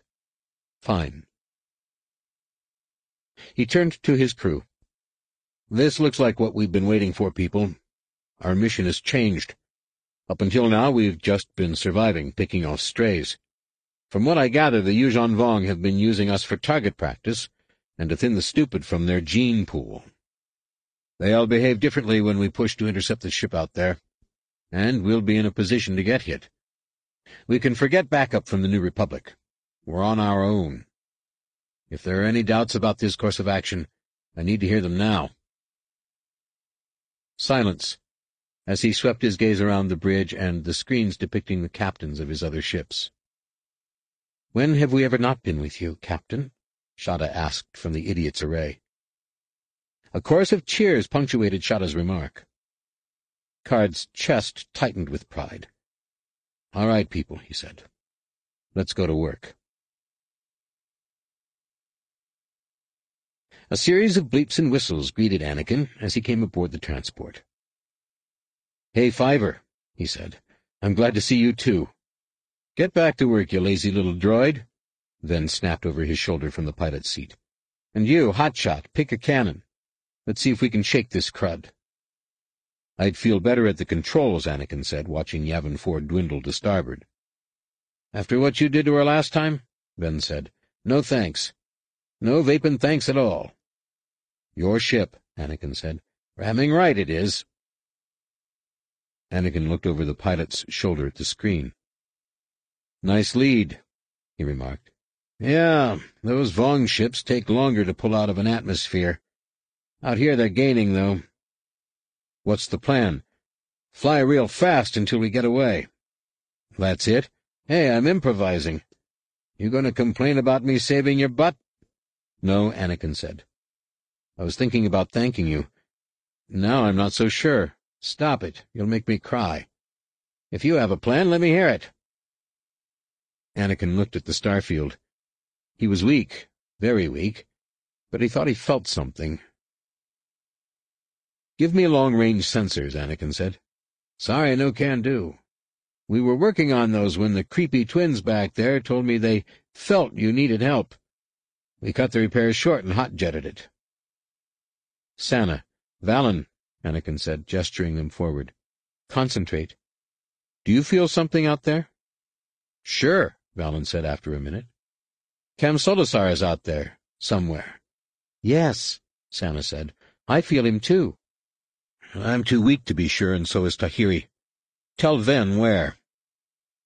Valin studied the space around him for a moment, then pointed it around ninety degrees to starboard. There. There? Ven asked. That's supposed to be a direction? Do we have hyperdrive? Anakin asked. No. Then I suggest you set course where Valin tells you. Otherwise, we're going to end up as star food. It's better than being captured again, Tahiri said. Well, fine, Ven said. The little creeps have been right so far today. Anakin started to take the co-pilot seat, but Ven placed his hand in it. That's Qorl's, he said. I'll give it up, Qorl said. Every solo I've ever known was a better pilot than me. Don't be silly, Anakin said. Even if that were true, you're in better shape than I am to fly. Sorry to presume. You two seem to make a good team. The two men glanced at each other. Coral gave me a certain perspective on things, Ven said. With my boot, more often than not, the old man said. But he was smiling too. Well, Anakin said awkwardly, thank you both. You came through for Tahiri and me when you could have just run. Are you kidding? And have the little creeps back there slag my brain? Ven said. Anyway, Qorl reminded them, we're not out of this yet. Twice I've been shot down on Yavin 4. My luck's not so good when it comes to getting out of this system. True, Anakin said. But we're a lot nearer than we were.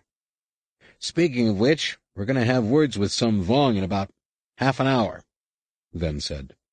They're catching up that fast? No. These are already out here. I'll take the turret gun, Anakin said. Right. Give him an argument, at least, Ven said. The transport has been engaged by Yuuzhan Vong, sir, H'sishi reported. They've taken a few hits, but they're still coming, right for us.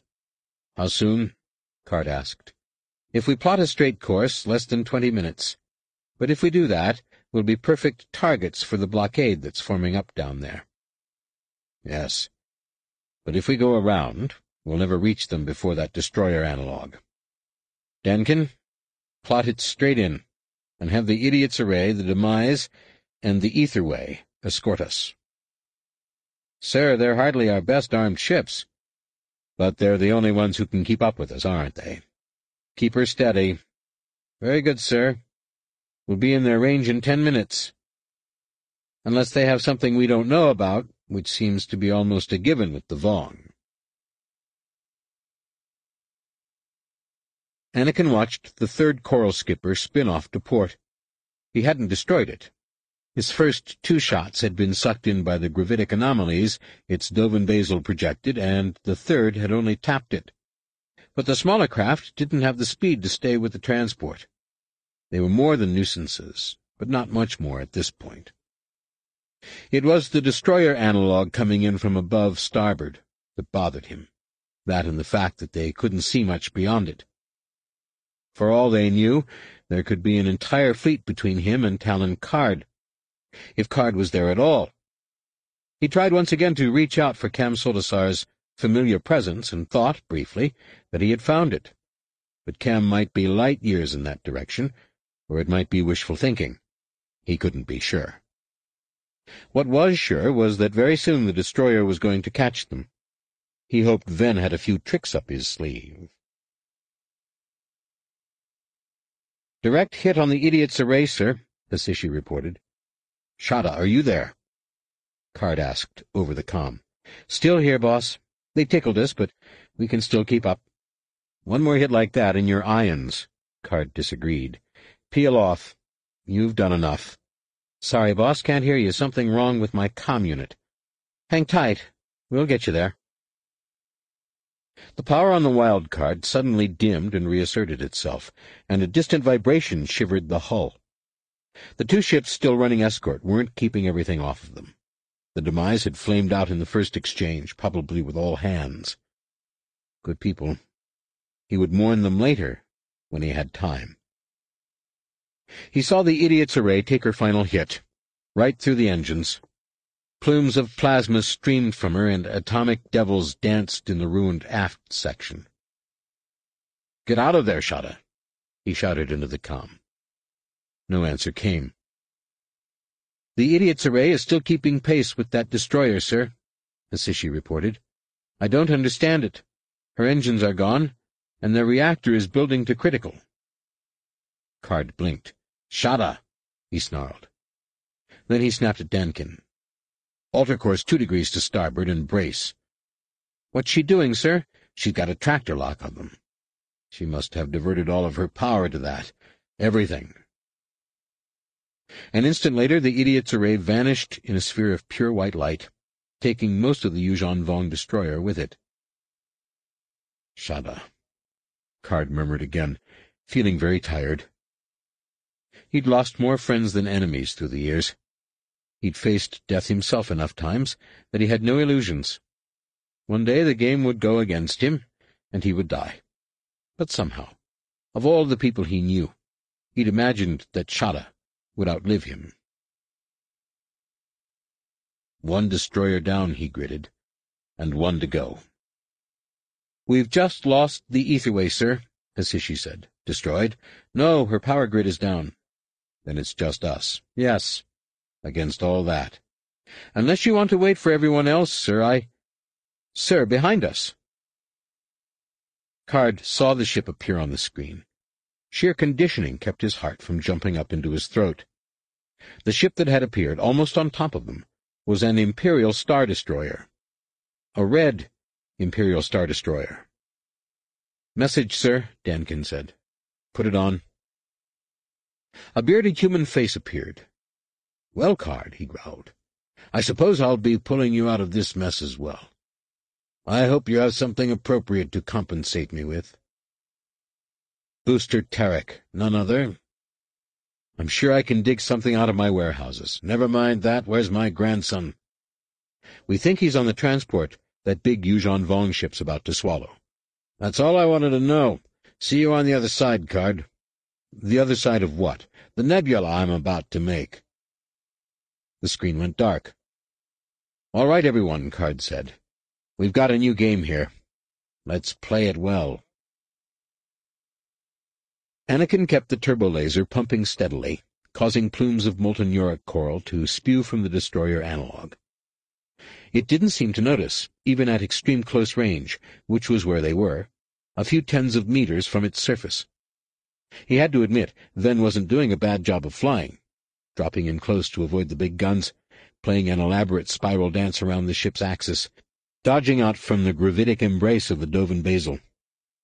If they cleared the big ship by much, their luck would change. One good hit by one of those big plasma cannons would be the end of them. Heads up back there, Ven's voice crackled. They're launching coral skippers. Anakin saw. The Yuuzhan Vong didn't localize their fighters in bays, but kept them attached all over the outside of the ship. Anakin had nailed a few of the inactive ones already. Now they were detaching in swarms. You'll have to keep them off, Solo, Ven said, his voice tinged with desperation. If I try to outrun 'em, we'll be sitting pretty for the destroyer. Understood, Anakin replied. He didn't have time to talk after that. Everything in him focused on the weaving organic forms of the enemy. He couldn't begin to count them. They came, and he shot them. He fell into a one-two-three rhythm. First shot to draw out a gravitic anomaly, second shot just outside its event horizon. It would move to intercept, and he would fire even wider on the other side. Sometimes it managed to swallow all three shots but often the coherent light blazed just far enough outside the singularity to merely bend around it. Once he got the timing right, he could land that crooked third shot where he wanted it. But he couldn't shoot them all. The transport bucked and complained as molten plasma did its damage. Ignoring the tremors, Anakin fought on in grim silence. Ven, too, kept his silence, the occasional curse aside, they were all beyond talking now. An enemy shot got through Anakin's barrage, glancing from the turret cockpit, leaving a molten streak on the transparasteel. Anakin traced after the offender, but it was gone. He whirled back to take one of three crisscrossing his field of vision and hit it solidly. It spun, and straightened. Toward him. With quiet calm, Anakin fired at it, watching it come closer. A singularity gulped his first shot, and the second bent wide. The third beam hit dead center. The skip flared out of existence, but the debris came on, smacking into the cockpit in a hundred meteoric shards. Hairline fractures spidered everywhere. One more hit and I'm breathing vacuum, Anakin thought. But he certainly couldn't leave the turret. He checked to make certain the lock behind him was sealed, closed off from the rest of the ship. There was no need to take everyone with him. He took out two more skips, but then three dropped into a wedge, headed straight for him. He took a deep calming breath and began firing, but he knew he wasn't going to get them all. In fact, he had fired only two shots before the damaged laser overheated and went into temporary shutdown. Anakin watched impassively as the skips approached. He reached out in the force, hoping to find debris to throw at them. He wondered what it was going to feel like when his blood started boiling. He felt them in the force at the same time the coral skippers vanished in a searing white haze and two X-wings whipped around the expanding cloud of gas and molten coral. His com crackled. Need a hand, little brother? Jaina. This is some mess you've gotten us into, Anakin, a masculine voice replied. Jacen, Where? How? Explanations later, Jaina said. Who's flying that crate? That's me, Ven cut in. Get out of there fast, Jaina said. We'll keep these pups off you. Corran Horn's out here, too. I almost pity the Vong. But if I clear— Believe me, Jaina said, you'll want to be clear. Anakin breathed a sigh of relief as the turbo laser came back online. I've got the back door, he told his siblings. You just clear a path. Then, better do what they want. Whatever you say, Ven said sarcastically. And then he just gasped. Anakin didn't see why until they were on the other side of the errant venture. By that time, the Yuuzhan Vong ship was blazing like a newborn star. Anakin stared through the transparisteel and grinned wide enough to swallow a crescent moon. Karrde wasn't grinning. A standard day later, when the Yuuzhan Vong ships finally packed it in and jumped to hyperspace. He was watching the drifting ruins of ships Yuuzhan Vong and otherwise, and grimly tallying his losses. Yes, he was getting too old for this nonsense. Captain, message for you, sir, H'sishi said. He considered ignoring it, but at this point, so soon after the battle, it could be something critical. Put it on, H'sishi, he said. A few seconds later, a lean, middle-aged face appeared. Corran Horn, Karrde said. It's good to see you. I assume you were on your father-in-law's Star Destroyer? When Jacen and Jaina found us, yes. I was one of the X-Wings out there. I— His face contorted very briefly, then returned to a neutral expression. Karrde, I want to thank you for saving my son and the other children. I know what it cost you. No, you don't, Karrde thought. You're welcome, he told Horn. When I make promises, I do my best to keep them. We're alike in that, Horn replied, and I also pay my debts. I owe you a big one. Karrde received the sentiment with a nod of his head. I'm glad your son is well. Is there anything else I can do for you? I'm sorry to be short, but I'm not much in the mood for conversation right now. I'll let you go in a second, this doesn't even come close to squaring us up. But I do have something for you. What's that? Someone, I should say. Horn moved aside, and was replaced by Shada D'ukal's wry features. Shada. Come on, Karrde, Shada said. You didn't think I was stupid enough to stay on a flaming ship, did you? Once I got the lock, we went for the escape pods. Horn ran across us in his X-wing, doing a slow spiral toward the gas giant. She squinted at the screen. Hey, boss, what's wrong with your eye? The air unit has been blowing dust in from somewhere, Karrde said, blinking away the suspicious moisture. Get your tail back over here so we can discuss how long it will take you to pay me back for the idiot's array. Shada rolled her eyes. See you soon, boss. Then, despite his losses, Talon Karrde did allow himself a small, quiet smile. Why not? They'd won. Epilogue We never thought we'd find Booster, Jaina confessed, around a mouthful of food. I was ready to hijack the Jade Shadow and fly straight to Yavin. When Booster doesn't want to be found, he can really disappear. What was he doing? Anakin asked. Running weapons to the Hutt underground, actually, Jaina replied. I just asked myself where Booster would go if he wanted to help the war effort and still turn a profit without feeling bad about it. You're kidding. It didn't hurt that Corran was with him, Jacen said. We got hints of him in the Force. Still. Jacen's being modest, Jaina said. He spent a lot of time in deep meditation, trying to find Corran. It was no accident. That's pretty impressive, Anakin allowed. Thank you, Anakin, Jacen said, as if surprised. His brow wrinkled in such a way that made him look briefly very much like their father. Are you okay, Anakin? Anakin nodded. Yes, actually. I mean, my leg still hurts, even with the back to patch, but otherwise, I think I'm fine. In fact, better than fine. What do you mean? Jacen asked, perhaps a little suspiciously. Anakin chewed thoughtfully for a moment. Up until now, he said, I had no way to think of the Yuuzhan Vong except as enemies. They are enemies, Jaina said. Yes, Anakin replied. So was the Empire. But Palpatine aside, it must have been possible for Mom and Dad and Uncle Luke to at least conceive of the people they were fighting as possible friends. In fact, that's how Uncle Luke destroyed the Emperor, right?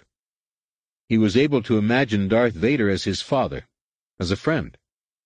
The Yuuzhan Vong, well, to be frank, I didn't even want to conceive of them that way. They don't make it easy, Jaina said. Look what happened to Elegos when he tried to understand them. So you think you succeeded where Elegos failed? Jacen asked. Do I understand them? No, not completely but I have a deeper understanding than I did. I can think of them as people now, and that makes a difference. Jacen nodded. You're right, of course. Does that mean you've decided not to fight them anymore? Are you going to work for peace? Anakin blinked. Are you kidding? We have to fight them, Jacen. I have to fight them. I just know more about how to do it now. Jacen's frown was fully developed now. Are you sure that's the right lesson to take away from all this? he asked. No offense, Jacen, but I think I'll leave off worrying about what lesson I might have learned if I had been someone else. Because, frankly, if I had been someone else, I don't think I would have survived to learn any lesson.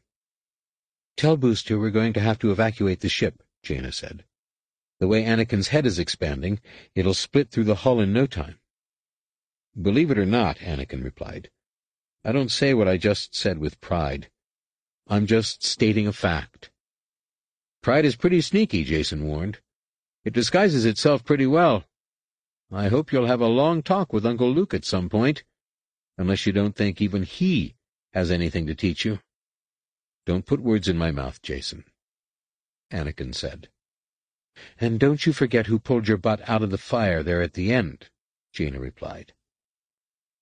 Anakin let a grin creep across his face. But that's what I meant, don't you see? When I said that no one but me could have survived what I did. Because no one else in the galaxy has you two for his brother and sister. He picked up his tray, trying not to laugh at their gaping mouths. Now, if you'll excuse me, he said, I have someone I need to go see. Anakin found Tahiri's stateroom door open a crack. Through it he saw her lying on her bed, bare feet propped up on the wall. Her gaze was fastened on the transparisteel window and the distant spray of the core beyond. Anakin rapped the doorframe. Hi, he said. Hi. Come in if you want. Okay. He took a seat on the edge of the bed. You didn't show up for dinner, he said. I thought I would bring you some. He placed a food container on the bed. Corran made it. Seems he's been doing a lot of cooking these days. Thanks, Tahiri said. She turned her head and, for the first time, met his gaze. What happened to it? she asked. The Shaper base? You sure you want to hear about it? Every time someone brings up the subject, I wasn't ready to talk about it then. Now I am. Okay. Well, Booster pretty much slagged it. Karrde and his people evacuated the slaves. We're going to drop them off someplace soon. Of course, the Yuuzhan Vong can come back, I guess, since we left the system pretty much without defenses, but there's nothing we can do about that. No, Tahiri said. There isn't. I guess that's the end of the Academy. Of course it isn't. The Academy was never a place. It's a thing, an idea. We're just taking it on jets. Booster's going to let the Academy kids stay on the errant venture. He'll make random jumps around the galaxy until it's safe to settle the kids down someplace. Safe? Tahiri hissed. How can it ever be safe? How can anything ever be? Her words seemed to clot up in her throat, and she turned back to the view of space. Tahiri, I know how you feel, Anakin said. She closed her eyes, and two small tears squeezed from the corners. If anyone does, I guess you do, she said after a moment. What they did to you was horrible, I know, and what they did to me. Anakin, I cut Mezhan Kwaad's head off. You had to. I wanted to. I liked it. I loved it. She tortured you. She tried to destroy everything you are. You can't be blamed for a moment of anger. I think she did destroy everything I am, Tahiri said. When I killed her, it was the end of me. No, Anakin said, that's not true. And I should know, shouldn't I? The best of you is still there, Tahiri. He reached his hand out. It hung there in space for a long time before she reached back, taking it without looking. It was all my fault, she said.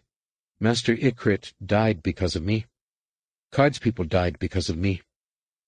Now this I'm pretty good at, Anakin said, blaming myself for things. I can really teach you to do that right. In fact, if we think really hard about it, I bet we can find some way to blame you for the Yuuzhan Vong finding this galaxy in the first place.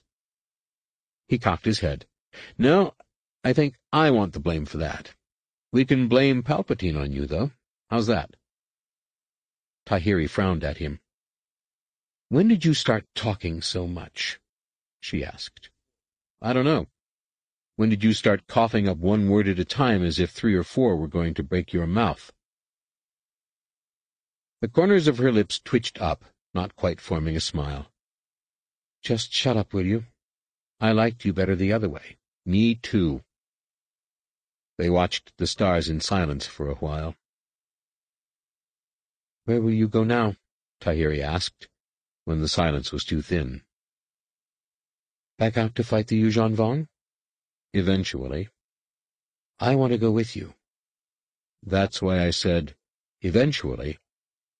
I'm staying on here for a while, until you've healed. Until I've healed. Then, if you still want to go, we go. Together. She didn't say anything, but for the first time since they'd left Yavin, he felt something like hope in her. Adept Nen Yim stepped forth. Nen Yim genuflected, and then stood before the War Master, Tsavong Lah.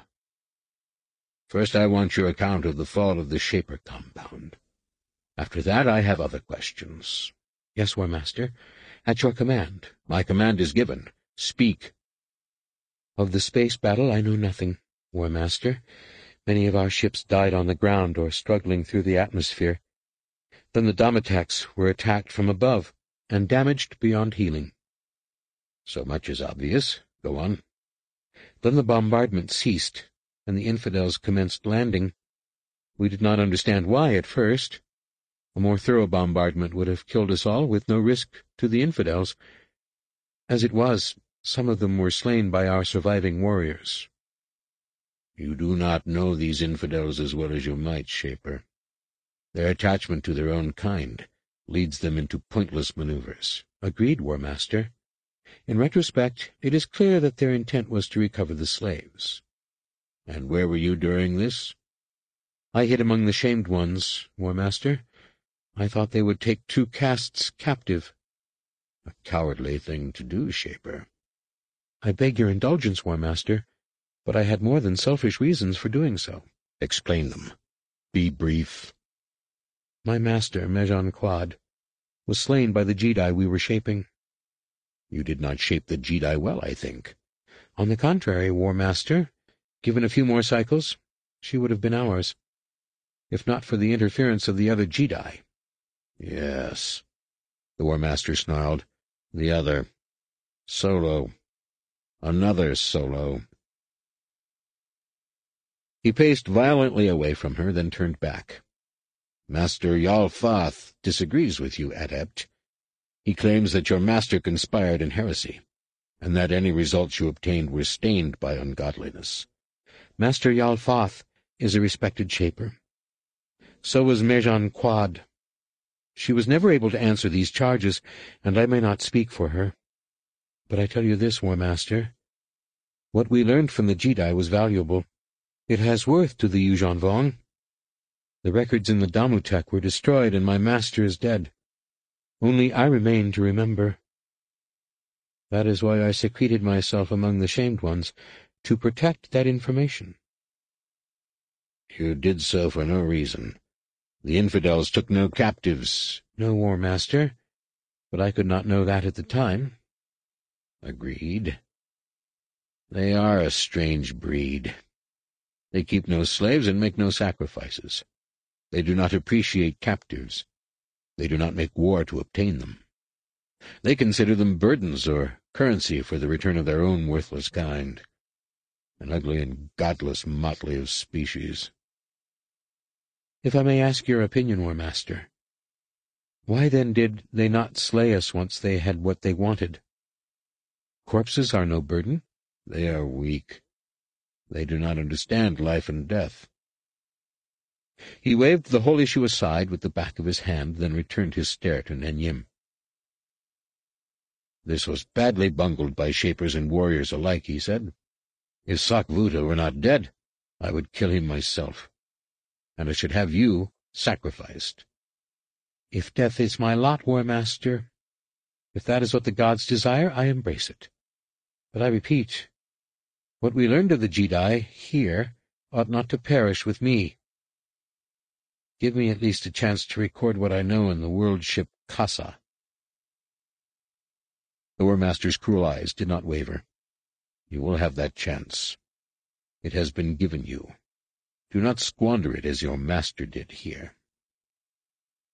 And if more Jedi are captured, will our work shaping them resume? Your domain has failed. They will not be given a second chance with the Jedi. Domain Foth will continue the work on the Jedi problem. Then it will never be solved, Nen Yim thought to herself. She did not dare say this to the War Master, of course. And Domain Kwaad? she asked instead. The world ships are failing. They must be maintained. Nen Yim nodded solemnly, but in her belly she was sick. Back to the world ships, to closed skies and rotting Maw to masters so mired in the old ways, they would let the Yuuzhan Vong perish rather than contemplate change. So be it. But in her heart Nen Yim still considered Mezhan Kwaad her master. Nen Yim would continue the work they had begun somehow. It was too important, and if Nen Yim must die for this, she must. The glorious heresy would live on. I submit to your will, War Master, Nen Yim lied. One other thing before you go, Tsavong Lah said. You spent some time among the shamed ones before the reoccupation force arrived. Have you heard of a new heresy amongst them? One concerning the Jedi? I have, War Master. Explain it to me. There is a certain admiration for them, War Master. Many feel that Vua was redeemed from shamed status by the Jedi, solo. Many feel their own redemption lies not in prayer to Yun Shuno, but in the Jedi. Can you name any who espoused this heresy? A few, War Master. Name them. This heresy will die on this moon. If every shamed one here must perish in glorious sacrifice, it will end here. Nen Yim nodded affirmation, but in her bones she knew the truth. Repression was the favored food of heresy.